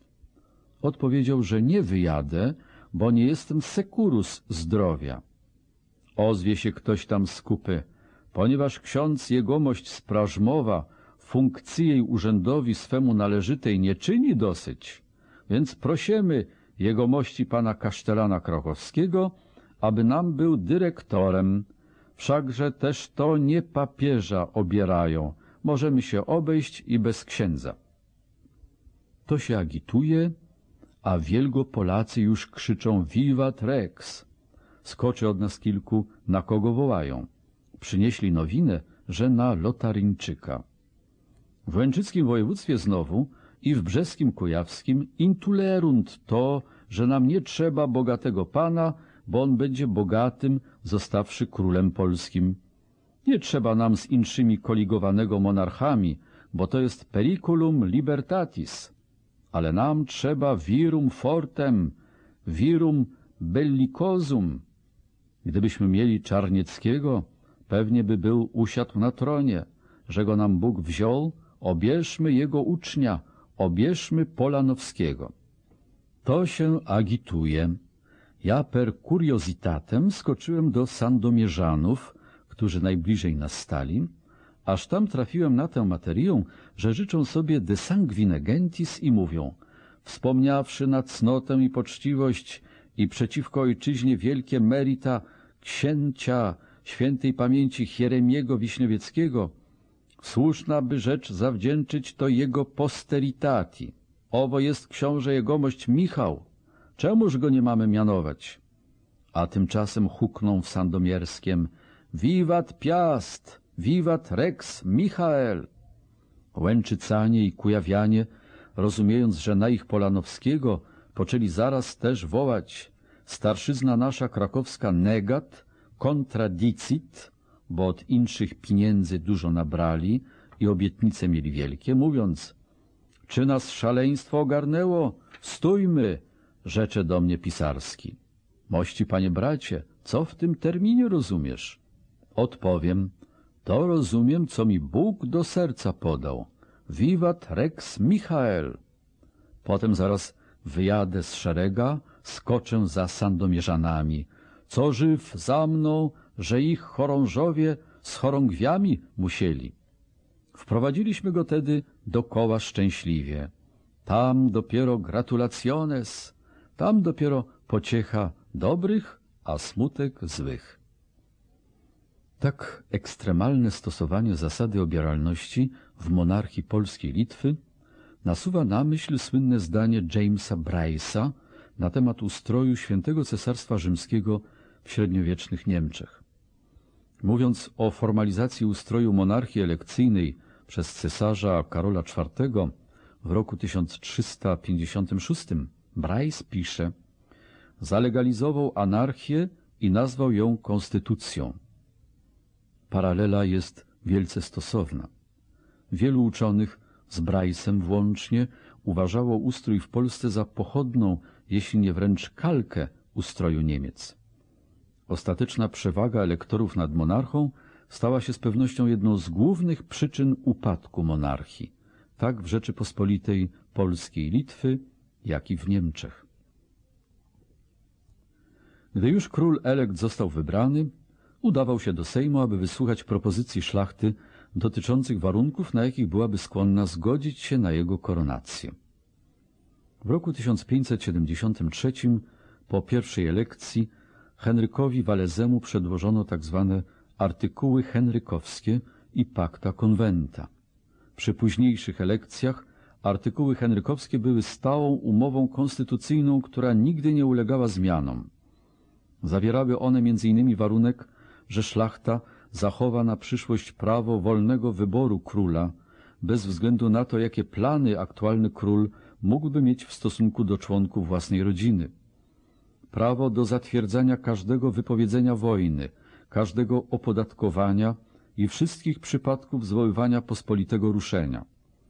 Warunek regularnego odbywania sesji sejmowych. Warunek przestrzegania zasady tolerancji, tak jak została ona uświęcona aktem Konfederacji Warszawskiej, a wreszcie warunek, że przy boku króla winno zasiadać szesnastu senatorów rezydentów. Artykuł ostatni mówił o prawie szlachty do wypowiedzenia posłuszeństwa, wręcz o jej obowiązku nieposłuszeństwa wobec króla, gdyby ten sprzeniewierzył się złożonej przysiędze. Pakta konwenta dotyczyły osobistych przyrzeczeń, jakie każdy elekt składał po elekcji, między innymi w sprawach prowadzenia polityki zagranicznej, królewskich zobowiązań finansowych itd. Tak Dzięki tym środkom króla Rzeczypospolitej mianowano czymś w rodzaju dożywotniego dyrektora, zatrudnionego na podstawie kontraktu zawartego według zasad podyktowanych przez firmę. Od chwili koronacji aż do śmierci nie mógł on mieć żadnych złudzeń. Był sługą, szlachta zaś była jego panem. Jednakże kontrola Sejmu nad władzą wykonawczą króla nie była bynajmniej pełna. W szczegółowych sprawach dotyczących sposobu rządzenia król zachował szereg istotnych prerogatyw i szerokie pole manewru politycznego. Na każde 104 tygodnie przez 98 był niekwestionowanym władcą Rzeczypospolitej. Jako beneficjant dóbr królewskich sprawował bezpośredni zarząd nad jedną szóstą kraju i ludności, dysponując większymi środkami gospodarczymi i wojskowymi niż największy z magnatów. Jako protektor w sprawach polityki mógł oferować swoim lojalnym stronnikom nie tylko nagrody w postaci wysokich urzędów władzy wykonawczej, ale także dożywotnie dzierżawy bogatych dóbr koronnych i monopolii. Miał decydujący głos w sprawie nominacji kandydatów na wszystkie wysokie urzędy polityczne. On mianował marszałka, hetmana, kanclerza i podskarbiego korony i Wielkiego Księstwa oraz ich zastępców. Mianował kandydatów na urzędy ziemskie, wojewody, kasztelana i starosty oraz wybierał urzędników sądowych spośród kandydatów przedstawionych przez sejmiki. Zatwierdzał też wszystkie nominacje kościelne w opactwach i biskupstwach kościołów rzymskokatolickiego, unickiego i prawosławnego. Miał zatem o wiele większy wpływ na Senat, niż by to mogło wynikać z zewnętrznych obserwacji oficjalnego przebiegu sesji. W dziedzinie prawodawstwa w dalszym ciągu wydawał edykty dotyczące wszystkich kwestii niezastrzeżonych dla Sejmu na mocy odrębnych przywilejów. W dziedzinie spraw wojskowych pełnił funkcję oficjalnego głównodowodzącego armii, któremu wszyscy żołnierze składali przysięgę posłuszeństwa. W dziedzinie prawa zachował prerogatywy sprawowania wraz z Sejmem funkcji Najwyższego Sądu Apelacyjnego. W dziedzinie polityki wreszcie był naturalnym obrońcą średniej szlachty przeciwko magnatom oraz stanów słabszych, mieszczan, Żydów, chłopstwa i duchowieństwa przed całym stanem szlacheckim. W sprawach zagranicznych miał prawo do pełnienia zasadniczej roli w określaniu kierunków polityki. Niemal wszystkie decyzje musiał podejmować wspólnie z senatorami, rezydentami. Nie miał natomiast obowiązku przyjmować wszystkich propozycji, jakie mu przedkładano. Nie można powiedzieć, aby nawet w stosunku do Sejmu był w jakimkolwiek sensie pozbawiony władzy. To król zwoływał Sejm i kierował programem debat. To jego podpis zmieniał rezolucje sejmowe w statutowe prawa. Może był sługą szlacheckiej Rzeczypospolitej, ale na pewno nie był jej marionetką. Przebieg ordynaryjnych i ekstraordynaryjnych posiedzeń Sejmu był często równie zawikłany i równie skomplikowany jak przebieg elekcji królewskich. Tak na przykład w latach 1585-86 Sejm, który Batory zwołał do Warszawy w celu rozwiązania sprawy zborowskich, omówionej już wcześniej na sejmikach ziemskich, zakończył się politycznym patem. Sesję zwołano na 15 stycznia.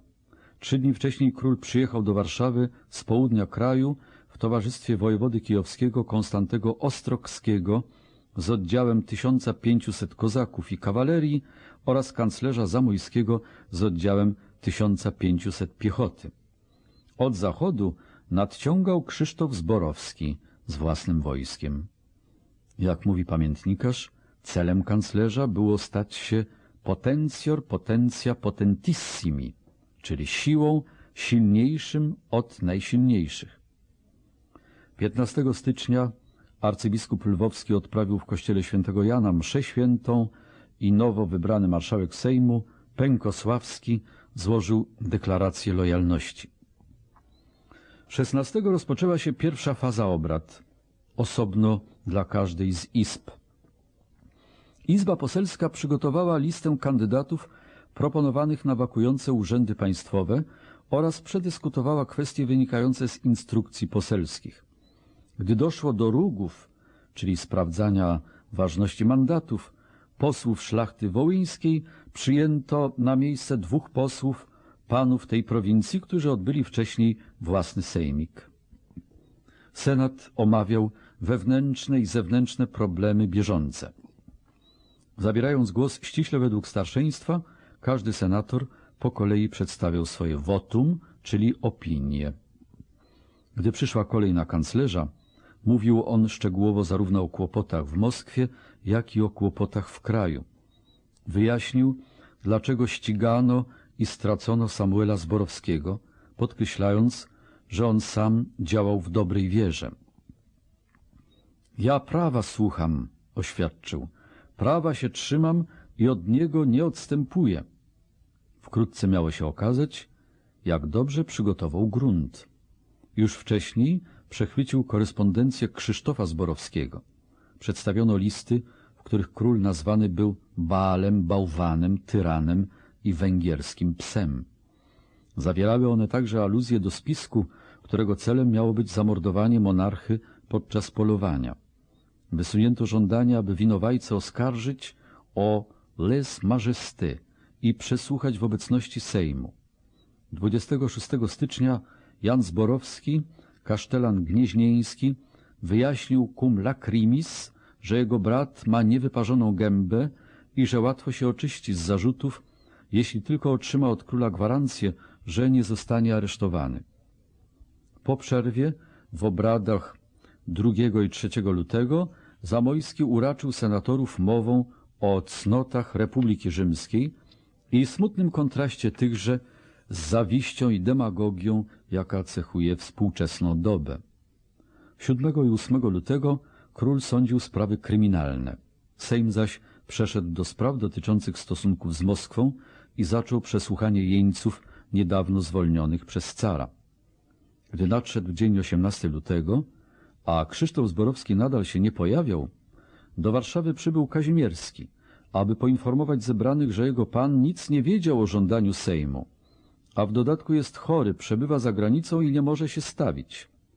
Wtedy król wpadł we wściekłość, krzycząc — tace nebulo! Milcz, błaźnie! Kazimierski nie ustąpił z pola. Nie jestem blaznem, odrzekł, lecz obywatelem, który obiera królów i obala tyranów. Niemniej jednak uznano, że Zborowski dopuścił się obrazy sądu i zlecono instygatorowi przygotowanie aktu oskarżenia dla Trybunału Koronnego. Następnego dnia przyjęto posłów moskiewskich, którzy z niezwyczajnymi pokłonami składanymi miłościwemu panu przynieśli wieść o śmierci Iwana Groźnego. Po czym Sejm przeszedł do drugiej fazy obrad, wspólnej dla obu izb. Każda izba przedstawiła listę propozycji, czyli projektów ustaw, pod wspólną debatę, po czym głosowano, czy propozycje te powinny być przyjęte i wpisane do rejestrów jako konstytucje, czyli prawa. 22 i 23 lutego przegłosowano kilka takich konstytucji, włącznie z oskarżeniem przeciwko Zborowskiemu oraz kilkoma innymi dotyczącymi pogłównego, zaległych wypłat dla wojska oraz nietolerancji religijnej. Jednocześnie zwrócono uwagę na pewną liczbę eksorbitancji, czyli niesprawiedliwości. Składała się na nie lista protestów, zebranych pod typowymi nagłówkami. Incompatibili, kumulacje, impossessionati, urzędnicy nieposiadający dóbr ziemskich, absurda, nonsensowne decyzje, ekskluzja, niezgodne z prawem mianowania oraz alia, różne. Były one zdecydowanie ostre w tonie, wskazując na przykład na fakt, że równoczesne sprawowanie przez Zamojskiego urzędów kanclerza i hetmana jest nielegalne oraz że mianowanie brata królewskiego Andrzeja Batorego kardynałem zagraża Rzeczypospolitej interwencją z zewnątrz. 28 lutego posiedzenie Sejmu zamknięto. Był to pierwszy rok przestępny w historii Rzeczypospolitej, ponieważ właśnie przyjęto tam kalendarz gregoriański. Podczas debaty końcowej Kazimierski wygłosił jadowitą tyradę przeciwko Zamojskiemu, którą ten przerwał, wyrywając mówcy tekst z ręki. Wychodząc z sali obrad, wszyscy członkowie Sejmu ucałowali dłoń króla z wyjątkiem Kazimierskiego. Posiedzenie zakończono odśpiewaniem Tedeum w kościele, zwrotem posłom przez podskarbiego kosztów uczestnictwa w sesji oraz tłumnym odjazdem z Warszawy. Proces prawodawczy zapoczątkowany przez króla pół roku wcześniej zakończył się powrotem posłów do rodzimych prowincji i złożeniem przez nich sprawozdania sejmikom z tego, co postanowił Sejm. Działalność kulwarowych grup nacisku była stałym elementem życia politycznego i ustawodawczego. Sesje sejmowe były jedyną okazją, przy której szlachta pochodząca ze wszystkich oddalonych od siebie prowincji Rzeczypospolitej mogła się spotkać w sposób nieformalny i przedstawić swoje sprawy wpływowym dworzanom i senatorom. Sesje były jednak wydarzeniami szczególnie doniosłymi dla tych stanów, które nie miały bezpośredniej reprezentacji w organach ustawodawczych.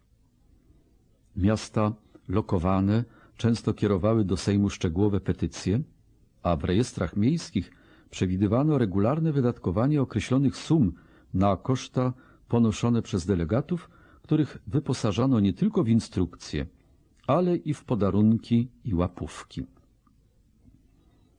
Rada Żydowska zatrudniała zawodowego sztadlana, lobbystę, który stale przebywał na dworze królewskim i był uprawniony do orędowania w Sejmie we wszystkich sprawach dotyczących Żydów. Jego funkcja była odbiciem funkcji lobbystów na szczeblu poszczególnych prowincji. Otrzymywali oni od poszczególnych gmin żydowskich instrukcje, które przedstawiali podczas sejmików ziemskich i rad miejskich. Sowita zaplata, uiszczana w kuluarach oraz hojne ugaszczanie posłów były stałymi elementami ich rzemiosła. W Sejmie, sejmikach i na elekcjach królewskich obowiązywała zasada jednomyślności. Współczesnemu obserwatorowi wydaje się rzeczą niewiarygodną, że taki ideał można było traktować poważnie. A jednak tak było. I zasada ta stanowiła podstawę wszelkich poczynań. Żadna propozycja nie mogła stać się prawem i żadna decyzja nie była wiążąca, dopóki nie spotkała się z pełną aprobatą wszystkich, którzy byli upoważnieni do jej rozważenia. Pojedynczy głos sprzeciwu równał się całkowitemu jej odrzuceniu. Głosowanie na zasadzie większości odrzucano z całą świadomością. Jednomyślność lub nic. Nie istniało żadne stanowisko pośrednie między doskonałą harmonią a kompletnym chaosem. Da się tu wyróżnić trzy linie rozumowania. W państwie, gdzie władza wykonawcza zależała od dobrowolnego poparcia wszystkich obywateli, argument pierwszy był argumentem natury czysto praktycznej. Ustaw i decyzji podejmowanych w obliczu opozycji nie można było należycie egzekwować. Argument drugi opierał się na okoliczności, że perspektywa chaosu pomagała umysłom koncentrować się na dążeniu do harmonii. Argument trzeci wreszcie wywodził się z nieco naiwnego przekonania, że instytucje, które nie są doskonałe, nie są warte tego, aby je utrzymywać. Pośród zgiełku sejmików i elekcji królewskich zasady jednomyślności nie dało się stosować zbyt finezyjnie. Ale w Sejmie był to przedmiot poważnych debat i stosowano je z drobiazgowym uporem. Zasada jednomyślności dała początek dwom procedurom ustawodawczym konfederacji i liberum veto, które zyskały Rzeczypospolitej rozgłos w całej Europie. Konfederacja, konfederacjo, była instytucją, która miała w Polsce długą historię i która stanowiła wyraz podstawowego prawa obywatela do odmowy posłuszeństwa. Była to liga zbrojna, stowarzyszenie mężczyzn, którzy złożyli przysięgę, że będą walczyć o swoją krzywdę, dopóki nie wywalczą sprawiedliwości. Mogła ją zawiązać każda jednostka i każda grupa jednostek. Mogła powstać z inicjatywy króla lub przeciwko królowi. W roku 1302 miasta wielkopolskie utworzyły konfederację, aby się pozbyć wyrzutków spod prawa, którzy stali się plagą całej dzielnicy. W latach 1382-84 mieszczanie i szlachta zawiązali wspólnie konfederację, aby zapobiec spiskowi, który, jak podejrzewali, powstał w celu zamordowania króla Ludwika Węgierskiego. W roku 1439 konfederację utworzył magnat Spytek z Belsztyna. W latach 60. XVI wieku wojsko skonfederowało się w celu zapewnienia sobie wypłaty zaległego żołdu. W roku 1573 zaś skonfederowany Sejm konwokacyjny w Warszawie uchwalił akt o tolerancji religijnej, tak zwaną Konfederację Warszawską. W wieku XVII główne konfederacje powstały w roku 1655, a potem w roku 1672. W XVIII wieku, w latach 1704, 1715, 1733, 67, 68 i 1792. W tym czasie były one już niemal równie częste jak posiedzenia Sejmu. Przy wszystkich takich okazjach konfederaci przestrzegali uświęconej tradycją procedury. Spotykali się w określonym miejscu i czasie, jak gdyby mieli uczestniczyć w sejmiku i formułowali akt konfederacji, który był listą ich żądań i skarg. Potem składali przysięgę, że będą wspólnie walczyć aż do śmierci i ze wszystkimi. Odtąd przez cały czas trwania Konfederacji spotykali się regularnie dla wspólnych narad. W odróżnieniu od Sejmu uchwalali swoje rezolucje większością głosów. Gdy uzyskiwali to, o co walczyli, albo gdy ponieśli klęskę w walce, stowarzyszenie zostawało formalnie rozwiązane, a jego członkowie zostawali zwolnieni z konsekwencji złożonej przysięgi. W gruncie rzeczy Konfederacja była więc zalegalizowaną formą wojny domowej i nikt nie uważał jej za rzecz niezwykłą. Konfederacji nie należy oczywiście mylić z rebelią. W oczach ideologów Rzeczypospolitej były to dwie całkowicie różne rzeczy. Konfederacja była procedurą zgodną z prawem. Zawiązywali ją w imię wspólnego dobra obywatele występujący w obronie prawa i świadomi jego ochrony. Założeniem rebelii natomiast była nielegalność celu podejmowanej akcji oraz nieprzestrzeganie procedur prawnych. Jest oczywiście prawdą, że rebelianci i ludzie wyjęci spod prawa zazwyczaj próbowali sprawę zaciemnić, chełpiąc się swymi szczytnymi pobudkami i utrzymując, że i oni także działają w imię wspólnego dobra. Jednakże w największej rebelii w dziejach Rzeczypospolitej sprawę postawiono jasno. Chmielnicki nie utrzymywał, że jego działania są zgodne z prawem.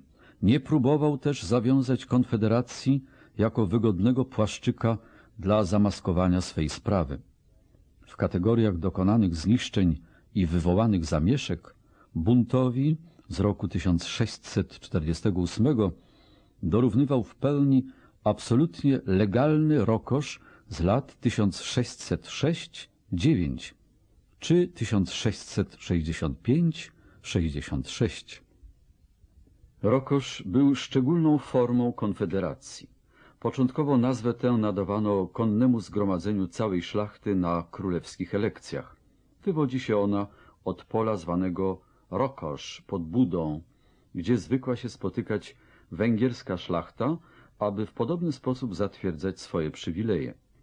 Ale gdy kolejni monarchowie zaczęli się sprzeciwiać tej praktyce, jeśli jej celem nie była elekcja króla, nazwę zaczęto kojarzyć z ruchem oporu przeciwko królowi. Za panowania Zygmunta III w oczach zwolenników króla Rokosz był równoznaczny ze zdradą. W oczach jego przeciwników zaś stanowił kwintesencję złotej wolności.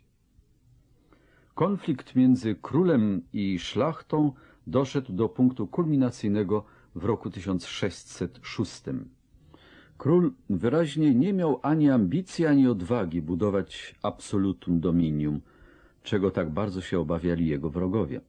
Ale jego ciasna katolicka pobożność oraz rzucająca się w oczy obojętność na sprawy publiczne Rzeczypospolitej zrodziła znaczną liczbę malkontentów. Król, Szwed z urodzenia i wychowania, naśladował germańskie obyczaje i styl życia dworu w Wiedniu oraz otaczał się jezuitami i cudzoziemskimi grandami. Dworem królewskim w Warszawie kierował niemiecki personel specjalnie sprowadzony z Bawarii. Stronnictwo królewskie, na czele którego stali spowiednik króla Piotr Skarga, marszałek wielki koronny Piotr Myszkowski, biskup przemyski i podkanclerzy Maciej Pstrokoński oraz wojewoda poznański Hieronim Gostomski z pewnością rozważało plan wprowadzenia monarchii dziedzicznej, zasilenia władzy wykonawczej podatkami nakładanymi z pominięciem Sejmu i stałą armią oraz plan szeroko zakrojonej współpracy z domem panującym Habsburgów. W rezultacie zrodził się konflikt dość podobny do tego, który miał miejsce w jakobińskiej Anglii, gdzie pyskaci towarzysze bojaźliwego króla, rozkochani w modnych teoriach na temat boskiego prawa, niepotrzebnie naruszyli uświęconą tradycją równowagę między koroną a parlamentem. Już podczas Sejmu w roku 1605 kanclerz Jan Zamojski zagroził królowi, że zostanie deportowany do Szwecji, jeśli nie zacznie zwracać większej uwagi na to, co myślą obywatele jego kraju. Śmierć Zamojskiego w roku 1605 położyła kres ostatnim tamom hamującym frustrację stronnictwa opozycyjnego. Rolę zmarłego kanclerza przejęli ludzie gwałtowniejszego usposobienia. głównie wojewoda krakowski Mikołaj Zebrzydowski, Janusz Radziwiłł oraz biskup krakowski kardynał Maciejowski. Najgorsza obraza nastąpiła w grudniu 1605 roku, kiedy to król poślubił w Gracu per procura arcyksiężną Konstancję. Małżeństwo to zostało zaaranżowane niezgodnie z prawem i bez zgody Sejmu. Co więcej, podczas uroczystości ślubnych w Krakowie król zarekwirował w trybie przyspieszonym jeden z domów należących do Zebrzydowskiego oraz skratu z katedry papieski baldachim biskupa Maciejowskiego. Zebrzydowski miał zawołać, że albo on opuści swój dom, albo król opuści swe królestwo. Złożywszy daremny protest na sejmiku krakowskim, Zebrzydowski zwołał kilka zbrojnych spotkań szlachty w Stężycy, w Lublinie, a następnie w Sandomierzu. Podczas ostatniego z nich szlachta, która konno zjechała na miejsce spotkania, formalnie proklamowała rokosz i obrała Janusza Radziwiła swym marszałkiem. Poza niezadowolonymi magnatami między rokoszanami znalazła się spora liczba drobniejszej szlachty bojącej się o swe przywileje, protestantów, zaalarmowanych coraz większymi naciskami ze strony katolików oraz prawosławnych, przeciwnych niedawnej unii kościołów.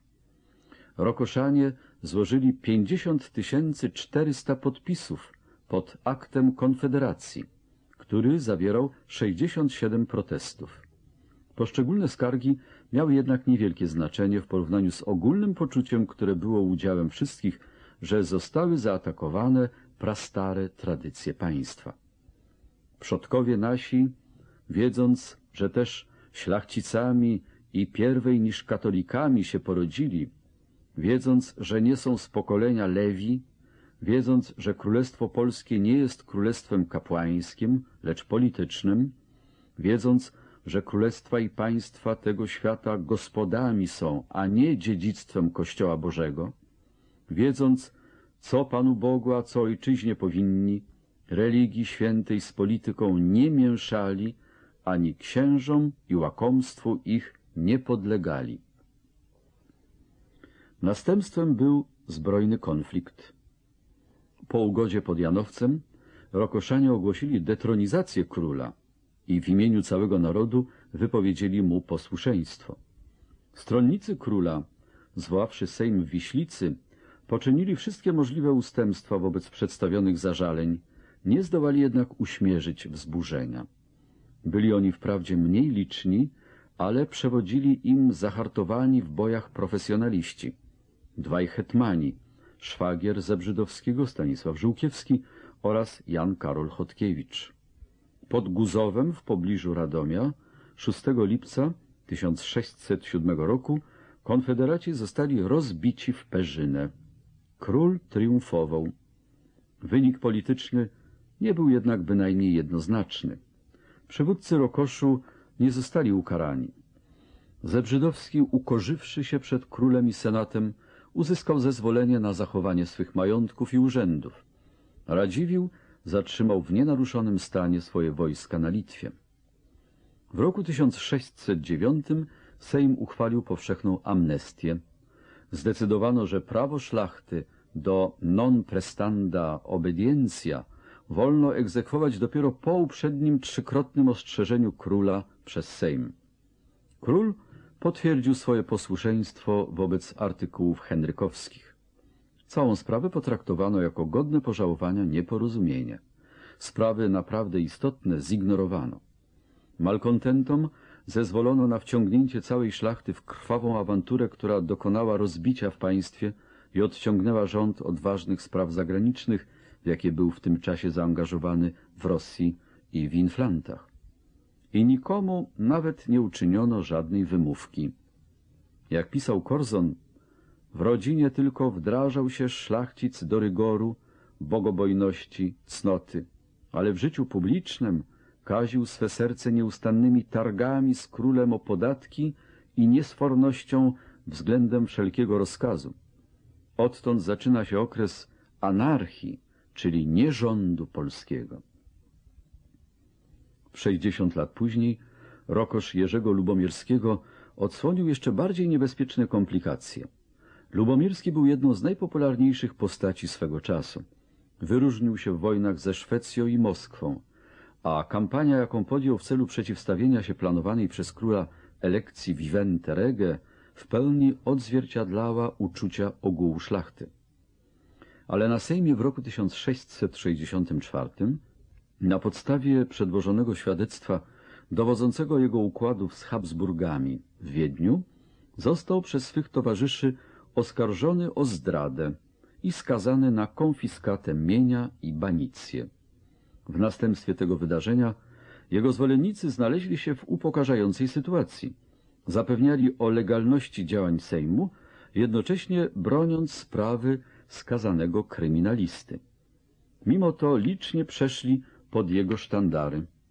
Podczas sesji Sejmu w latach 1665-66 kilkakrotnie przerywali obrady, aż wreszcie wycofali się, aby zawiązać konfederację. W roku 1666 starli się z wojskami królewskimi w kilku zbrojnych potyczkach. Potem 13 lipca nad brzegiem jeziora Goplo odnieśli decydujące zwycięstwo. Relacje z pierwszej ręki, z pomieszania, jakie towarzyszyła temu wydarzeniu, znajdujemy u Jana Paska. Boże Igrzysko, taśma trzynasta, koniec ścieżki pierwszej. Boże Igrzysko, taśma trzynasta, ścieżka druga. Na mątwach zeszły się wojska. Dystancji jej od siebie było przez przeprawę więcej niźli mila. Nazajutrz kazał król przeprawiać się na tamtą stronę. Przeprawili Draganiję, konnego wojska część. Litwa już mieli się przeprawiać, aż tu leci kommonnik Lubomirskiego, już nie sprawią, nie chorągwiami, ale tak modą tatarską. Wsiędą zrazu na chorągwie nasze, rozumiejąc, że Litwa. Zewrą się zrazu potężnie, poczną z koni gęsto lecieć, aż dopiero poznawszy się, tu jeden brat, tu drugi, tu syn, tu ojciec, dali sobie pokój. Wszystką potęgą suną w prawe skrzydło, gdzie stali draganie i kozacy pod regimentem pułkownika Czopa. Półtora godzin nie wyszło, jak wycięto owych ludzi. Oficjerów naginęło znacznych, a nade wszystko owi ludzie zacni, regiment Czarnieckiego, kawalerowie tacy, żołnierze dawni, którzy w Daniejej, w moskiewskich okazjach dokonywali mirabilia. Pan Bóg też na nas za nasze niezgody dopuścił, że nam odebrał florem kawalerów dobrych, którzy wytrzymywali zawsze molem nieprzyjaciół naszych. Była to ta potrzeba wielce in confuso. W owym pomieszaniu, gdzie trudno było discernere, kto nieprzyjaciel, który którego napadł, to się wprzód pytali, ty z którego wojska? A jeżeli znajomy na znajomego napadł, to się rozjechali powitawszy. Bo było to, co jeden brat przy królu, a drugi przy Lubomirskiem. Ojciec tam, syn tu. To nie wiedzieć, jako się było bić. Prawda, że oni mieli znaki, lewe ręce chustką wiązane, aleśmy tego nierychło postrzegli. Ja też, skoro poczęto bardzo golić, przewiązałem też sobie rękę nad łokciem. Poznali mię z daleka. A nasz ty czy nie nasz? Podniosę rękę z chustką i mówię wasz. Aż rzecze, o Francie, nie nasz, jedź sobie albo przedaj się do nas. Ale po wszystkiej okazji jej przyjechał z boku towarzysz z tamtego wojska, a Czop, pułkownik kozacki, stoi na koniu, nie strzeże go, rozumiejąc, że swój. Po malusieńku człapią, przyjechawszy do niego, strzelił mu w ucho z pistoletu i zabił. To taka wojna zdradliwa, kiedy to tenże strój, ta szmoda. Bog daj do tego w naszej Polszcze więcej nie przychodziło. Wyjadę za przeprawę do naszych szyków, aż król stoi. Obstąpili go, a on ręce łamie. Posłał do Lubomirskiego, żeby mu dał pole kawalerską, wstępnym bojem, nie tak urywczą, jako wilk. odpowiedział Nie moja rzecz panu swemu dawać pole wstępnym bojem, ale tylko jako ukrzywdzonemu bronić się jako mogąc. Tej krwie niewinnej, którą oplakiwać muszę, nie ja okazyją, ale sam król jegomość, a ci dobrzy konsyliarze co do tego przywiedli, żeby zgubili ojczyznę matkę. Około dwóch tysięcy szlachty zginęło tego dnia bez żadnego wyraźnego celu. Lubomirski zburzył autorytet króla, nie dając nic w zamian.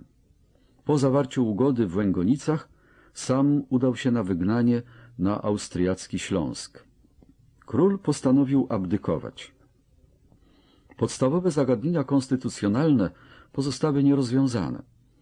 Co gorsza, wewnętrzne rozbicie Rzeczypospolitej przyspieszyło wprost zagrożenia z zewnątrz. Szykując się do walki z Lubomirskim na zachodzie, wojska królewskie porzuciły zadanie obrony przed Rosjanami wschodnich granic na Ukrainie. Lubomirski, opętany strachem przed potencjalną groźbą realizacji królewskich planów dotyczących elekcji, udaremniał jakąkolwiek skuteczną próbę obrony przed rzeczywistym zagrożeniem inwazją wojskową ze strony Moskwy. W styczniu 1667 roku, w obliczu dalszej ofensywy Rosji na bezbronne tereny kraju, król zmuszony był podpisać rozejm w Andruszowie. Cesje Smoleńska, Czernichowa, Kijowa i lewobrzeżnej Ukrainy uważano w tym czasie za manewr taktyczny, tymczasowe wycofanie się wojsk podyktowane koniecznością ich użycia w wojnie domowej. Panowało pełne przekonanie, że sytuację da się odwrócić. Tak się jednak nie stało. Oddanych terytoriów nigdy nie odzyskano. Przeciwnie, miały one zapewnić Moskwie przewagę sił, która dawała się odczuć we wszystkich późniejszych konfrontacjach. Moskwa otrzymała największą nagrodę, która umożliwiła Rosji przekształcenie się w wielkie imperium. Jerzy Lubomirski, trybun polskiej szlachty, był za to odpowiedzialny w równym stopniu co Bogdan Chmielnicki, buntowniczy ataman naddnieprzańskich kozaków. Liberum veto osiągnęło swój rozkwit nieco później niż Konfederację, choć i ono wyrosło z bardzo starych korzeni. Było to prawo, dzięki któremu każdy pojedynczy szlachcic mógł wstrzymać obrady Sejmu, po prostu wyrażając swój brak zgody. Potrzeba jednomyślności była tak silna, że uchodziło za rzecz zgoła niewłaściwą kontynuować obrady, gdy padł pojedynczy głos veto, nie pozwalam. Oczywiście interwencja tego rodzaju prowadziła zazwyczaj jedynie do tymczasowej zwłoki. Przyjętą praktyką była wymiana zdań między marszałkiem Sejmu a potencjalnymi protestującymi. Okrzyki z ław. Nie ma zgody. Marszałek. Z jakiej racji jej? Pojedynczy głos. Nie pozwalam. W tym momencie marszałek ogłaszał przerwę w obradach i pytał bardziej szczegółowo o przedmiot protestu. Jeśli w grę wchodziło zwykłe nieporozumienie albo żądanie wyjaśnienia sprawy, dość szybko ponownie podejmowano debaty. Jeśli natomiast wyłoniła się sprawa poważniejsza, przerwa trwała przez kilka godzin lub nawet kilka dni, które marszałek spędzał prowadząc w kuluarach pracowite pertraktacje w celu zażegnania konfliktu. Jeśli sprzeciw następował podczas drugiej fazy obrad Sejmu, gdy uchwalano konstytucję, ustawę, która wywołała protest, odrzucano, nawet jeśli uzyskała większość głosów. Mimo kilku kłopotliwych sytuacji tego rodzaju na przestrzeni pierwszych kilkudziesięciu lat istnienia Rzeczypospolitej, włączając weto z roku 1582 i 1585, które zablokowało wszelkie uchwały dotyczące podatków na te lata, sprawa stała się naprawdę nabrzmiała dopiero podczas sesji Sejmu w roku 1652. Był to czwarty rok powstania Chmielnickiego na Ukrainie i czwarty rok wszelkich okropności, jakie mu towarzyszyły. Po sześciu tygodniach obrad na agendzie wciąż jeszcze było wiele niedokończonych spraw i marszałek wstał, aby ogłosić przedłużenie sesji. Członkowie Sejmu byli zmęczeni, zaniepokojeni przegłosowaną nieco wcześniej ustawą o podniesieniu podatków i mieli ochotę pojechać do domu. Była sobota po południu. Wyraźnie dał się słyszeć pojedynczy głos nie pozwalam. Marszałek zarządził przerwę, sala obrad opustoszała. Z początku wydawało się, że nikt nie wie, kto właściwie zgłosił protest i czego ten protest dotyczył. W niedzielę niektórzy zaczęli rozjeżdżać się do domów, w przekonaniu, że obrady się zakończyły, a nie dopełniono jedynie uroczystości końcowych. Zanim nadszedł poniedziałek, marszałek dowiedział się, że formalne oświadczenie o złożeniu weto zarejestrował w urzędzie grodzkim niejaki Władysław Siciński, poseł z Upity na Litwie. Był to impas, którego nikt nie przewidział. Siciński najwidoczniej udał się do urzędu grodzkiego prosto z sali obrad, po czym, nie mówiąc nikomu ani słowa, wsiadł na konia i wyruszył na wschód. Długie narady z prawnikami i kolegami nie przyniosły marszałkowi żadnego rozwiązania. Musiał przyznać, że weto Sicińskiego jest zgodne z prawem i pozostaje w mocy. Całą pracę sesji unieważniono. Był to zgubny precedens. Od tego czasu każdy poseł, jeśli tylko był dość zdecydowany unicestwić dzieło Sejmu, dysponował znakomitą metodą. Obecnie wiadomo, że Siciński działał z polecenia Janusza Radziwiła. W przyszłości miało się znaleźć jeszcze bardzo wielu magnatów, którzy dla własnej partykularnej korzyści byli gotowi sparaliżować organ władzy centralnej.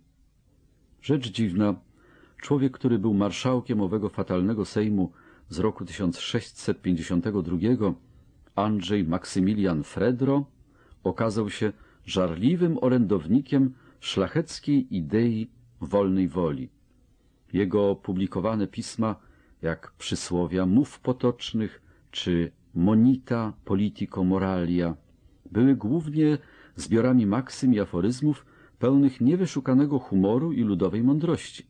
Wkrótce można je było znaleźć w domu każdego szlachcica.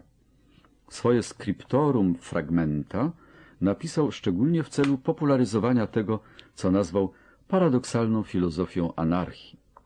Utrzymywał, że pusty skarbiec powstrzymuje króla od butnej wyniosłości. Bóg utrzymuje Polskę w stanie ubóstwa, aby utrzymać w ryzach arogancję szlachty. Liberum veto jest błogosławieństwem, ponieważ chroni mniejszość ludzi rozumnych przed dyktatem głupiej większości. Fredro wierzył mocno w niezrównane zalety polskiego ustroju. Jego zdanie podzielały całe pokolenia szlachty, których uprzedzenia i próżność tak trafnie odmalowywał. Nic więc dziwnego, że w takiej atmosferze nie uczyniono nic, aby ustrój naprawić. W roku 1688 po raz pierwszy zerwano Sejm jeszcze przed wyborem marszałka. W epoce saskiej chaos postępował jeszcze prędzej. Za panowania Augusta II zerwano jedenaście na ogólną liczbę dwudziestu sesji sejmowych. Za Augusta III tylko jednemu sejmowi udało się w ogóle wydać ustawę. W tym okresie podstawowe funkcje Sejmu w sferze administracji i skarbu przejęły w sposób bardzo pobieżny sejmiki ziemskie. Wrogowie Rzeczypospolitej radowali się. Poszczególne mocarstwa utrzymywały magnatów, którzy na każde brzęknięcie dukata gotowi byli zerwać Sejm. Każde było zdecydowane, że nie pozwoli się wyprzedzić ani na krok żadnemu z rywali. Zwłaszcza Rosjanie odczuwali znaczną satysfakcję. Począwszy od roku 1717 praktycznie sprawowali protektorat nad Rzeczą Pospolitą i strzegli swych zachodnich granic kosztem kilku magnackich pensji. Pozując na orędowników złotej wolności i liberum veto, mogli być pewni, że Rzeczpospolita pozostanie niezdolna do zorganizowania się lub stawienia oporu polityce Rosji. Wypełniając Warszawę rosyjskimi oddziałami wojskowymi, przy każdej ważniejszej okazji Rosjanie chronili Sejm przed zakłóceniami z zewnątrz. Grożąc oponentom sekwestracją i aresztem, gdyby się odważyli protestować, i udaremniając wszystkie środki zmierzające do reformy ustroju, do końca stulecia prowadzili swoją grę pozorów. W roku 1768 odrzucono propozycję króla, aby znieść liberum veto i wprowadzić kilka innych ograniczeń, z obawy przed tym jednym wystarczającym głosem protestu. W maju 1791 roku rzeczywiście wprowadzono długo oczekiwane reformy, ale tylko dlatego, że Rosja była właśnie zajęta wojną turecką. Na Sejmie w Grodnie w 1793 roku skłoniono króla do wycofania niepożądanych reform, a następnie do podpisania aktu drugiego rozbioru. W ten sposób złotą wolność sprowadziło na manowce to właśnie, ku czego ochronie pierwotnie ją stworzono. Liberum veto, które miało utrzymać w ryzach absolutystyczne zapędy polskiej monarchii, zaprzęgnięto w służbę Imperium Rosyjskiego. W teorii miało ono zapewnić jedność i jednomyślność. W praktyce w rękach Rosji zapewniło utrzymanie chaosu. Ukryty za fasadą polskiej anarchii mógł działać bezkarnie mechanizm rosyjskiej autokracji. Założenia leżące u podstaw ustroju Rzeczypospolitej znajdowały odbicie w dziedzinie prawa publicznego. W oczach Polaka prawo, podobnie jak ustrój, było rzeczą zbyt cenną, aby ją pozostawić w rękach władz administracyjnych. W świecie doskonałej wolności groźba niesprawiedliwości wywołanej bezmyślnym obrotem trybów w machinach zorganizowanych instytucji wydawała się na dłuższą metę czymś gorszym niż zagrożenie wywołane nieumiarkowaniem jednostek.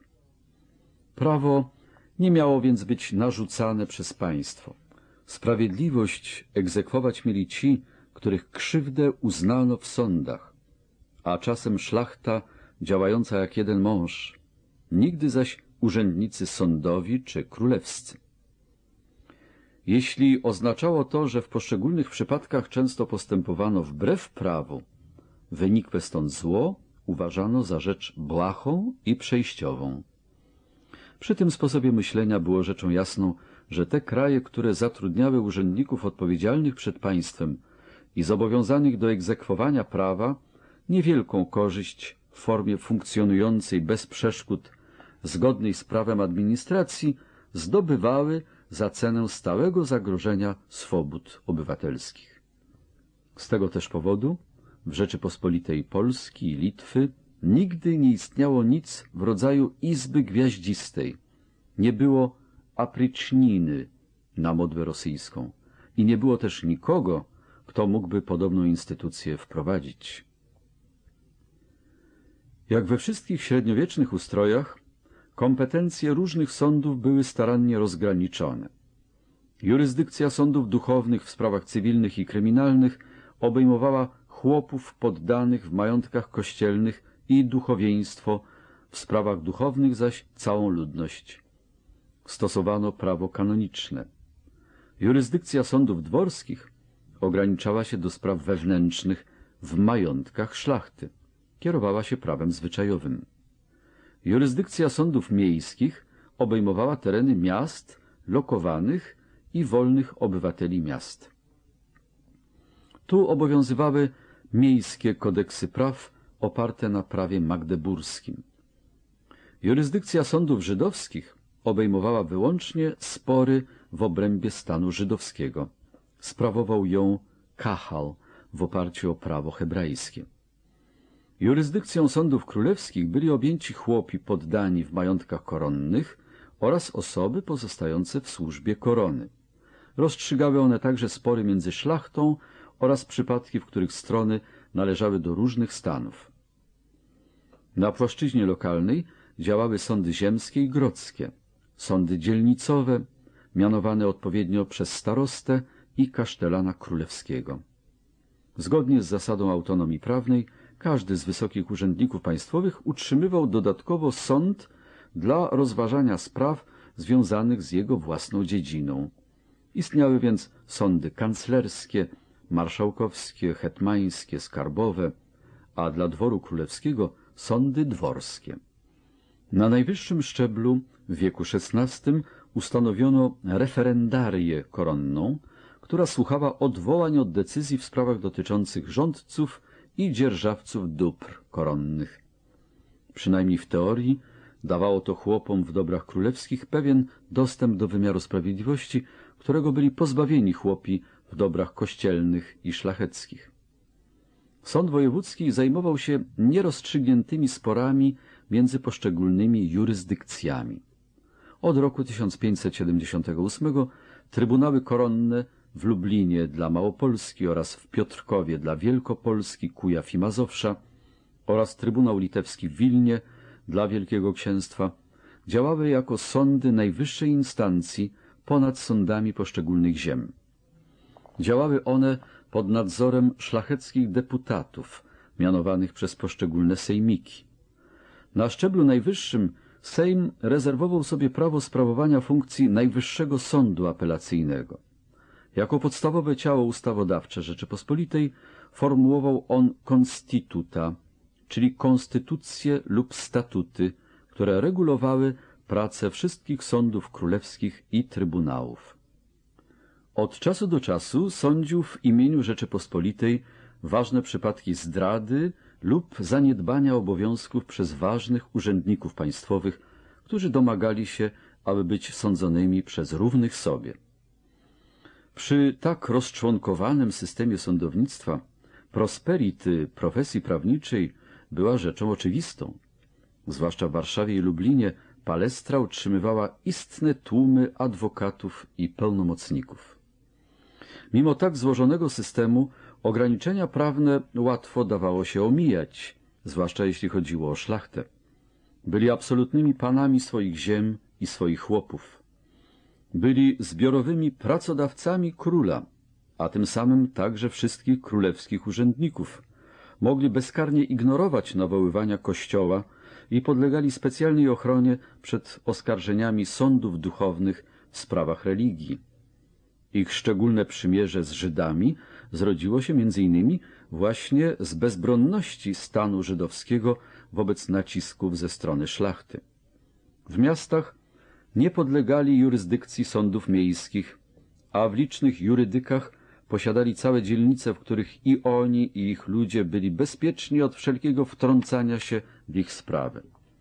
W rezultacie w tych niewielu miastach, które zachowały niezależną egzystencję, mogli się osiedlać, budować domy, spędzać czas na rozrywkach i ogólnie rzecz biorąc żyć kosztem społeczności miejskiej, nie płacąc miejskich podatków i nie obawiając się właściwie żadnych kłopotów. Akcja podjęta przez miasto Poznań, które w roku 1613 siłą przepędziło wszystkich swoich szlacheckich chuliganów i pasożytów, należała do rzadkich przejawów inicjatywy będących wyjątkiem od ogólnie przyjętej reguły. Poza granicami miast przykłady bezprawia także można było mnożyć w nieskończoność.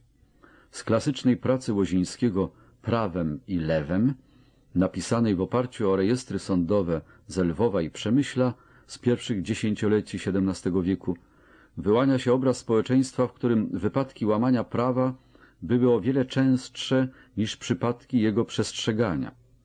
Na porządku dziennym były grabieże, łupiestwa, gwałty i prywatne wojny. Prowincjonalny szlachcic bronił swego dziedzictwa z szablą w ręku, a jeśli się dało, także armatą i kartaczami. Kiedy nie mógł dojść swych racji w sądach, dochodził ich wszystkimi dostępnymi środkami. Niepoprawnemu pieniactwu towarzyszył nieopanowany gwałt.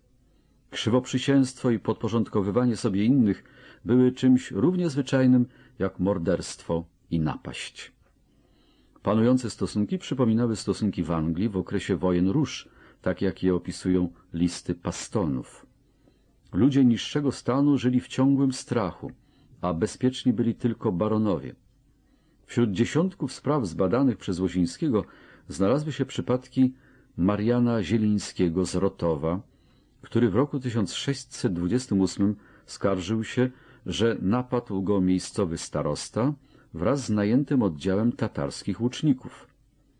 Waleriana Montelupiego, syna bankiera, który w roku 1610 powrócił na miejsce, gdzie niegdyś usiłowano go porwać i powiesił swego niedoszłego porywacza na słupie przy bramie jego własnego majątku.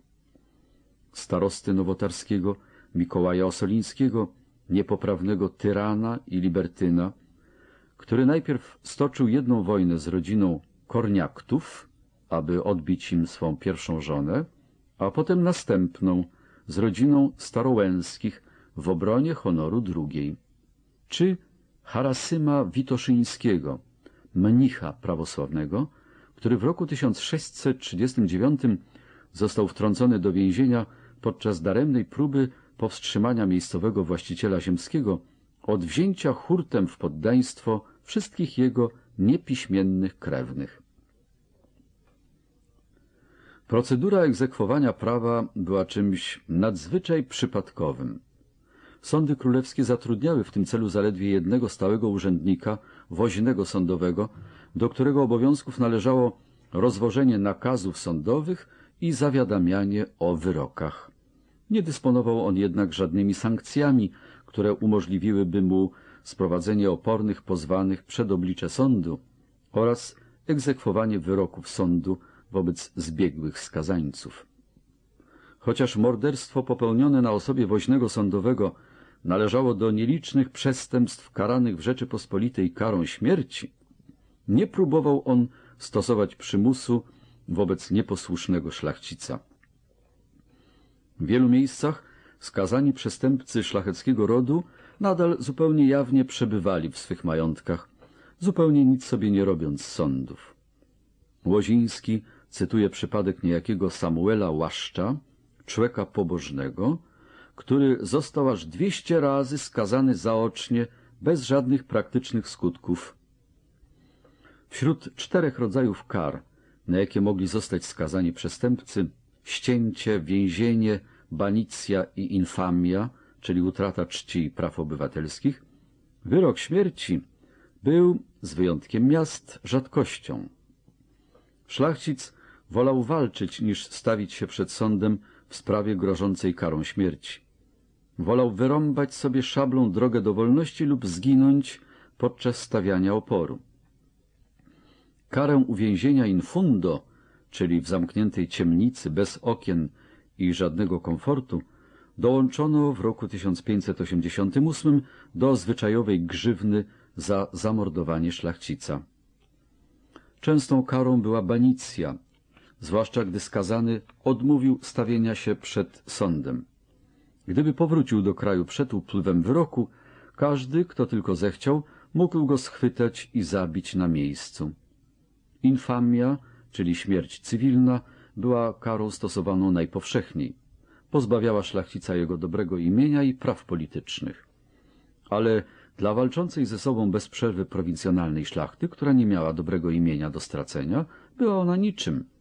Gdy już wydano wyrok, skazanemu najczęściej i tak nie dało się wymierzyć sprawiedliwości i strona pokrzywdzona zabierała się do tego na własną rękę. I tak na przykład w roku 1660 Janowi Sobieskiemu, przyszłemu królowi polskiemu, oddano w dzierżawę dobra koronne w okolicach miasta Bells. Gdy próbował je objąć, okazało się, że wdowa po zmarłym staroście belskim nadal rezyduje w majątku i odmawia jego opuszczenia. Oboje, Sobieski i wdowa, otrzymali nakazy dostawienia się przed sądem w sprawie swoich roszczeń. Ale Sobieskiemu znudziło się pieniactwo. Najechał dom wdowy z oddziałem trzystu huzarów, wdowę wyrzucił na drogę, a dom zajął. W przypadkach krańcowych, gdy dana sytuacja stwarzała zagrożenie bezpieczeństwa publicznego, starosta lub wojewoda zwoływał motus nobilitate szlachty danej ziemi lub województwa. W roku 1655 szlacheckie szwadrony Rusi Czerwonej nie uczestniczyły w kampanii przeciwko Szwedom, ponieważ brały w tym czasie udział w akcji przeciwko buntowniczym bandom najemników na terenie swojej własnej prowincji. Jednakże, gdy chodziło o sprawy prywatne, szlachta wkraczała do akcji z najwyższą niechęcią. Pewnego razu, gdy starosta Sanocki wezwał swych sąsiadów, aby schwytali Olbrachta Grochowskiego z Dynowa, skazanego za uchylanie się od płacenia podatków, na wezwanie stawił się tylko jeden człowiek, Jerzy Osoliński, kanclerz wielki koronny. Prywatne wojny trwały aż do końca istnienia Rzeczypospolitej. W większości przypadków chodziło o czysto lokalne vendetty, których powodem były, jak to ujął Łoziński, amor et demon. Najazdy tatarskie, niezapłacony żołd, rozbój, nieprzyjaźni sąsiedzi byli czymś równie zwyczajnym co nadejście kolejnych pór roku i każdy bronił się przed nimi na swój własny sposób. Na niesfornym południu utrzymywał się stały kontyngent zawodowych gangsterów, którzy wynajmowali się potrzebującym ich usług szlachcicom. W kilku przypadkach wojny te nabrały jednak charakteru większych kampanii. Na początku XVIII wieku konflikt między tzw. republikanami a sapiechami na Litwie stał się ważnym drugoplanowym wątkiem Wielkiej Wojny Północnej. Na przestrzeni średniowiecza szlachta wypracowała cały rytuał przeprowadzania vendetty. Szlachcic, który czuł się pokrzywdzony, wypisywał odpowiedź, w której dokładnie wyliczał poniesione krzywdy i warunki zadośćuczynienia. Ta odpowiedź, niemieckie Absage, łacińskie littere diffidationis, równała się wypowiedzeniu prywatnej wojny. Autor stwierdzał w niej zazwyczaj, że zamierza bezzwłocznie dochodzić sprawiedliwości na osobie winowajcy, podpalić jego dom i plony oraz nie spocząć, dopóki nie zginie jedna ze stron. Odpowiedź składano w sądzie ziemskim, aby woźny mógł ją doręczyć adresatowi. Od tego momentu, pod warunkiem, że wymienione w odpowiedzi zarzuty zostały uznane za zgodne z prawdą, wszystkie podejmowane akcje były w pełni zgodne z prawem. Sąsiedzi zamykali okiennice, podczas gdy przeciwnicy i oddziały ich czeladzi walczyli ze sobą ogniem i mieczem aż do ostatecznego rozstrzygnięcia. Niestety ta ze stron, która przestrzegała przyjętej procedury, zmniejszała własne szanse powodzenia, uprzedzając przeciwnika o swych zamiarach. W rezultacie często rezygnowano z wysyłania odpowiedzi, wybierając atak zaskoczenia lub zbrojny najazd o północy. Z praktycznego punktu widzenia niezbyt się opłacało mieć za sobą prawo. Jednakże, gdy powstawało zagrożenie dla porządku publicznego, sądy królewskie korzystały ze swych uprawnień, żądając zabezpieczenia będącego gwarancją spokojnego zachowania obywatela. Wysokość kaucji, czyli vadium regalium, ustalano w zależności od statusu osób, które mogły okazać się winnymi zakłócenia porządku oraz od skali wykroczeń, których się z ich strony obawiano. Od tego momentu każde wykroczenie automatycznie prowadziło do utraty wszystkich wniesionych uprzednio opłat. Ale wobec ustalonych zwyczajów i tradycji procedura ta nie miała większego znaczenia. Nikt z wpływowych ludzi Rzeczypospolitej nie był w stanie przeprowadzić stosownych reform prawnych. Magnaci ze swoimi licznymi wojskami byli bezpieczni. Drobniejsza szlachta była albo zależna od łaski wielkich panów, albo z niechęcią patrzyła na perspektywę umocnienia się królewskiej władzy sądowej. Wszyscy więc musieli bronić się sami, jak potrafili najlepiej. Stanisław Stadnicki około 1560-1616, zwany diablem łańcuckim, był typową postacią okresu anarchii. Notoryczny gangster, a jednocześnie jeden z bohaterów Rzeczypospolitej. Jego kariera była symptomatyczna dla warunków społecznych, które doprowadziły ją do rozkwitu. Był człowiekiem niezwykłej odwagi, inwencji i energii, ale od środka zżerał go kwas złości i urazy. Pochodzenie miał wybitnie niechlubne. Jego ojciec, Arianin, Stanisław Mateusz Stadnicki, został przez Kościół ekskomunikowany za herezję. Matka, Barbara Zborowska, należała do awanturniczej linii zborowskich z Niedzicy. Urodził się w Dubiecku na Podkarpaciu i po śmierci rodziców odziedziczył wspólnie z sześcioma braćmi piętnaście rodzinnych majątków ziemskich. Był członkiem rodu herbu Śreniawa i przyjął dewizę aspetate e odiate – czekaj i nienawidź. Wczesne lata życia spędził na żołnierce, najpierw na Węgrzech, a potem w Wojsku Polskim w Moskwie, gdzie w roku 1581 rekomendowano go jako człowieka odznaczającego się wyjątkową walecznością.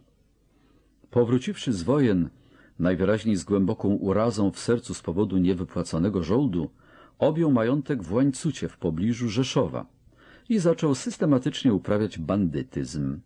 Obróciwszy zamek w Łańcucie w gniazdo rozbójników, godne najbardziej ponurej baśni, zajął się wymyślaniem skomplikowanych prowokacji, prawnych kruczków, a nawet obraźliwych wierszy, za pomocą których prowokował swe ofiary do wystąpień po to, aby je następnie zniszczyć.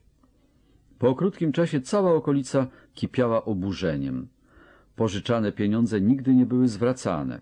Domy płonęły bez żadnej widocznej przyczyny. Klasztor został zamknięty, a mnisi przepędzeni. Terroryzowano okoliczne targi. Nękano podróżnych, a niekiedy umyślnie ich okaleczano. Handel skoncentrował w coraz większym stopniu wokół nielicencjonowanego targu w Rzeszowie, należącego właśnie do Stadnickiego. Każda próba protestu wywoływała szybki i okrutny odwet. Szpiedzy, szantażyści i uzbrojona czeloć utrzymywała okoliczną ludność w posłuszeństwie. Lochy na zamku w łańcucie były wyposażone w izbę tortur, gdzie według krążących pogłosek palono żywcem przeciwników Stadnickiego. W roku 1600, po licznych starciach z okoliczną szlachtą, Stadnicki został wezwany przed Trybunał Koronny w Lublinie w związku z oskarżeniem o utrzymywanie nielegalnego targu w Rzeszowie i sprawę przegrał. Wobec tego przesłał formalną odpowiedź swojemu oskarżycielowi Michałowi Korniaktowi, po czym stanął na czele karnej wyprawy do majątku Korniaktów w Sośnicy. W latach 1605-6 odegrał wybitną rolę w szlacheckim rokoszu. Jego korespondencja z tego okresu oraz przemówienia publiczne, w których nazwał króla krzywoprzysięzcą, sodomitą, szulerem i alchemikiem, nosiła wszelkie znamiona zdrady i z pewnością nie pomogła Zebrzydowskiemu w głoszeniu legalności całej sprawy. Ale Stadnicki pozostał na wolności. Wreszcie znalazł godnego siebie przeciwnika w osobie Łukasza Opalińskiego, ofiary oszczerczego poematu zatytułowanego Słup do gościa, który krążył w odpisach po całej okolicy. Opaliński, śmiertelnie urażony zniewagą, nigdy Stadnickiemu nie wybaczył. W roku 1608 na łańcut napadli jego przyjaciele i krewni i wyrżnęli w pień wszystkich, którzy im wpadli w ręce. Z piwnicy zabrano skarb wartości 500 tysięcy złotych oraz 10 tysięcy złotych w monetach, 24 tysiące złotych dukatów i 27 tysięcy talarów. Sam Stadnicki uciekł, ale podjęta przez niego następna próba powrotu do łańcuta i odzyskania dawnej pozycji przez zaostrzenie terroru zakończyła się niepowodzeniem. Zdradzony przez własnego sługę, ścigany pośród wzgórz, zapędzony w zasadzkę i raniony przez kozaków Opalińskiego, wreszcie zakończył żywot ścięty ciosem własnego miecza. Ale jego nikczemność nie wywarła na współczesnych zbyt wielkiego wrażenia. Przeciwnie, wielu uważało go za orędownika szlacheckich swobód. Jego epitafium, ułożone przez sąsiada Jana Szczęsnego Herburta, pulsuje dotkliwym bólem pogwałconej cnoty. Viator si amicus es dole, si inimicus specta, si neutrus mirare. Przechodniu, jeżeliś przyjaciel, zabolej, jeżeliś nieprzyjaciel, uważ losów ludzkich kolej i upadek.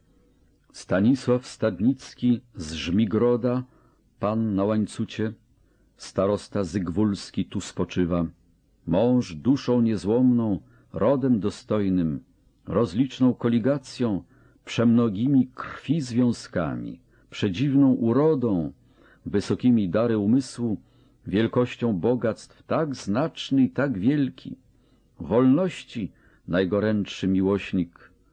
O ojczyzno, gdybyś wojownika tego znamienitego męża przypuściła była do piastowania spraw twoich, zaiste ozdobą byłby tobie i pożytkiem, jak mało kto kiedykolwiek.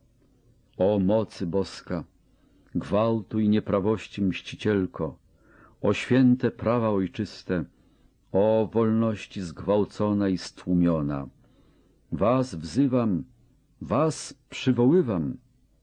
Anna z Ziemiaczyc, małżonka z przyjaciółmi. Czytelnik nie może się nie zastanawiać, czy ma do czynienia z przejawem autentycznego żalu, czy społecznej satyry.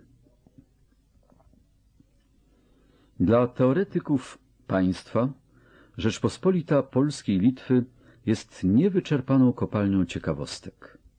Jej coraz bardziej nieskuteczne działania dostarczyły zwolennikom absolutyzmu bogatego materiału dla wykazania wyższości własnych argumentów. Jej wolnościowe ideały zaś zyskały jej podziw republikanów i konstytucjonalistów. Biorąc pod uwagę całość tego okresu, Rzeczpospolita zyskała sobie równie wielu gorących zwolenników, co zagorzałych przeciwników. Nie należy też przypuszczać, że w samej Rzeczypospolitej znoszono anarchię w milczeniu. Debaty polityczne były istotnym atrybutem złotej wolności. Pamfleciści mnożyli się jak grzyby po deszczu. Jeszcze przed Unią Lubelską rozpoczęła się długotrwała debata intelektualna na temat sposobów zmiany i naprawy ustroju Polski. Pierwszym i najwybitniejszym spośród polskich krytyków był Andrzej Frycz Modrzewski 1503-72, znany w całej Europie jako Modrevius.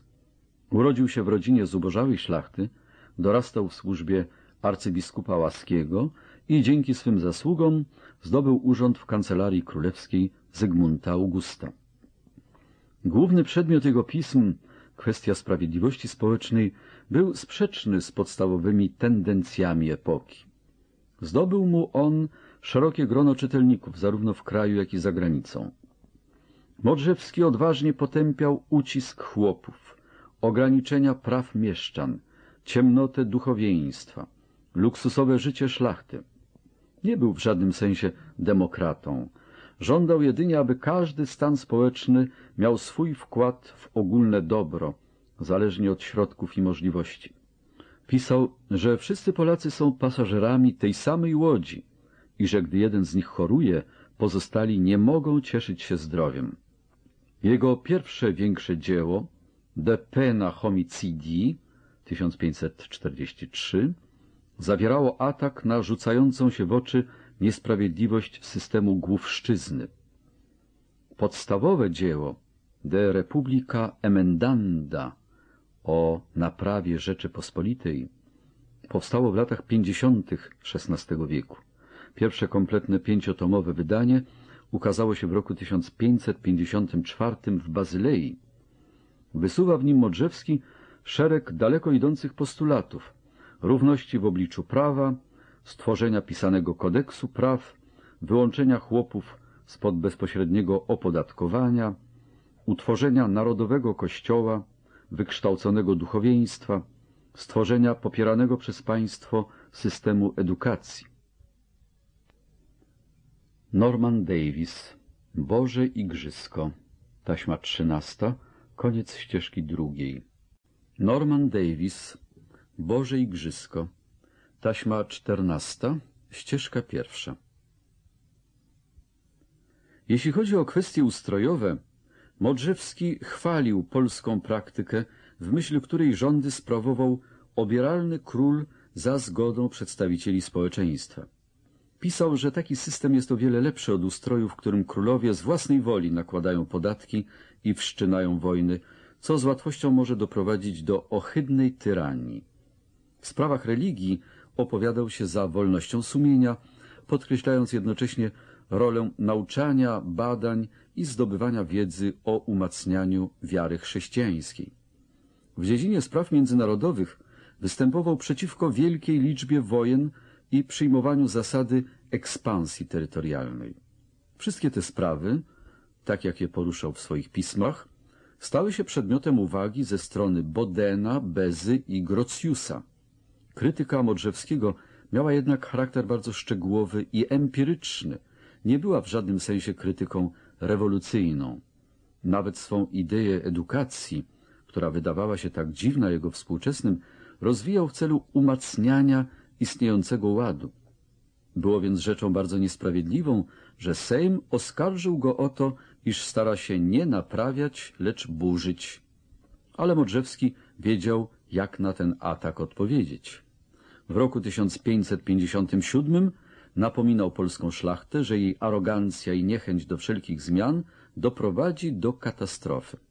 Ostrzegał, że żaden kraj nie został zdobyty, dopóki go nie osłabiły wewnętrzne tarcia i wzywał szlachtę, aby się strzegła, bo swoim uporem może przyspieszyć własną zgubę i zgubę Rzeczypospolitej.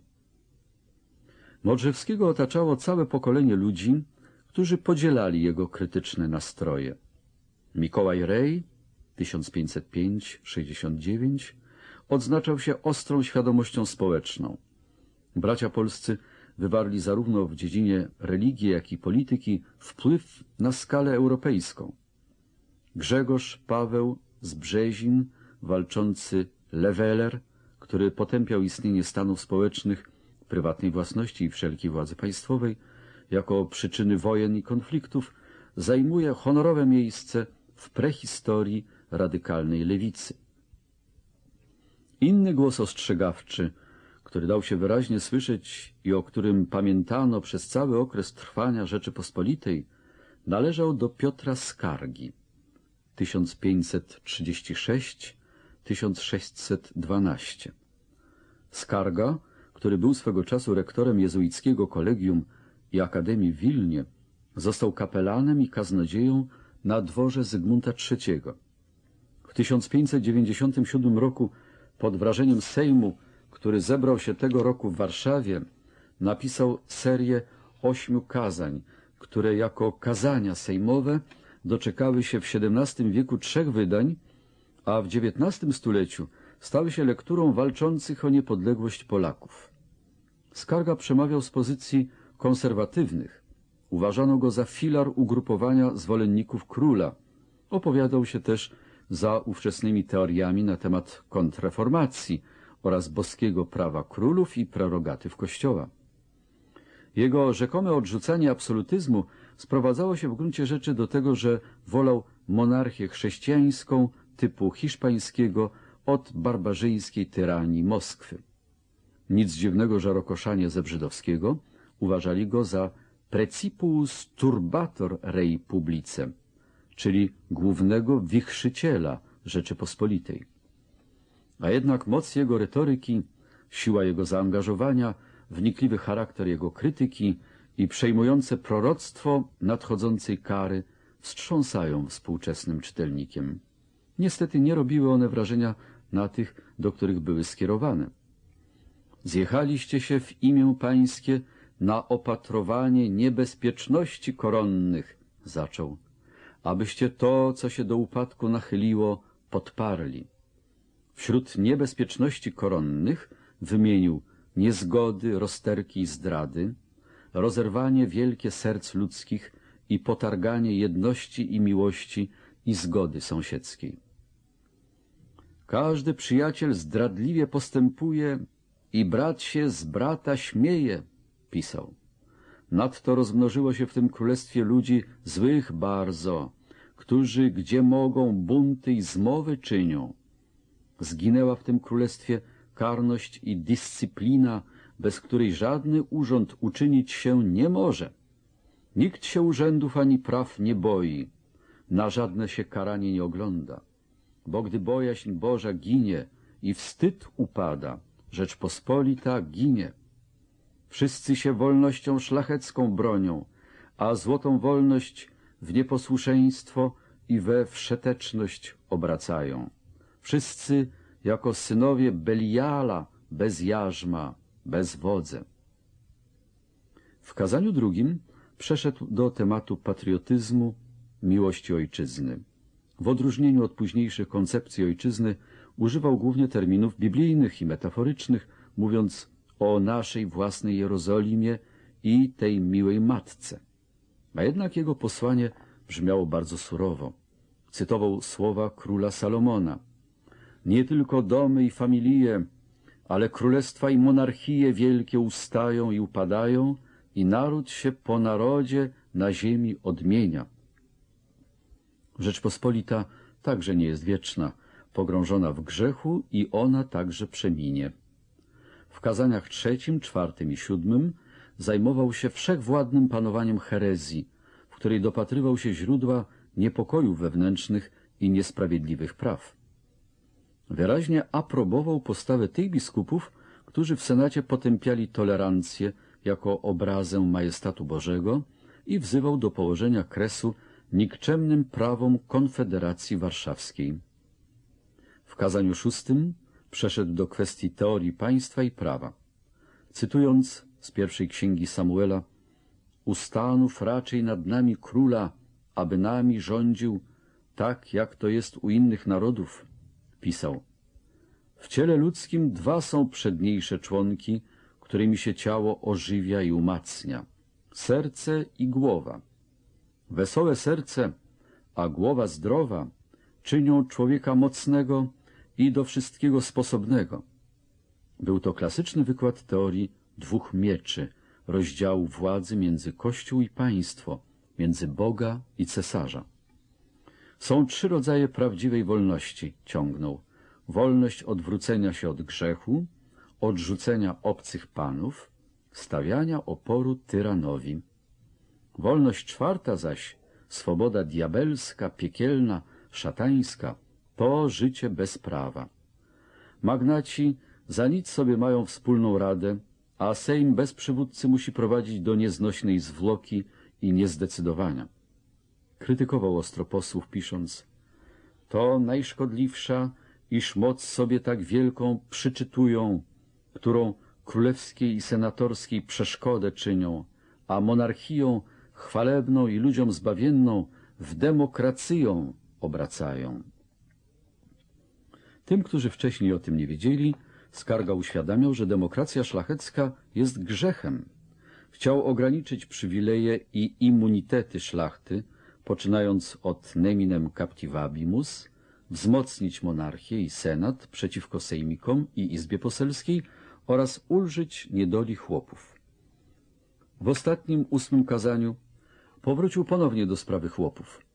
Uczęstowawszy szlacheckiego czytelnika bogatym przeglądem niekaranych grzechów Rzeczypospolitej, od bluźnierstwa, świętokradztwa, morderstwa, lichwy, cudzołóstwa, wiarołomstwa i zdrady, po wino, jedwabie i konie, wzywał go do refleksji nad kondycją jego własnych poddanych.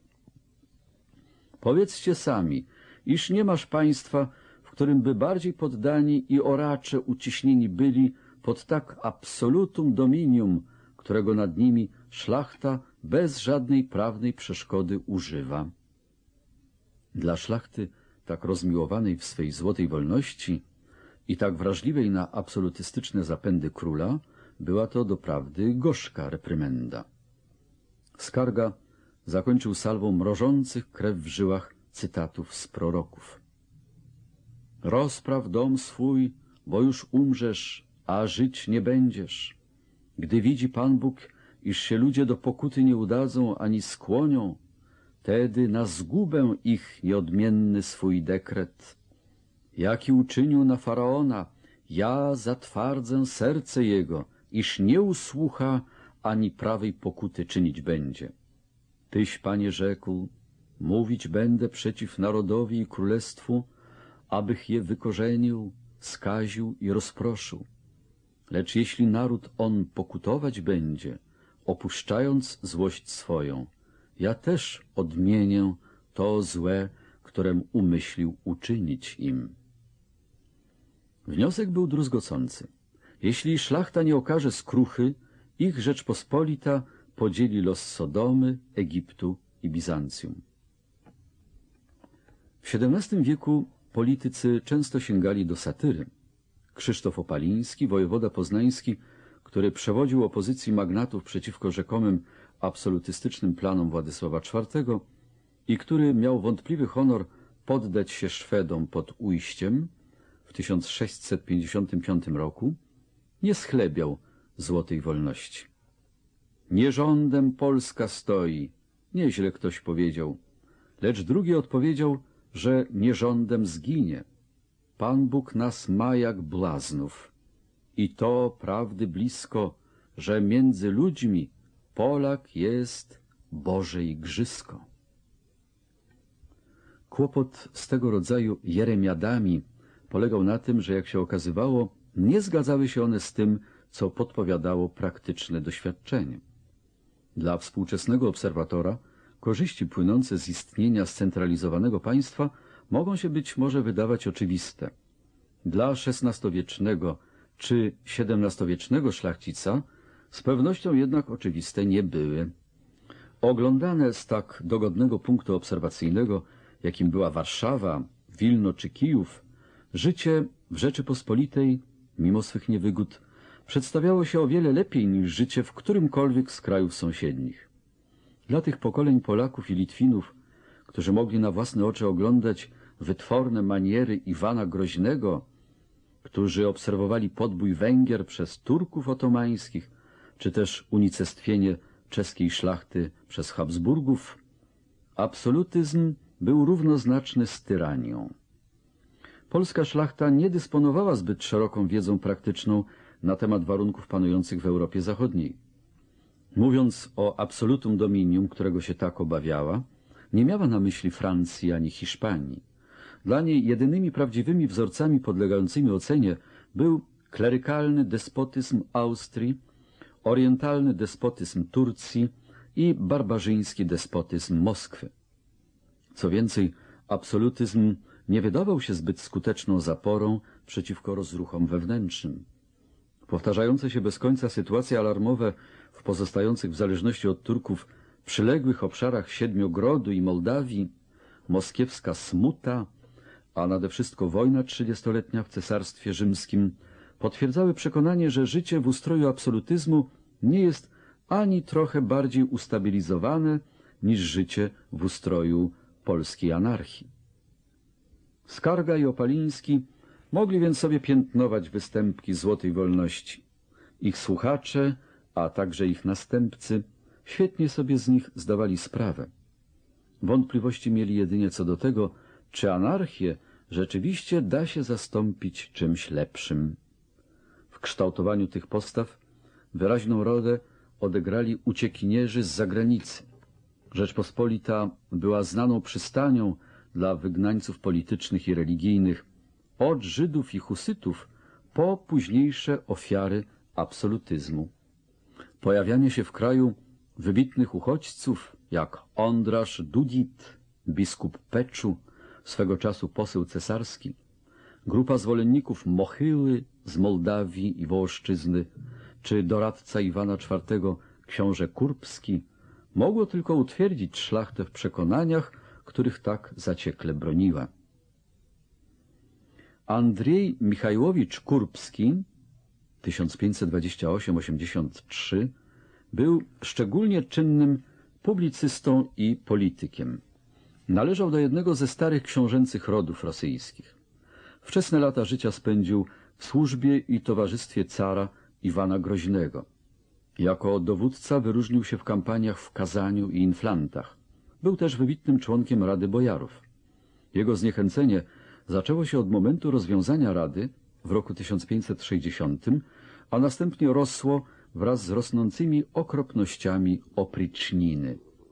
W roku 1564 jako komendant fortecy Dorpat na froncie inflanckim zdecydował się zbiec i w nocy z 29 na 30 kwietnia przeszedł do znajdującej się w rękach Litwinów twierdzy Wolmar.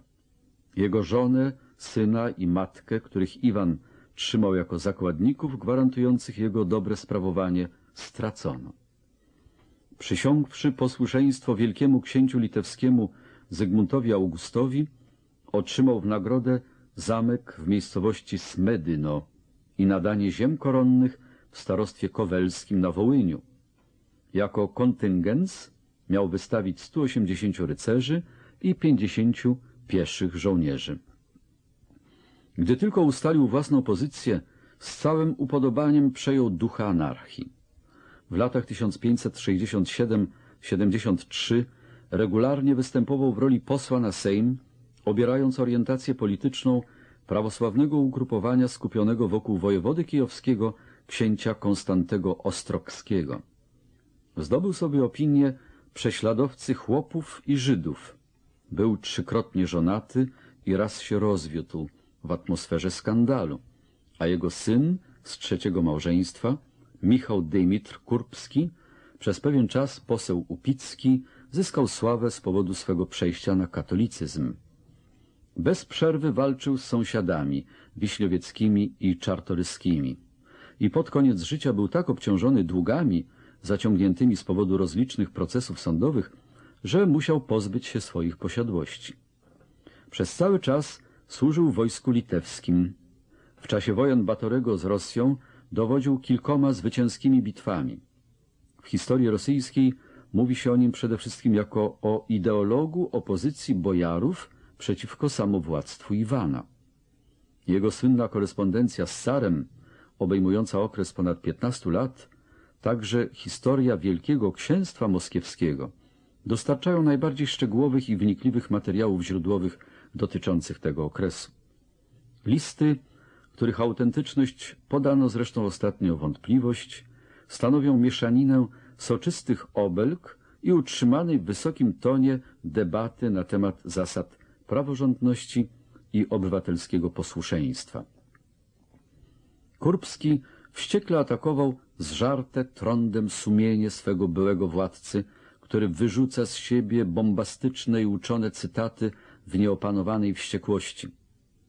Iwan natomiast nazywał swego byłego poddanego kundlem, śmierdzącym zdrajcą, uwodzicielem, faryzeuszem i krzywoprzysięzcą. Natchnieniem do napisania historii, utrzymanej w podobnym tonie, stała się mrożąca krew w żyłach perspektywa wyboru Iwana na tron Polski po śmierci Zygmunta Augusta.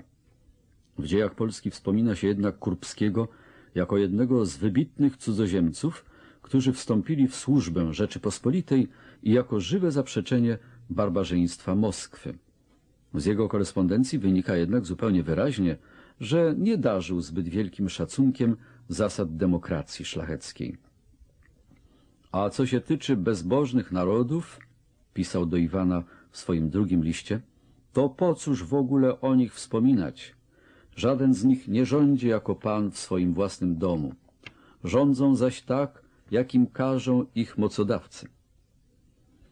Polski kronikarz Bielski utrzymuje, że Kurbski zbiegł na Litwę ze strachu przed konsekwencjami poniesionej porażki wojskowej. Większość współczesnych komentatorów skłonna jest przyznać, że w jego zachowaniu można się dopatrzyć silnej domieszki oportunizmu. Niemniej jednak Rzeczpospolita stała się dla niego przystanią, z której mógł bezpiecznie głosić swe poglądy. Już zaś to samo w sobie stanowiło dobrą reklamę. Zagraniczne komentarze dotyczące Polski i Litwy od dawna opóźniały się ze względu na brak informacji.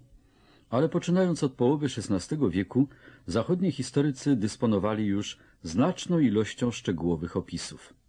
Słynna relacja, napisana w roku 1575 przez weneckiego posła Jeronima Lipomano, stanowiła we Włoszech uzupełnienie podobnych raportów pisanych dziesięć lat wcześniej przez kolejnych nuncjuszy papieskich.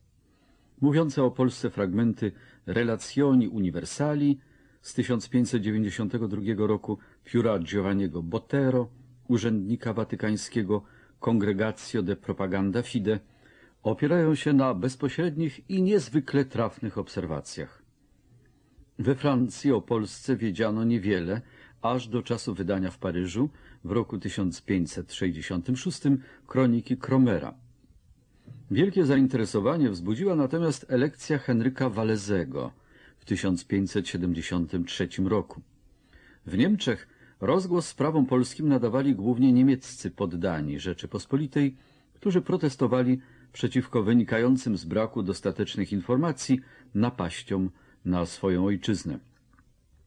Motywem wydania zarówno Encomium Regni Polonie Jakuba Gadebusza z Gdańska, jak i De Scoporei Publice Polonice Johanna Zachsa, Mariniusa Poloniusa z Torunia, było zranione uczucie patriotyzmu. Jeśli chodzi o, Anglię, pewną ograniczoną ilość informacji zawierała Itinerary Feinsa Morrisona. Pełniejsze omówienie musiało czekać aż do czasu, gdy sprawie Polskiej Litwy poświęcił swą uwagę dr Bernard O'Connor, który przez pewien czas pełnił obowiązki lekarza na dworze Jana Sobieskiego i w roku 1698 wydał dwutomową historię Polski. Niemiecki jurysta i historiograf na dworze szwedzkim Samuel Pufendorf wykorzystał zaangażowanie Szwecji sprawy polskie dla odmalowania sceptycznego, by nie powiedzieć pesymistycznego i krytycznego obrazu. Natomiast w całej Europie znano i czytano autorów polskich. Rzeczpospolita Polskiej Litwy była częścią Międzynarodowej Republiki Literatury Łacińskiej. Dzieła Modrewiusa Goślickiego, Bielskiego, Kromera, Arcewicjusa czy Opalińskiego były dostępne dla wszystkich, którzy chcieli po nie sięgnąć. Zachodni badacze mieli wiele kłopotu z zaklasyfikowaniem ustroju, którego nie można było w prosty sposób przyporządkować żadnej spośród kategorii Cycerona, monarchii, arystokracji czy demokracji. Wszyscy zgadzali się co do tego, że Rzeczypospolitej nie można uważać na równi z większością królestw Europy za prawdziwą monarchię. Botero stwierdził, że jest ona bardziej republikańska niż monarchiczna. Baudin nadał jej nazwę monarchia libera. Guillaume Barclay zaś, profesor prawa w Paryżu, oświadczył, Polacy nie mają ani króla, ani królestwa, ale coś w rodzaju oligarchii ukrytej pod monarszym tytułem. Dla określenia statusu polskiego króla używano różnego rodzaju określeń. Baudin nazywał go kapiteną szef, inni zaś pierwszym urzędnikiem, kuratorem lub przewodniczącym. W każdym razie nie był monarchą w ogólnie przyjętym znaczeniu tego słowa. Botero dodaje bardzo trafnie, mając niewątpliwie na myśli Batorego, że król tyle ma władzy, ile mu jej daje własny spryt i orientacja. Jako, że monarchię uważano na ogół za instytucję boską, ustanowioną przez Boga, powszechnie przyjmowano mit, że elekcje królewskie w Polsce są pozostałością prehistorycznego pogańskiego obyczaju przypisywanego to Gotom, to Celtom, to znów Wandalom czy pradawnym Sarmatom. Krytyków Rzeczypospolitej należy naturalnie szukać pośród tych, którzy największą wagę przywiązywali do zalet monarchii. Krytyka ta była jednak zazwyczaj łagodna i konstruktywna. Jako przykład może tu posłużyć Jean Baudin, który zajął się sprawą ustroju Polski z wielką starannością i precyzją. Jako oficjalny delegat do rozmów z poselstwem z Polski, które przybyło do Paryża w 1573 roku, bezpośrednio omawiał te kwestie z polskimi senatorami. Jego Six Livres de la République z 1576 zdradza gruntowną znajomość Kalimacha, Miechowity, Kromera, a szczególnie Modrzewskiego, którego propozycję Baudin omawia szczegółowo. Baudin zaliczał Polaków wraz z Brytyjczykami i Skandynawami do ludów północy, które charakteryzuje instynktowna nienawiść do tyranii. Krytykując selekcyjność jako zasadę obsadzania polskiego tronu, stwierdzał jednocześnie, że niepewność takiego systemu oznacza niebezpieczeństwo nie tyle dla króla, co dla samych elektorów i zalecał wybór następcy na zasadzie vivente rege. Uwagi najbardziej krytyczne kierował nie tyle pod adresem praktyki konstytucyjnej, ile niedostatków polskiego systemu wymiaru sprawiedliwości. zwłaszcza zaś ustalania główszczyzny. Pod koniec następnego stulecia Pufendorf ubolewał w Historie der vornehmsten Staaten und Reiche so jetziger Zeit in Europa sich finden nad niekończącymi się dysputami między Sejmem a królem oraz nad paraliżem mechanizmu ustawodawczego. Jednocześnie jednak wobec blasku jasnej łuny zwycięstwa sowieckiego pod Wiedniem nie wspominał nic o tym, że wewnętrzne niedostatki Rzeczypospolitej mogą stanowić zagrożenie dla jej pozycji międzynarodowej. Bernard O'Connor zauważał z żalem, że nikt w Polsce nie chce być poddanym. Podkreślał też zgubne skutki liberum veto i dożywocia jako zasady piastowania urzędów państwowych. Instytucja lekarza, praktyka kazała mu dać wyraz zdziwieniu, że polityczne ciało, które wykazuje tak wyraźne symptomy choroby, tak długo utrzymuje się przy życiu. Trwanie Rzeczypospolitej wyjaśniał częściowo solidarnością wolnych obywateli, którzy w chwilach najostrzejszych kryzysów zapominają o wszystkim, co ich dzieli, częściowo zaś brakiem jedności wśród jej sąsiadów, a wreszcie czynnikami natury wojskowej. Zdaniem O'Connora, kraju, który nie posiada nowoczesnych twierdz, ani nie mogą obronić jego obywatele, ani też ujarzmić jego wrogowie. Wszyscy ci autorzy wyrażali swą krytykę, nie posuwając się do żadnej złośliwości. Ich prace tworzą wyraźny kontrast z dziełami tak pozbawionych wszelkich skrupułów polemistów jak Guillaume Barclay, którego Satyricon został napisany ku uciesze francuskiego dworu, czy też Hermann Conring, którego traktat De Justitia Armorum Suecorum in Polonos powstał na zamówienie Karola X. Jean Barclay, syn Guillauma, obwołał Polaków barbarzyńcami, narodem zrodzonym z przemocy i samowoli, którą nazywają wolnością, ludźmi, którzy pod groźbą miecza zmuszają swego króla do podtrzymywania praw przodków, a którzy, wyposażywszy się we wszelakie samozwańcze przywileje, zdolni są bezkarnie zadawać krzywdę jedni drugim. Konring, mając na względzie cele polityczne, posunął się jeszcze dalej. Pisał, że Rzeczpospolita nie cieszy się miłością swych obywateli, że zrujnowały ją szlacheckie zbytki i nie jest warta, aby ją ratować. Natomiast gorących zwolenników Rzeczypospolitej należy szukać przede wszystkim w szeregach teoretyków prawa wypowiedzenia posłuszeństwa. We Francji zarówno katolicy, jak i hugenoci byli skłonni potępiać Rzeczpospolitą za jej słynną tolerancję religijną. Jedni i drudzy jednak wychodząc z odmiennych pozycji, skłonni byli jednocześnie podziwiać jej starania w celu zabezpieczenia się przeciw tyranii. Jean Boucher z Paryża, którego traktat De Justa Abdicatione z 1589 jest wyrazem poglądów katolickiej opozycji za czasów Henryka III, daje płomienny opis sposobu, w jaki ów tyran został przepędzony z Polski. Theodor Beza następca Kalwina w Genewie, wychwalał instytucję Pacta Conventa. Najbardziej sensacyjne były jednak poglądy anonimowego hugenoty, którego słynne Vindicje contra Tyrannos, wydane pod pseudonimem Junius Brutus, uważa się często za pierwsze w czasach nowożytnych wyraźne sformułowanie koncepcji umowy politycznej między rządzącymi a rządzonymi. Według niego Rzeczpospolita Polska oraz Święte Cesarstwo Rzymskie były jedynymi państwami w Europie, gdzie dawne cnoty przetrwały napór tyranii monarchów.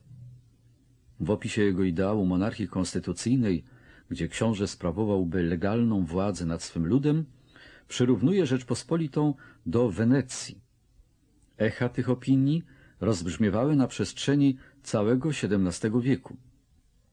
W swym dziele Oceana Sir James Harrington przywołuje przykład Polski dla upiększenia swego marzenia o utopii zorganizowanej dla obrony interesów klasy ziemiaństwa. Holender Ulrich Huber używa go w swym De Jure Civitatis dla wykazania niedostatków argumentacji Hopesa.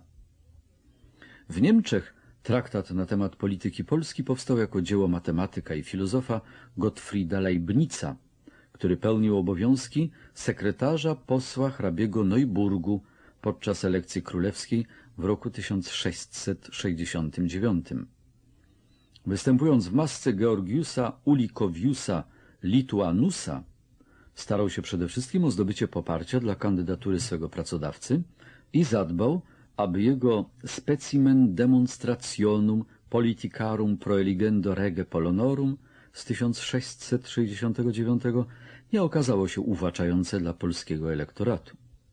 Pomimo to przytaczane przez niego argumenty za koniecznością ograniczenia swobód w interesie bezpieczeństwa zewnętrznego, a także interesujące porównanie zasady jedności, tak jak ją pojmowano w Polsce oraz w Republice Zjednoczonych Prowincji, są przekonywającym dowodem jego poważnych zamiarów. We Włoszech pochwała Polski wyszła z mroków neapolitańskich lochów. Tommaso Campanella, dominikanin, skazany za herezję na 27 lat więzienia, autor Miasta Słońca, poświęca Polsce długi fragment swego dzieła De Monarchia Hispanica. Co najdziwniejsze, napisał on sonet na cześć elektorów polskich, zalecając im, aby rodzinne cnoty przenosili nad obcą książęcą krew. Do Polski. Ponad królestwa, które strafu czynią spadkobiercę, dla swoich włości wznosisz się o Polsko, która, gdy oplakujesz swego zmarłego monarchę, synowi jego bierzesz berło, by je oddać obcym, z lęku, że nie okaże mądrości i siły. Lecz bardziej stajesz się igraszką w rękach losu, księcia fortuny obierając i z dworskim splendorem, niepewna wszak, czy on rozrzutny będzie, czy oszczędny. O, zamiast tym gorliwiej szukać w skromnej chacie Katona, Pompiliusza, Minosa, Hermesa, z podobnych im Bóg nie przestaje czynić królów. I im podobni tracą mało, zdobywając wiele. Pomni, że nieśmiertelność im przyniosą cnota i wielkie czyny, nie wysokie urodzenie. W epoce saskiej jakość komentarzy politycznych uległa równie wyraźnemu pogorszeniu, co sama sytuacja polityczna. Ludzie inteligentni w Polsce trzymali język za zębami. Dziedzinę teorii politycznej oddano w ręce uprawiających strusią politykę apostołów złotej wolności. W świecie, w którym potencjalni reformatorzy musieli się cofać pod naporem nacisków z zewnątrz i wewnętrznych tarć, nikt nie stawiał przeszkód sarmatystom, którzy udawali, że kondycja Polski przewyższa sytuację jakiegokolwiek innego kraju na świecie. Najwspanialsze fragmenty opinii sarmatystów znaleźć można w zadziwiającej encyklopedii księdza Benedykta Chmielowskiego 1763, dziele zatytułowanym Nowe Ateny albo Akademia Wszelkiej Sciencji Pelna 1746, które cieszyło się szeroką popularnością. Bigoteria religijna i polityczna naiwność Chmielowskiego dają typowy obraz światopoglądu tępawego, niedouczonego szlachcica tamtych czasów.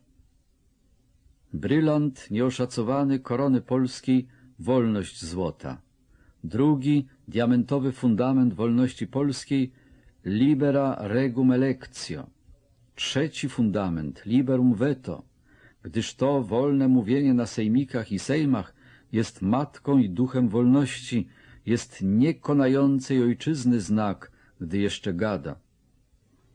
Utraciwszy wszelką nadzieję zbawienia, społeczeństwo polskie zamknęło się w sobie i zaczarowane bajkową idyllą starej Sarmacji zaczęło tracić z oczu najbardziej nawet jaskrawą rzeczywistość. Natomiast za granicą wielu autorów politycznych wyliczało oczywiste niedostatki polskiego systemu konstytucyjnego, nie zadając sobie trudu prześledzenia ich przyczyn. Już w roku 1721 w swych lettres persanes, czyli listach perskich, Montesquieu stwierdzał, że Polska czyni tak zły użytek ze swych swobód i elekcji królewskich, że przynosi satysfakcję jedynie swoim sąsiadom, którzy utracili i jedno i drugie. W roku 1740 w swym Antymachiawelu Fryderyk II zauważył, że w Polsce tron jest przedmiotem handlu, tak samo jak każdy inny towar, jaki trafi na rynek. W swych Considérations sur le gouvernement Marquis d'Argenson ostrzegał, że Polska stoi otworem, dostępna ze wszystkich stron dla każdego, kto zechce po nią sięgnąć, a jej jedyna siła leży właśnie w jej słabości. W haśle poświęconym Polsce we francuskiej Encyclopédie Chevalier de Jaucourt zadowolił się plagiatem nieco wcześniejszej pracy ojca Gabriela Kojera o Janie Sobieskim. Nawiązuje w nim do tematu, nad którym zastanawiał się już Montesquieu, stwierdzając, że upadek państwa jest wynikiem zniewolenia prostych ludzi. Podobne opinie powtarzała większość myślicieli epoki. David Hume, Adam Smith, William Paley, przede wszystkim zaś Voltaire. Liczne, inteligentne i nieodmiennie nieprzyjazne komentarze Voltera zasługują na uwagę, chociażby ze względu na swą ogromną popularność. Najpierw w historii Karola II, później w dramacie Les Lois de Minos, a wreszcie w swych licznych pismach na temat tolerancji, mędrzec z Ferney nie przepuścił żadnej okazji, aby szydzić z Polski jako ojczyzny chaosu, barbarzyństwa i fanatyzmu. Nie roszcząc sobie pretensji do żadnej bliższej znajomości spraw polskich, używał przykładu Rzeczypospolitej jako ostrzegawczej przypowiastki, mającej na celu ukazanie losu wszystkich tych, którzy wpadają w szpony płynącej z Rzymu ignorancji. Brave Polonais, vous n'avez eu depuis longtemps que deux véritables ennemis, les Turcs et la cour de Rome. Dzielni Polacy, od dawna już macie dwóch rzeczywistych wrogów. Turków i dwór rzymski. Polskiego leitmotivu używał, ma się rozumieć, nie jako poważnego wkładu w rozważanie spraw polskich, lecz jako broni polemicznej służącej dla dogodzenia czytelnikom. Ale w swej gorliwości przypodobania się oświeconym korespondentom z Berlina i Petersburga często popadał w swego rodzaju hiperbolę, która zdradzała prawdziwe barwy jego sztandaru. W 1768 roku na przykład złożył autorom polskich swobód typowy obosieczny komplement, gratulując zarówno Stanisławowi Augustowi, jak i arcybiskupowi Podoskiemu ich szczęśliwych związków z Gwiazdą Północy. Carowa Rosji nie tylko wprowadziła powszechnie zasadę tolerancji w swych własnych rozległych prowincjach, ale także wysłała wojsko do Polski, pierwszą armię tego rodzaju od początku istnienia ziemi, armię pokoju, wyłącznie po to, aby bronić praw obywateli i w drżenie wprawić prześladowców. Mądry to i sprawiedliwy władca, który przewodził temu szczęśliwemu pojednaniu. Światły to prymas, książę wolny od pychy i kapłan wolny od uprzedzeń. Oby byli błogosławieni i naśladowani przez wszystkie wieki. W tej atmosferze trzeba było naprawdę wielkiej siły ducha, aby odważyć się powiedzieć coś dobrego o ustroju Polski. Nawet apologeci z obozu leszczyńskiego i zwolennicy reform od Bodo po Mabliego oczerniali Polskę w nadziei, że w ten sposób doprowadzą do zmian. Tylko Jean-Jacques Rousseau zachowywał się inaczej.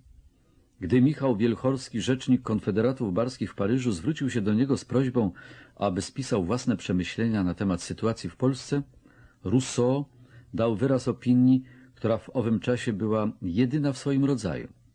Jego Considérations sur le gouvernement de la Pologne, traktat opublikowany w roku 1772, w roku pierwszego rozbioru, jest oznaką triumfu niezależnego umysłu, a zarazem dociekliwości badacza. Rousseau Starannie zbadał instytucje państwa polskiego i nie był przeciwny ich szczegółowej naprawie. Natomiast w panującej sytuacji dostrzegał wypaczenie cennych ideałów i w jego pracy przeważało zalecenie ostrożności. Ostrzegał Polaków, że muszą przemyśleć rzecz bardzo starannie, zanim się zdecydują zniszczyć to, dzięki czemu stali się tym, czym są. Wreszcie, w pełni obeznany z intrygami sąsiadów Rzeczypospolitej, wysunął w związku z sytuacją w Polsce radę najstosowniejszą może ze wszystkich, jakie kiedykolwiek udzielono w czasach nowożytnych. Jeśli Polacy nie mogą zapobiec temu, aby wrogowie połknęli ich w całości, to niech przynajmniej robią wszystko, co mogą, aby się nie dać strawić.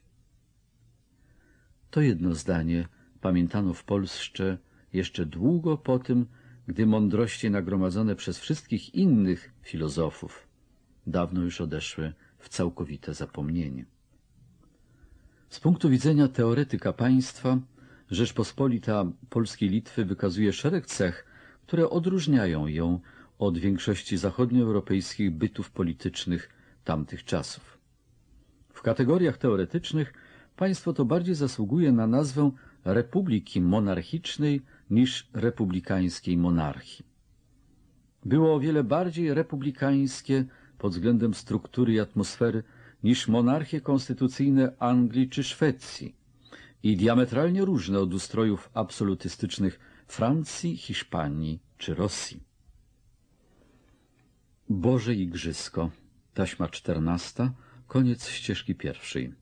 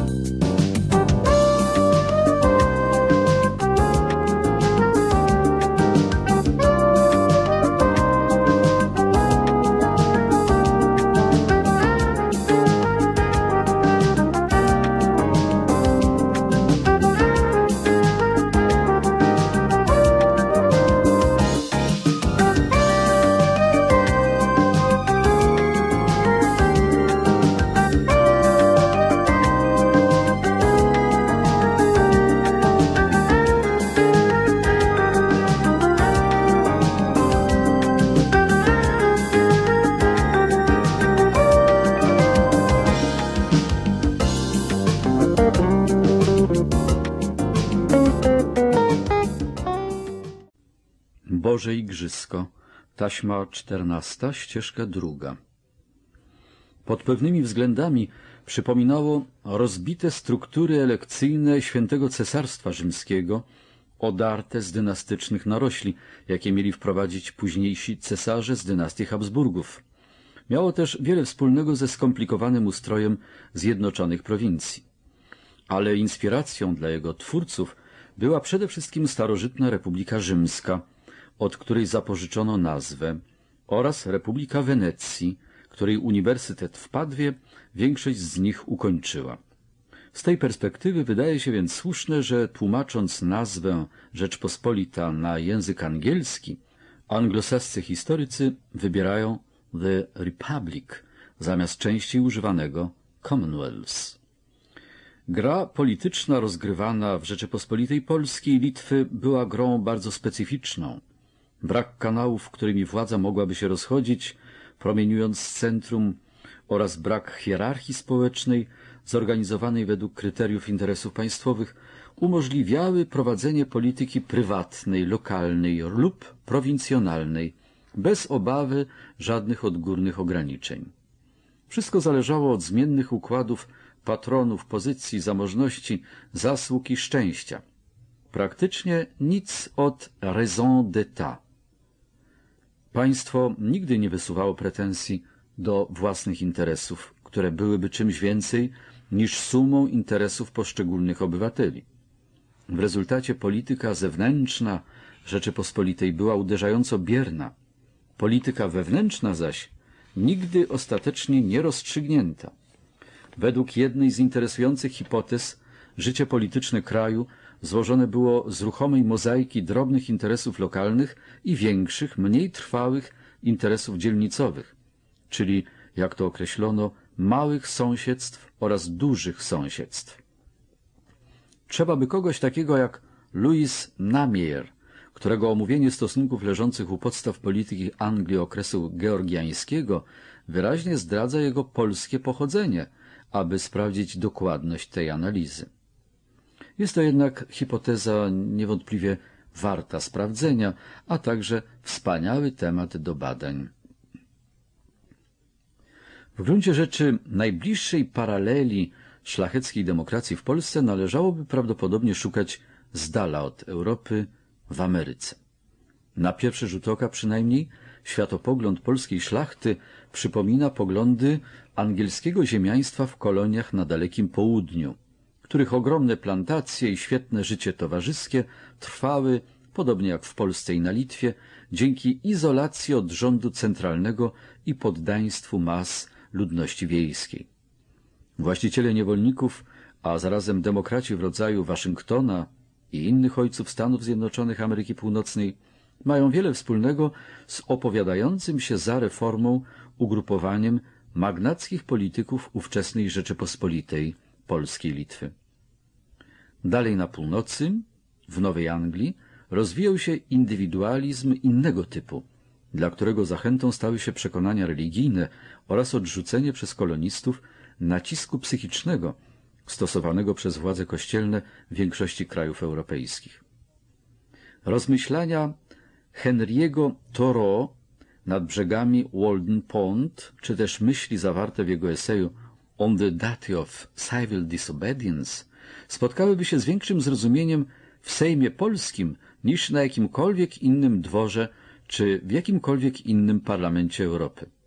Jego słynne motto, które głosiło, że najlepszy jest taki rząd, który najmniej rządzi, spotkałoby się z jednogłośnym poparciem na wszystkich sejmikach ziemskich, jako kwintesencja przekonań polskiej opozycji szlacheckiej przeciwko wzrostowi władzy królewskiej na przestrzeni całego okresu istnienia Rzeczypospolitej. Prymitywny anarchizm amerykański, zrodzony na pograniczach nowego kontynentu, znalazłby pokrewną duszę, jeśli nie bezpośredniego przodka, w ideałach owej wymarłej Rzeczypospolitej, która niegdyś żyła na równinach wschodniej Europy. Rzecz dziwna, ideały polskiej szlachty pobrzmiewają nutą zadziwiająco współczesną. W epoce, w której większość Europejczyków wychwalała zalety monarchizmu, absolutyzmu czy władzy państwowej, szlacheccy obywatele polskiej Litwy głosili chwałę swej złotej wolności, prawa do wypowiedzenia posłuszeństwa, umowy społecznej, swobód jednostki, zasady rządu w oparciu o powszechną zgodę, zalet niezależności.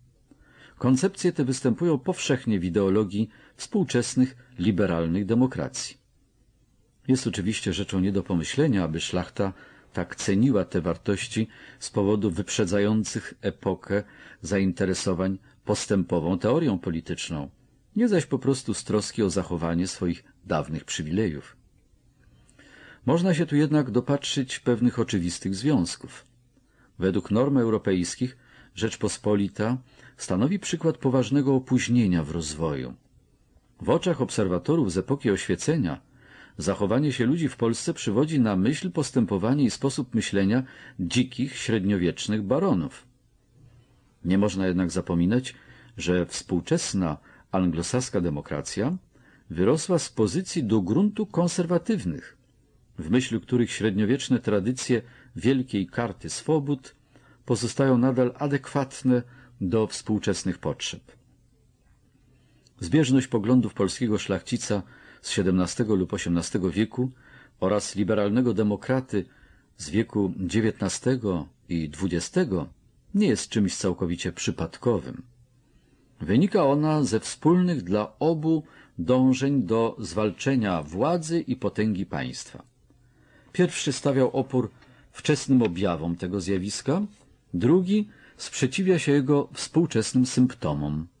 Ale jest to w obu wypadkach walka z tym samym wrogiem.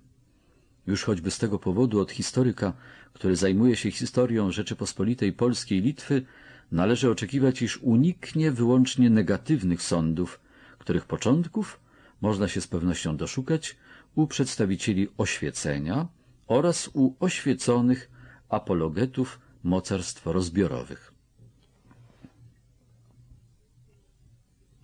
Rozdział jedenasty. Serenissima. Dyplomacja w Rzeczypospolitej Polski i Litwy. Można się sprzeczać co do tego, czy Jan Dantiskus, czyli Dantyszek 1485-1548, był pierwszym polskim dyplomatą. Był jednak z pewnością jednym z najbardziej interesujących. Okres ośmiu lat i czterech miesięcy, które spędził w latach 1524-32 jako ambasador na dworze cesarza Karola V, cytuje się często jako czas działalności pierwszej stałej ambasady w polskiej służbie dyplomatycznej. Dantyszek był pod pewnymi względami reprezentantem średniowiecznej tradycji kosmopolitycznej przedstawicieli duchowieństwa, którzy łączyli służbę dyplomatyczną z pełnieniem obowiązków kościelnych. Równocześnie jednak należał do tego nowego pokolenia humanistów, przed których talentem artystyczny patronat, filozoficzne dociekania oraz zakrojona na szeroką skalę świecka ciekawość otwierały zupełnie nowe pole do działania.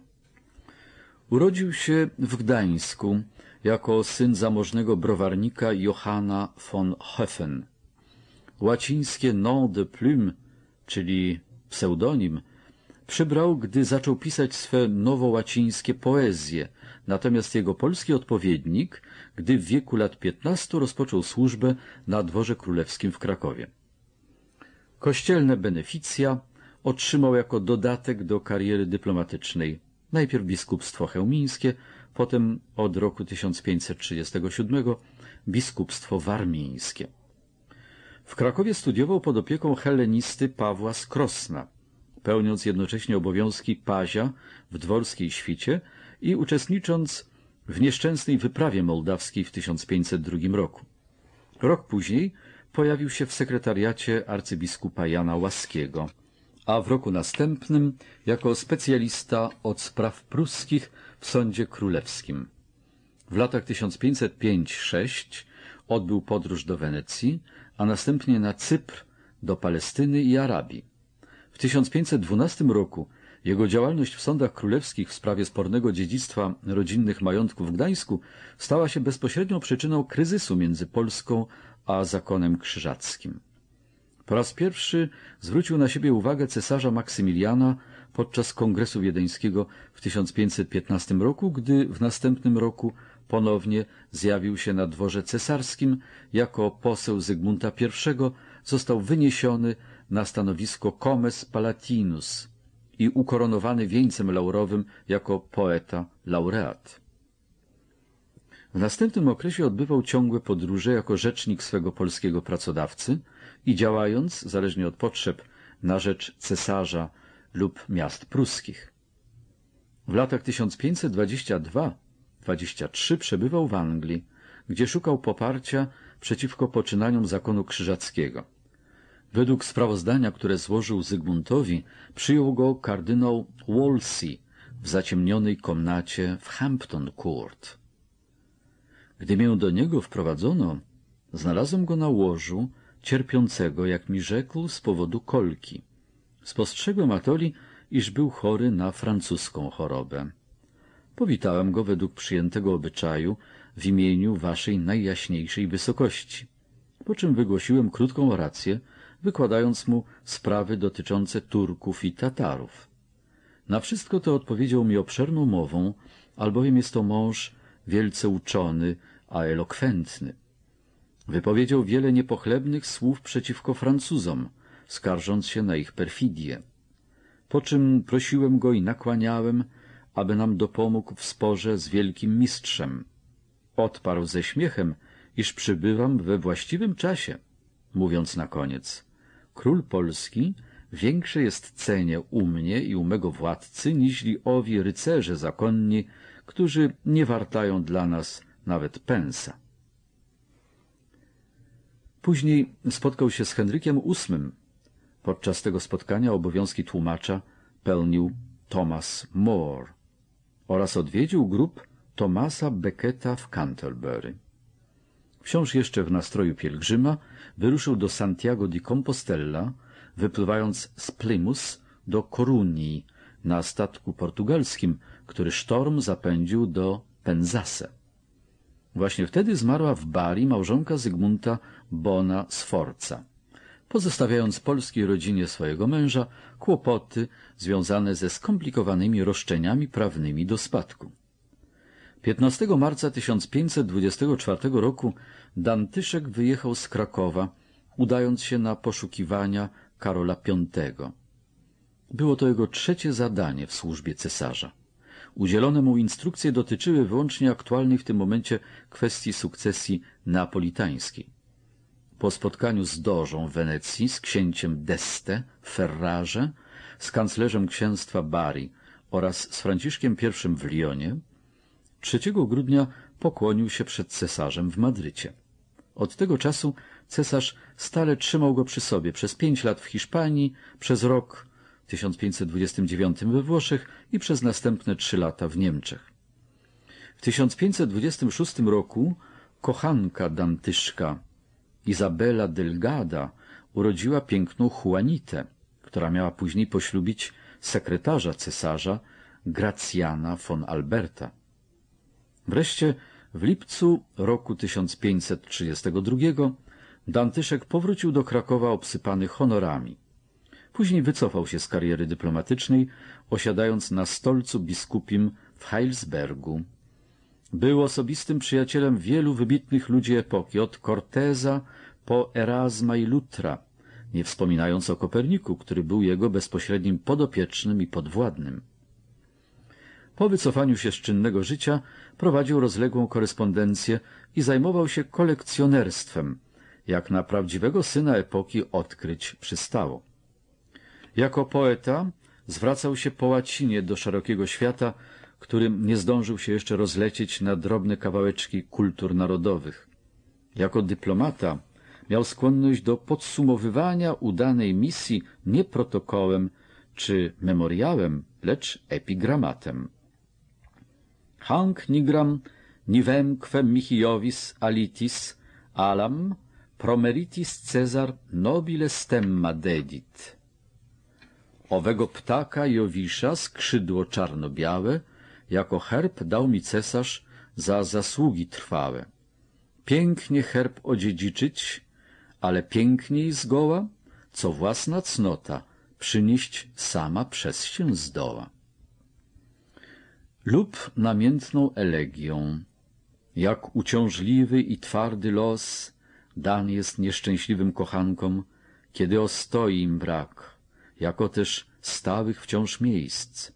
Nic u nich trwale nie bywa, lecz dawszy się porwać zachciankom, gdzie ich niepewny gna traw, dają w rozterce się wieść, blądzą i rzadko im dano używać spokojnej przystani.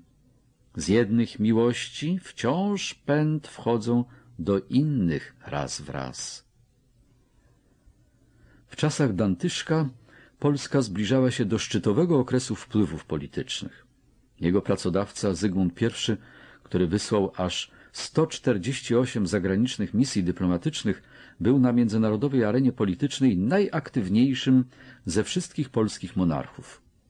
W roku 1569, w chwili zawarcia Unii Lubelskiej, Rzeczpospolita Polskiej Litwy zyskała na pewien czas pozycję największego pod względem terytorialnym państwa w Europie oraz czołowej potęgi wschodu.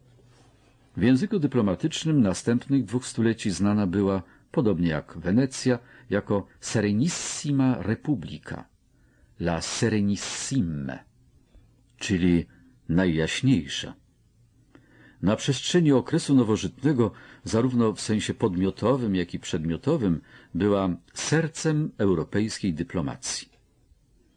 Po Unii z roku 1569 demokratyczny ustrój Rzeczypospolitej spowodował wyłączenie dyplomacji spod bezpośredniej kontroli króla. Zgodnie z pakta konwenta, uzgadnianymi przez króla i szlachtę na początku każdego panowania, bez zgody senatu nie można było mianować żadnych dyplomatów. Żadne traktaty nie były ważne, dopóki nie ratyfikował ich Sejm. Dla przeprowadzenia ważnych negocjacji obie izby Sejmu wspólnie wyznaczały pełnomocników sejmowych, którym przyznawano najwyższy status dyplomatyczny. W praktyce król zachował oczywiście spory zakres władzy wykonawczej. Mimo, że politykę zagraniczną prowadzono nie w imieniu króla, lecz w imieniu Senatu i Rzeczypospolitej, jego wpływy były o wiele większe niż wpływy jakiejkolwiek innej osobistości w państwie. Do niego należał najważniejszy głos podczas okresowych formalnych ogólnych posiedzeń Senatu, na których ustalano podstawowe zasady dotyczące prowadzenia polityki, a także w złożonej z szesnastu senatorów, rezydentów, senatus concilium, która kierowała sprawami bieżącymi w czasie długich przerw między posiedzeniami. W normalnych warunkach król sprawował też ścisłą kontrolę nad czterema kancelariami, dwiema dla królestwa i dwiema dla Wielkiego Księstwa, a zwłaszcza nad mniejszą kancelarią królestwa, która zazwyczaj służyła mu podczas królewskich objazdów i która zdobyła sobie pierwszoplanową rolę w kwestiach dyplomatycznych. Zdarzały się momenty, jak w roku 1609 za panowania Zygmunta Wazy, gdy Senat był gotów pozwolić królowi na podejmowanie według własnego uznania decyzji w sprawach wojny i pokoju. Bywało i tak, na przykład w roku 1656 za panowania Jana Kazimierza, że wobec niemożności zwołania Sejmu król musiał sprawować władzę sam. Niektórzy królowie polscy mogli oczywiście zazdrosnym okiem patrzeć na rządy innych monarchów Europy, którzy na ogół zabiegali o to, aby nawet w ramach monarchii konstytucyjnych zachować prerogatywy dotyczące polityki zagranicznej. Ale jeśli tylko nie zabrakło im zręczności jeśli zdobyli sobie dobrą pozycję w oczach najwyższych urzędników państwowych, polscy władcy nie byli bynajmniej bezradni. Wobec znacznej decentralizacji władzy na terenie Rzeczypospolitej państwo nie rościło sobie pretensji do monopolu w dziedzinie spraw dyplomatycznych. Sejm czy Senat mógł wprawdzie powstrzymać króla od podejmowania zobowiązań, których nie aprobowano, ale też nikt nie sprzeciwiał się temu, aby król prowadził własną, prywatną politykę, jeśli tylko nie cierpiały na tym interesy i zasoby państwa. W epoce Wazów dyplomacja królewska, którą prowadzili dworzanie w opozycji do urzędników państwowych, forsowała dynastyczne roszczenia króla do tronu szwedzkiego, działając kanałami całkowicie niezależnymi od oficjalnych kanałów państwowych. W epoce saskiej wprowadzono wyraźne rozróżnienie między poczynaniami króla i poczynaniami Rzeczypospolitej. Było na przykład rzeczą najzupełniej możliwą, że jako elektor saski Wettyn był w stanie wojny ze Szwecją, podczas gdy równocześnie jako król Polski i Litwy utrzymywał z nią pokój. Poczynając od początku XVI wieku, hetmani mieli obok obowiązków wojskowych również prawo nawiązywania stosunków dyplomatycznych. Zwłaszcza na południu i wschodzie, skąd nie można się było ani łatwo, ani szeroko porozumieć z Warszawą, hetman mógł zgodnie z prawem prowadzić z własnej inicjatywy kampanię przeciw Tatarom i podpisywać z nimi rozejmy. Utrzymywał swych rezydentów w Turcji, na Krymie, w Mołdawii i Wołoszczyźnie. Wielcy magnaci rościli sobie pretensje do podobnych uprawnień, chociaż w ich przypadku granica między postępowaniem zgodnym z prawem a zdradą była trudniejsza do ustalenia. Radziwiłł, który w 1655 roku podpisał prywatny pokój ze Szwedami, był z pewnością zdrajcą i powszechnie został za zdrajcę uznany. Ale gdy nieco wcześniej kanclerz Zamojski używał swego prywatnego wojska i prywatnej dyplomacji, mianując i odwołując mołdawskich gospodarów, czynił to całkiem bezkarnie. W czasie moskiewskiej smuty awanturnicze zapędy Jerzego Mniszcha i jego współspiskowców wciągnęły Polskę, wbrew woli Sejmu, w mordercze walki Rosji. Polscy magnaci zachowywali się w sposób przypominający coraz bardziej poczynania niemieckich książąt, jak udzielni władcy, których zwierzchnik znajdował się zbyt daleko i był zbyt zajęty, aby ich przywołać do porządku. W czasach Konfederacji, gdy szlachta organizowała zbrojne przymierza dla osiągnięcia zgodnych z prawem celów politycznych, przywódcy Konfederacji byli prawnie upoważnieni do używania środków dyplomatycznych dla poparcia swych kampanii. Podczas Wielkiej Wojny Północnej konfederacje utrzymywały się przez całe dziesięciolecia, a decentralizacja w dziedzinie dyplomacji była tak wielka, że nie było mowy o podporządkowaniu się jakiejkolwiek władzy centralnej. W różnych okresach zarówno miasto Gdańsk, jak i kozacy dnieprzańscy utrzymywali swoje własne służby dyplomatyczne za pełną zgodą władz centralnych. Podczas częstych okresów interregnum prowadzenie spraw zagranicznych tradycyjnie przechodziło w ręce prymasa, arcybiskupa gnieźnieńskiego, który był jako interrex uprawniony do prowadzenia innego jeszcze typu dyplomacji dyplomacji prymasowskiej. System podziału odpowiedzialności administracyjnej był równie złożony jak system władzy wykonawczej. W każdej z odrębnych administracji Królestwa i Wielkiego Księstwa opieka i nadzór nad zagranicznymi dyplomatami, podobnie jak koordynacja rozmaitych sektorów służby dyplomatycznej Rzeczypospolitej, spoczywały w rękach marszałka. Nadzór nad sekretariatami dyplomatycznymi należał do kanclerzy, ale zazwyczaj każdym z nich kierował jeden z podkanclerzy. Z upływem czasu administracja królestwa stawała się o wiele ważniejsza od administracji Wielkiego Księstwa, mimo że Litwini przez długi czas podkreślali swoje prawo do sprawowania kontroli nad stosunkami z Moskwą. W królestwie pracę kancelarii koordynował główny sekretarz, sekretarius supremus. Czterech głównych notariuszy, pronotarii, kierowało poszczególnymi wydziałami. Wydziały te specjalizowały się w utrzymywaniu stosunków dyplomatycznych z poszczególnymi krajami lub dzielnicami oraz były upoważnione do pełnienia roli obserwatorów podczas posiedzeń Senatu i komisji senackich. Poza nimi byli jeszcze referendarze, kopiści, tłumacze i archiwiści, w sumie około 20 osób. Na początku okresu Unii w skład personelu Kancelarii Polskiej wchodziło wielu wybitnych ludzi. Na liście znalazły się nazwiska Jana Kochanowskiego, Łukasza Górnickiego, Andrzeja Frycza-Modrzewskiego, Jana Zamojskiego, Marcina Kromera, Stanisława Hozjusza. Skupiała ona czołowe umysły oraz wybitnych artystów epoki. Głównym zadaniem kancelarii było prowadzenie korespondencji zagranicznej, ale oprócz tego przygotowywała ona raporty i sprawozdania, instrukcje dla posłów oraz dwojakiego rodzaju listy uwierzytelniające od króla i senatu. Prowadziła też rejestry. Pracą kancelarii szczególnie interesował się Zygmunt August, który osobiście sprawdzał dokumenty.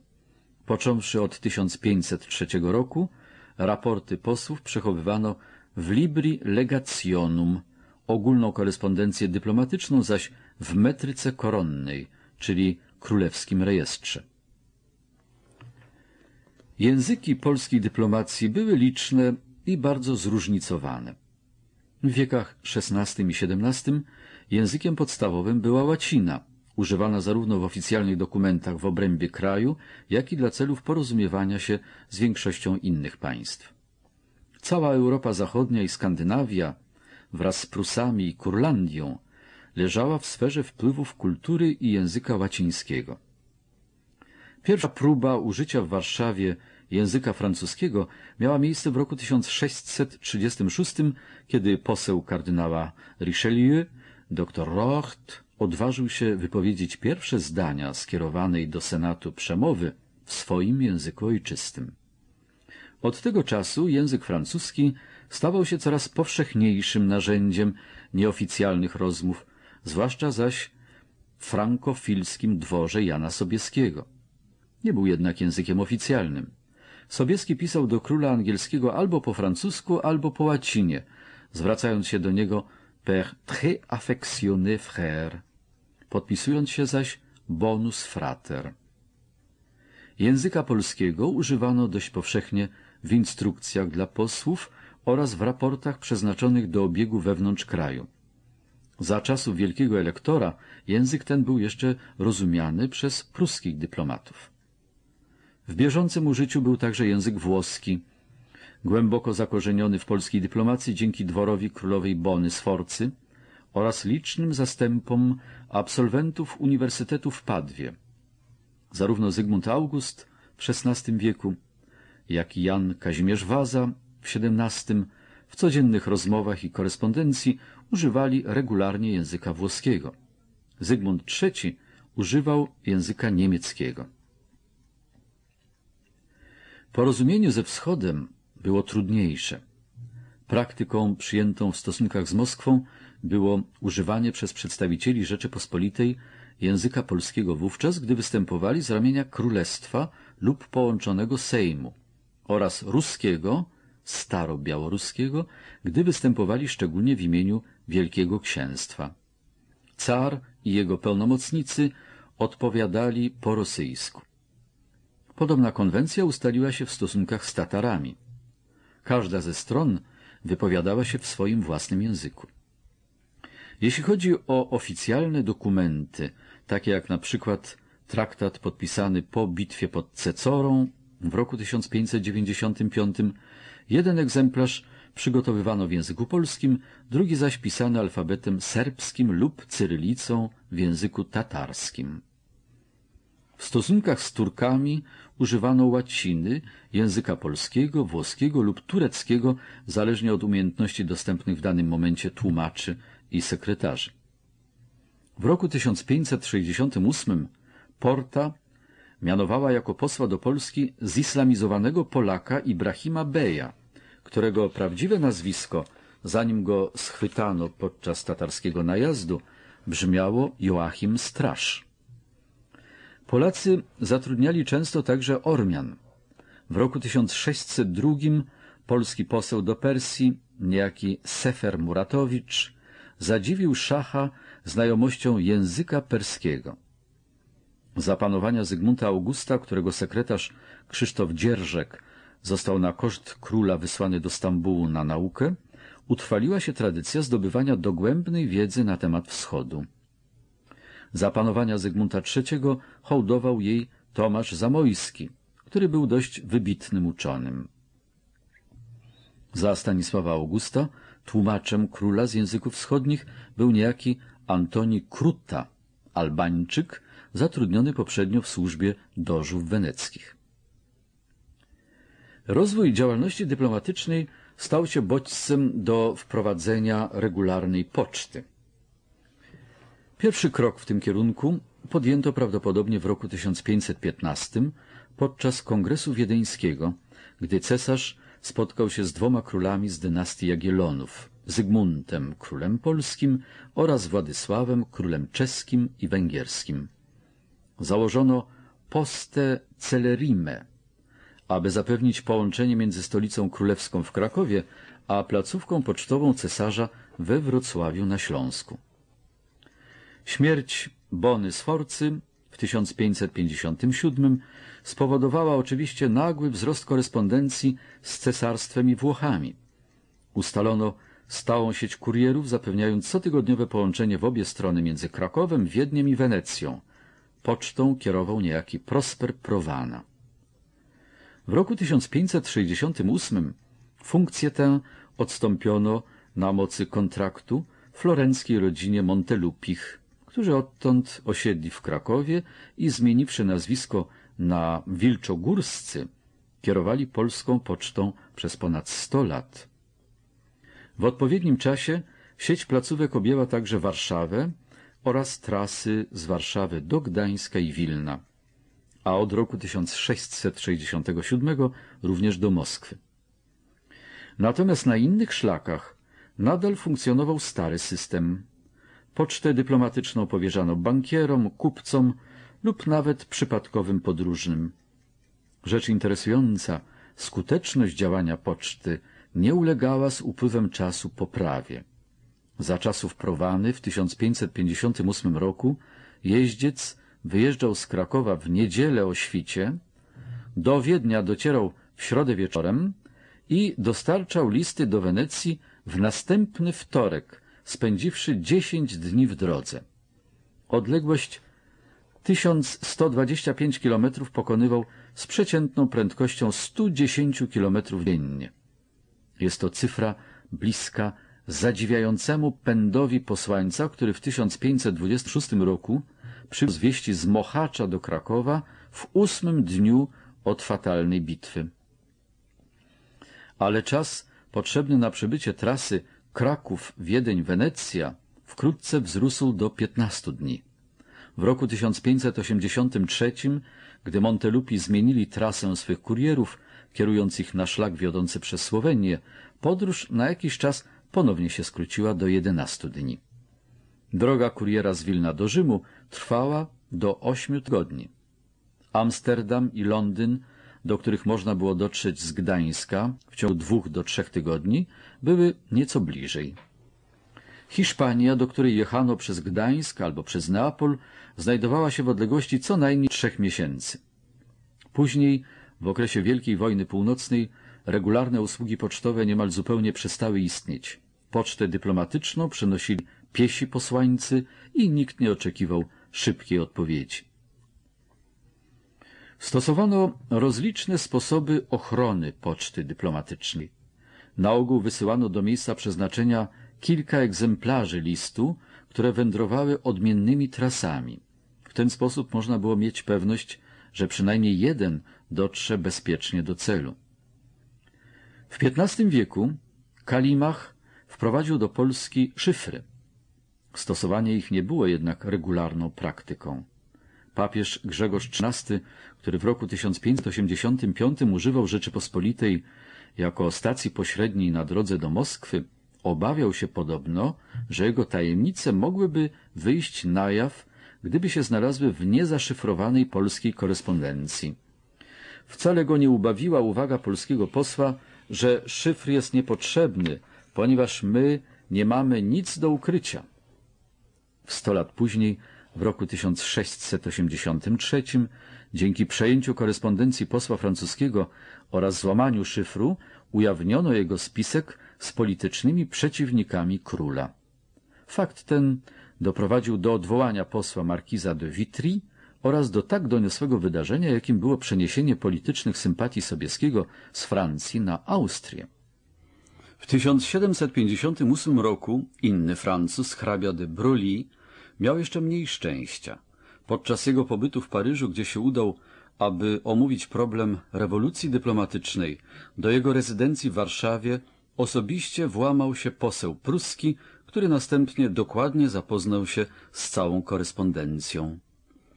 Nowoczesny system stałych ambasad powstał dopiero przy końcu XVI wieku, ale i wtedy bynajmniej nie zarzucono dawnego zwyczaju wysyłania poselstw za granicę w specjalnych misjach. W okresie Unii 1569 roku stałe misje polskie utrzymywano w Madrycie, Wiedniu, Neapolu i Rzymie. W wieku XVII agenci polscy przebywali stale w większości stolic europejskich, utrzymując dość regularne stosunki dyplomatyczne w okresach między wizytami starszych rangą dyplomatów przybywających z Polski. W latach 30. XVII wieku pierwsze przejawy życia polskiej służby konsularnej pojawiły się w Kopenhadze, Wiedniu i Neapolu. Równie niepewny był status poselstw, ponieważ zależał on w równej mierze od rangi danego dyplomaty, co od miejsca przeznaczenia oraz natury jego misji. Ranga najwyższa, oratora, odpowiadała randze wielkiego posła, funkcji zarezerwowanej dla misji do Moskwy. Na niższych szczeblach dyplomatycznej drabiny znajdowali się kolejno nuncjusz, poseł, internuncjusz, poseł drugiego rzędu, agens, czyli agent, oraz u dołu hierarchii missilis, czyli goniec. Wszyscy ustępowali jednak autorytetem pełnomocnikom sejmowym, którzy stali na czele delegacji polskich na najważniejsze konferencje dyplomatyczne. Około połowy poselstw powierzano senatorom, zarówno świeckim, jak i duchownym. W wieku XVI pełnieniu tej funkcji wybitną rolę odgrywali również sekretarze królewscy, choć nie zawsze odbywało się to bez tarć. W roku 1554 w Wiedniu główny delegat polski, kasztelan radomski Mikołaj Myszkowski tak mocno oponował przeciwko włączeniu w skład jego poselstwa Marcina Kromera, skromnego historyka, że podczas audiencji próbował zająć jednocześnie oba krzesła przygotowane dla posłów. Mimo to w razie potrzeby w skład poselstwa mogli wejść najskromniejsi ze skromnych. W stosunkach z Krymem wybitną rolę odgrywali kupcy ormiańscy. Natomiast w latach dwudziestych XVI wieku we Włoszech reprezentował króla neapolitański kucharz królowej Bony Cola Maria de Caris. W przypadku poselstwa do Moskwy i Porty problem statusu nabierał dodatkowego znaczenia, ponieważ gospodarze skłonni byli osądzać szczerość zamiarów Rzeczypospolitej według rangi posła i splendoru jego orszaku. Wybór posła o niższej pozycji lub mniejszej zamożności poczytywany był za celową obrazę, co już na samym początku mogło przesądzić o niepowodzeniu misji. Od zagranicznych misji na terenie Polski wymagano przestrzegania ściśle określonego protokołu. Po dojechaniu do granicy poselstwo zgłaszało się do starosty najbliższego miasta, który miał obowiązek eskortowania posłów do stolicy oraz zniechęcania ich do prowadzenia rozmów z miejscową ludnością. Na terenie Wielkiego Księstwa, podobnie jak w Moskwie, funkcję tę pełnił specjalnie w tym celu mianowany urzędnik przystaw.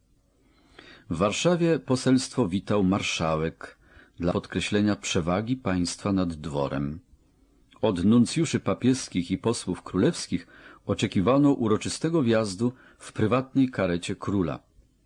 Na Zamku Królewskim przyjmował ich na audiencji król w towarzystwie senatorów, wszyscy na stojąco i z nakrytymi głowami.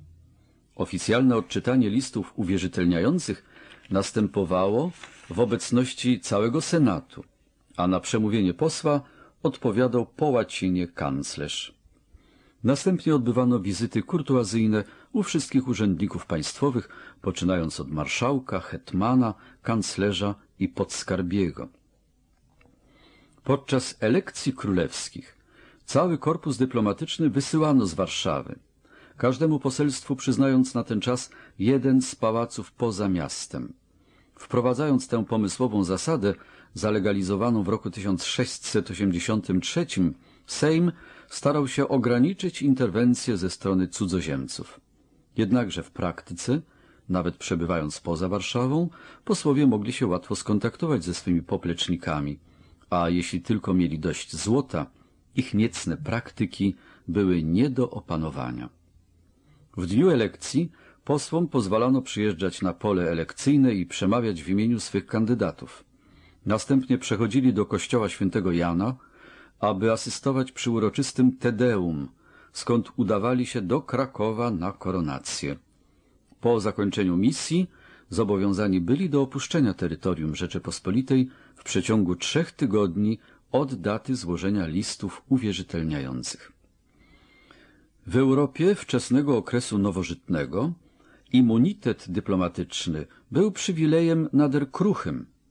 W Rosji i Turcji gdzie przemoc fizyczna i wyrachowane upokorzenie były przyjętą metodą negocjacji, był rzeczą wręcz nieznaną. W Rzeczypospolitej wprawdzie go uznawano, ale i tu zdarzyło się kilka znamiennych uchybień.